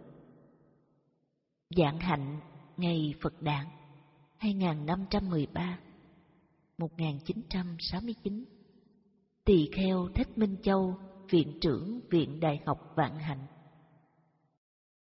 Xác định của Đức Phật về ý thức của con người có tầm quan trọng nhất trong đạo Phật. Lời Phật dạy, Tâm dẫn đầu mọi pháp, tâm chủ, tâm tạo tác nếu nói hay hành động, với tâm tư ô nhiễm khổ não sẽ theo ta, như xe theo vật kéo. Kinh pháp cú Isama kavaga phẩm sông yếu. Chú giải. Đức Phật nói đến tâm, tức là nói đến cái biết của con người. Nhưng cái biết của con người có ba cái. Một, cái biết của ý thức. Cái biết cho sự phân biệt của sáu thức hàng ngày. Hai, cái biết của tưởng thức, cái biết trong giấc mộng. Ba, cái biết của tâm thức, cái biết của thức uẩn, cái biết siêu không gian và thời gian. Cái biết để thực hiện tam minh vô lậu của bậc a la hán vậy chữ tâm trong kinh pháp cú ở đây là cái biết nào cho đúng với nghĩa của nó này. Xin thưa các quý bạn, chữ tâm ở đoạn kinh này đã làm cho nhiều người đọc dễ hiểu sai ý phật. Theo kinh nghiệm tu hành của chúng tôi, thì chữ tâm mà nhà học giả dịch dùng ở đây, chúng ta phải hiểu nó là ý thức phân biệt hàng ngày trong cuộc sống của chúng ta. Nó chính là tri kiến của mỗi người đang sử dụng hàng ngày. Con đường tu tập của đạo phật lấy ý thức phân biệt làm vũ khí tiến quân tấn công giặc, tham, sân, si, giặc sinh tử luân hồi. Đó là ý của bài kinh này vậy câu kinh thứ nhất trong kinh pháp cú. Đức phật đã xác định cho chúng ta biết ý thức của con người rất quan trọng trong vấn đề tu tập theo đường hướng của đạo phật. Vì ý thức chủ động tạo tác mọi vấn đề trong cuộc sống tốt hoặc xấu đều do nó. Ngoài ý thức ra, thì con người không có một vật gì để chủ động điều khiển, thiện hay ác pháp được. Do thấu suốt được lý này, nên bốn chân lý của đạo phật mới ra đời để giải quyết mọi sự khổ đau của kiếp con người. Cho nên, chánh kiến và chánh tư duy trong đạo đế là gì, các bạn có biết không? Đó là ý thức các bạn ạ ý thức dẫn đầu trong giáo pháp của đức phật một cách rõ ràng và cụ thể. Tâm dẫn đầu mọi pháp. Tâm chủ, tâm tạo tác. Hai câu này là một pháp hành rất cụ thể. Đó là pháp hướng tâm như lý tác ý, tức là pháp dẫn tâm vào đạo nghĩa là khi biết tâm là ý thức dẫn đầu ngoại pháp, thì có đường đi để đạt được mục đích bất động tâm không còn khó khăn. Hai câu kệ này đã xác định cho chúng ta biết chỉ có loài người mới có một phương tiện tối ưu như vậy. Nếu chúng ta biết sử dụng nó, thì nó sẽ giúp chúng ta thoát khổ của kiếp làm người. Còn nếu chúng ta không biết sử dụng để tự nó dẫn dắt chúng ta đi, thì chắc chắn cuộc đời sẽ đen tối và sự đau khổ triền miên bất tận. Nếu biết được tâm dẫn đầu mọi pháp, thì giờ này chúng ta đâu có đau khổ, phải không, hỡi các bạn? Vì nó dẫn đầu, tức là nó làm chủ mọi pháp. Làm chủ mọi pháp, trong mọi pháp đó phải có pháp sanh già bệnh chết. Nhưng cớ sao con người lại không làm chủ những điều này? Con người không làm chủ được những điều này là vì con người không biết cách điều khiển ý để nó làm chủ mọi pháp. Cho nên, hiện giờ các pháp dẫn đầu tâm, chứ không phải tâm dẫn đầu mọi pháp, phải không hỡi các bạn? Các pháp dẫn đầu tâm. Vì thế, tâm thường phải chịu đau khổ. Hôm nay đức phật xác định, tâm dẫn đầu các pháp. Chúng ta đã sáng mắt ra và đã hiểu rõ lời dạy này như ánh đuốc soi vào đêm tối. Lời dạy này, như chúng tôi đã nói ở trên, là một pháp hành cụ thể, dẫn tâm vào đạo chứ đừng dẫn đạo vào tâm. Nhờ hiểu biết câu này, nên hàng ngày chúng ta dẫn tâm vào đạo. Tâm như đất, lìa tham sân si cho sạch. Tham sân si là pháp khổ đau phải xa lìa, viễn ly. Đó là câu trạch pháp đầu tiên để thực hiện dẫn tâm vào thiện pháp và dẫn tâm diệt trừ ác pháp. Tâm dẫn đầu mọi pháp. Lời chú giải này là một trong những kinh nghiệm tu hành của chúng tôi đã mang đến kết quả giải thoát một cách cụ thể, rõ ràng. Chúng tôi chú giải câu kệ này để các bạn hiểu những lời dạy của đức phật không còn là thứ ngôn ngữ suông mà từ lâu các bạn chỉ biết nó là một lời nói đúng và rất hay, chứ không ngờ nó là một phương pháp tu hành căn bản nhất của đạo phật. Nếu lời chú giải này có lợi ích thật sự cho các bạn, thì các bạn hãy thực hành. Còn nếu không lợi ích, thì xin các bạn ném bỏ nó, như ném bỏ một chiếc giày rách. Tâm dẫn đầu các pháp. Khi biết nó là pháp ác thì các bạn có nên để tâm của các bạn dẫn pháp ác đó vào thân tâm bạn không? Nếu bạn là một người mất trí, thì mới dùng tâm mình dẫn pháp ác vào tâm để mình phải chịu khổ đau, phải không các bạn?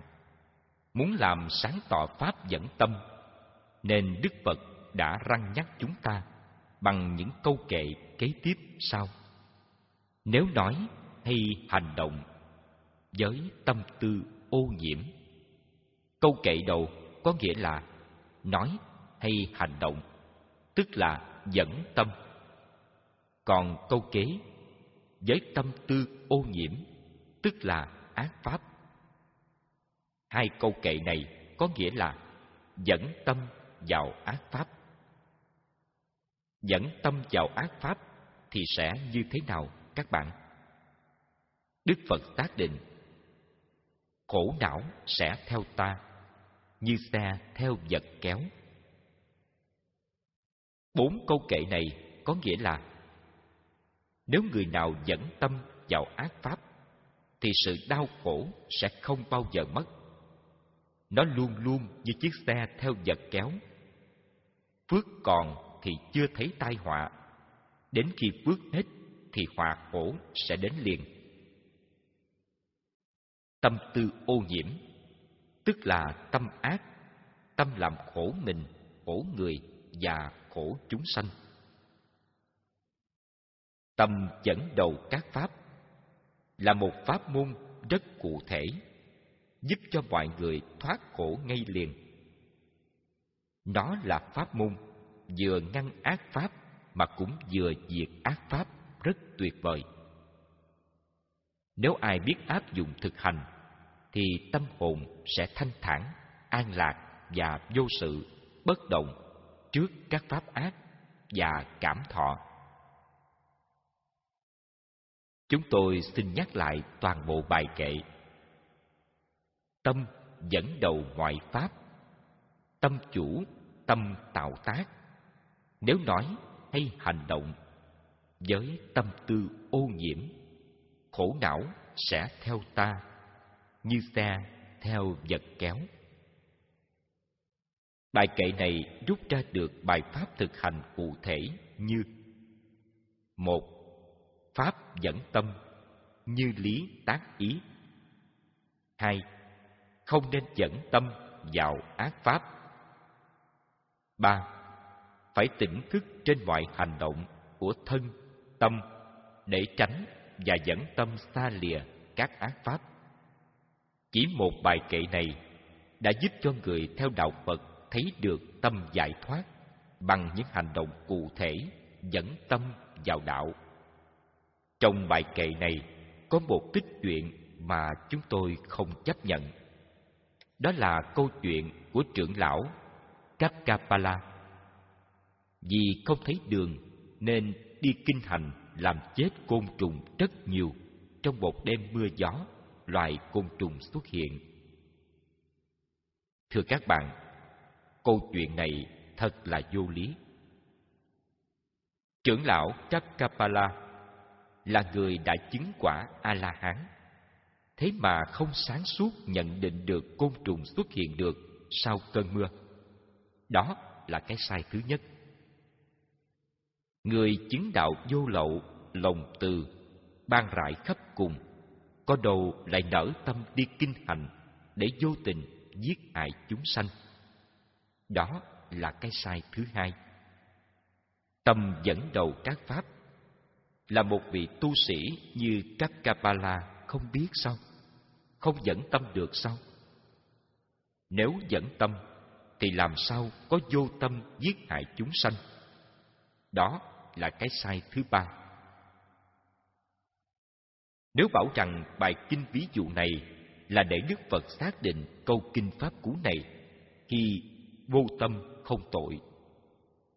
Theo chúng tôi nghĩ, đạo Phật là đạo trí tuệ, đạo sáng suốt, đạo tỉnh thức, định tĩnh, thì làm sao có vô tâm được, phải không các bạn?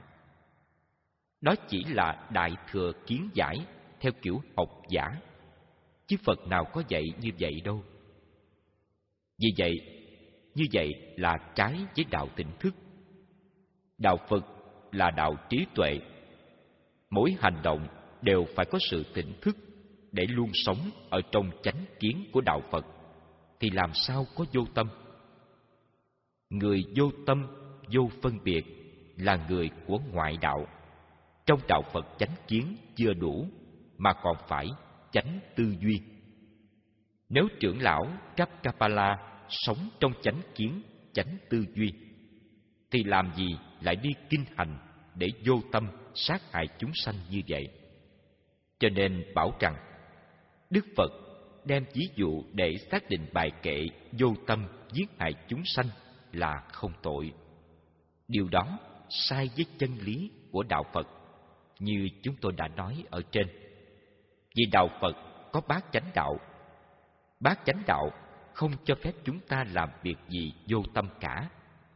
Vì vô tâm cũng phải đọa địa ngục, cũng phải chịu nhiều khổ đau.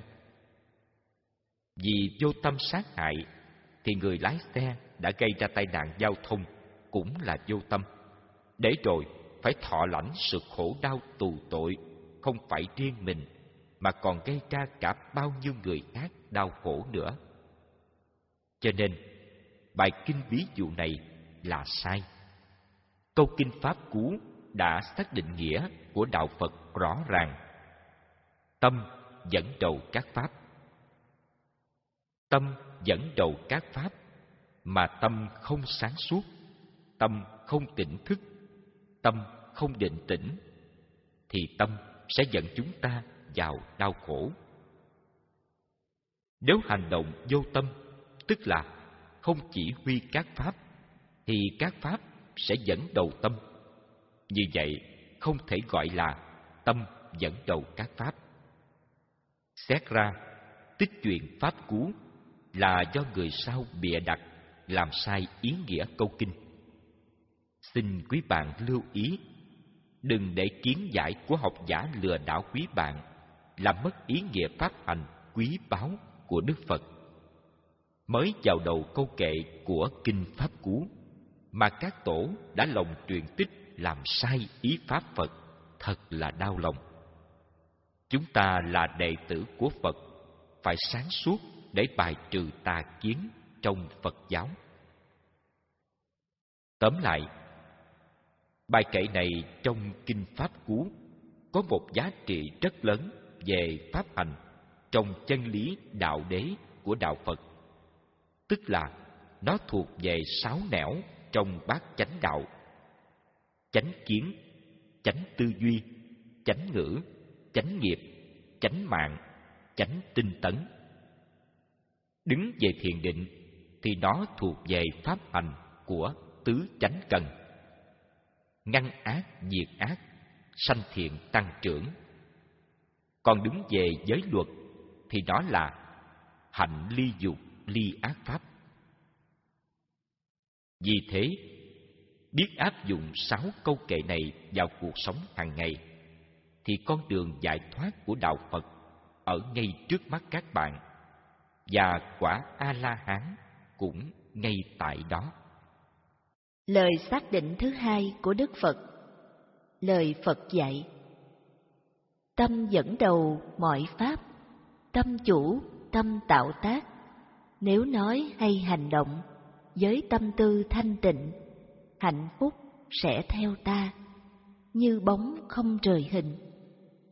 Kinh Pháp Cú Yamakavaga, phẩm sông yếu Chú giải Xin nhắc lại bài kệ trên Tâm dẫn đầu các pháp thì tâm khổ não sự khổ não đó theo ta cũng giống như xe theo con vật kéo. Nếu tâm không dẫn đầu ác pháp, thì tâm không khổ. Do tâm dẫn đầu ác pháp, nên tâm phải chịu khổ. Sự khổ đau đó không thể nào tránh khỏi. Vì thế, nên Đức Phật dí nó như xe theo con vật kéo. Cho nên, Người sống trong ác pháp mà bảo rằng có hạnh phúc, an vui thì không thể nào tin được. Vì quả khổ sẽ theo ta như xe theo con vật kéo. Đó là lời xác định của Đức Phật như vậy. Cho nên, một người còn ăn thịt chúng sanh mà bảo rằng họ sống có hạnh phúc thì chúng ta làm sao tin được? Qua bài kệ thứ nhất, chúng ta xét lại bài kinh song tầm. Thì bài kệ thứ nhất, tức là tầm ác. Tầm ác là gì? Là sự suy tư về một ác pháp để biến ra lời nói hay hành động làm đau khổ mình, đau khổ người và chúng sanh. Ví dụ, hôm nay là ngày Tết mọi nhà đều giết loài vật để ăn Tết. Trước khi giết loài vật để ăn Tết, thì chúng ta suy tư, phải giết con lợn, con gà, con vịt hay cá tôm, vân vân. Sự suy tư như vậy là tâm dẫn đầu ác pháp. Khi sai bảo người nhà, con hãy ra bắt con gà giết thịt làm cổ cúng ông bà. Lời nói này là lời nói ác pháp. Khi ấy, đứa con trai ra chuồng bắt con gà, cột hai chân lại, đem cắt cổ gà. Hành động bắt gà, cột hai chân và hành động cắt cổ là hành động ác pháp. Cho nên, lời nói hay hành động ác pháp đều do tâm dẫn đầu trong ác pháp. Sự suy nghĩ làm đau khổ và giết con gà chết là nhân ác. Nhân ác thì làm sao tránh khỏi quả khổ đau?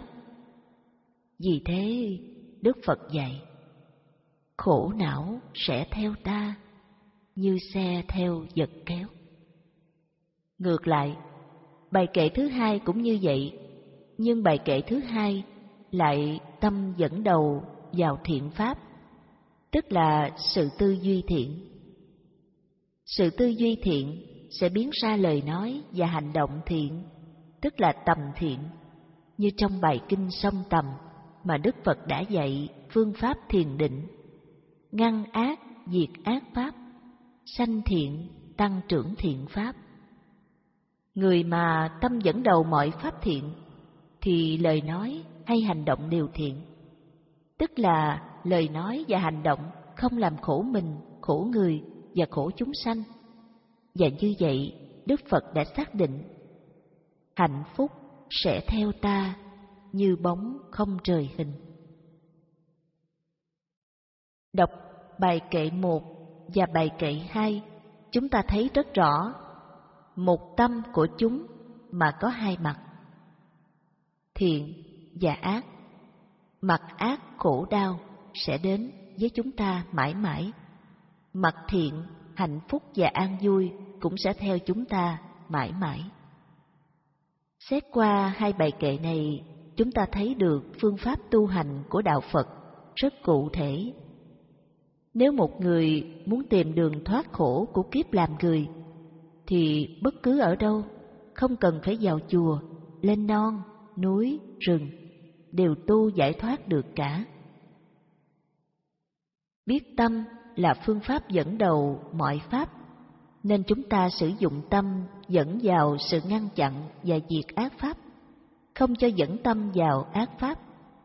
Nói một cách khác là chúng ta điều khiển tâm xa lìa ác pháp và luôn luôn dẫn tâm vào thiện pháp. Hàng ngày thường dẫn tâm xa lìa ác pháp và dẫn tâm vào thiện pháp như vậy, thì đó là cách thức tu tập của Đạo Phật. Hai bài kệ trên đây là một phương pháp thực hành sống ngăn ác, diệt ác pháp và sanh thiện tăng trưởng thiện pháp bằng cách dẫn tâm theo ý muốn của chúng ta. Chắc chắn kết quả hạnh phúc sẽ theo ta như bóng không trời hình. Trong kinh Pháp Cú có hai bài kệ này là pháp môn tu hành tuyệt vời.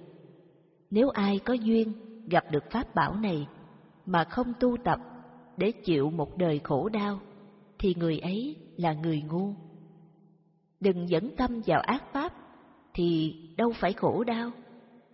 Biết ác pháp mà dẫn tâm vào ác pháp, thì chỉ có người vô minh, ngu si mới làm điều này. Biết ác pháp là khổ đau, mà cứ dẫn tâm vào ác pháp, thì người ấy chỉ là một con vật ngu si. Ví dụ, biết tâm tham, tâm sân là ác pháp, là khổ đau, mà cứ dẫn tâm vào chỗ đó là người ngu si như con thú vật. Con người không thể là con vật, biết giết hại ăn thịt chúng sanh là khổ não, sẽ theo ta như xe theo vật kéo. Thế mà cứ sống và giết hại và ăn thịt chúng sanh, thì làm sao tránh khỏi khổ não? Trên đời khổ não ai mà chẳng sợ. Thế sao lại dẫn tâm vào ác pháp để chịu lấy khổ não? Người ơi, sao lại ngu quá vậy? Thịt cá chúng sanh là những chất bất tịnh, tanh hôi, uế trượt. Có gì thanh tịnh trong sạch đâu, mà lại thích ăn. Cái ngon nơi miệng của quý vị là cái ảo giác. Ăn vào miệng có ngon hoài đâu. Nuốt qua khỏi cổ cái ngon còn đâu. Như vậy không phải là ảo giác sao? Người có trí, có ý thức, có sự hiểu biết một chút về điều này, thì chắc chắn sẽ dẫn tâm vào thiện pháp, chứ không điên gì mà dẫn tâm vào ác pháp. Và như vậy, người ấy đã thoát khổ. Hai bài kệ trên đây chính Đức Phật dạy chúng ta sống bắt đầu cho nền đạo đức nhân bản nhân quả, không làm khổ mình, khổ người và khổ chúng sanh. Để kết luận bài này, chúng ta đọc lại cả hai bài kệ trên. Tâm dẫn đầu mọi pháp, tâm chủ, tâm tạo tác. Nếu nói hay hành động, với tâm tư ô nhiễm, khổ não sẽ theo ta, như xe theo vật kéo. Tâm dẫn đầu mọi pháp, tâm chủ, tâm tạo tác. Nếu nói hay hành động với tâm tư thanh tịnh hạnh phúc sẽ theo ta như bóng không trời hình đọc xong bài kệ này chúng ta hãy lắng nghe dư âm đang cùng khắp trong không gian và thấu tận đáy tâm hồn của chúng ta với một trạng thái thanh thản an lạc hạnh phúc tuyệt vời trong môi trường sống của muôn loài cũng từ đó, lòng yêu thương sự sống của chúng ta phủ trùm trên hành tinh này như không khí. Tâm ác và tâm thiện Lời Phật dạy ba Nó mắng tôi, đánh tôi Nó hại tôi, cướp tôi Ai ôm ấp niềm ấy hận thù không thể nguôi. Bốn, Nó mắng tôi, đánh tôi. Nó hại tôi, cướp tôi. Không ôm ấp niệm ấy, hận thù sẽ tự nguôi. Kinh Pháp Cú Isa Bhagavaga Phẩm Sông Yếu. Chú giải. Hai bài kệ đầu của Kinh Pháp Cú, Đức Phật đã xác định Tâm dẫn đầu ngoại Pháp. Và kế đó là những câu trong bài kệ đó Là chỉ cho chúng ta cái sườn tổng quát của phương pháp hành thiền của Đạo Phật tâm chủ, tâm tạo tác. Nếu nói hay hành động, với tâm tư ô nhiễm, khổ não sẽ theo ta, như xe theo vật kéo. Đến bài kệ thứ ba và thứ tư, thì đức phật xác định cách thức tu tập đi vào chi tiết rất rõ ràng và cụ thể bằng phương pháp dẫn tâm nếu dẫn tâm bằng ác pháp, thì phải dẫn tâm như câu kệ ba dạy. Đây là lối dẫn tâm vào ác pháp. Nó mắng tôi, đánh tôi. Nó hại tôi, cướp tôi. Ai ôm ấp niềm ấy, hận thù không thể nguôi. Bốn câu kệ này là phương pháp dẫn tâm vào ác pháp. Đọc đến đây, chắc quý bạn thấy lối dẫn tâm của đạo Phật rất rõ ràng, phải không các bạn? Bốn câu kệ trên đó là lối dẫn tâm vào ác pháp để mà vượt khổ đau, phải không, hỡi các bạn?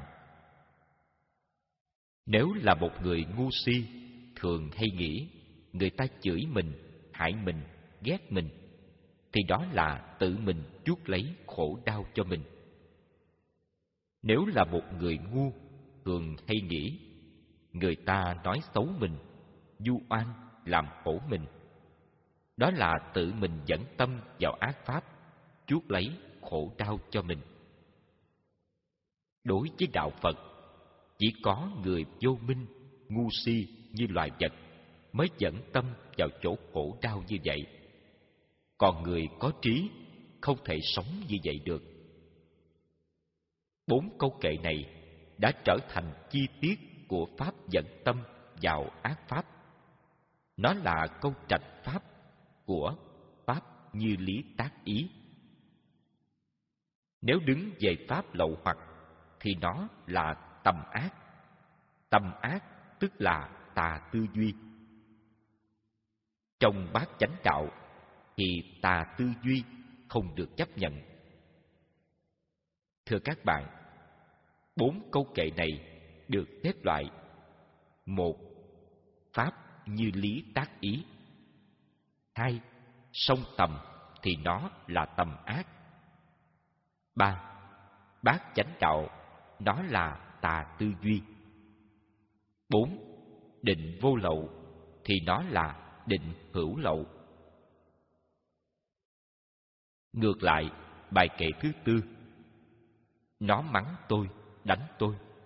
Nó hại tôi, cướp tôi. Không ôm ấp niệm ấy Hận thù sẽ tự nguôi. Bài kệ thứ tư. Nếu ai thường tác ý như vậy Thì thân tâm được thanh thản, an lạc và vô sự. Không bao giờ có phiền não, khổ đau, sợ hãi, vân vân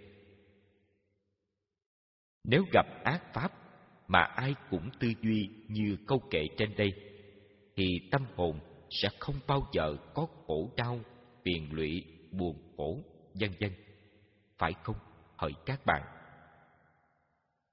Người nào thường hay sống với chánh tư duy như vậy, thì chắc chắn cuộc đời của họ làm gì có khổ đau. Đọc qua bốn bài kệ trong Kinh Pháp Cú chúng ta thấy rất rõ. Kinh Pháp Cú là một loại kinh dạy về đạo đức làm người, có pháp hành cụ thể, đưa dắt con người vào cuộc đời đầy tình thương yêu giữa mình và người, giữa người và mọi loài vật. Và ai cố gắng tu tập sẽ biến cảnh giới thế gian thành cảnh giới niết bàn một cách thực tế.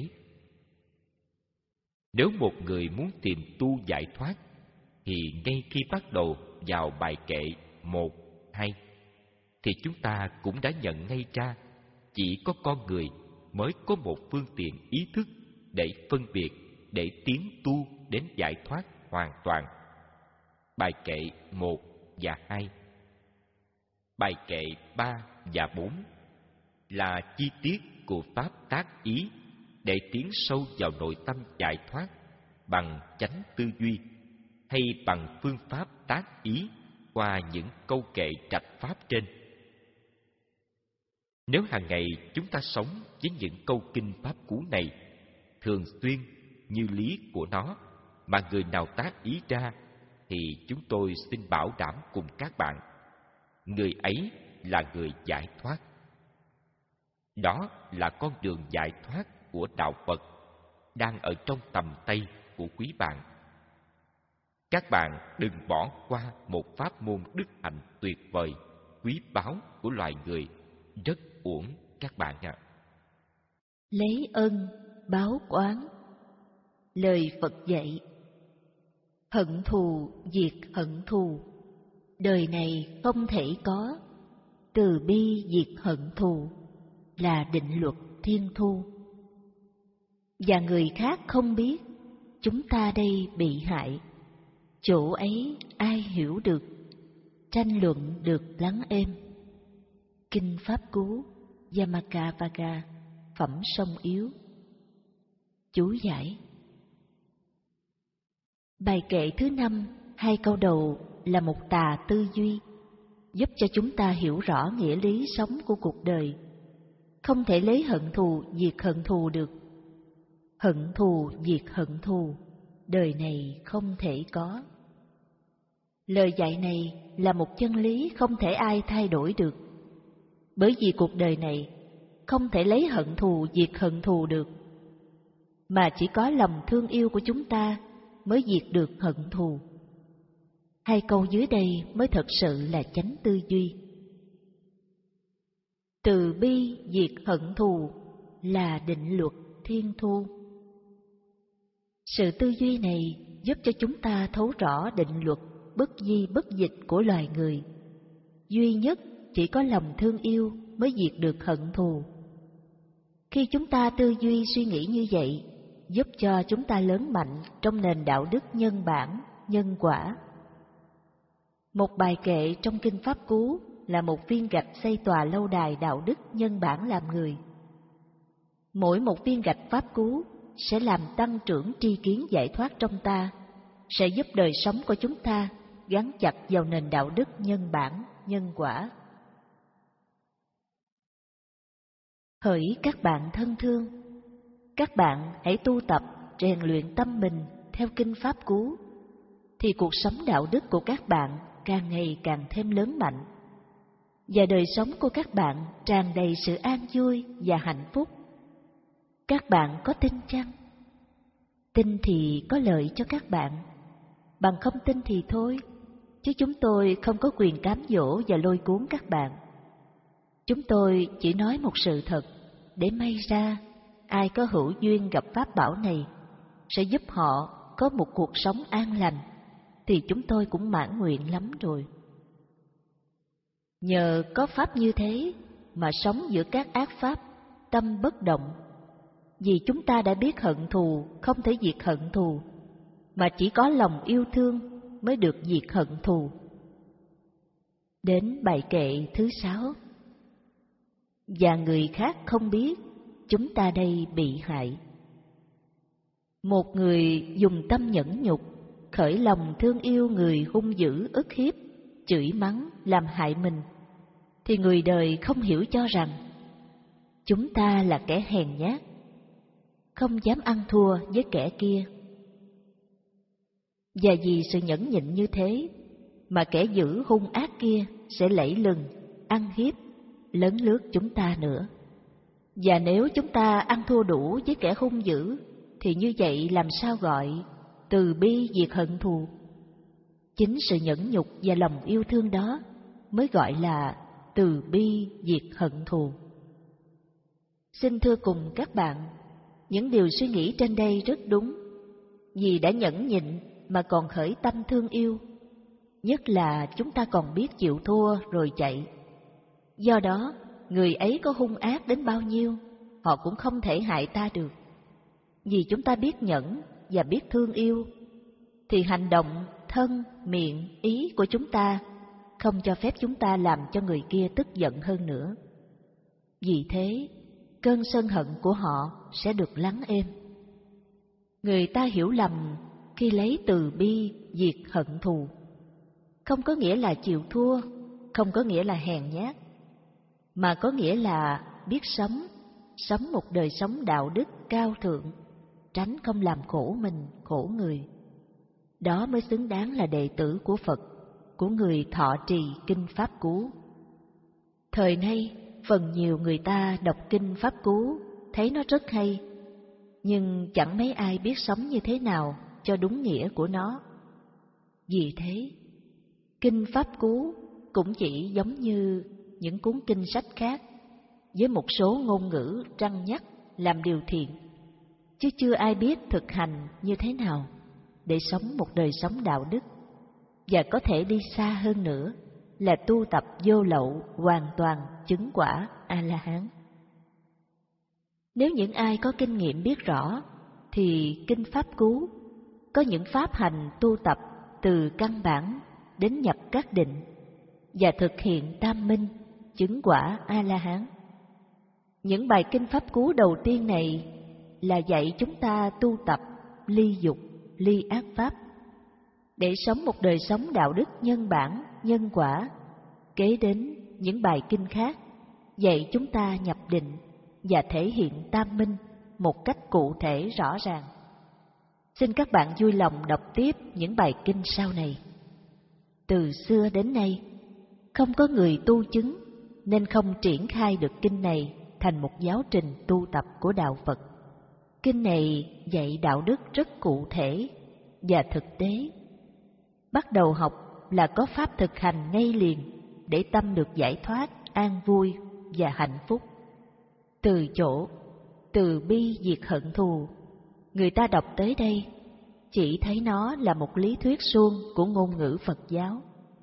Nhưng sự thật không phải vậy. Từ bi diệt hận thù là pháp môn tu nhẫn nhục với tâm hồn buông xả. Muốn buông xả được thì phải khởi lòng thương yêu người hận thù mình. Khởi lòng yêu thương tức là tâm từ bi. Chỉ có tâm từ bi mới nhẫn nhục mà không bị ức chế tâm. Từ bi là pháp môn chế ngự tâm, hàng phục tâm. Từ bi là pháp môn tứ vô lượng tâm.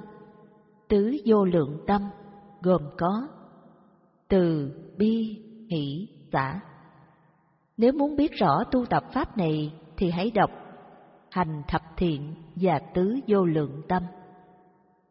Tại sao lại phải thương yêu người hận thù với mình? Tại vì người hận thù mình là người đang đau khổ nhất, người đang ở trong ác pháp. Biết người đang đau khổ mà ta lại làm cho họ đau khổ hơn, thì ta đâu phải là con người. Phải không, hỡi các bạn? Chỉ là một con thú mới không biết điều này, mới tức giận kẻ chửi mình. Nếu quán ghét người chửi mình, từ đó hận thù chồng lên hận thù. Bài kinh thứ sáu Chỗ ấy ai hiểu được? Khi một người tu hạnh nhẫn nhục, biết thương yêu và tha thứ cho kẻ khác, thì khó có người khác nhận ra điều này. Người ta chỉ thấy người nhẫn nhục là người hèn nhát, dường như người ấy sẽ bị hại, bị người khác lấn lướt, nên kinh dạy. Mà người khác không biết, cho người nhẫn nhục bị hại, bị chà đạp. Chúng ta đây bị hại. Người có hạnh nhẫn nhục, có lòng thương yêu, thì chuyện to trở thành nhỏ. Chuyện nhỏ được lắng êm như không có chuyện gì xảy ra. Nên kinh dạy. Chỗ ấy ai hiểu được, tranh luận được lắng êm. Tóm lại, bài kệ thứ ba và thứ năm là lời của Đức Phật dạy về Pháp ngăn ác Pháp. Bài kệ thứ tư và thứ sáu là dạy về Pháp diệt ác Pháp. Ai biết rõ như vậy thì ác Pháp không xâm chiếm tâm mình được. Khi áp dụng vào Pháp ngăn và Pháp diệt ác Pháp này, thì phải dùng Pháp như lý tác ý, Pháp quán vô lậu trong chánh tư duy. Còn diệt ác Pháp thì phải dùng định vô lậu tư duy, quán xét để xả tâm, khiến cho ác Pháp bị diệt mất, không còn tác dụng vào thân tâm mình được nữa. Phòng hộ sáu căn Lời Phật dạy bảy Ai sống theo dục lạc, không nhiếp hộ các căn, ăn uống thiếu tiết độ, biến nhát chẳng tinh cần, dễ bị ma nhiếp phục, như gió lay cây yếu. tám. Ai sống quán bất tịnh, khéo hộ trì các căn, ăn uống có tiết độ, có lòng tin, tinh cần ma không uy hiếp được, như núi đá trước gió. Kinh Pháp Cú Isama Kavaga Phẩm Sông Yếu Chú giải Bài kệ thứ bảy là pháp môn dạy giữ gìn sáu căn. Câu kệ đầu dạy Ai sống theo dục lạc nghĩa là người tu theo đạo Phật thì không nên sống theo dục lạc. Vì dục lạc ở đời dễ cám dỗ con người đi vào đường xa đọa, đắm nhiễm ác pháp, khiến cho đời người phải chịu nhiều thứ khổ đau. Cho nên, sống không theo dục lạc là sống không bị ác pháp chi phối. Sống không bị ác pháp chi phối tức là sống ly dục, ly ác pháp. Sống không theo dục lạc là sống đạo, sống thoát khổ. Sống không theo dục lạc là sống đạo đức, không làm khổ mình, khổ người. Sống không theo dục lạc là sống ly dục, ly ác pháp. Sống không theo dục lạc là sống tại thế gian mà thân tâm ở cảnh giới niết bàn. Cho nên, ai sống theo dục lạc là sống trong ác pháp, sống trong đau khổ. Sống theo dục lạc tưởng là hạnh phúc, nhưng chính thật là khổ đau. Sống theo dục lạc là sống không ly dục, ly ác pháp. Người ấy dù muốn tu tập thiền định thì chẳng bao giờ có thiền định. Sống theo dục lạc là đời sống không bao giờ có đạo đức làm người đối với chính mình, đừng nói chi có đạo đức đến người khác. Bài 7, câu 2 Không giết hộ sáu căn Câu kệ này Phật dạy Người tu hành không nhiếp hộ sáu căn Để sáu căn rong ruổi theo sáu trần thì còn gì là ý nghĩa của người tu giải thoát? Bởi sáu căn tiếp xúc sáu trần sanh ra sáu thức. Do tiếp xúc sáu trần mới có dục, năm dục trưởng dưỡng. Có dục thì dục mới đưa con người vào ác pháp. Vào ác pháp thì mới chịu nhiều khổ đau. Cho nên, trên bước đường tu tập theo đạo Phật thì sự nhiếp hộ sáu căn là vấn đề quan trọng và cũng là hàng đầu trong pháp môn tu tập của bát chánh đạo, chánh kiến, chánh tư duy. Nhiếp hộ sáu căn có nghĩa là giữ gìn mắt, tai, mũi, miệng, thân, ý, đừng để cho chúng chạy theo sáu trần. Chúng chạy theo sáu trần, tức là tâm phóng vật. Ví dụ, các bạn tu hành mà thích trò chuyện, tiếp duyên, thì đó là các bạn đã tu sai. Tu như vậy khó ly dục, ly ác pháp. Trước khi bạn chưa tu, thì bạn nên nghiên cứu, học hiểu, nghe băng những điều cần thiết để thấu suốt đường tu của bạn. Còn nếu bạn bắt đầu tu mà còn nghe băng, đọc kinh sách, đó là bạn không nhiếp bộ sáu căn, thì bạn có tu bao lâu cũng chẳng đến đâu được. Trước khi bạn tu tập, thì bạn còn lao động làm việc này, việc nọ. Nhưng khi đã tu tập, mà bạn còn lao động làm việc này, việc nọ, thì đó là bạn không phòng hộ sáu căn. Do đó, con đường tu của bạn chẳng ích lợi gì thiết thực cho bạn. Bạn có biết không? Chỉ vì bạn không nhiếp bộ sáu căn nên mới sinh ra việc làm này, việc làm khác. Muốn nhiếp các căn chỉ có phương pháp độc cư là nhiếp hộ sáu căn đệ nhất. Nó vừa phòng hộ vừa nhiếp phục sáu căn của bạn quay vào trong thân. Cho nên, con đường tu theo đạo Phật thì nhiếp hộ sáu căn là pháp môn cần thiết nhất, giúp bạn ly dục, ly ác pháp, nhập các loại định hữu sắc.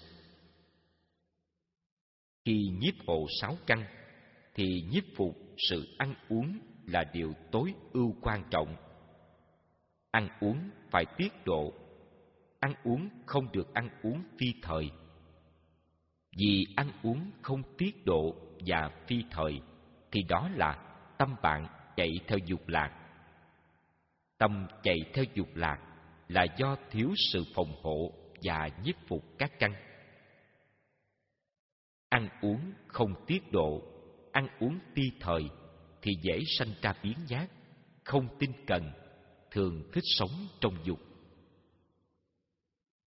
Ba câu kệ của bài bảy không nhiếp hộ sáu căn, ăn uống thiếu tiết độ, biến nhát chẳng tinh cần. Ba câu kệ này chỉ dạy cho người mới tu. Đó là pháp chế ngự để phòng hộ nhiếp phục sáu căn, là để ăn uống có tiết độ, không được ăn uống phi thời, là để siêng năng không được biến nhát. Đó là những điều cần thiết cho người mới tu tập. Người mới tu tập mà không giữ gìn những đức hạnh này, thì cuộc đời tu của mình thật là phí uổng chẳng bao giờ tìm được sự giải thoát chân thật. Hai câu kệ cuối cùng của bài kệ thứ bảy là để kết luận cho những người tu tập không đúng pháp hay để tâm phóng vật chạy theo dục lạc, không nhiếp hộ sáu căn, thường ăn uống không tiết độ, ăn uống phi thời.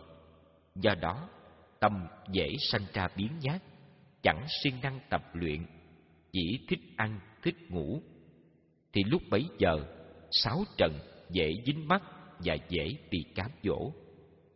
Nên kinh dạy dễ bị ma nhiếp phục như gió lay cây yếu. Ngược lại, bài kệ thứ bảy, bài kệ thứ tám dạy ai siêng năng tinh cần không sống theo dục lạc thường giữ gìn sáu căn không cho dính mắc sáu trần. Ăn uống có tiết độ không ăn uống phi thời và lúc nào cũng tinh tấn siêng năng làm đúng tu đúng sống đúng như lời dạy trong bài kệ thứ tám thì không bị sáu trần cám dỗ. Không phá hạnh độc cư, nên tâm không bị sáu trần lay động. Do đó, tâm không phóng dật vững vàng như thạch bàn trước gió. Tóm lại, bài kệ thứ bảy và thứ tám là phương pháp dạy sống đúng thánh hạnh của bậc chân tu. Nếu người tu sống ngược lại thánh hạnh thì không phải là đệ tử của Phật, vì đang bị sáu trần vây hãm, sống như người thế tục. Sau khi thực hành được giải thoát theo như hai bài kệ này, chúng ta hãy đọc lại mà lắng nghe tâm hồn mình đang nghĩ gì, làm gì cho đúng với chánh pháp của Phật dạy. Ai sống theo dục lạc, không nhiếp hồ sáu căn, ăn uống thiếu tiết độ, biến nhát chẳng tinh cần, dễ bị ma giết phục, như gió lay cây yếu.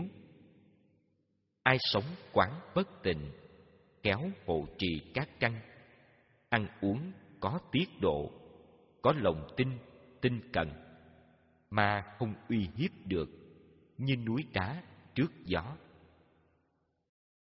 Chỉ định một thánh tăng Lời Phật dạy Ai mặc áo cà sa, tâm chưa rời uế trượt, không tự chế, không thật, không xứng áo cà sa. Ai rời bỏ uế trượt, giới luật khéo nghiêm trì, tự chế sống chân thật, thật xứng áo cà sa. Kinh Pháp Cú Yamakavaka Phẩm Sông Yếu Chú giải Tám câu kệ trên đây để xác định một tu sĩ Phật giáo đúng hay là sai. Những người tu sĩ chưa rời bỏ những danh lợi trong cuộc đời, đời sống chưa ba y một bát, chưa thiểu dục tri túc, chưa lấy gốc cây làm giường nằm, chưa cắt bỏ ái kiết sử, thì người ấy chưa rời uế trượt. Do đó, người ấy chưa xứng đáng mặc áo cà sa. Như vậy, những câu kinh pháp cú đã xác định một tu sĩ Phật giáo đúng tư cách của một tu sĩ rõ ràng. Vậy các bạn đừng bảo rằng Đức Phật không xác định đệ tử của Ngài. Để các bạn nhận định biết ai là Thánh Tăng, ai là giả Tăng. Ai mặc áo cà sa, tâm chưa rời quấy trượt, không tự chế, không thật, không xứng áo cà sa. Lời xác định này, chúng ta nhìn lại tu sĩ Phật giáo hiện giờ có xứng đáng là người tu sĩ của Phật giáo chưa? Có xứng đáng mặc áo cà sa chưa? Bài kệ thứ 10, Đức Phật đã xác định đệ tử của Ngài phải sống đúng như thế này mới thật sự là đệ tử của Ngài. Ai rời bỏ quế trượt, giới luật khéo nghiêm trì, tự chế sống chân thật, thật xứng áo cà sa. Người tu sĩ Phật giáo hiện giờ nhìn chung có ai rời bỏ quế trượt đâu. Quế trượt ở đây có nghĩa danh và lợi. Chưa bỏ danh lợi có nghĩa là chưa ba y một bát. Chưa ba y một bát có nghĩa là chưa thiểu dục tri túc. Chưa thiểu dục tri túc có nghĩa chưa là trắng bạch như vỏ ốc, tâm hồn chưa phóng khoáng như hư không. Danh lợi ở đây chỉ cho chúng ta thấy tu sĩ hiện giờ là phú tăng, chùa to Phật lớn như cung đình, tiền bạc có hàng tỷ tỷ, vật chất sống đầy đủ hơn người thế gian. Còn nói đến giới luật thì ít thấy thầy nào nghiêm trì. Nghiêm trì được giới này thì phạm giới kia. Nghiêm trì được giới kia thì phạm giới này. Như vậy, làm sao xứng đáng là đệ tử của Phật, là thánh tăng được? Chỉ là ma ba tuần đội lốt Phật giáo.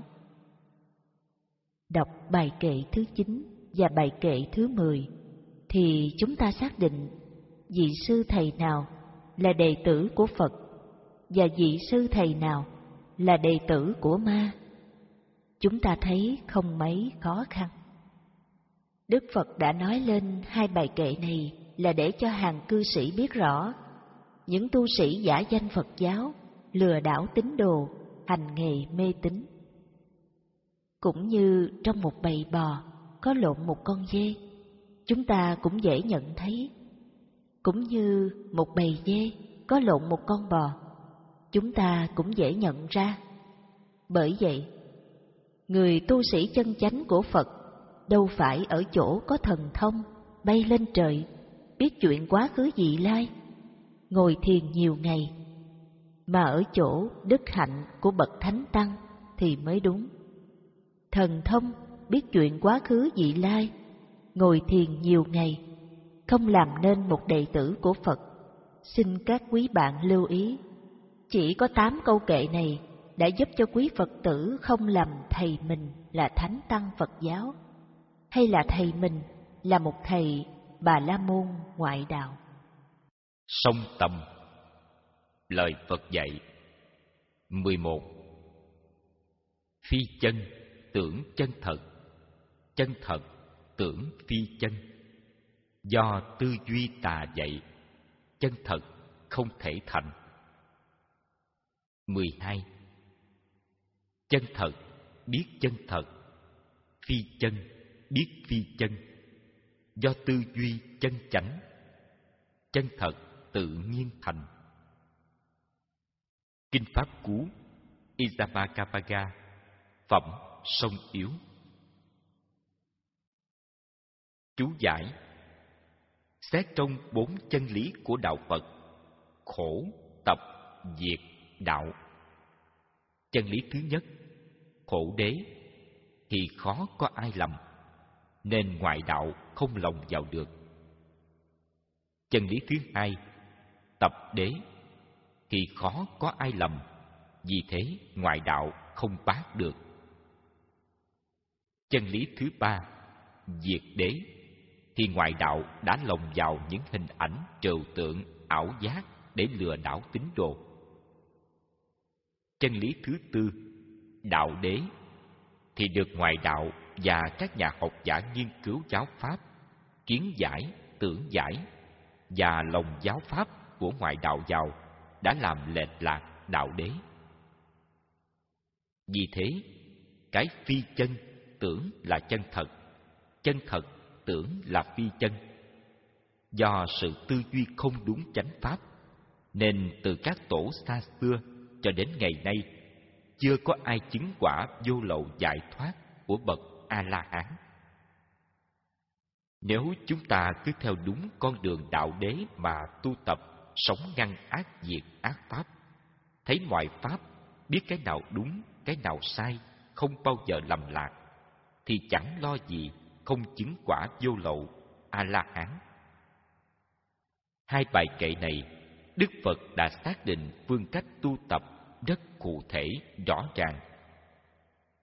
Nếu một người chánh tư duy, tức là luôn luôn sống trong tầm thiện, suy nghĩ thiện và luôn luôn diệt tầm ác, ngăn diệt sự tư duy ác, thì sự tư duy chân thật sẽ tự nhiên thành tựu đạo quả vô lậu a la hán pháp hành của hai bài kệ này, tức là đức phật dạy chúng ta tu tập theo pháp hành sông tầm tầm ác, bài kệ thứ 11 tầm thiện, bài kệ thứ 12 đây thuộc về chánh tư duy trong bát chánh đạo. Đọc lại hai bài kệ, chúng ta sẽ thấy pháp hành ngay liền. Do tư duy không chân chánh, tà tư duy. Đưa đến cho ta có cái nhìn tà kiến thường sống trong ác pháp tà mạng. Tâm ác. Phi chân, tưởng chân thật. Chân thật, tưởng phi chân. Chân thật, không thể thành. Do tư duy chân chánh dạy ta. Tâm thiện. Chân thật, biết chân thật. Phi chân, biết phi chân. Chân thật, tự nhiên thành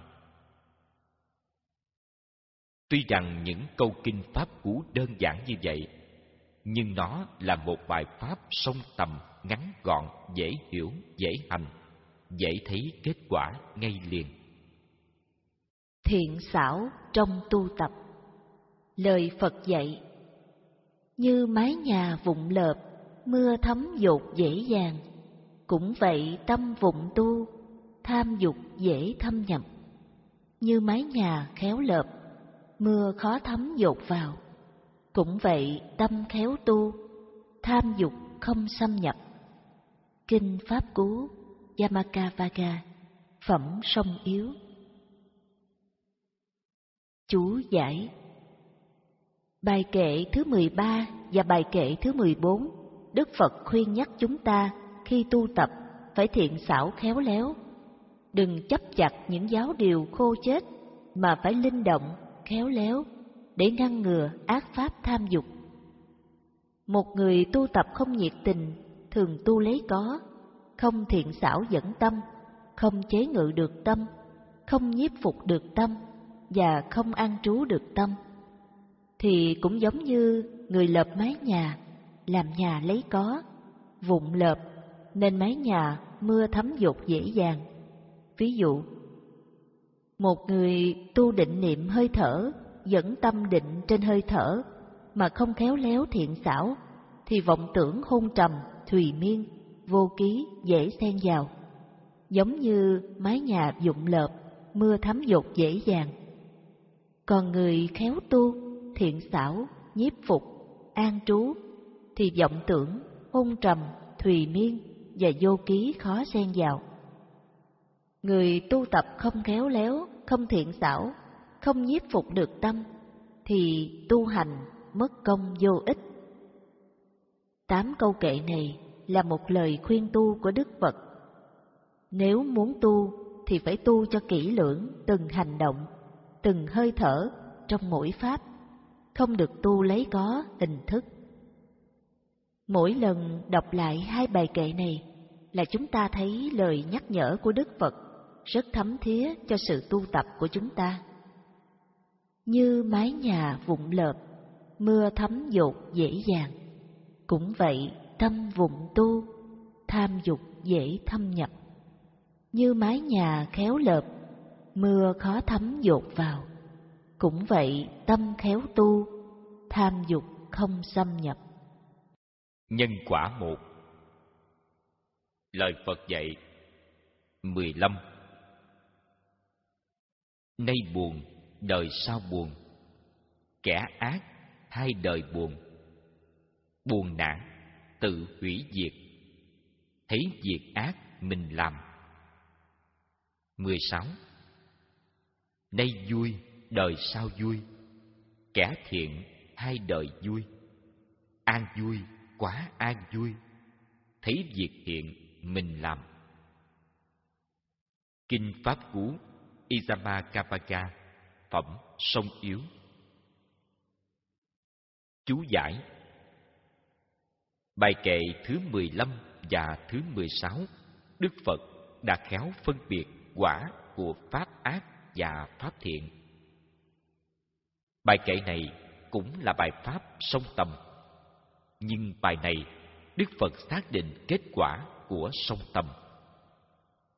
Nếu đời nay tư duy ác, mang ác pháp vào tâm, thì tâm hồn sẽ buồn khổ. Buồn khổ không những một đời mà nhiều đời. Nay buồn, đời sau buồn. Kẻ ác hai đời buồn đời người vì vô minh không hiểu luật nhân quả tưởng mình làm ác để đạt được mục đích danh và lợi cho thỏa mãn lòng dục nào ngờ quả khổ đến và họ nghĩ rằng nếu có khổ cũng chỉ khổ một lúc mà thôi nhưng không phải vậy quả khổ không phải đến một lúc mà còn duy trì từ đời này sang đời khác. Vì thế, có người sinh ra gặp ngay liền quả khổ. Khổ quá không chịu nổi nên phải tự tử. Nhưng tự tử lại là một việc làm ác. Do đó, ác chồng ác, khổ chồng khổ. Buồn nản, tự hủy diệt, thấy việc ác mình làm. Bài kệ này chúng ta nhận xét rằng nếu cuộc đời khổ, vui là tự mình làm lấy cho mình, chứ kịch tuồng nhân quả luôn luôn nó diễn biến theo trò ảo thuật của nó mà thôi. Nếu chúng ta biết dừng thì nó dừng, còn không biết dừng thì nó vẫn diễn biến mãi mãi, không lúc nào dừng nghỉ. Vì thế khổ vui chồng chất lên mãi. Nhưng điều chắc chắn, nếu chúng ta không biết dừng và diệt ác pháp, luôn tạo tác và ở trong ác pháp, thì đời này, đời sau và đời sau nữa, mãi mãi sống trong cảnh buồn khổ. Dù bất cứ ở nơi cảnh giới nào cũng chẳng bao giờ có sự an vui và hạnh phúc cả khi mà đã ôm vào lòng những ác pháp. Bài kệ thứ 15 này chính là lời của Đức Phật đã xác định như vậy. Mong quý bạn đừng bảo rằng Đức Phật không nói lời này. Lời cảnh tỉnh này kéo nhắc nhở chúng ta sống phải biết ngăn và diệt ác pháp. Nếu các bạn không tin, thì các bạn sẽ phải chịu khổ đời này sang đời khác. Nếu các bạn tin, thì các bạn sẽ trở thành người có đạo đức, không làm khổ mình, khổ người. Thì đời sống của bạn là thiên đàng, cực lạc. Chúng tôi có một người bạn dám bảo rằng Này bạn, làm sao bạn có thể xác định được lời này là đúng của Phật nói hay là lời này là không phải Đức Phật nói? Ví dụ như hai câu kệ này. Nay buồn, đời sau buồn, kẻ ác hai đời buồn. Bởi vì đạo Phật bắt nguồn từ thiền pháp, nên bộ giới luật đức hạnh và pháp môn của Ngài luôn dạy tu tập ngăn ác, diệt ác pháp, sanh thiện, tăng trưởng thiện, cũng đủ để xác chứng những câu kệ trên là Phật nói. Vì thế, hai câu kệ này là Đức Phật đã xác định để chúng ta thấu rõ. Ai ôm ác pháp, đời sẽ buồn khổ. Đời buồn khổ sẽ không phải một đời mà nhiều đời. Các bạn cần phải nhớ lời này. Chúng tôi là đệ tử của Phật, nói ra lời nào thì không dám nói sai lời Phật dạy. Vì nói sai lời dạy của Đức Phật là phỉ bán Phật. Cho nên, chúng tôi chỉ có lặp lại đúng ý nghĩa của nó. Xin các bạn hiểu cho. Bởi vậy, có một số người tu chưa chứng dám lấy kinh Phật thuyết giảng lung tung, làm sai lệch ý Phật, khiến cho Phật giáo mất gốc như kinh sách Đại Thừa và Tiền Tông. Nếu một người hiểu biết đạo Phật, lúc nào cũng ngăn ác, diệt ác pháp, luôn sống trong thiền pháp, thì tâm hồn luôn luôn thanh thản, an vui và vô sự. Sự an vui, thanh thản và vô sự ấy không những ở đời này, đời sau và đời sau nữa mãi mãi. Với tâm hồn thanh thản, an vui và vô sự đó, dù thời gian nào ở bất cứ nơi đâu, địa ngục, thiên đàng, niết bàn, cực lạc, tâm hồn cũng thanh thản, an vui và vô sự đã mãi mãi bất diệt. Như kinh pháp cú dạy. Nay vui, đời sau vui, kẻ thiện, hay đời vui. Đó là lời xác chứng mạnh mẽ, hùng hồn, chân thật. Chỉ có sống trong thiện pháp là giải thoát, là hết khổ đau. Muốn được vậy, thì ngày ngày chúng ta phải chuyên cần tu tập, ngăn ác, diệt ác pháp, không để tâm mình bị chướng ngại ác pháp. Đấy là mình sống cho mình, sống trong thiện pháp. Đấy là mình tu theo đúng pháp Phật để ly tham đoạn ác pháp. Hai bài kệ này đã xác định cho chúng ta thấy pháp môn tứ chánh cần là tại nơi đây. Bài kệ thứ 15 cho chúng ta thấy quả của người không ngăn ác và diệt ác pháp. Đời này buồn, đời sau tiếp tục buồn. Bài kệ thứ 16 do ngăn ác, diệt ác pháp mà đời này vui, đời sau vui. Nay vui, đời sau vui. Kẻ thiện, hai đời vui. Hai bài kệ này là chỉ cho kết quả của tứ chánh cần, ngăn ác, diệt ác, sanh thiện tăng trưởng thiện, là đem đến quả an vui. Nói tóm lại, đây là sự giải thoát của đạo phật chân thật mà không có một pháp nào hơn được. Phương pháp tu hành của đạo phật rất đơn giản, cụ thể, thấm thía và hạnh phúc nhất đối với cuộc đời của người tu hành. Chúng ta hãy lắng tâm, đọc lại hai bài kệ này. Nay buồn, đời sau buồn. Kẻ ác, hai đời buồn. Buồn mãi, tự hủy diệt. Thấy việc ác mình làm. Nay vui, đời sau vui. Kẻ thiện, hai đời vui. An vui, quá an vui thấy việc thiện mình làm. Khi đọc xong, các bạn cứ suy ngẫm. Càng suy ngẫm, các bạn mới thấm thía lời dạy chân thành thương yêu của đức phật đối với chúng sanh. Lòng yêu thương ấy rộng lớn vô bờ bến, không thể lấy gì so sánh được, phải không, hỡi các bạn? Chỉ có sống thiện mới chính đem lại hạnh phúc chân thật cho mình, cho mọi người chỉ có sống thiện mới chính mình ở bờ bên kia.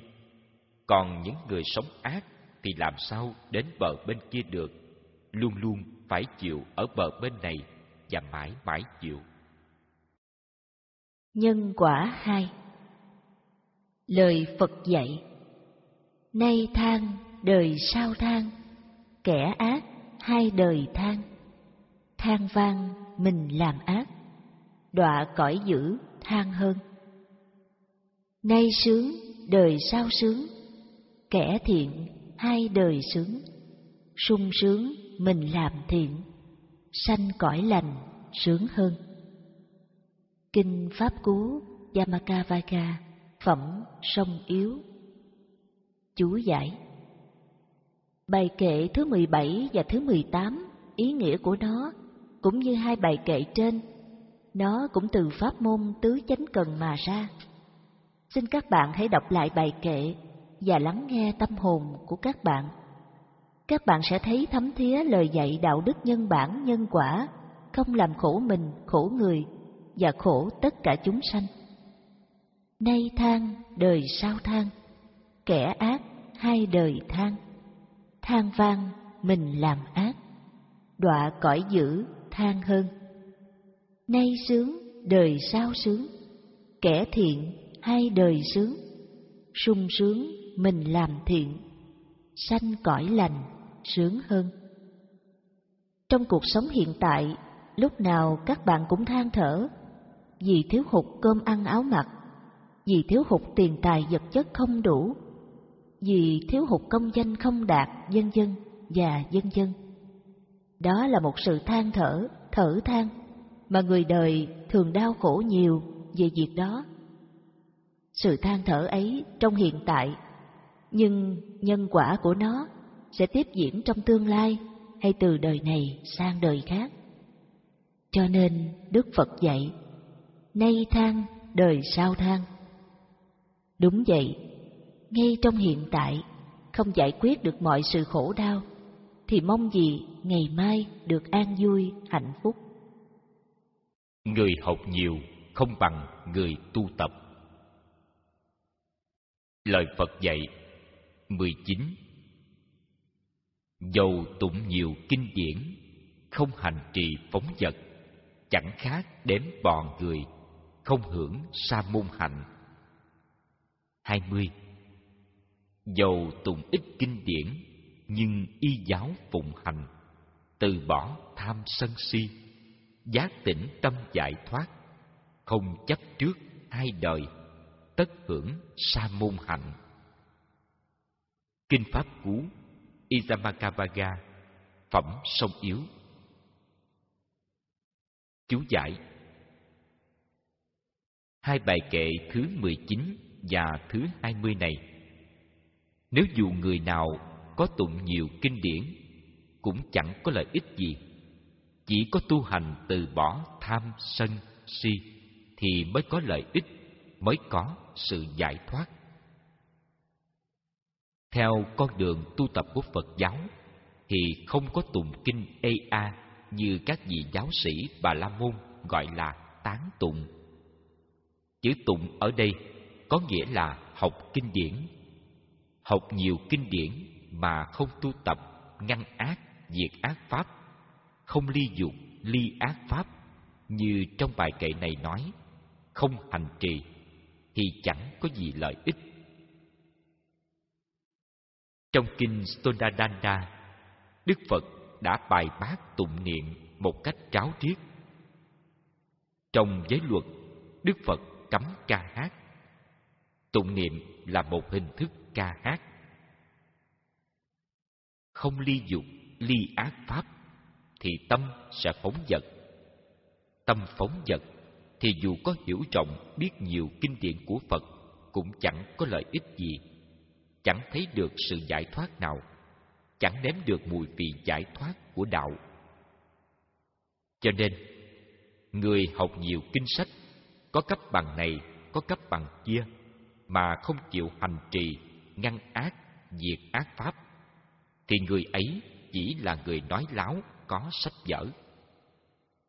Vì thế, bài kệ ví như người chăn bò chỉ biết đếm bò cho chủ. Chẳng khác đếm bò người không hưởng sa môn hạnh. Đúng vậy. Lời dạy này rất đúng.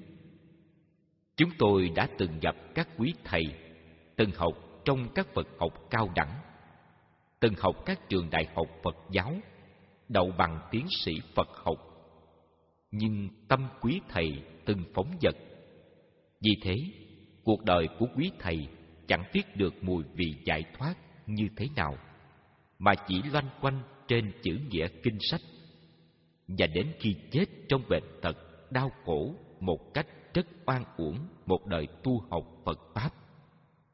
Họ viết sách giảng kinh chỉ là kiến giải học giả. Người trước nói sau thì người sau kế thừa nói vậy, chứ chẳng dám sửa sai dù một chữ, một lời hay một ý. Họ chỉ biết một chữ dân dân dạ dạ làm theo cách cha truyền con nối hay tổ tổ truyền nhau. Chứ có tu hành đâu mà dám sửa sai ai. Học để hiểu biết nghĩa lý thâm sâu của kinh sách cũng như học để hiểu biết pháp nào của phật dạy, pháp nào của tổ dạy, để tránh xa những pháp tà ngoại ấy. Là sự học kinh sách như vậy mới có lợi ích. Còn học kinh sách chỉ hiểu chung chung cái nào cũng cho là của phật dạy, thì người học kinh sách như vậy là người vô minh, không biết sai đúng, giống như con chim học nói, chứ chẳng hiểu nghĩa. Giống như con thú chỉ biết ăn mà không biết mùi vị. Còn kinh sách đúng của phật dạy, chỉ học hiểu cho nhiều mà không thực hành thì có ích lợi gì cho sự học đó đâu? Học kinh sách để đi nói láo thì học kinh sách mất công mà còn thêm tội lỗi, tội vọng ngữ. Mục đích kinh sách dạy cho đời là để tu tập, là để sống cho đúng đạo đức làm người, không làm khổ mình khổ người. Chứ không phải kinh sách phật để chúng ta học hành thì lấy cấp bằng cao đẳng đại học vân vân người ta xem kinh sách phật như một môn học về phật giáo, giống như các môn học khác ngoài đời. Theo thiển nghĩ của chúng tôi hiểu, lời phật dạy không phải là một môn triết lý học suông, mà là một đạo đức nhân bản sống động, đem lại sự an vui hạnh phúc cho mọi người. Vì vậy, học để sống đạo đức, chứ không phải học để hiểu biết suông, để đi tranh luận hơn thiệt với mọi người. Chúng ta học ít, nhưng học tới đâu, áp dụng thực hành tới đó, và sống cho đúng đạo đức làm người, không làm khổ mình, khổ người, thì mới thấy được sự lợi ích của lời dạy này dù tụng ít kinh điển nhưng y giáo phụng hành từ bỏ tham sân si giác tỉnh tâm giải thoát không chấp trước hai đời tất hưởng sa môn hạnh Bài kệ tuy đơn giản, nhưng chúng ta càng đọc càng thấm thía cho cuộc đời tu hành. Nếu chúng ta không chịu đọc kỹ lại những lời dạy này, thì dù có tu cũng sẽ tu sai pháp. Tu sai pháp là tại chúng ta không hiểu kỹ, chứ không phải tại Đức Phật dạy sai. Bài kể này, Đức Phật đã cảnh giác chúng ta trong hiện tại và những người về đời sau nữa để tránh đi những loại kinh chiến giải, tưởng giải của các nhà học giả biên soạn viết xưa nay như kinh sách Đại Thừa và Thiền Đông Độ. Những bài kinh pháp cú này đã xác định cho chúng ta biết sự học và sự tu khác nhau chứ không giống nhau. Sự học chỉ giúp cho chúng ta hiểu biết để tu tập, chứ không phải sự học là chính. Sự học chỉ là vấn đề phụ, sự tu mới là vấn đề chính. Sa môn hạnh tức là sa môn quả. Sa môn quả là kết quả của sự tu tập. Nó để dành riêng cho những người tu tập, chứ không dành cho người học nhiều, hiểu rộng. Người tu tập sẽ có kết quả thanh thản, an lạc và vô sự. Kết quả đó sẽ hiện thực rõ ràng qua hành động, thân, miệng, ý, tức là oai nghi tế hạnh trong cuộc sống hàng ngày của một vị tu sĩ mà người ta gọi là thánh hạnh. Không phóng dật Lời Phật dạy Không phóng dật bất tử, phóng dật phải tử sinh. Không phóng dật không chết, phóng dật như chết rồi. Biết rõ sự thật ấy, người trí không phóng dật, hoan hỷ không phóng dật, an vui trong cõi thánh. Kinh Pháp Cú Ampa Madhavaka Phẩm không phóng dật Chú giải Muốn tâm không phóng dật, chỉ có Pháp độc cư là đệ nhất. Nếu ai gìn giữ được Pháp độc cư, thì sớm muộn gì người ấy tâm cũng sẽ không phóng dật. Bài kệ thứ 21 Đức Phật đã xác định Người không phóng dật là người bất tử, là người sống mãi muôn đời. Đức Phật cũng nói Ta thành chánh giác là nhờ tâm không phóng dật. Cho nên, người thích hội họp, thích nói chuyện, thích tranh luận là người phóng dật. Người hay làm thơ văn, viết thư thăm viếng gia đình, bạn bè. Người đọc kinh sách, nghe băng là người phóng dật. Người phóng dật là người tu tập không bao giờ có kết quả tốt, chỉ tu tập lấy có hình thức thường dậm chân tại chỗ. Phóng dật có nghĩa là tâm hướng ra ngoài hay chạy theo các pháp trần. Đức Phật dạy 42 bài kệ nói về tâm không phóng dật, giống như con tê ngưu một sừng. Con tê ngưu một sừng là một loài thú vật sống một mình. Khi lớn lên đến tuổi trưởng thành, thì loài vật này bỏ gia đình cha mẹ, anh em và chị em, không giao kết bạn bè với ai cả, chỉ sống một mình trong một khu vực riêng biệt. Vì thế, Đức Phật dạy, người sống độc cư như con tê ngu một sừng. Các pháp dạy tâm không phóng dật như định niệm hơi thở, định sáng suốt, định vô lậu, định chánh niệm tỉnh giác, tứ niệm xứ trên tứ niệm xứ để khắc phục tham ưu và thân hành niệm. Trong bài kệ thứ 21 này, Đức Phật đã xác định rõ ràng sự bất tử, hay nói cách khác là sự ra khỏi sanh tử. Chỉ duy nhất là làm sao phải đạt cho được kết quả là tâm không phóng dật. Cho nên, dù tu muôn dạng pháp môn cũng chỉ thực hiện tâm không phóng dật. Nhưng chúng ta phải biết tâm không phóng dật là do xả ly dục và ác pháp, chứ không phải do ức chế tâm. Chỉ có xả ly tâm tham, sân, si mới có sự giải thoát chân thật, không phóng dật bất tử. Người không phóng dật là người thoát ra dòng sanh tử.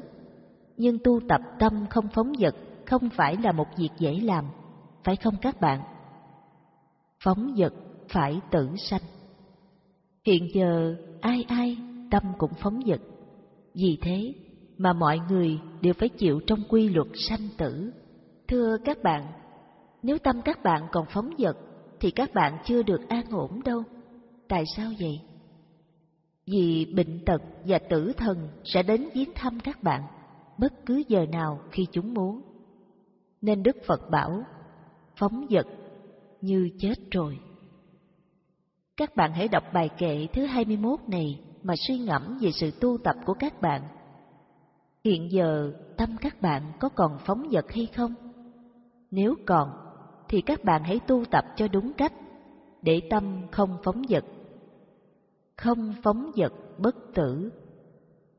Đúng vậy, mục đích của chúng ta phải đạt được tâm không phóng dật. Vì tâm không phóng dật là tâm bất tử mãi mãi thường hằng. Tâm không phóng dật là có bảy năng lực giác chi xuất hiện. Do bảy năng lực giác chi xuất hiện mà Đức Phật dạy. Tâm thuần tịnh, định tĩnh, nhu nhuyễn, dễ sử dụng. Nếu tu tập mà tâm các bạn chưa thấy bảy giác chi xuất hiện, là do tâm của các bạn còn phóng dật.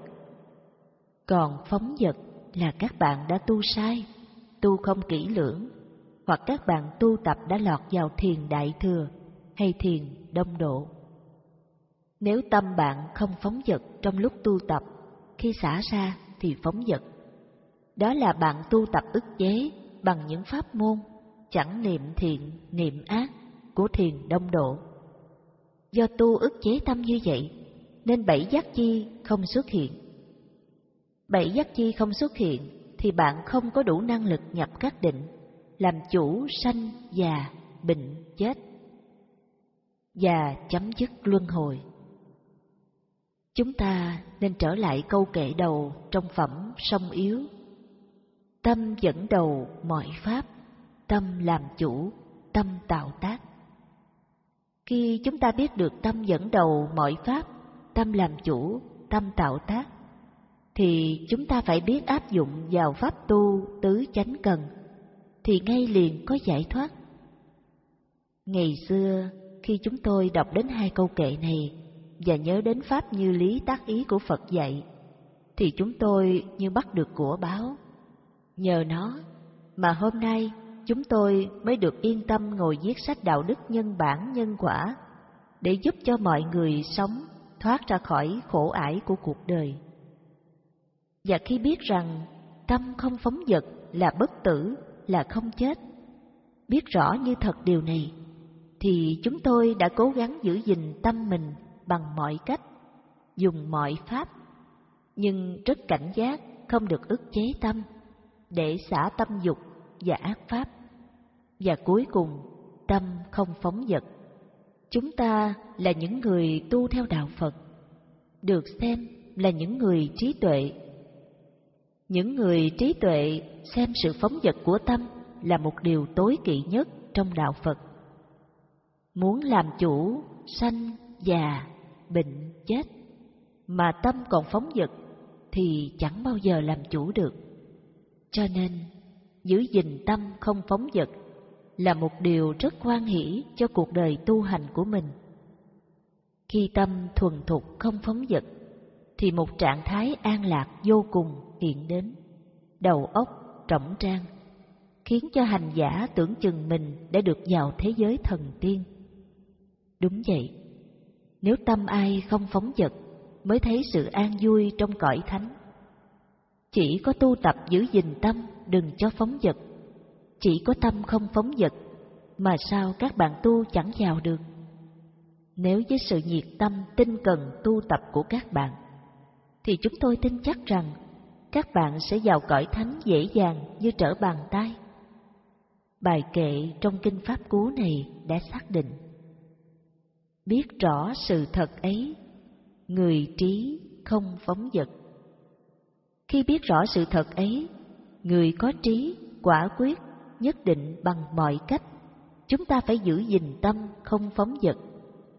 hoan hỷ không phóng dật, an vui trong cõi thánh. Như vậy, con đường tu tập giải thoát của đạo Phật đã xác định rõ ràng. Tâm không phóng dật. Tâm không phóng dật là một điều hết sức quan trọng trong sự việc tu tập giải thoát sanh tử luân hồi. Được xem nó là đệ nhất pháp. Thiền định Lời Phật dạy 23 Người hằng tu thiền định, Thường kiên trì tinh tấn, Bậc trí hưởng niết bàn, Đạt an tịnh vô thượng Kinh Pháp Cú Ipama Davaga Phẩm không phóng vật Chú giải, Bài kệ thứ 23 Đức Phật khuyên mọi người phải hằng tu thiền định. Vậy thiền định ở đây là loại thiền định nào? Bài kệ thứ 23 nằm trong phẩm không phóng vật.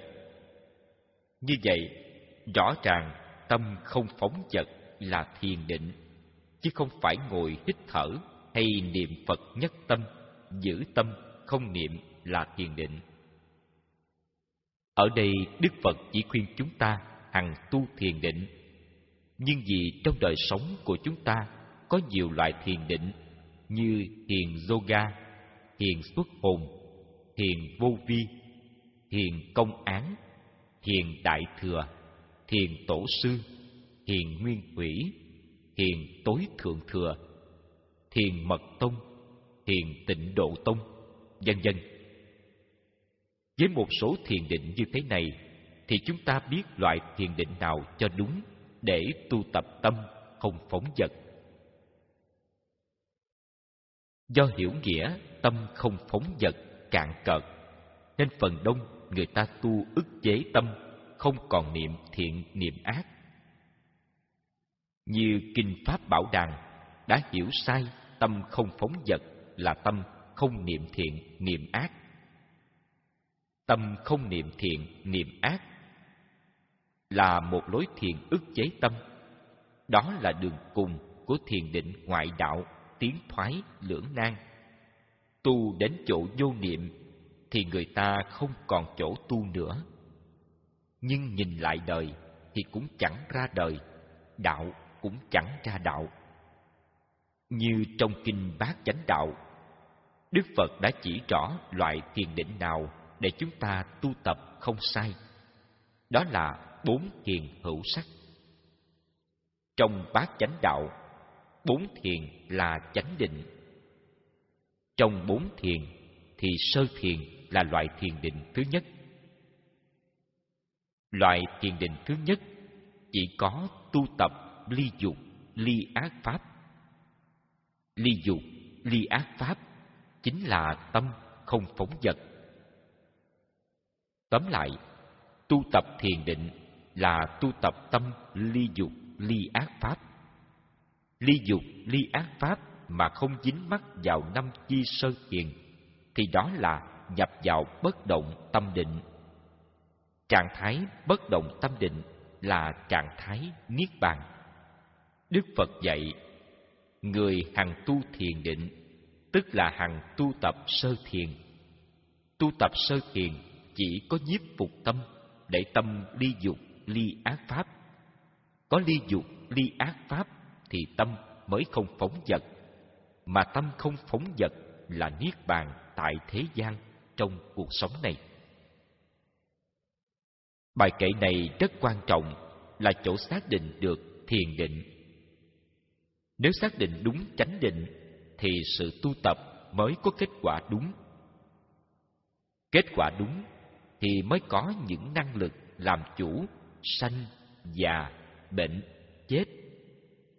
Còn nếu xác định sai tà thiền thì tu tập chẳng có kết quả gì thì không bao giờ làm chủ sanh, già, bệnh, chết được. Khi tu tập loại thiền định của đạo Phật thì chúng ta thường hưởng được những trạng thái niết bàn, an tịnh, vô thượng. Và lúc nào muốn an tịnh là tâm chúng ta sẽ an tịnh liền. Nếu người nào hàng ngày tu tập thiền định với tâm siêng năng, bền chí, không thối chuyển, thì lúc nào cũng nhập vào sự an tịnh, vô thường ấy được. Trạng thái an tịnh, vô thường ấy không có một vật gì trên thế gian này sánh bằng được. Thường kiên trì tinh tấn, bậc trí hưởng niết bàn, đạt an tịnh vô thượng. Chỉ có thiền định của đạo Phật mới có sự an tịnh vô thượng. Sự an tịnh vô thượng nếu ai tu tập đúng pháp, muốn có lúc nào là có được ngay lúc nấy. Do vì tu tập xả tâm, nên tâm tự nhiên không phóng vật mà có. Nỗ lực tu tập tứ niệm xứ Lời Phật dạy Nỗ lực giữ chánh niệm, tịnh hạnh hành thận trọng, tự điều sống theo Pháp. Ai sống không phóng dật, tiếng lành ngày tăng trưởng. Nỗ lực không phóng dật, tự điều khéo chế ngự, bậc trí xây hòn đảo, nước lục khó ngập tràn. Kinh Pháp Cú Apanadavaga Phẩm không phóng dật Chú giải. Tịnh hạnh và chánh niệm. Bài kệ thứ 24 Đức Phật đã xác định Pháp hành để chúng ta tu tập tâm không phóng dật Vậy pháp hành đó là gì? Một, tịnh hạnh. Hai, chánh niệm. Tịnh hạnh tức là giới luật. Chánh niệm tức là tứ niệm xứ Người tu sĩ hàng ngày phải nỗ lực tu tập tứ niệm xứ và thận trọng giữ gìn giới luật đừng để vi phạm, tức là tự điều chế tâm trong sự sống thiện. Nếu tu tập đúng pháp như vậy, thì thân tâm sẽ không phóng dật. Bài kệ trên đây dạy chúng ta chọn pháp tu hành cho đúng chánh pháp. Bài kệ thứ 25 Đức Phật đã xác định nếu người nào nỗ lực tu tập hai pháp trên, tự điều và khéo chế ngự tâm dục và ác pháp, thì cũng ví như xây trường thành để bảo vệ chống giặc, thì giặc phiền não, giặc tham, sân si sẽ không bao giờ xâm chiếm được. Người trí, tức là người hiểu biết, thì cố gắng tu tập. Sự cố gắng tu tập giống như người xây hòn đảo, nên nước không thể lọt và tràn vào khiến cho đời sống được an ổn, yên vui. Tâm không phóng dật là một điều quan trọng hết sức trong đạo Phật. Chính ngày xưa Đức Phật thành đạo cũng nhờ tâm không phóng dật. Đời nay, người tu hành không giữ gìn tâm, nên tâm thường phóng dật, chạy theo sáu trần. Vì thế mà chịu trôi lăn trong sáu nẻo luân hồi, khổ đau vô cùng vô tận. Người trí là người khôn ngoan, sống theo đúng pháp, tứ niệm xứ và giới luật, thường tự điều chế tâm mình, không cho phóng dật, nên thường sống trong an ổn. Chỉ có những người ngu si, thiếu trí mới để tâm phóng dật. Bởi vì còn có tâm phóng dật là còn có khổ đau, còn có khổ đau là còn bị sự chi phối của luật nhân quả. Tâm không còn khổ đau phiền lụy là tâm đã chuyển hóa nhân quả. Tâm đã chuyển hóa nhân quả là tâm bất động. Tâm bất động là tâm không phóng dật. Ai sống không phóng dật, tiếng lành ngày tăng trưởng. Bậc trí xây hòn đảo, nước lục khó ngập tràn. Đức Phật dạy, người ngu không trí tuệ, chuyên sống đời phóng dật tự làm khổ mình, khổ người. Đúng vậy, phóng vật như chết rồi chưa chôn. Phóng vật là tự đem đau khổ vào cho mình. Người tự đem đau khổ vào mình, có phải là người ngu không? Hỡi các bạn. Nhưng quán xét nhìn lại đời này, ai là người khôn, tâm không phóng vật. Những hạng người này rất khó tìm thấy quá, phải không hỡi các bạn? Tìm một người tâm không phóng dật trong đời thật là hiếm, là không có. Người trí là người có sự hiểu biết thì không bao giờ để tâm mình phóng dật, luôn luôn nỗ lực giữ gìn chánh niệm, tịnh hạnh. Mỗi hành động đều thận trọng, luôn tự điều chế tâm mình, sống đúng giới hạnh và giáo pháp. Chư ác mạt tác, chúng thiện phụng hành. Đó mới thật sự là người trí. Người trí không phóng dật như giữ tài sản quý. Đúng vậy, giữ tâm không phóng dật như giữ gìn tài sản của báo, mà tài sản của báo này là vô giá. Chớ có buông lung phóng dật, chớ say mê dục lạc.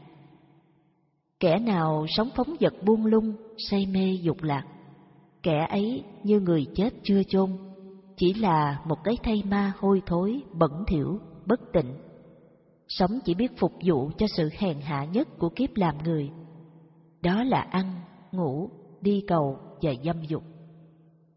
Khi tâm không tự chế, để tự do chạy theo các pháp trần, tức là tâm phóng vật, Tâm phóng vật thì làm sao tránh khỏi sự cám dỗ của các pháp trần? Các pháp trần đủ đầy mọi dục lạc. Cho nên, người nào tâm buông lung phóng dật thì không thể tránh khỏi sự sa đọa thường bị sự cám dỗ dục lạc thế gian lôi cuốn. Cho nên, người biết tự chế ngự tâm mình, thực hiện tâm ly dục ly ác pháp, thiền định. Có như vậy, chúng ta mới thấy được sự giải thoát an lạc chân thật của Phật giáo. Chúng ta hãy đọc lại bài kệ mà lắng nghe lời khuyên dạy trí tình, trí tâm của Đức Phật đối với chúng sanh. Chớ buông lung phóng dật chớ mê say dục lạc. Người tự chế thiền định mới hưởng đại an lạc. Sự buông lung phóng dật chỉ có đem lại sự đau khổ cho con người mà thôi. Người đời mấy ai để ý đến điều này? Vì thế mà họ phải chịu nhiều sự khổ đau phiền lụy bởi vô minh nên họ thọ nhiều sự khổ đau phiền lụy mà chẳng biết do đâu mà ra Thưa các bạn, sự khổ đau phiền não do từ tâm buông lung phóng dật. Ngoài tâm buông lung phóng dật ra thì không còn khổ đau nữa. Muốn giải thoát khỏi sự sanh, già, bệnh, chết và luân hồi mà các bạn còn để tâm mình buông lung phóng dật thì dù các bạn có tu ngàn muôn kiếp cũng chẳng bao giờ chấm dứt sanh tử luân hồi được tâm còn buông lung phóng dật, thì các bạn đừng vào chùa tu tập. Vì có vào chùa tu tập thì cũng chẳng có ích lợi gì cho các bạn cả, mà còn mất công sức và làm tổn hại cho Phật Pháp, mang tiếng cho thầy tổ. Nếu các bạn thấy mình sống độc cư trầm lặng chưa trọn vẹn được, thì xin các bạn đừng vào chùa tu tập. Vì vào chùa tu tập như vậy, làm mang tiếng tu hành không kết quả, để lại cho chùa những tiếng không tốt. Người ta sẽ cười vào mặt các bạn. Đi tu mà lòng tham sân si như người thế gian. Còn đến khi chết thì nằm liệt trên giường bệnh cũng giống như người thế tục. Đi tu không giải khổ được mà còn khổ đau hơn người đời. Người ta thấy các bạn tu hành như vậy, họ ngao ngán quá. Còn ai dám đi tu nữa phải không các bạn? Những bài kệ trong phẩm không phóng dật đã xác định được sự quan trọng con đường tu hành của các bạn. Nếu các bạn muốn giữ gìn được tâm mình không phóng dật, thì các bạn hãy chấp hành nghiêm túc hạnh độc cư. Vì chỉ có hạnh độc cư mới phòng hộ giữ gìn sáu căn tuyệt vời, giúp sáu căn của các bạn không tiếp xúc với sáu trần. Có như vậy, thì tâm các bạn mới không phóng dật. Đây là giai đoạn bắt đầu độc cư của sự tu tập tâm không phóng dật. Nếu các bạn không giữ trọn giai đoạn bắt đầu này, thì không bao giờ tu tập viên mãn. Nếu giai đoạn đầu mà không thực hiện được, thì còn mong gì những giai đoạn kế tiếp? Làm sao các bạn tu nổi được? Vì càng tu cao, tâm phóng dật càng vi tế hơn. Các bạn có nghe chăng? Lời di chúc năm xưa của Đức Phật còn văng vẳng mãi bên tai của các bạn. Ta thành chánh giác là nhờ tâm không phóng dật. Muôn pháp lành đều nơi tâm không phóng dật mà ra. Chỉ có tâm không phóng dật là chứng đạo. Sao các bạn dội quên đi lời di chúc ấy? Đời sống của một tu sĩ chỉ nhờ sống vào mồ hôi nước mắt và công lao của người cư sĩ. Đời sống của chúng ta có còn làm ích lợi gì cho ai đâu. Một đời sống ăn bám mà còn để tâm phóng dật, chạy theo dục lạc, ăn ngủ phi thời, phạm giới, phá giới, thì còn nghĩa lý gì các bạn ạ? À? Thà không đi tu, mà đã đi tu thì phải tu tập cho đến nơi đến chốn, để không phụ lòng mọi người. Các bạn phóng vật chùa to, Phật lớn, tiền nghi vật chất đầy đủ, bằng mồ hôi nước mắt của người khác, thì có hãnh diện gì đâu các bạn. Đến khi chết, các bạn có mang theo một vật gì đâu, hay chỉ mang theo một món nợ vĩ đại. Bài kệ thứ 28 này Đức Phật đã xác định, Nếu một người tu hành diệt tâm buông lung, Không chạy theo vật chất thế gian, Sống đời sống độc cư trầm lặng Với hạnh không phóng vật, Là người trí tuệ tuyệt vời, Là một bậc thánh sống Ngược lại, Người phàm phu không thể sống như những bậc thánh được nên tâm thường hữu sự Nay sanh ra việc này mai sanh ra việc khác. Càng sanh ra nhiều việc, tức là tâm phóng vật càng nhiều. Tâm phóng vật càng nhiều thì lo âu và đau khổ càng nhiều. Người tu sĩ Bà La Môn thường tu giả dối hay dùng những danh từ để che đậy tâm phóng vật bằng cách nói làm Phật sự. Làm Phật sự là tâm phóng dật. Xưa, Đức Phật đâu có dạy chúng ta xây chùa to Phật lớn, đâu có dạy chúng ta cúng bái tụng niệm, đâu có dạy chúng ta đi thập tự trảy hội cầu an, cầu siêu, đâu có dạy chúng ta làm những điều mê tín, đâu có dạy chúng ta cày cấy, làm giường, buôn bán, mà chỉ dạy chúng ta đi xin ăn, sống độc cư, ly dục, ly ác pháp, diệt ngã, tả tâm, mà chỉ dạy chúng ta ngăn ác, diệt ác pháp trong tâm, mà dạy chúng ta diệt tâm buông lung, sống hạnh không phóng dật. Chứ đâu có dạy chúng ta cầu an, cầu siêu, xin xăm, bói quẻ, xem ngày giờ tốt xấu.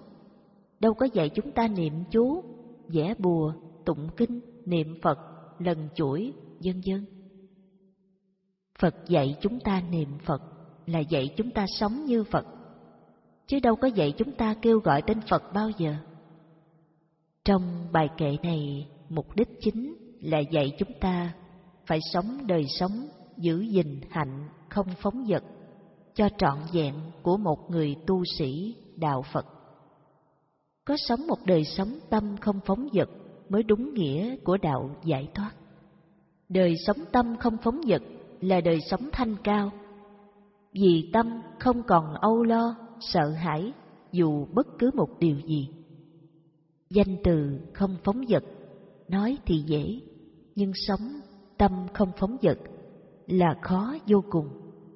Vì thế, muốn tâm không phóng dật thì người tu sĩ đạo Phật phải tu hết sức mình, tu kỹ từng pháp một, tu cho có chất lượng, chứ không phải tu lấy có hình thức ngồi thiền, niệm Phật, tụng kinh, niệm chú, vân vân. Có kết quả gì? Chỉ là những hình thức tu hành lấy có, lấy danh để lừa đảo người khác, chứ không phải tu cho mình như vậy được. Người tu hành phải luôn cảnh giác, tỉnh thức cao độ trong mỗi niệm thân hành, khẩu hành, ý hành, để diệt và xả những niệm ác. Có tu tập như vậy cũng còn chưa đủ, mà còn phải phòng hộ sáu căn nghiêm ngặt, như lính ngự lâm canh gác thành vua. Cho nên, những câu kệ trong kinh Pháp Cú tuy ngắn gọn, nhưng nó mang đầy đủ tính chất pháp hành.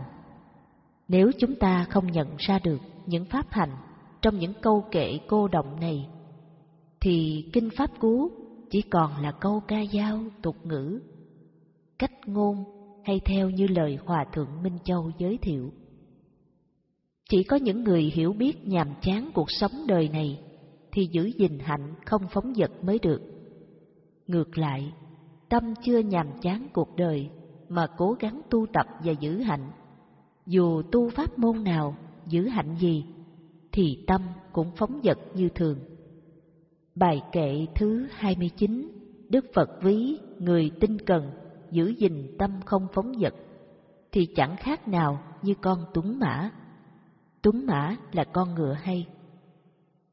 Tinh cần giữa phóng dật, tỉnh thức giữa quần mê. Người trí như tuấn mã, bỏ sao con ngựa hèn.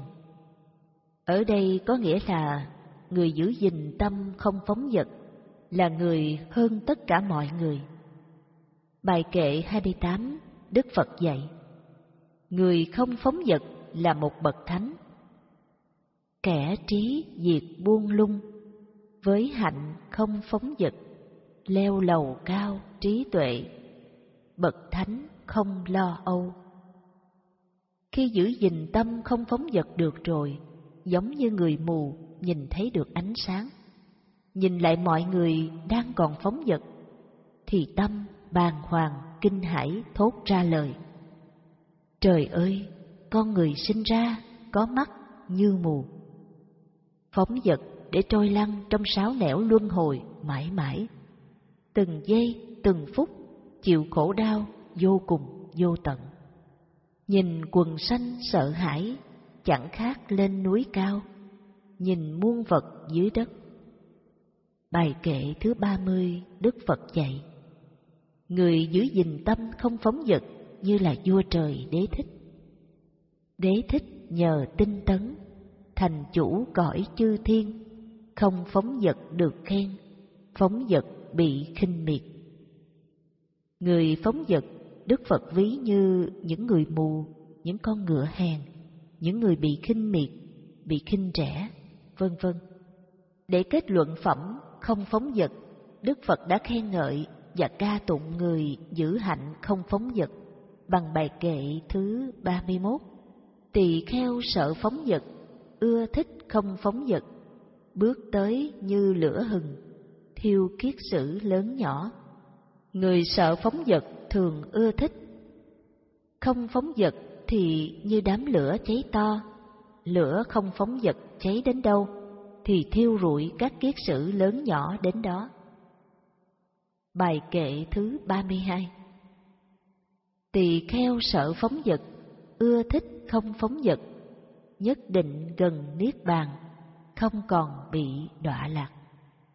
Nhất định người ấy đến niết bàn không còn sợ bị đọa lạc. Đó là hai câu kệ xác định chắc chắn như vậy. Xin các bạn hãy tin lời dạy của Phật mà cứu mình ra khỏi nhà sanh tử luân hồi, đừng để kiếp kiếp đời đời trôi lăn trong ba nẻo sáu đường đầy khổ đau. Đọc phẩm không phóng dật trong kinh Pháp Cú, chúng ta thấy Đức Phật thường ca ngợi hạnh không phóng dật. Như vậy, hạnh không phóng dật là quan trọng cho cuộc đời tu hành của chúng ta, phải không các bạn? Thế nhưng, nhìn lại, chúng ta quán xét tất cả tu sĩ Phật giáo hiện giờ, giới hạnh không phóng dật thì khó tìm thấy. Vì mọi tu sĩ Phật giáo hiện giờ đang chạy theo vật chất danh lợi, thì làm sao mà tâm không phóng dật? Phẩm tâm không phóng dật đã nói lên mục đích tu hành của Đạo Phật, để xác định ai là người tu chứng đạo. Chứng đạo là chứng cái gì? Có phải là cái tâm không phóng dật không? Ta thành chánh giác là nhờ tâm không phóng dật. Đó là lời xác định quả quyết của Đức Phật để cho người sau không nghi ngờ chánh Phật Pháp. Đúng vậy, tâm không phóng dật là người chứng đạo, chứ đâu phải cần có thần thông ngồi thiền nhiều, niệm Phật nhất tâm, giảng kinh, tụng đọc, hay học giáo lý có cấp bằng này, cấp bằng kia là chứng đạo đâu. Thiện xảo tu tập. Lời Phật dạy Ba bi ba. Tâm phàm hay dao động Khó chế, khó nhiếp phục. Kẻ trí kiến tâm chánh Như thợ khéo nắng tên. Kinh Pháp Cú Tiktavaga Phẩm Tâm. Chú giải. Người tu hành theo Phật giáo Ai cũng biết chế ngự tâm mình là một điều rất khó. Nhưng khó không có nghĩa là không chế ngự được, không làm được. Muốn nhiếp phục và chế ngự được tâm Thì phải tu tập những pháp môn nào? Một, muốn chế ngự tâm thì phải cố gắng giữ gìn giới luật nghiêm chỉnh, sống đúng oai nghi tế hạnh của bậc thánh tăng, lấy giới luật làm khuôn phép sống cho mình. Hai, nhiếp phục tâm thì phải tu tập bát chánh đạo. Bát chánh đạo gồm có chánh kiến, chánh tư duy, chánh ngữ, chánh nghiệp, chánh mạng, chánh tinh tấn, chánh niệm, chánh định. Từ chánh kiến đến chánh tinh tấn thuộc về giới luật tu tập giai đoạn một. Giới luật thì phải tu tập tứ chánh cần. Tứ chánh cần gồm có bốn loại định. Một, chánh niệm tịnh giác. Hai, vô lậu định. Ba, sáng suốt định. Bốn, định niệm hơi thở, gồm có 18 đề mục tu tập. Chánh niệm thuộc về giới, tu tập giai đoạn 2 gồm có tứ niệm xứ và thân hành niệm. Chánh định gồm có bốn thiền. Một, sơ thiền. Hai, nhị thiền. Ba, tam thiền. Bốn, tứ thiền.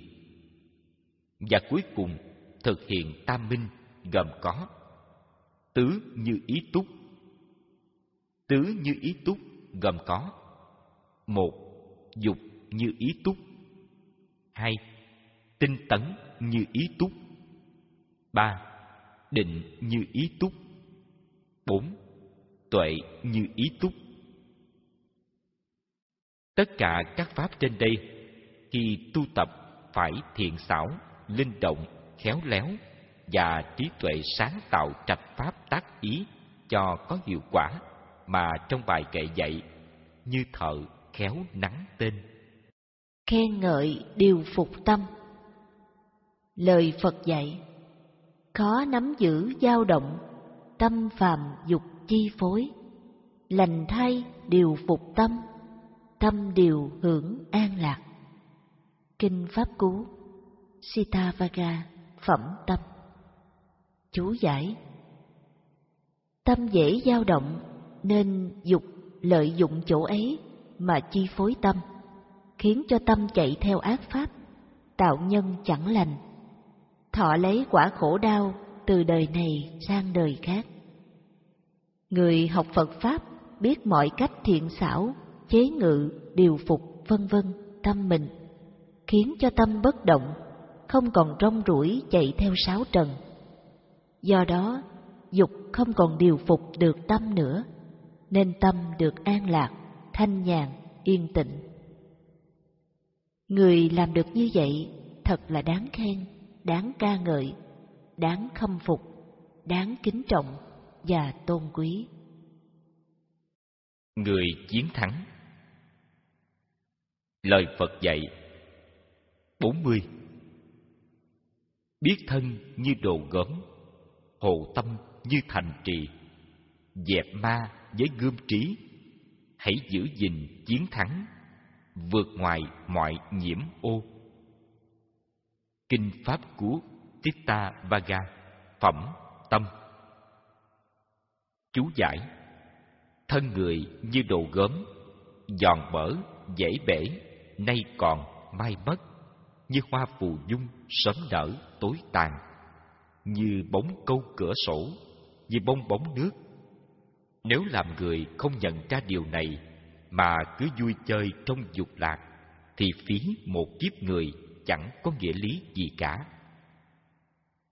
Tuy thân người giòn vỡ như đồ gốm, nhưng được thân người đâu phải dễ. Vì thế, câu kệ trong Kinh Pháp Cú nhắc nhở chúng ta biết thân như đồ gốm, thì phải lo tu hành, sớm vượt thoát ra khỏi kiếp làm người. Muốn làm chủ sự sống chết và chấm dứt luân hồi, thì phải giữ gìn sáu căn nghiêm mật, giống như giữ thành trì, không cho các pháp trần bên ngoài thâm chiếm vào nội bất xuất ngoại bất nhập. Tức là giữ hành độc cư trọn vẹn sống đơn độc như con tê ngưu một sừng, hộ tâm như thành trì. Trong cuộc chiến đấu với giặc sanh tử, luôn luôn phải dùng trí tuệ quán xét từng tâm niệm trong từng giây, từng phút thì mới mong chiến thắng các loại ma chướng. Nếu không cảnh giác như vậy thì mặt trận này sẽ khó thắng mà còn thất bại ê chề dẹp ma với gươm trí. Trong mặt trận này, trí tuệ là vũ khí hàng đầu để chiến thắng giặc sanh tử. Như các bạn đã biết, chánh kiến và chánh tư duy trong bát chánh đạo không phải là trí tuệ hay sao? Đây là hai phương pháp đầu tiên tu tập của bát chánh đạo. Nó là đội quân tiên phong khai sơn phá thạch để tiến vào trận đánh tứ niệm xứ. Nếu không có nó thì khó mà giữ gìn phần chiến thắng về mình. Hãy giữ gìn chiến thắng. Nhờ có trí tuệ chánh kiến và chánh tư duy, thì chúng ta mới ly dục, ly ác pháp, mới diệt ngã, tả tâm. Có như vậy, tâm mới vượt ra khỏi mọi sự ô nhiễm của cuộc đời. Cuộc đời là một bãi rác ô nhiễm bất tịnh hôi thối thư hỏi đạo thư hỏi đạo của minh hoàng kính gửi các vị đạo hữu ở tu viện trước tiên tôi vô cùng cảm ơn các vị đạo hữu đã làm trang web này phổ biến chánh pháp của đức phật không biết qua trang web này tôi có thể hỏi thầy một số điều nghi vấn không ạ? À? Nếu có thể, rất mong các đạo hữu gửi câu hỏi của tôi đến cho thầy. Vô cùng cảm ơn các bạn. Thưa thầy, gần đây đại dịch cúm gà đang trở thành một mối đe dọa khủng khiếp cho toàn nhân loại. Dự tính nó sẽ giết chết hàng triệu người. Vậy đây có phải là do nhân ác của loài người vẫn ăn thịt động vật không ạ? À? Ngày nay nó quay lại tiêu diệt loài người chăng? Với đôi mắt nhân quả của thầy, xin thầy chỉ rõ làm thế nào có thể ngăn chặn đại dịch này, cứu giúp hàng triệu người trên thế giới. Con tin rằng nếu loài người nhận thức được về quy luật nhân quả ấy một cách khoa học, họ sẽ giảm rất nhiều các hành động ác của mình, trong đó có việc giết hại động vật. Vậy thầy có thể bằng trí tam minh của mình giúp đỡ các nhà khoa học để họ chứng minh phần nào quy luật nhân quả không ạ? À? Hoặc là hiển thị thần thông giáo hóa, chỉ rõ cho loài người những tai hại, những hành động ác của mình. Vì thật ra chỉ có ít người tin vào luật nhân quả, đơn giản vì chưa có sự chứng minh xác đáng nào. Họ không tìm thấy mối liên hệ giữa việc sát sinh và bị giết hại. Hơn nữa, những người biết đến bộ sách đường về xứ Phật là rất ít. Nhưng nếu định luật nhân quả được đăng trên một tạp chí khoa học, thì sẽ rất nhiều người biết đến. Phải chăng là sẽ có ít hơn không ạ? À? Rất mong Thầy bằng trí tuệ và pháp luật của một vị A-la-hán giúp mọi người hiểu rõ hơn ạ. À. Kính mong các đạo hữu gửi câu hỏi này đến cho Thầy dùm tôi. Vô cùng cảm ơn các bạn. Hộ trì các căn Kính gửi Minh Hoàng Thầy đã nhận được thư con, nhưng mãi đến hôm nay con và mọi người mới nhận được thư trả lời của thầy. Thầy xin lỗi các con đã để cho các con chờ đợi. thật là một điều ngoài ý muốn của thầy. Vì gần đây thầy rất bận nhiều việc, nhất là việc mở lớp đào tạo những người tu để làm chủ, sanh già, bệnh chết, nên phải hướng dẫn hành giả triển khai tri kiến giải thoát bằng định vô lậu, và còn phải kiểm tra cách thức tu tập nhiếp tâm và an trú tâm trong thân hành nội ngoại, tức là tu tập chánh niệm, tỉnh giác định. Cho nên khi nhận được thư thưa hỏi và lời thiết tha kêu gọi thầy cứu giúp mọi người của con, mà thầy không trả lời được, thật là phụ lòng. Không những phụ lòng con, mà còn phụ lòng nhiều người nữa. Nhưng quá bận việc, thầy không biết làm sao hơn, mong con cảm thông. Kính thưa các bạn, hiện tượng đại dịch cúm da cầm là một hiện tượng trong nhiều hiện tượng của nhân quả đang xảy ra trên hành tinh này, mà loài người là nói riêng, còn tất cả chúng sanh là nói chung. Dạng vật trên hành tinh này đã và đang trả những quả ác mà chính họ đã gieo nhân không thiện.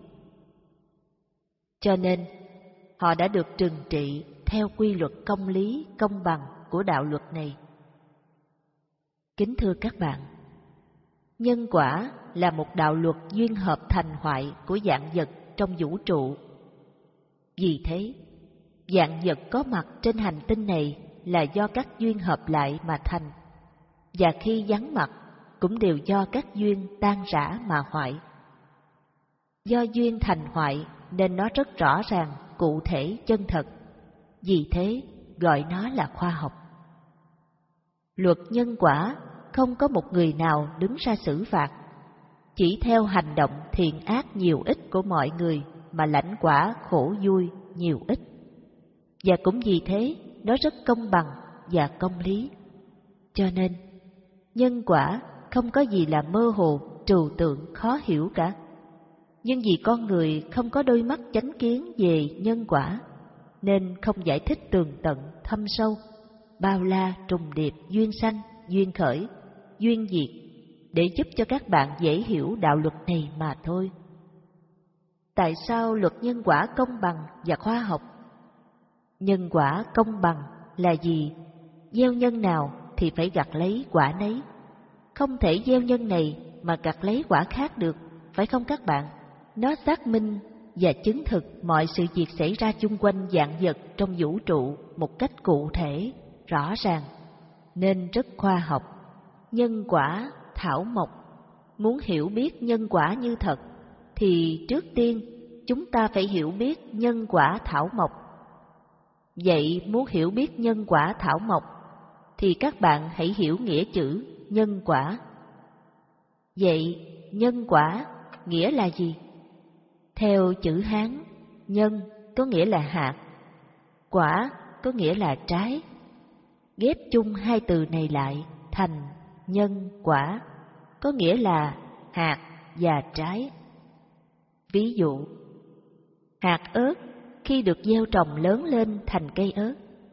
Từ cây ớt ra bông kết trái cho quả ớt, nhưng quả ớt cay. Hạt chanh khi được gieo trồng lên thành cây chanh. Từ cây chanh ra bông kết trái cho quả chanh, nhưng quả chanh chua. Hạt xoài khi được gieo trồng nảy mầm lớn lên thành cây xoài. Từ cây xoài ra bông kết trái cho quả xoài, nhưng quả xoài ngọt. Trên đây là nhân quả của loài thảo mộc, theo duyên hợp trùng trùng tạo thành nhân quả. Nhân nào thì quả nấy. Rất là thiết thực, cụ thể. Cho nên chỉ có những người không chịu hiểu mới cho rằng không có nhân quả. Từ hạt cây đu đủ cho quả đu đủ, nhưng quả đu đủ ngọt, cũng từ một hạt cây đu đủ cho nhiều quả đu đủ nhưng một quả đu đủ có nhiều hạt. Như vậy các bạn thấy nhân quả chưa? Một nhân không phải chỉ cho có một quả, mà phải cho nhiều quả.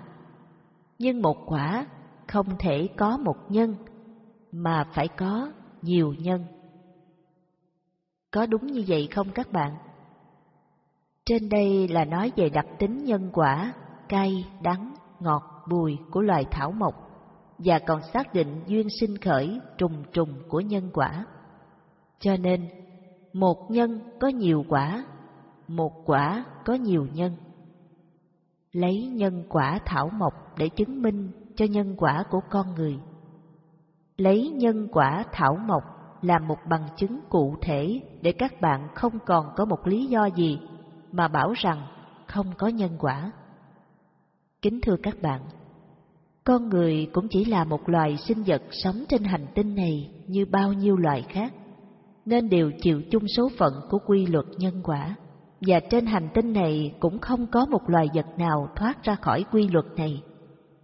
Trên hành tinh này, mọi vật gồm có từ cây cỏ, thảo mộc cho đến những loài động vật đều có một sự sống bình đẳng như nhau. Có một sự sống bình đẳng như nhau thì phải theo quy luật nhân quả điều hành. Nhưng loài động vật trong đó có loài người vì vô minh, không hiểu biết, chạy theo lòng ham muốn, tạo nhiều điều ác độc, nên tự làm mất đi sự sống bình đẳng. Vì thế mới có kẻ sang, người hèn, mới có kẻ giàu, người nghèo, vân vân. Và do đó mới có duyên sinh hợp của nhân quả dạng trạng thiên hình và cũng vì vậy mà duyên tan hoại cũng thiên hình dạng trạng.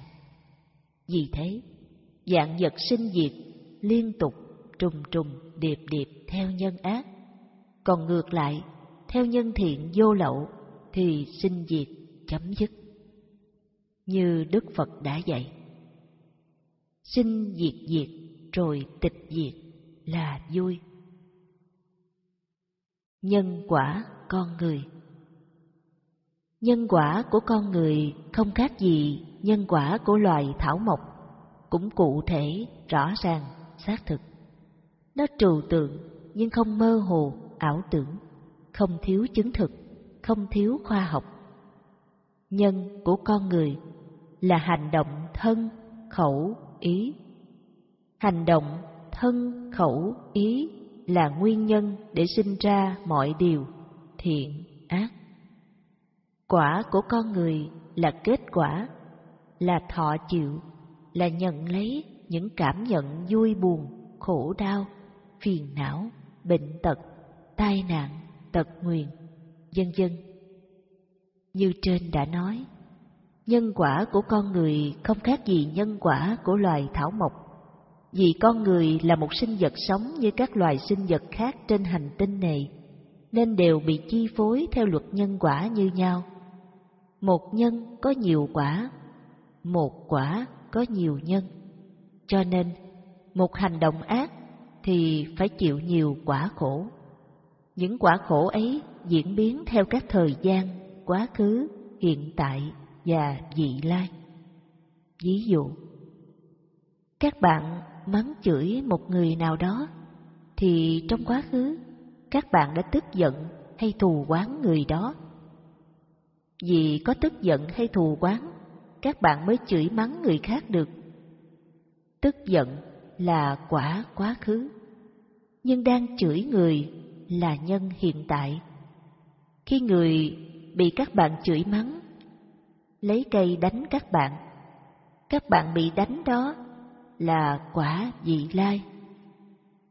Vì vậy, nhân quả luôn luôn có mặt trong ba thời, quá khứ, vị lai và hiện tại.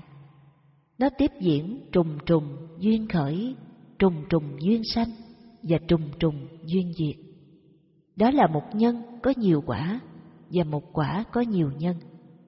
Vì thế, lý nhân quả duyên khởi, duyên sanh, duyên diệt rất cụ thể, rõ ràng, mà không ai dám phủ nhận rằng không có nhân quả.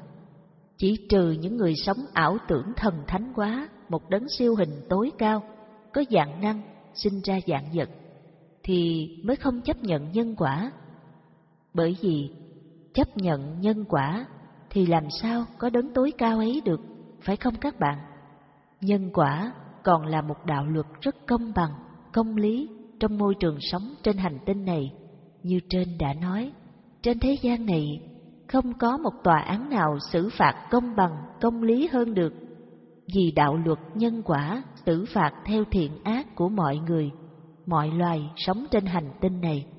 Một hành động ác là một nhân, nhưng một nhân không thể có một quả. Các bạn nên xem xét lại nhân quả thảo mộc thì sẽ rõ. Một hạt đu đủ lên thành cây, khi cây cho trái, không thể cho một trái mà cho nhiều trái, phải không các bạn? Một người ăn cắp khi bị bắt, người ta không đánh một bạt tay, mà đánh nhiều bạt tay và còn bị nhiều đấm đá khác nữa. Đó là một nhân mà có nhiều quả. Một quả mà có nhiều nhân như trái đu đủ. Các bạn có lưu ý quả đu đủ chưa? Trong quả đu đủ có nhiều hạt đấy, các bạn ạ. À. Xét nhân quả thảo mộc và con người thì không khác nhau. Vì nhân quả là một định luật chung cho dạng vật trên hành tinh này. Nên một nhân ăn cắp mà phải nhận lãnh nhiều quả bị đánh đập không sao kể xiết. Và mỗi hành động bị đánh đập liền phóng xuất ra những từ trường ác ấy. Do những từ trường ác này tương ưng những ai có tâm trộm cắp như vậy, thì hợp duyên làm con của những người này. Mỗi hành động bị đánh đập là một nhân. Một nhân sẽ thành một con người gian tham trộm cắp. Xét theo luật nhân quả, thì một người làm ác khi chết không phải sinh ra một người ác, mà sinh ra nhiều người ác. Một hành động giết hại và ăn thịt chúng sanh, tức là một nhân ác. Một nhân ác thì phải trả nhiều quả khổ. Vì thế, quả giết hại và ăn thịt chúng sanh thì phải nhận lấy quả khổ đau bệnh tật, nhiều thứ bệnh tật, chứ không phải một thứ bệnh tật, và còn tai nạn nữa. Không phải một tai nạn, mà nhiều tai nạn không thể tính hết được. Trong những quả khổ đau ấy lại có những nhân từ trường nghiệp ác để tiếp tục tái sanh ra những loài vật đã bị giết hại và ăn thịt. Cho nên, một người ăn thịt gà là nhân, nhưng nhân ăn thịt gà này không phải sinh làm một con gà, mà sinh ra nhiều con gà. Cũng như ăn cá tôm thì phải sinh làm cá tôm, nhưng không phải một con cá tôm mà nhiều con cá tôm. Giết hại và ăn thịt chúng sanh bao nhiêu thì phải sinh ra bấy nhiêu và còn nhiều hơn nữa. Vì thế, trại nuôi gia súc và ao hồ nuôi cá tôm phát triển càng nhiều để đáp ứng nhu cầu ăn uống dục lạc của con người thì nghiệp ác của họ càng cao. Nghiệp ác của họ càng cao thì sự sinh khởi diệt nghiệp quả ác báo này lại càng cao hơn. Nhưng nghiệp quả ác báo này không thể dừng lại đây, vì nhân quả ác trời của loài động vật, nhất là loài người. Vì thế, từ trường ác thải ra ngút trời, làm nhân quả thời tiết vũ trụ chuyển động thành thiên tai, quả hoạn, lũ lụt, sóng thần, động đất, bão tố, chiến tranh, khủng bố, các loại bệnh, nhất là dịch cúm da cầm, chim muông, heo, dê, bò, ngựa, vân vân. Cho nên, dịch cúm gia cầm chỉ là một hiện tượng nhân quả duyên tan hoại của nhiều hiện tượng nhân quả duyên tan hoại đang xảy ra trên hành tinh này. Nếu con người không biết chấm dứt những hành động cực ác, giết hại và ăn thịt chúng sanh, không có một chút lòng yêu thương, thì thế gian này còn nhiều khổ đau nữa.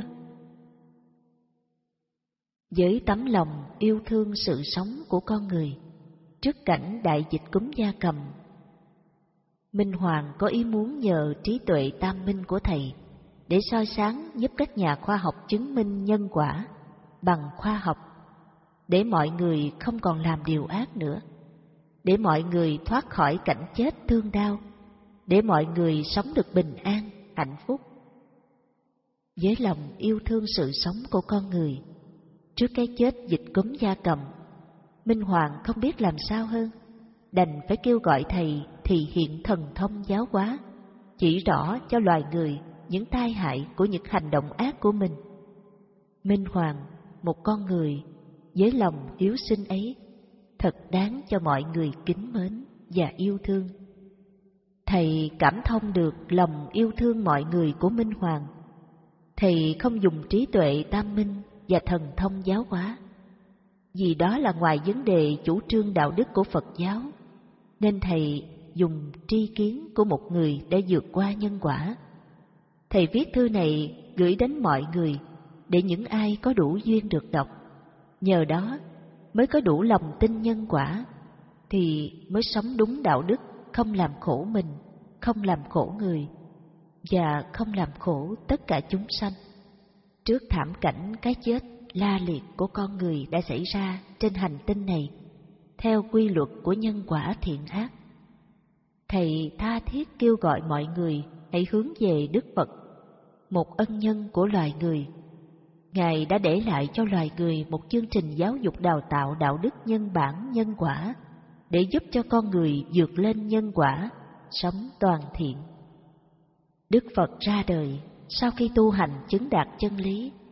Ngài thấy quy luật nhân quả đang điều hành vũ trụ một cách trật tự, công bằng.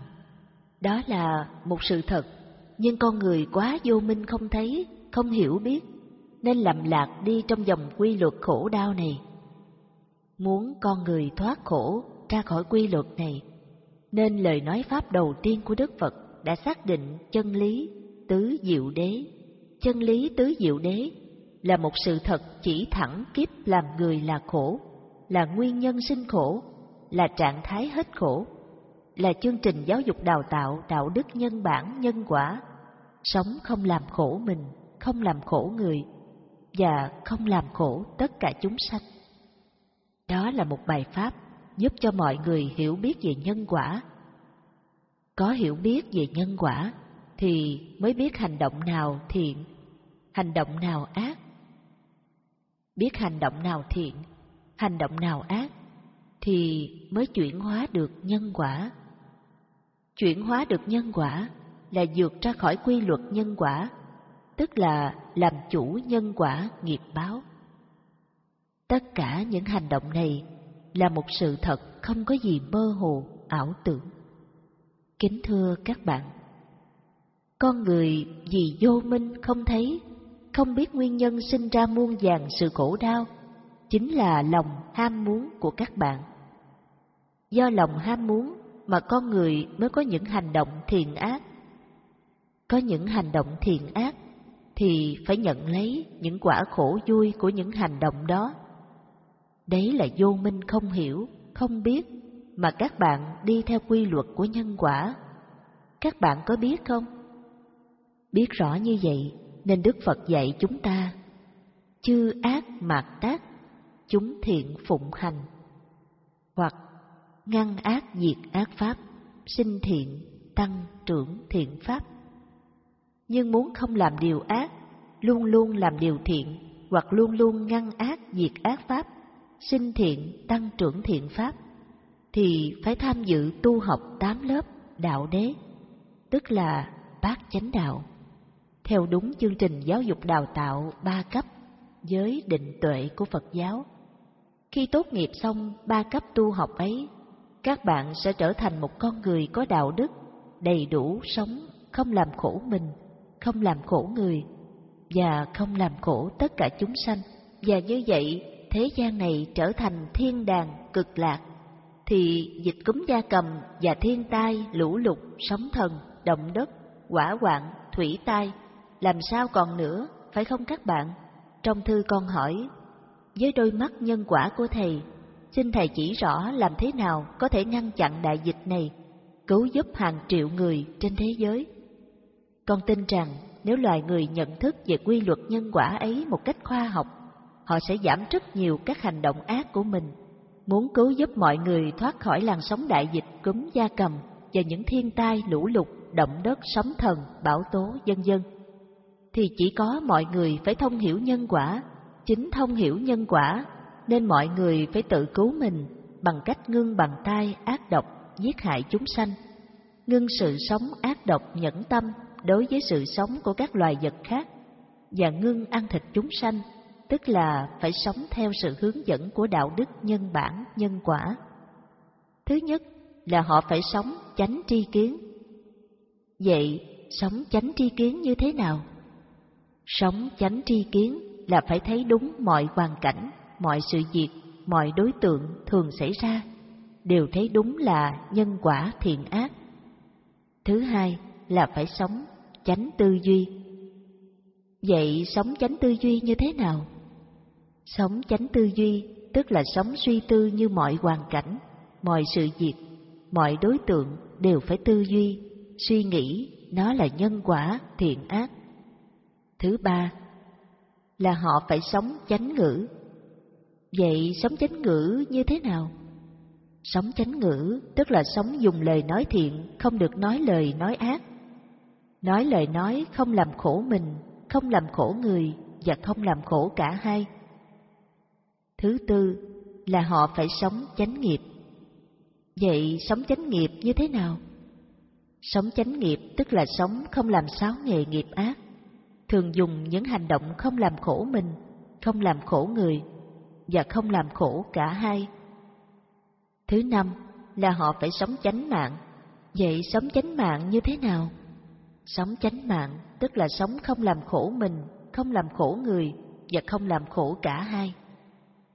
Sống không nuôi dưỡng thân mạng bằng máu thịt chúng sanh, bằng sự đau khổ của loài vật khác, của người khác. Thứ sáu là họ phải sống chánh tinh tấn.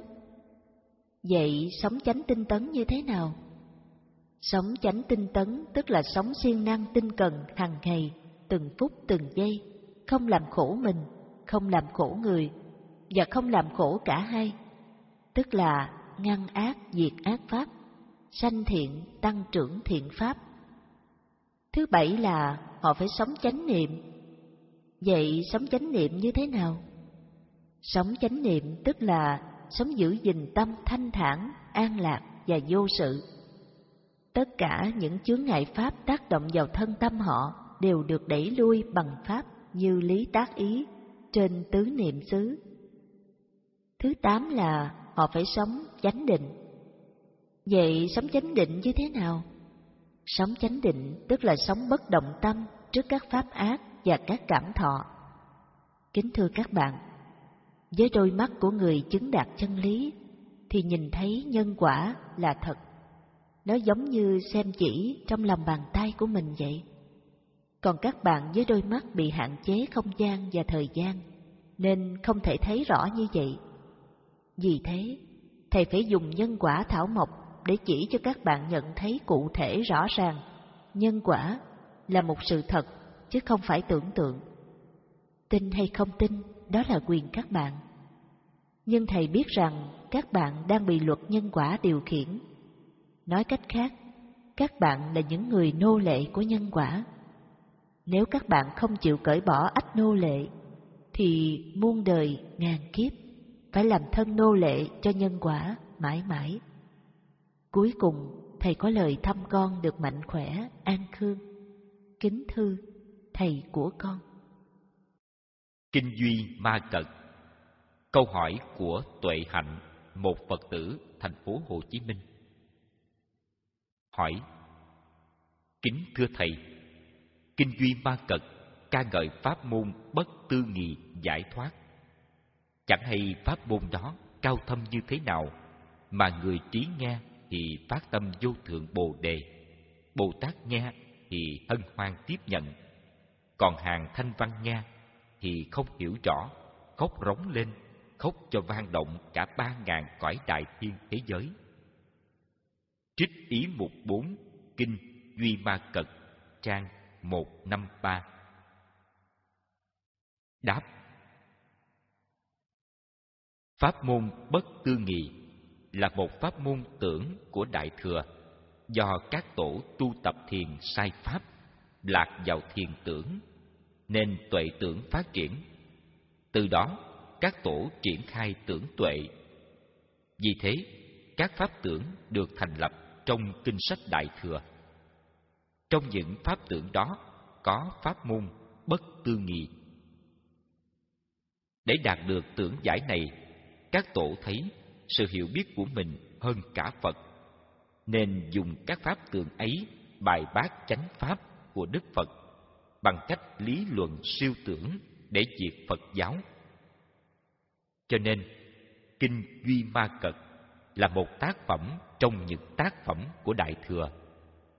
Ra đời là nhằm mục đích thực hiện ý đồ thâm độc để diệt giáo lý của Phật giáo. Đây các bạn lắng nghe ông Duy Ma Cật giới thiệu pháp môn bất tư nghị. Một Kinh Duy Ma Cật dạy Thiền giả không dính mắc tam giới và thân tâm vẫn sinh hoạt mới là ngồi thiền. Lời dạy này đúng là lời dạy không nghĩ bàn được, vì đó là tưởng giải ra bất tư nghị nên vô nghĩa, khiến cho ý thức không suy nghĩ được, vô phân biệt. Có thể nói, lời dạy này vô lý. Vậy tam giới các bạn có hiểu biết nghĩa của nó là gì không? Theo các nhà đại thừa hiểu, tam giới là ba cõi giới, tức cảnh giới. Sự hiểu như vậy là hiểu theo tưởng giải. Hiểu ba cõi giới là hiểu ba cõi ảo tưởng các bạn ạ. À. Cho nên, kinh sách Nguyên Thủy Phật dạy tam giới nghĩa lý như thật, không mơ hồ ảo tưởng. Tam giới tức là ba trạng thái trong thân tâm của con người. Ba trạng thái trong thân tâm của con người gồm có một, dục giới, hai, sắc giới, ba, vô sắc giới. Dục giới chỉ cho trạng thái ham muốn của con người. Sắc giới chỉ trạng thái của cơ thể con người. Ba, vô sắc giới chỉ cho trạng thái tưởng của con người. Ba cõi, tức là ba trạng thái của một con người. Ba trạng thái trong một con người, nên con người thường luân chuyển sống trong ba trạng thái này, không lìa rời nhau, không xa nhau nửa bước. Lúc thì ở trạng thái này, lúc thì ở trạng thái kia. Cho nên kinh dạy luân hồi trong ba cõi bởi kinh duy ma cật dạy câu trên đây, không bao giờ thực hành được. Không bao giờ thực hành được là vì một con người mà không ở trong tam giới thì ở đâu? Sinh ra làm người thì lúc nào cũng ở trong tam giới. Ở trong tam giới thường sinh hoạt mà nói rằng không dính mắt là không đúng. Chữ dính mắt của duy ma cật dùng ở đây không đúng nghĩa. Tại sao vậy? Chữ dính mắt phải được thay thế bằng chữ ác pháp không tác động. Vì thế, câu này phải được viết lại. Thiền giả sống trong tam giới, thân tâm vẫn sinh hoạt bình thường, mà dục và ác pháp không tác động. Cho nên, ba trạng thái này bảo rằng con người không dính mắt là không đúng nghĩa. Vì ba trạng thái này là ba trạng thái của một con người, chứ không phải ba trạng thái là ba cõi như các nhà đại thừa hiểu.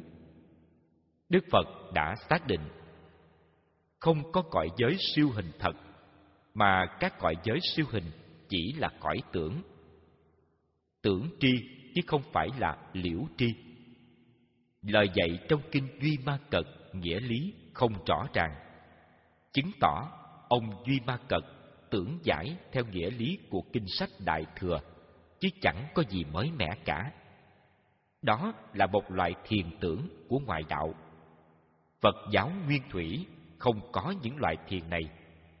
Cho nên, lời nói của ông duy ma cật không có giá trị tu hành, làm chủ, sanh, già, bệnh, chết, chỉ là lời nói suông mà thôi, vậy mà không có pháp hành thiền giả không dính mắc tam giới và thân tâm vẫn sinh hoạt mới là ngồi thiền hai duy ba cật dạy sinh hoạt trong bốn oai nghi như bình nhật mà không rời diệt tận định.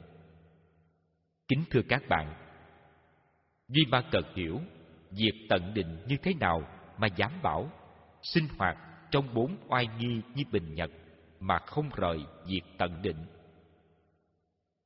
Cư sĩ Duy Ba Cật dám nói câu này chính là cư sĩ đã lộ sự vô minh của mình cho người khác biết, giống như người vạch lưng cho xem thẹo. Vậy, diệt tận định nghĩa là gì? Diệt tận định là một loại thiền định bất động cả thân lẫn tâm. Vì thiền này diệt các cảm thọ và các tưởng, như vậy thân ngồi bất động. Thân ngồi bất động thì làm sao sinh hoạt trong bốn oai nghi được, phải không các bạn? Có lẽ ông Duy Ma Cật không hiểu thiền diệt thọ tưởng tận định là gì. Nên đã nói theo kiểu tưởng giải của mình để gọi là pháp môn bất tư nghị. Như vậy, pháp môn bất tư nghị chỉ là lời nói xạo, nói dối, nói như mình hay, nhưng kỳ thực là lời nói xảo ngôn, nói lừa đảo, lường gạt người. Như vậy, ở đời ai nói một việc gì vô lý là pháp môn bất tư nghị hết sao? Chỉ có những người vô minh mới ca ngợi những lý luận ảo tưởng đó. Người có minh thì không bao giờ chấp nhận. Cho nên, 62 luận thuyết của ngoại đạo Bà La Môn thời bấy giờ, Đức Phật không chấp nhận và đã bác sạch những lý luận đó. Những lý luận của Bà La Môn là những lý luận tưởng. Những gì ông Duy Ma Cật đã dạy trong Kinh Duy Ma chỉ là nhai lại bả mía của kinh sách Đại Thừa và Thiền Tông, chẳng có gì mới mẻ cả. ba Duy Ma Cật dạy là mọi việc như kẻ phàm phu mà không sao lãng đạo pháp. Lời dạy như thế có đúng không, thưa các bạn? Lời dạy như vậy chỉ là những lời dạy cho những người bị bệnh tưởng, những kẻ đồng bóng, chứ những người bình thường thì không ai tin lời dạy này. Vì làm mọi việc như kẻ phàm phu mà không sao lãng đạo pháp thì chẳng có ai làm được. Lời dạy này không thể sống và tu tập được. Lời dạy này không thể sống và tu tập được là pháp môn bất tư nghị ư. Vậy thì pháp môn bất tư nghị của ông Duy Ma Cật để làm gì? Có ích lợi gì cho đời? Nói để tránh hơn thua cao thấp với những người khác ư? Đây là pháp môn không thể nhì bàn, không có pháp nào cao hơn được. Pháp môn như vậy chỉ là lời nói lừa đảo người khác mà thôi. Ai cũng ca ngợi kinh Duy Ma Cật, nhưng có ai tu tập được như kinh Duy Ma Cật vậy chưa? Kinh Duy Ma Cật là kinh vọng ngữ, kinh nói không đúng sự thật. Trong khi kinh sách Phật giáo dạy những gì đều đúng như thật, nên giáo pháp của Phật được gọi là chân lý. Cho nên, bài pháp đầu tiên của Đức Phật gọi là tứ diệu đế. Tứ diệu đế tức là bốn sự thật của loài người Phật không lừa đảo con người, từ bỏ sự giàu sang danh lợi. Còn tổ chuyên lừa đảo người khác để cất chùa to, Phật lớn, làm giàu trên mồ hôi nước mắt của người Phật tử. Như các bạn đã biết, Phật Pháp là phải lìa tâm dâm dục. Thế mà sống trong tâm dâm dục lại không lìa Phật Pháp. Lời dạy như vậy, các bạn cứ suy ngẫm có đúng không? Hay ông Duy Ma Cật là một người trí óc bất ổn, phải không các bạn? 4. Duy Ma Cật dạy Tâm không cột vào trong, cũng không tản mạn ra ngoài, mới là ngồi thiền. Câu này ông Duy Ma Cật dạy đúng nghĩa theo Phật giáo nguyên thủy. Khi tâm không phóng vật, thì tâm không cột vào trong và cũng không tản mạn ra ngoài như vậy câu này đâu phải là pháp môn bất tư nghị. Vì lời dạy này còn nghĩ bàn được, phải không các bạn? Còn nghĩ bàn được thì đâu được gọi là pháp môn bất tư nghị. Như vậy rõ ràng, lời dạy của ông Duy Ma Cật không nhất quán, tự nó mâu thuẫn với nhau, có đúng không các bạn? Như vậy, bộ kinh Duy Ma Cật chỉ là một bộ kinh góp nhặt các sạn của Đại Thừa mà bài bác vàng bạc châu báu của Phật giáo Nguyên Thủy, thì làm sao bài bác được? Chỉ có những người lọt vào tưởng tuệ nên mới chấp nhận những pháp môn ảo tưởng đó. Chứ người có trí hiểu biết một chút thì không bao giờ chấp nhận. Xem bộ kinh Duy Ma Cật như một bộ môn tiểu luận lừa đảo. Các bạn nên đọc lại lời dạy này. Tâm không cột vào trong, cũng không tản mạn ra ngoài mới là ngồi thiền. Câu này mang đầy đủ ý nghĩa giải thoát của Đức Phật khi Ngài thành chánh giác đã tuyên bố như sau. Ta thành chánh giác là nhờ tâm không phóng vật.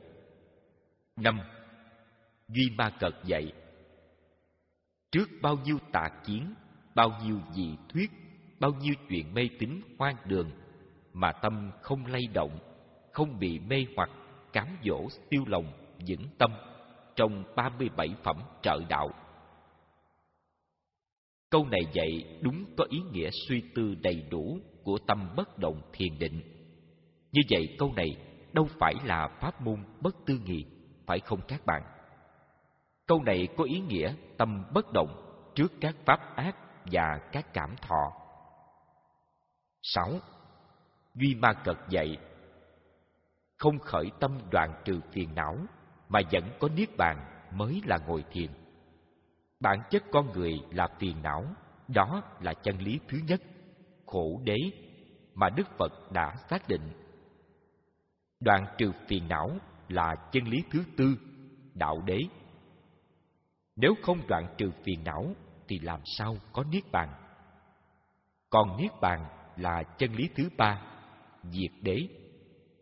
Cho nên câu không khởi tâm đoạn trừ phiền não mà vẫn có niết bàn mới là ngồi thiền. Nếu ai đã học về bốn chân lý của Phật giáo thì đọc câu này các bạn sẽ có cảm nhận về ông Duy Ma Cật là người kiến giải chứ chưa có thực hành tu tập. Vì thế, ông chưa hiểu niết bàn của Phật giáo. Ông chỉ hiểu niết bàn của ngoại đạo. Niết bàn của ngoại đạo là một cảnh giới siêu hình. Niết bàn có nghĩa là không có phiền não. Không phiền não tức là niết bàn. Cho nên câu nói của ông Duy Ma Cật dường như niết bàn và phiền não là hai. Ý của ông nói, cứ để phiền não bình thường không cần đoạn trừ phiền não mà vẫn có niết bàn. Xin lặp lại câu nói của ông. Không khởi tâm đoạn trừ phiền não mà vẫn có niết bàn. Vì thế, ông Duy Ma Cật cho niết bàn là một cảnh giới siêu hình ở đâu chứ không phải chỗ tâm không phiền não. Hiểu như ông, niết bàn là một cảnh giới của chư Phật chứ không phải là một trạng thái của tâm con người. Các bạn lắng nghe chân lý thứ ba của Phật giáo là một trạng thái tâm con người không còn tham, sân, si. Không còn tham, sân, si mới gọi là diệt đế. Diệt tức là diệt hết sự đau khổ, phiền não. Hiểu Phật giáo như ông Duy Ma Cật là hiểu Phật giáo theo nghĩa của Bà La Môn, hiểu theo nghĩa của thế giới siêu hình. Vô sở đắc, câu hỏi của Tuệ Hạnh. Hỏi, kính thưa thầy, trưởng giả Duy Ma Cật dạy một kiền liên.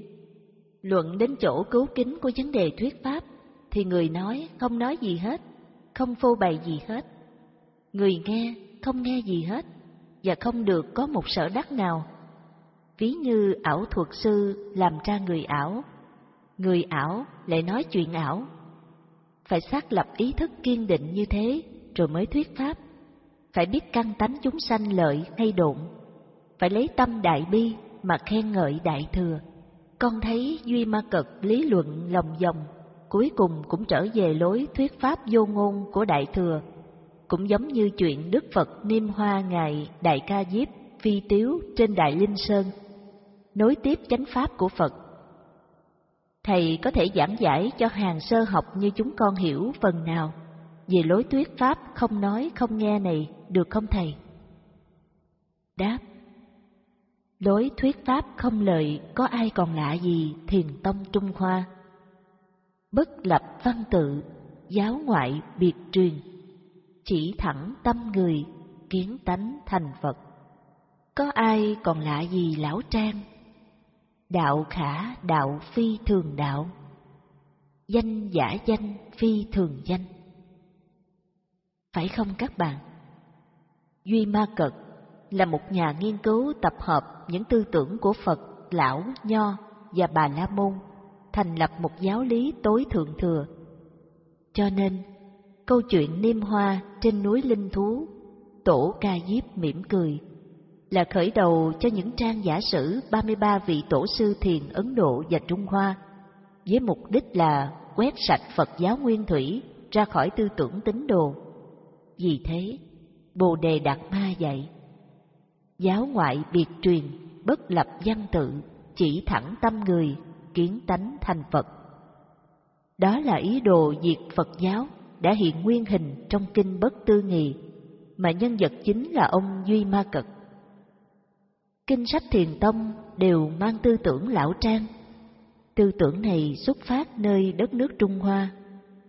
Vì thế, mới tưởng tri sinh ra 1.700 công án trên giáo pháp thiền để thay thế kinh sách Nam Tông, chứ không phải kinh sách Bắc Tông, để chỉ thẳng tâm người, kiến tánh thành Phật.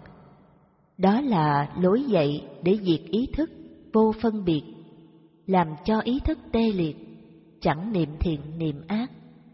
Các thiền sư tưởng giải chẳng niệm thiện niệm ác là thành Phật, là giải thoát nơi đó, là hết tham sân si. Nhưng sự thật đó chỉ là một ảo tưởng Phật tánh. Đức Phật đâu có dạy kỳ lạ như vậy, đâu có dạy tu để làm Phật, đâu có dạy tu để nhập thiền định, đâu có dạy tu để có tam minh, lục thông, đâu có dạy tu ngồi thiền ba bốn tiếng đồng hồ, đâu có dạy tu để cầu giảng sanh cực lạc Tây Phương, đâu có dạy tu tập để nhập vào cảnh giới Niết Bàn, đâu có dạy tu để lại nhục thân xá lợi. Đâu có dạy cúng bái tụng niệm cầu siêu cầu an cầu tài cầu lợi.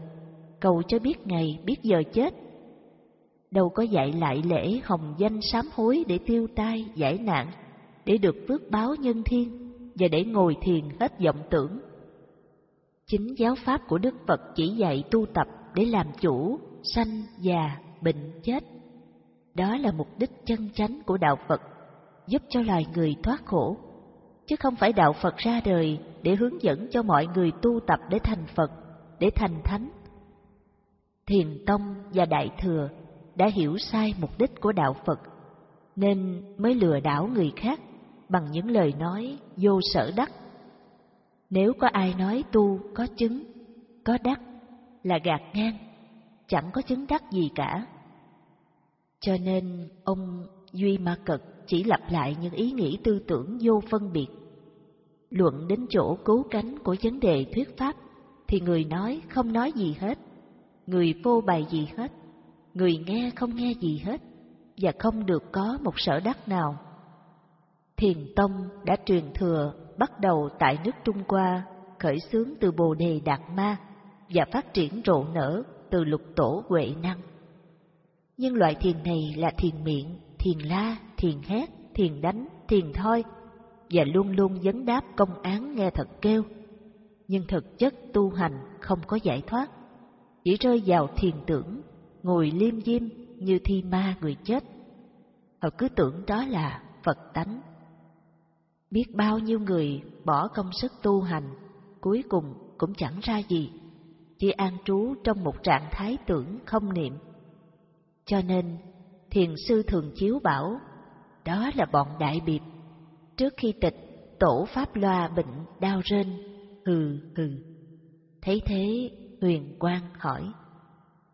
Sao hòa thượng trên? Gió thổi qua khe trúc. Tu hành không làm chủ bệnh nên khéo trả lời che đậy. gió thổi qua khe trúc. Câu trả lời thật là tuyệt vời, bưng bích. Thiền Tông đã truyền thừa được sáu đời tại Trung Hoa, từ Bồ Đề Đạt Ma đến Lục Tổ Huệ Năng. Và từ đây, Thiền Tông phát triển theo kiểu biến dạng thành tịnh độ tông. Vì tu thiền không kết quả. Do đó, Tổ Thiền Tông tuệ diễn thành lập liên trì thư xã sớ giải kinh tịnh độ. Đó là một hiện tượng báo động cho biết thiền tông tu hành chẳng đến đâu, nên mới sinh ra pháp môn tịnh độ. Thiền tông phát triển đến thiền công án và tham thoại đầu là con đường thiền chấm dứt, không còn phương thế nào phát triển hơn được nữa. Khi phát triển đến mức độ không còn phát triển được nữa, thì lại sinh ra một hệ phái khác, tịnh độ tông, mật tông, pháp hoa tông. Tất cả các hệ phái này đều là con đẻ của thiền tông. Cho nên, kinh sách Đại Thừa là kinh sách phát triển theo kiến giải, tưởng giải của giáo pháp Bà La Môn, Ấn Độ, của thiền tông Trung Hoa. Các tổ sư thiền tông Trung Hoa rất khôn khéo, vì biết chắc tín đồ không tin ở họ, nên soạn kinh viết sách đều gác cho Phật thuyết. Đó là có ý đồ lừa đảo Phật tử bằng cách dùng thuật ngữ thiền giáo đồng hành. Có nghĩa là lấy giáo, tức là lời dạy của Phật, làm niềm tin cho thiền. Khi Bồ Đề Đạt Ma sang Trung Hoa đã tuyên bố giáo ngoại biệt truyền, bất lập dân tự, chỉ thẳng tên người, kiến tánh thành Phật. Vì thế, Bồ Đề Đạt Ma diện kiến vua Lương Võ Đế. Nhà vua hỏi, ai đang ở trước mặt ta? Bồ Đề Đạt Ma trả lời, không biết, nên bị vua Lương Võ Đế sai lính hầu đánh gãy răng và thả ông ra, cấm không cho truyền tà đạo, đạo không đúng đạo Phật.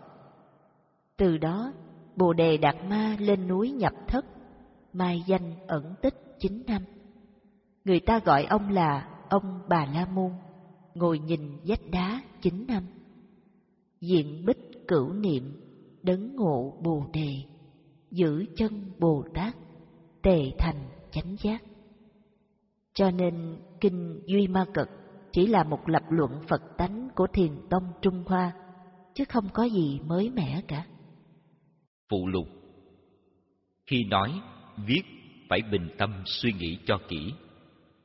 Bài viết của Diệu Quang Hàng ngày tôi thường mở hộp thư trên mạng để đọc thư các bạn bốn phương gửi về tu viện chân như. Hôm nay tôi nhận được nhiều lá thư gửi vào hộp thư của chúng tôi, nói về thầy Thông Lạc. Sau khi đọc những bài viết về thầy Thông Lạc của bạn Ngờ hát trên trang thư viện Hoa Sen, tôi có đến trình và thưa hỏi thầy Thông Lạc có nên trả lời những bài viết này không? Thầy Thông Lạc bảo phải im lặng như thánh.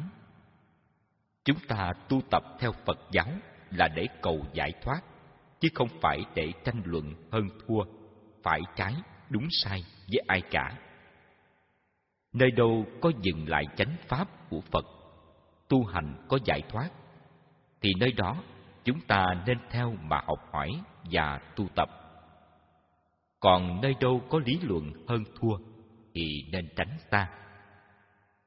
Lời thầy thông lạc khuyên như vậy, nhưng tâm chúng tôi tu hành chưa tới đâu, nên nghĩ đến nhiều người khác, nghĩ đến bạn ngờ hắc. Khi họ đọc những bài viết của bạn ngờ hắc, thì họ hiểu Phật giáo một cách lệch lạc, hiểu theo kiểu xưa nay của kinh sách phát triển.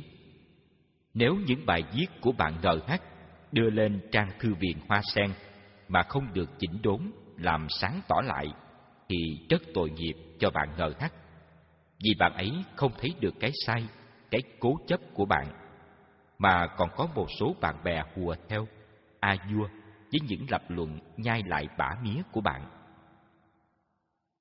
Những lập luận a vua nhai lại bả mía của bạn đã làm cho bạn không còn sáng suốt thấy sự vô minh của bạn nữa do đó bạn sinh ngã mạng cho mình là am tường thông suốt Phật pháp. Bằng chứng bạn ấy đã bỏ nhiều thì giờ để bình luận những lời tựa của bộ sách Đường về xứ Phật theo những kiến giải, tưởng giải của các vị tổ sư.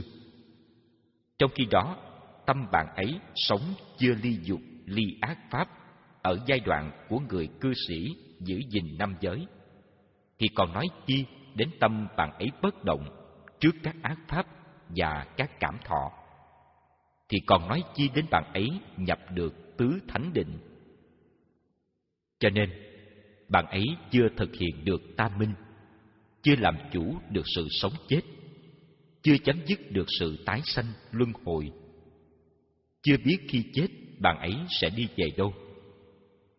Nhất là một điều dễ làm mà bạn ấy còn chưa biết, chưa làm được. Đó là một ngày sống đúng phạm hạnh như Phật, như chúng thánh tăng, như ngày thọ bát quan trai đúng chánh pháp.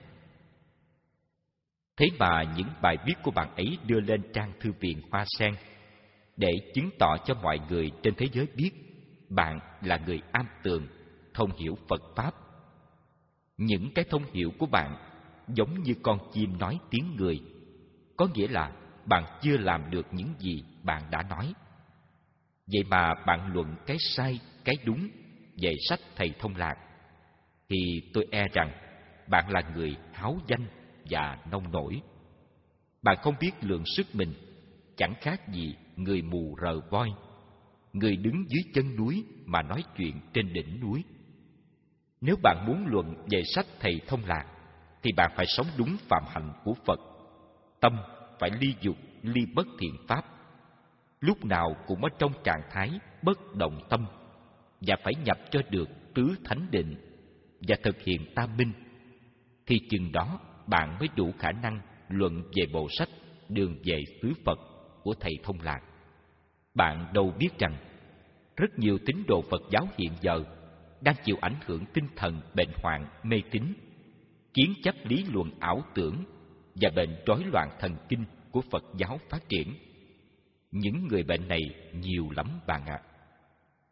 Cho nên, những bậc tu hành chân chánh như thầy Thông Lạc giống đến tiếng chuông cảnh tỉnh để mọi người tự cứu lấy mình, chứ không còn cách nào hay người nào khác tháo gỡ cho họ thoát khỏi những bệnh hoạn này.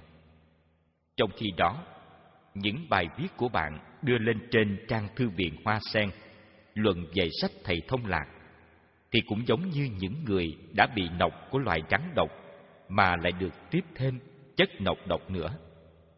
Và từ đó về sau, bệnh nọc độc chiến chấp ảo tưởng mê tín của kinh sách phát triển càng trầm trọng hơn và không thể nào còn có thuốc nào cứu trị được. Thật đáng thương vậy. Những lối lý luận của bạn ngờ hắc là lối lý luận vay mượn của những nhà học giả Phật giáo xưa và nay. Cứ dựa theo lối mòn đó, dò dẫm lại, chứ bạn ngờ thắc không có sự nghiên cứu kỹ về kinh sách Phật giáo nguyên thủy. Do đó, bạn ấy không có sự hiểu biết của riêng bạn. Vì thế, cái hiểu biết này của bạn về Phật giáo mà tôi bảo thụ động bước theo lối mòn của người khác. Những bài viết của bạn dễ đưa dắt những người chưa hiểu biết về Phật giáo vào thế giới mê tín, ảo tưởng của kinh sách phát triển, trừu tượng của thiền đông độ, nhất là những người không có thì giờ nghiên cứu kinh sách Phật giáo nguyên thủy. Vì thế, họ dễ bị ảnh hưởng tà kiến của những loại kinh sách phát triển này. Thưa các bạn, nếu trong tất cả những bài viết của bạn ngờ hắc nói về bộ sách của thầy Thông Lạc, các bạn hãy chọn một bài nào, một đoạn nào, dù bất cứ ở chỗ nào trong những bài viết ấy đưa ra, thì tôi sẽ chỉ cái sai của bạn ngờ hắc cho các bạn xem. Chỉ vì mọi điểm của những bài viết của bạn ngờ hắc không có điểm nào luận đúng, nói đúng về Phật giáo, về thầy Thông Lạc cả. Toàn là luận sai vì bạn ấy quá xem thường kinh sách Phật giáo nguyên thủy. Ở đây tôi không chọn bài nào, đoạn nào cả, mà chỉ ngay bài đầu, đoạn đầu rất ngắn của bạn ấy, để vạch ra cho các bạn xem bài viết của bạn ấy đã có rất nhiều cái sai với Phật giáo. vừa theo lịch sử, vừa theo giáo pháp, vừa theo giới luật. Không có bộ môn nào của Phật giáo mà bạn ngờ hát luận đúng cả. Nếu chịu khó luận hết những bài viết của bạn ngờ hát, thì sẽ cho thấy cái sai của bạn ấy vô số kể. Bên cạnh còn có tội phỉ bán kẻ chân tu. Một Theo lập luận của bạn ngờ GH, cho thầy Thông Lạc viết không đúng lịch sử Phật giáo mà chỉ do suy đoán của riêng thầy. Điều trên ghi không đúng theo lịch sử Phật giáo hoặc là chỉ do suy đoán riêng của thầy Thông Lạc. Theo sự nghiên cứu của chúng tôi và qua lời dạy của thầy Thông Lạc thì nên căn cứ vào tuổi thọ của ông A Nan để tìm ra Phật giáo nguyên thủy nguyên gốc tồn tại được bao nhiêu năm trên thế gian này. Ai cũng biết ông A Nan đến với đạo Phật vào khoảng 20 tuổi, tuổi tỳ kheo, cho đến khi thị tịch là 120 tuổi. Ông là người đệ tử thị tịch cuối cùng của Đức Phật. Ông A Nan còn sống là người đại diện cho Phật giáo Nguyên Thủy và cũng là người giữ gìn mạng mạch của Phật giáo Chánh Tông. Ông A Nan mất là Phật giáo chân chánh mất. Tại sao vậy? Vì hiện tượng báo cho biết Phật giáo mất. Mất trước khi ông A Nan tịch là do tu sĩ Phật giáo bấy giờ hiểu sai lời Phật dạy, tu học theo kiến giải tà kiến của một số thầy tổ của họ. Trong những năm cuối đời, chính ông A Nan đích thân chỉnh đốn lại những điều sai đó mà các tu sĩ bấy giờ đều không nghe. Nên ông tự than phiền và cho rằng chúng sanh đời sau không còn đủ duyên với chánh pháp của Phật. Để chứng minh điều này, tôi xin ghi lại một đoạn sử về ông A Nan trong bộ Thập Đại Đệ Tử Sử Chuyện. Đến năm tôi già tròn đủ 120 tuổi, một hôm nọ trên đường đi nghe một thầy tỳ kheo tụng một bài kệ. Nếu người sống trăm tuổi không thấy thủy lão hạt, chẳng bằng sống một ngày mà thấy được hạt ấy. Ông A Nan nghe qua bài kệ tụng bị sai lầm một cách tệ hại. Thật là râu ông nọ cấm cầm bà kia. Tôn giả bèn lập tức cải chính. Bài kệ phải tụng như thế này: Nếu người sống trăm tuổi không hiểu pháp sanh diệt, chẳng bằng sống một ngày mà được hiểu rõ ràng. Tỳ kheo kia nghe ông A Nan dạy xong, trở về thưa lại với sư phụ. Chẳng già sư phụ nổi sùng nói rằng: Ông đừng nghe ông A Nan nói bậy, năm nay ông A Nan đã già cả, đú lẫn rồi. Ta dạy ông không sai đâu. Thầy tỳ kheo trở lại, đem lời sư phụ nói lại với ông A Nan. Tôn giả A Nan định đi tìm ông ta để hỏi tại sao lại nói những lời ngu si như vậy nhưng suy đi nghĩ lại con người đã thốt ra lời ấy có nói chưa chắc đã chịu nghe nên thôi một vị trưởng lão ôn hòa như ông a nan thống lãnh giáo đoàn đương thời nắm trong tay giáo quyền tối thượng nhưng vẫn áp dụng lối xử sự nhún nhường qua câu chuyện trên chúng ta xác định phật giáo tồn tại tính nguyên thủy chỉ có một trăm năm. Một trăm năm ấy tính theo tuổi thọ của ông A Nan. Ông A Nan vào đạo lúc hai mươi tuổi, đến khi thị tịch một trăm hai mươi tuổi.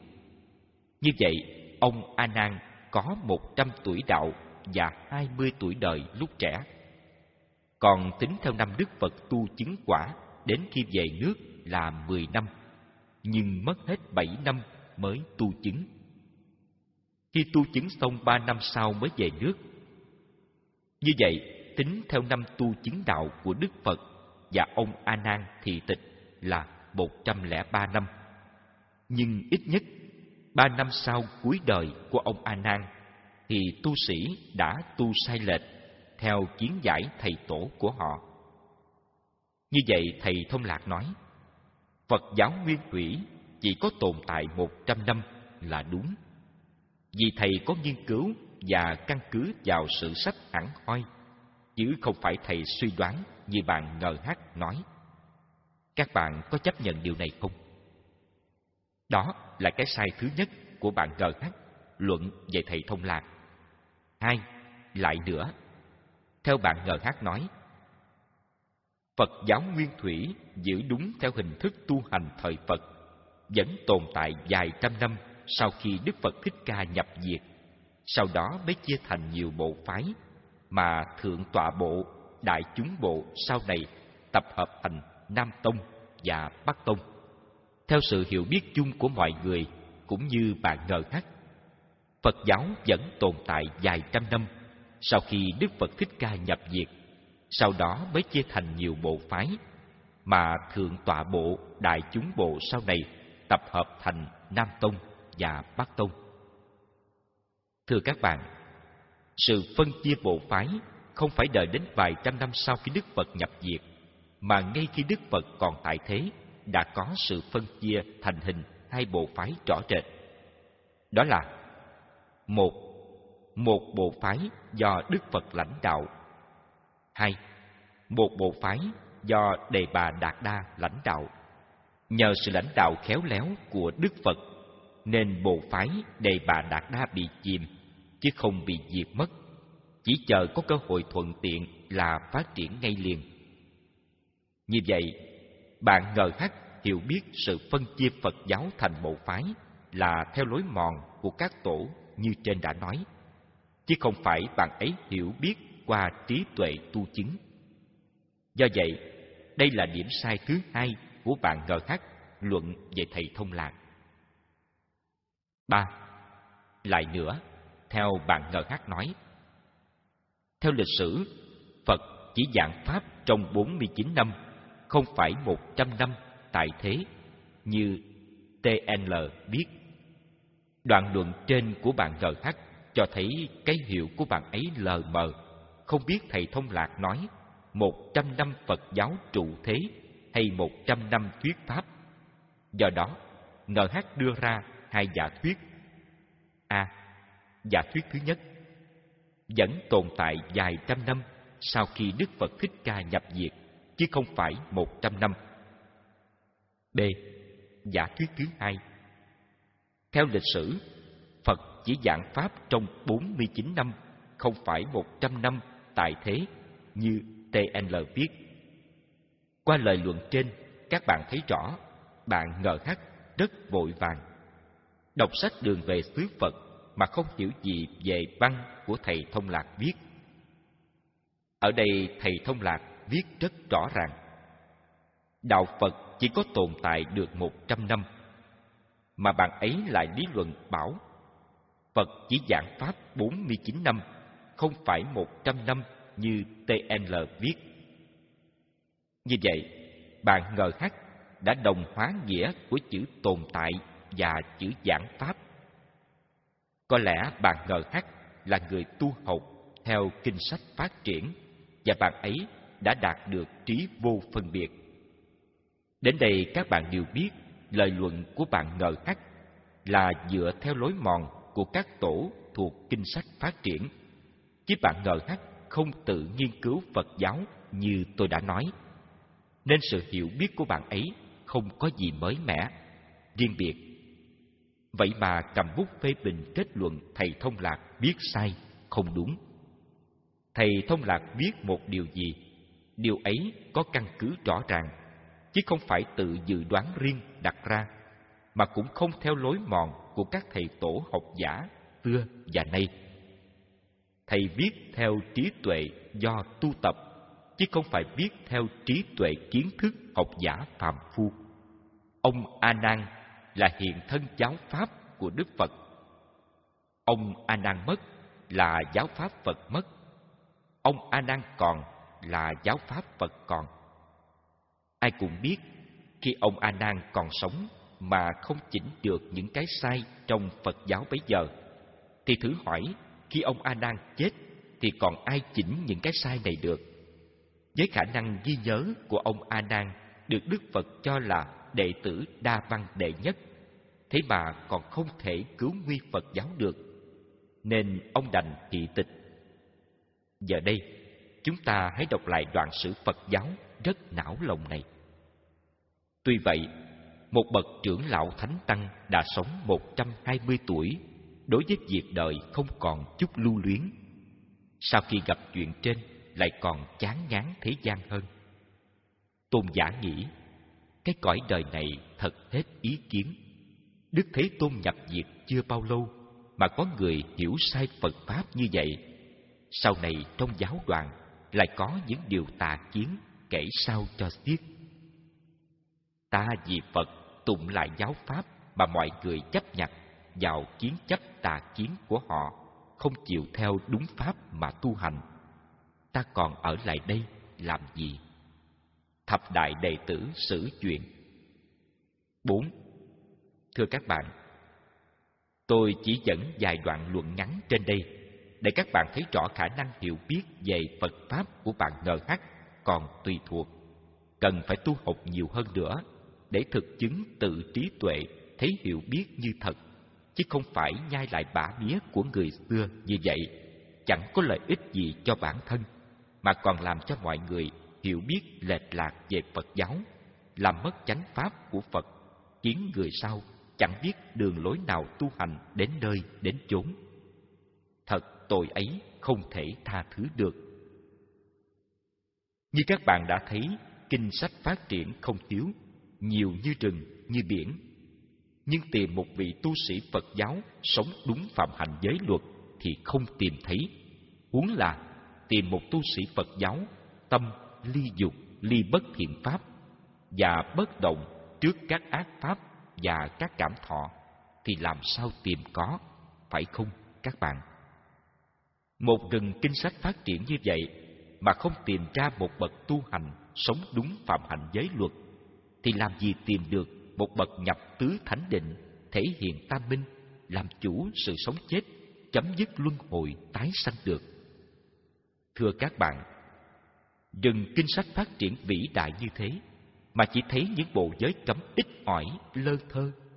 Còn giới đức, giới hạnh, giới hành thì không có một bộ nào cả. Vậy lấy giới luật gì, ở đâu mà bạn ngờ hát dám đem giới luật ra đây nói. Có hay không có, phạm hay không phạm, dựa vào mấy bộ giới cấm của các tổ mà luận về giới luật thì tôi e bạn ấy không biết lượng sức mình. Khi bạn viết ra câu này, chứng tỏ bạn là người không có nghiên cứu và học hỏi về giới luật. Vì làm sao gọi là phạm giới khi không hay chưa có giới? Thưa các bạn các bạn có biết giới luật của phật bắt nguồn từ đâu mà có? Từ phạm thiên đấy, các bạn ạ. Thưa các bạn, phật có trước phạm thiên hay phạm thiên có trước phật? Trong kinh sách nguyên thủy, phật thường nhắc nhở các tỳ kheo nên sống một đời sống phạm hạnh. Vậy phạm hạnh là gì?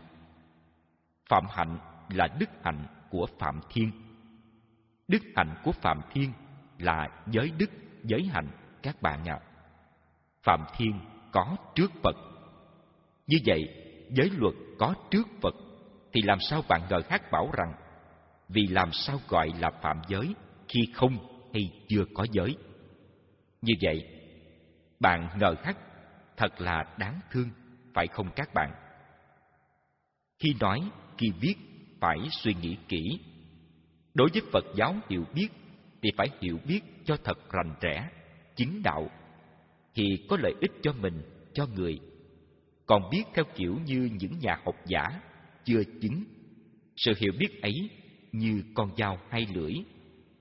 Biết mà im lặng như thánh thì tốt.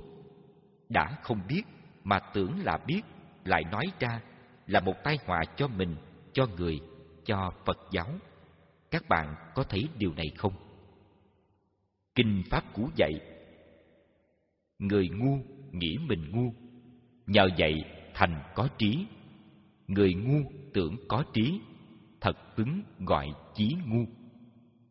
Trường hợp bạn htr và bạn ngh và một số vị nữa đều là những người viết bài cho trang thư viện hoa sen. Trang thư viện hoa sen tiêu biểu tiếng nói chân chánh, đúng đắn của phật giáo. Vì thế các bạn không nên viết sai phạm như thế này. Viết sai phạm thì trang thư viện Hoa Sen sẽ mất uy tín đối với các độc giả khắp nơi trên thế giới. Tiếng nói của Phật giáo mà không chân thật, không đúng đắn, lệch lạc, nghiên cứu không thấu đáo là khinh thường độc giả, Tem độc giả thiếu hiểu biết về Phật giáo. Vì thế mới muốn nói xuôi, nói ngược như thế nào cũng được. Tôi nghĩ các bạn đã lầm.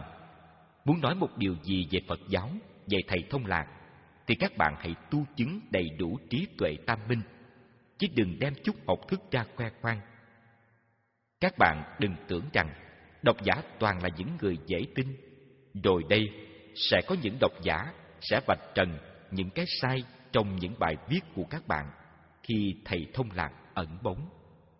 Như vậy, đây là cái sai của bạn ngờ hắc luận về thầy thông lạc, gây ảnh hưởng, làm mất uy tín cho trang thư viện Hoa Sen nữa.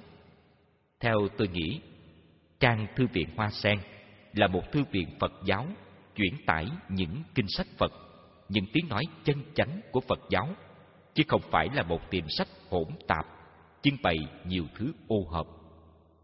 4. Bạn ngờ hát còn một lỗi về phẩm hạnh nữa. Thầy Thông Lạc là một người lớn tuổi. Dù bài viết của bạn ngờ hát vào năm 2002 hay 2003, thì thầy Thông Lạc năm đó cũng đã 75 hay 76 tuổi. Vậy mà bạn ngờ hát viết trống không và viết tắt như vậy. TNL Theo lịch sử, Phật chỉ giảng Pháp trong 49 năm, không phải 100 năm tại thế, như TNL viết. Còn nhiều nơi khác nữa. Cách thể hiện của bạn như vậy tôi cho là thiếu văn hóa lịch sự, kém đạo đức, không lễ độ. Có đúng vậy không các bạn? Dân tộc Việt Nam là một dân tộc có một truyền thống văn hóa kính trên nhường dưới, sống có đạo đức, lịch sự, lễ độ, cung kính, tôn ti, trật tự rất tuyệt vời. Vì thế, ngôn ngữ nước ta có đầy đủ những danh từ xưng hô phân biệt tôn ti trật tự mà trên thế giới không dân tộc nào có những danh từ xưng hô nhiều như vậy. Thế mà bạn ngờ hắc quên mình là dân tộc Việt Nam, quên nguồn gốc đạo đức của tổ tiên ông bà. Vì thế không chút dè dặt, coi thầy L như bạn bè đồng trang lứa hay bậc trưởng thượng đối với hàng ti thuộc vậy. Cho dù bạn ngờ hát trên 70 tuổi đi nữa, thì lại càng thủ lễ hơn để làm gương cho con cháu trong khi thầy thông lạc là một cụ già còn ba năm nữa bằng tuổi đức phật nhập diệt đó là nói về tuổi tác của thầy thông lạc, đáng là cha, là ông của không ít người. Còn giả dụ cho bạn GH hấp thụ văn hóa Âu Tây nên có lối xưng hô như thế, thì tôi cũng cho là bạn ấy sai nốt. Vì chỉ khi nào bạn GH thường giao dịch và thân thiết mới gọi người đó bằng tên trống không và hấp thụ như vậy là mất gốc. Chắc nhiều bạn không biết rằng về phần đức độ và tu hành của Thầy Thông Lạc khó mà tìm thấy trong thế gian này. Đời sống giới luật rất nghiêm chỉnh, không hề vi phạm những lỗi nhỏ nhặt. Thiền định nhập tứ thánh định, làm chủ sự sống chết, chấm dứt tái sanh luân hồi, thể hiện tam minh, tâm thường bất động trước các ác pháp và các cảm thọ, thường trú trong trạng thái thanh thản, an lạc và vô sự. Người như vậy trên đời này dễ gì thấy, phải không các bạn? Thưa các bạn, có sống gần bên thầy thông lạc mới nhận thấy được điều này. Thấy được điều này thật đáng cho chúng ta cung kính, tôn trọng. Có đáng cho chúng ta quỳ xuống cảnh lễ dưới chân người không, các bạn? Như vậy, cách ứng xử của bạn GH là rất đáng trách, phải không các bạn? Chỉ mới vào đầu một đoạn ngắn bài tiểu luận của bạn GH mà đã có nhiều cái sai không đúng với Phật giáo. Nếu đem hết các bài của bạn GH ra luận thì cái sai của bạn ấy còn biết bao nhiêu mà kể.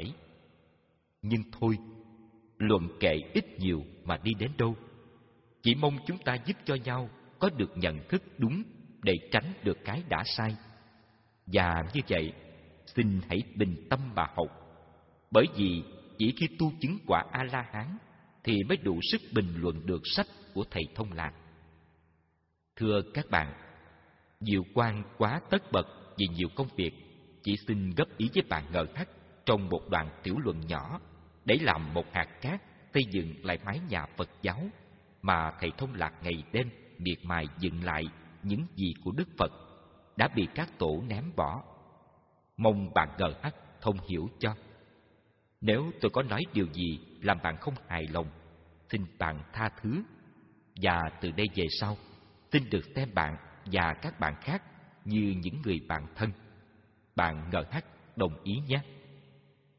Diệu Quang có lời thâm và chúc bạn dồi dào sức khỏe. Kính ghi Diệu Quang tháng 5 2004 Hết tập 6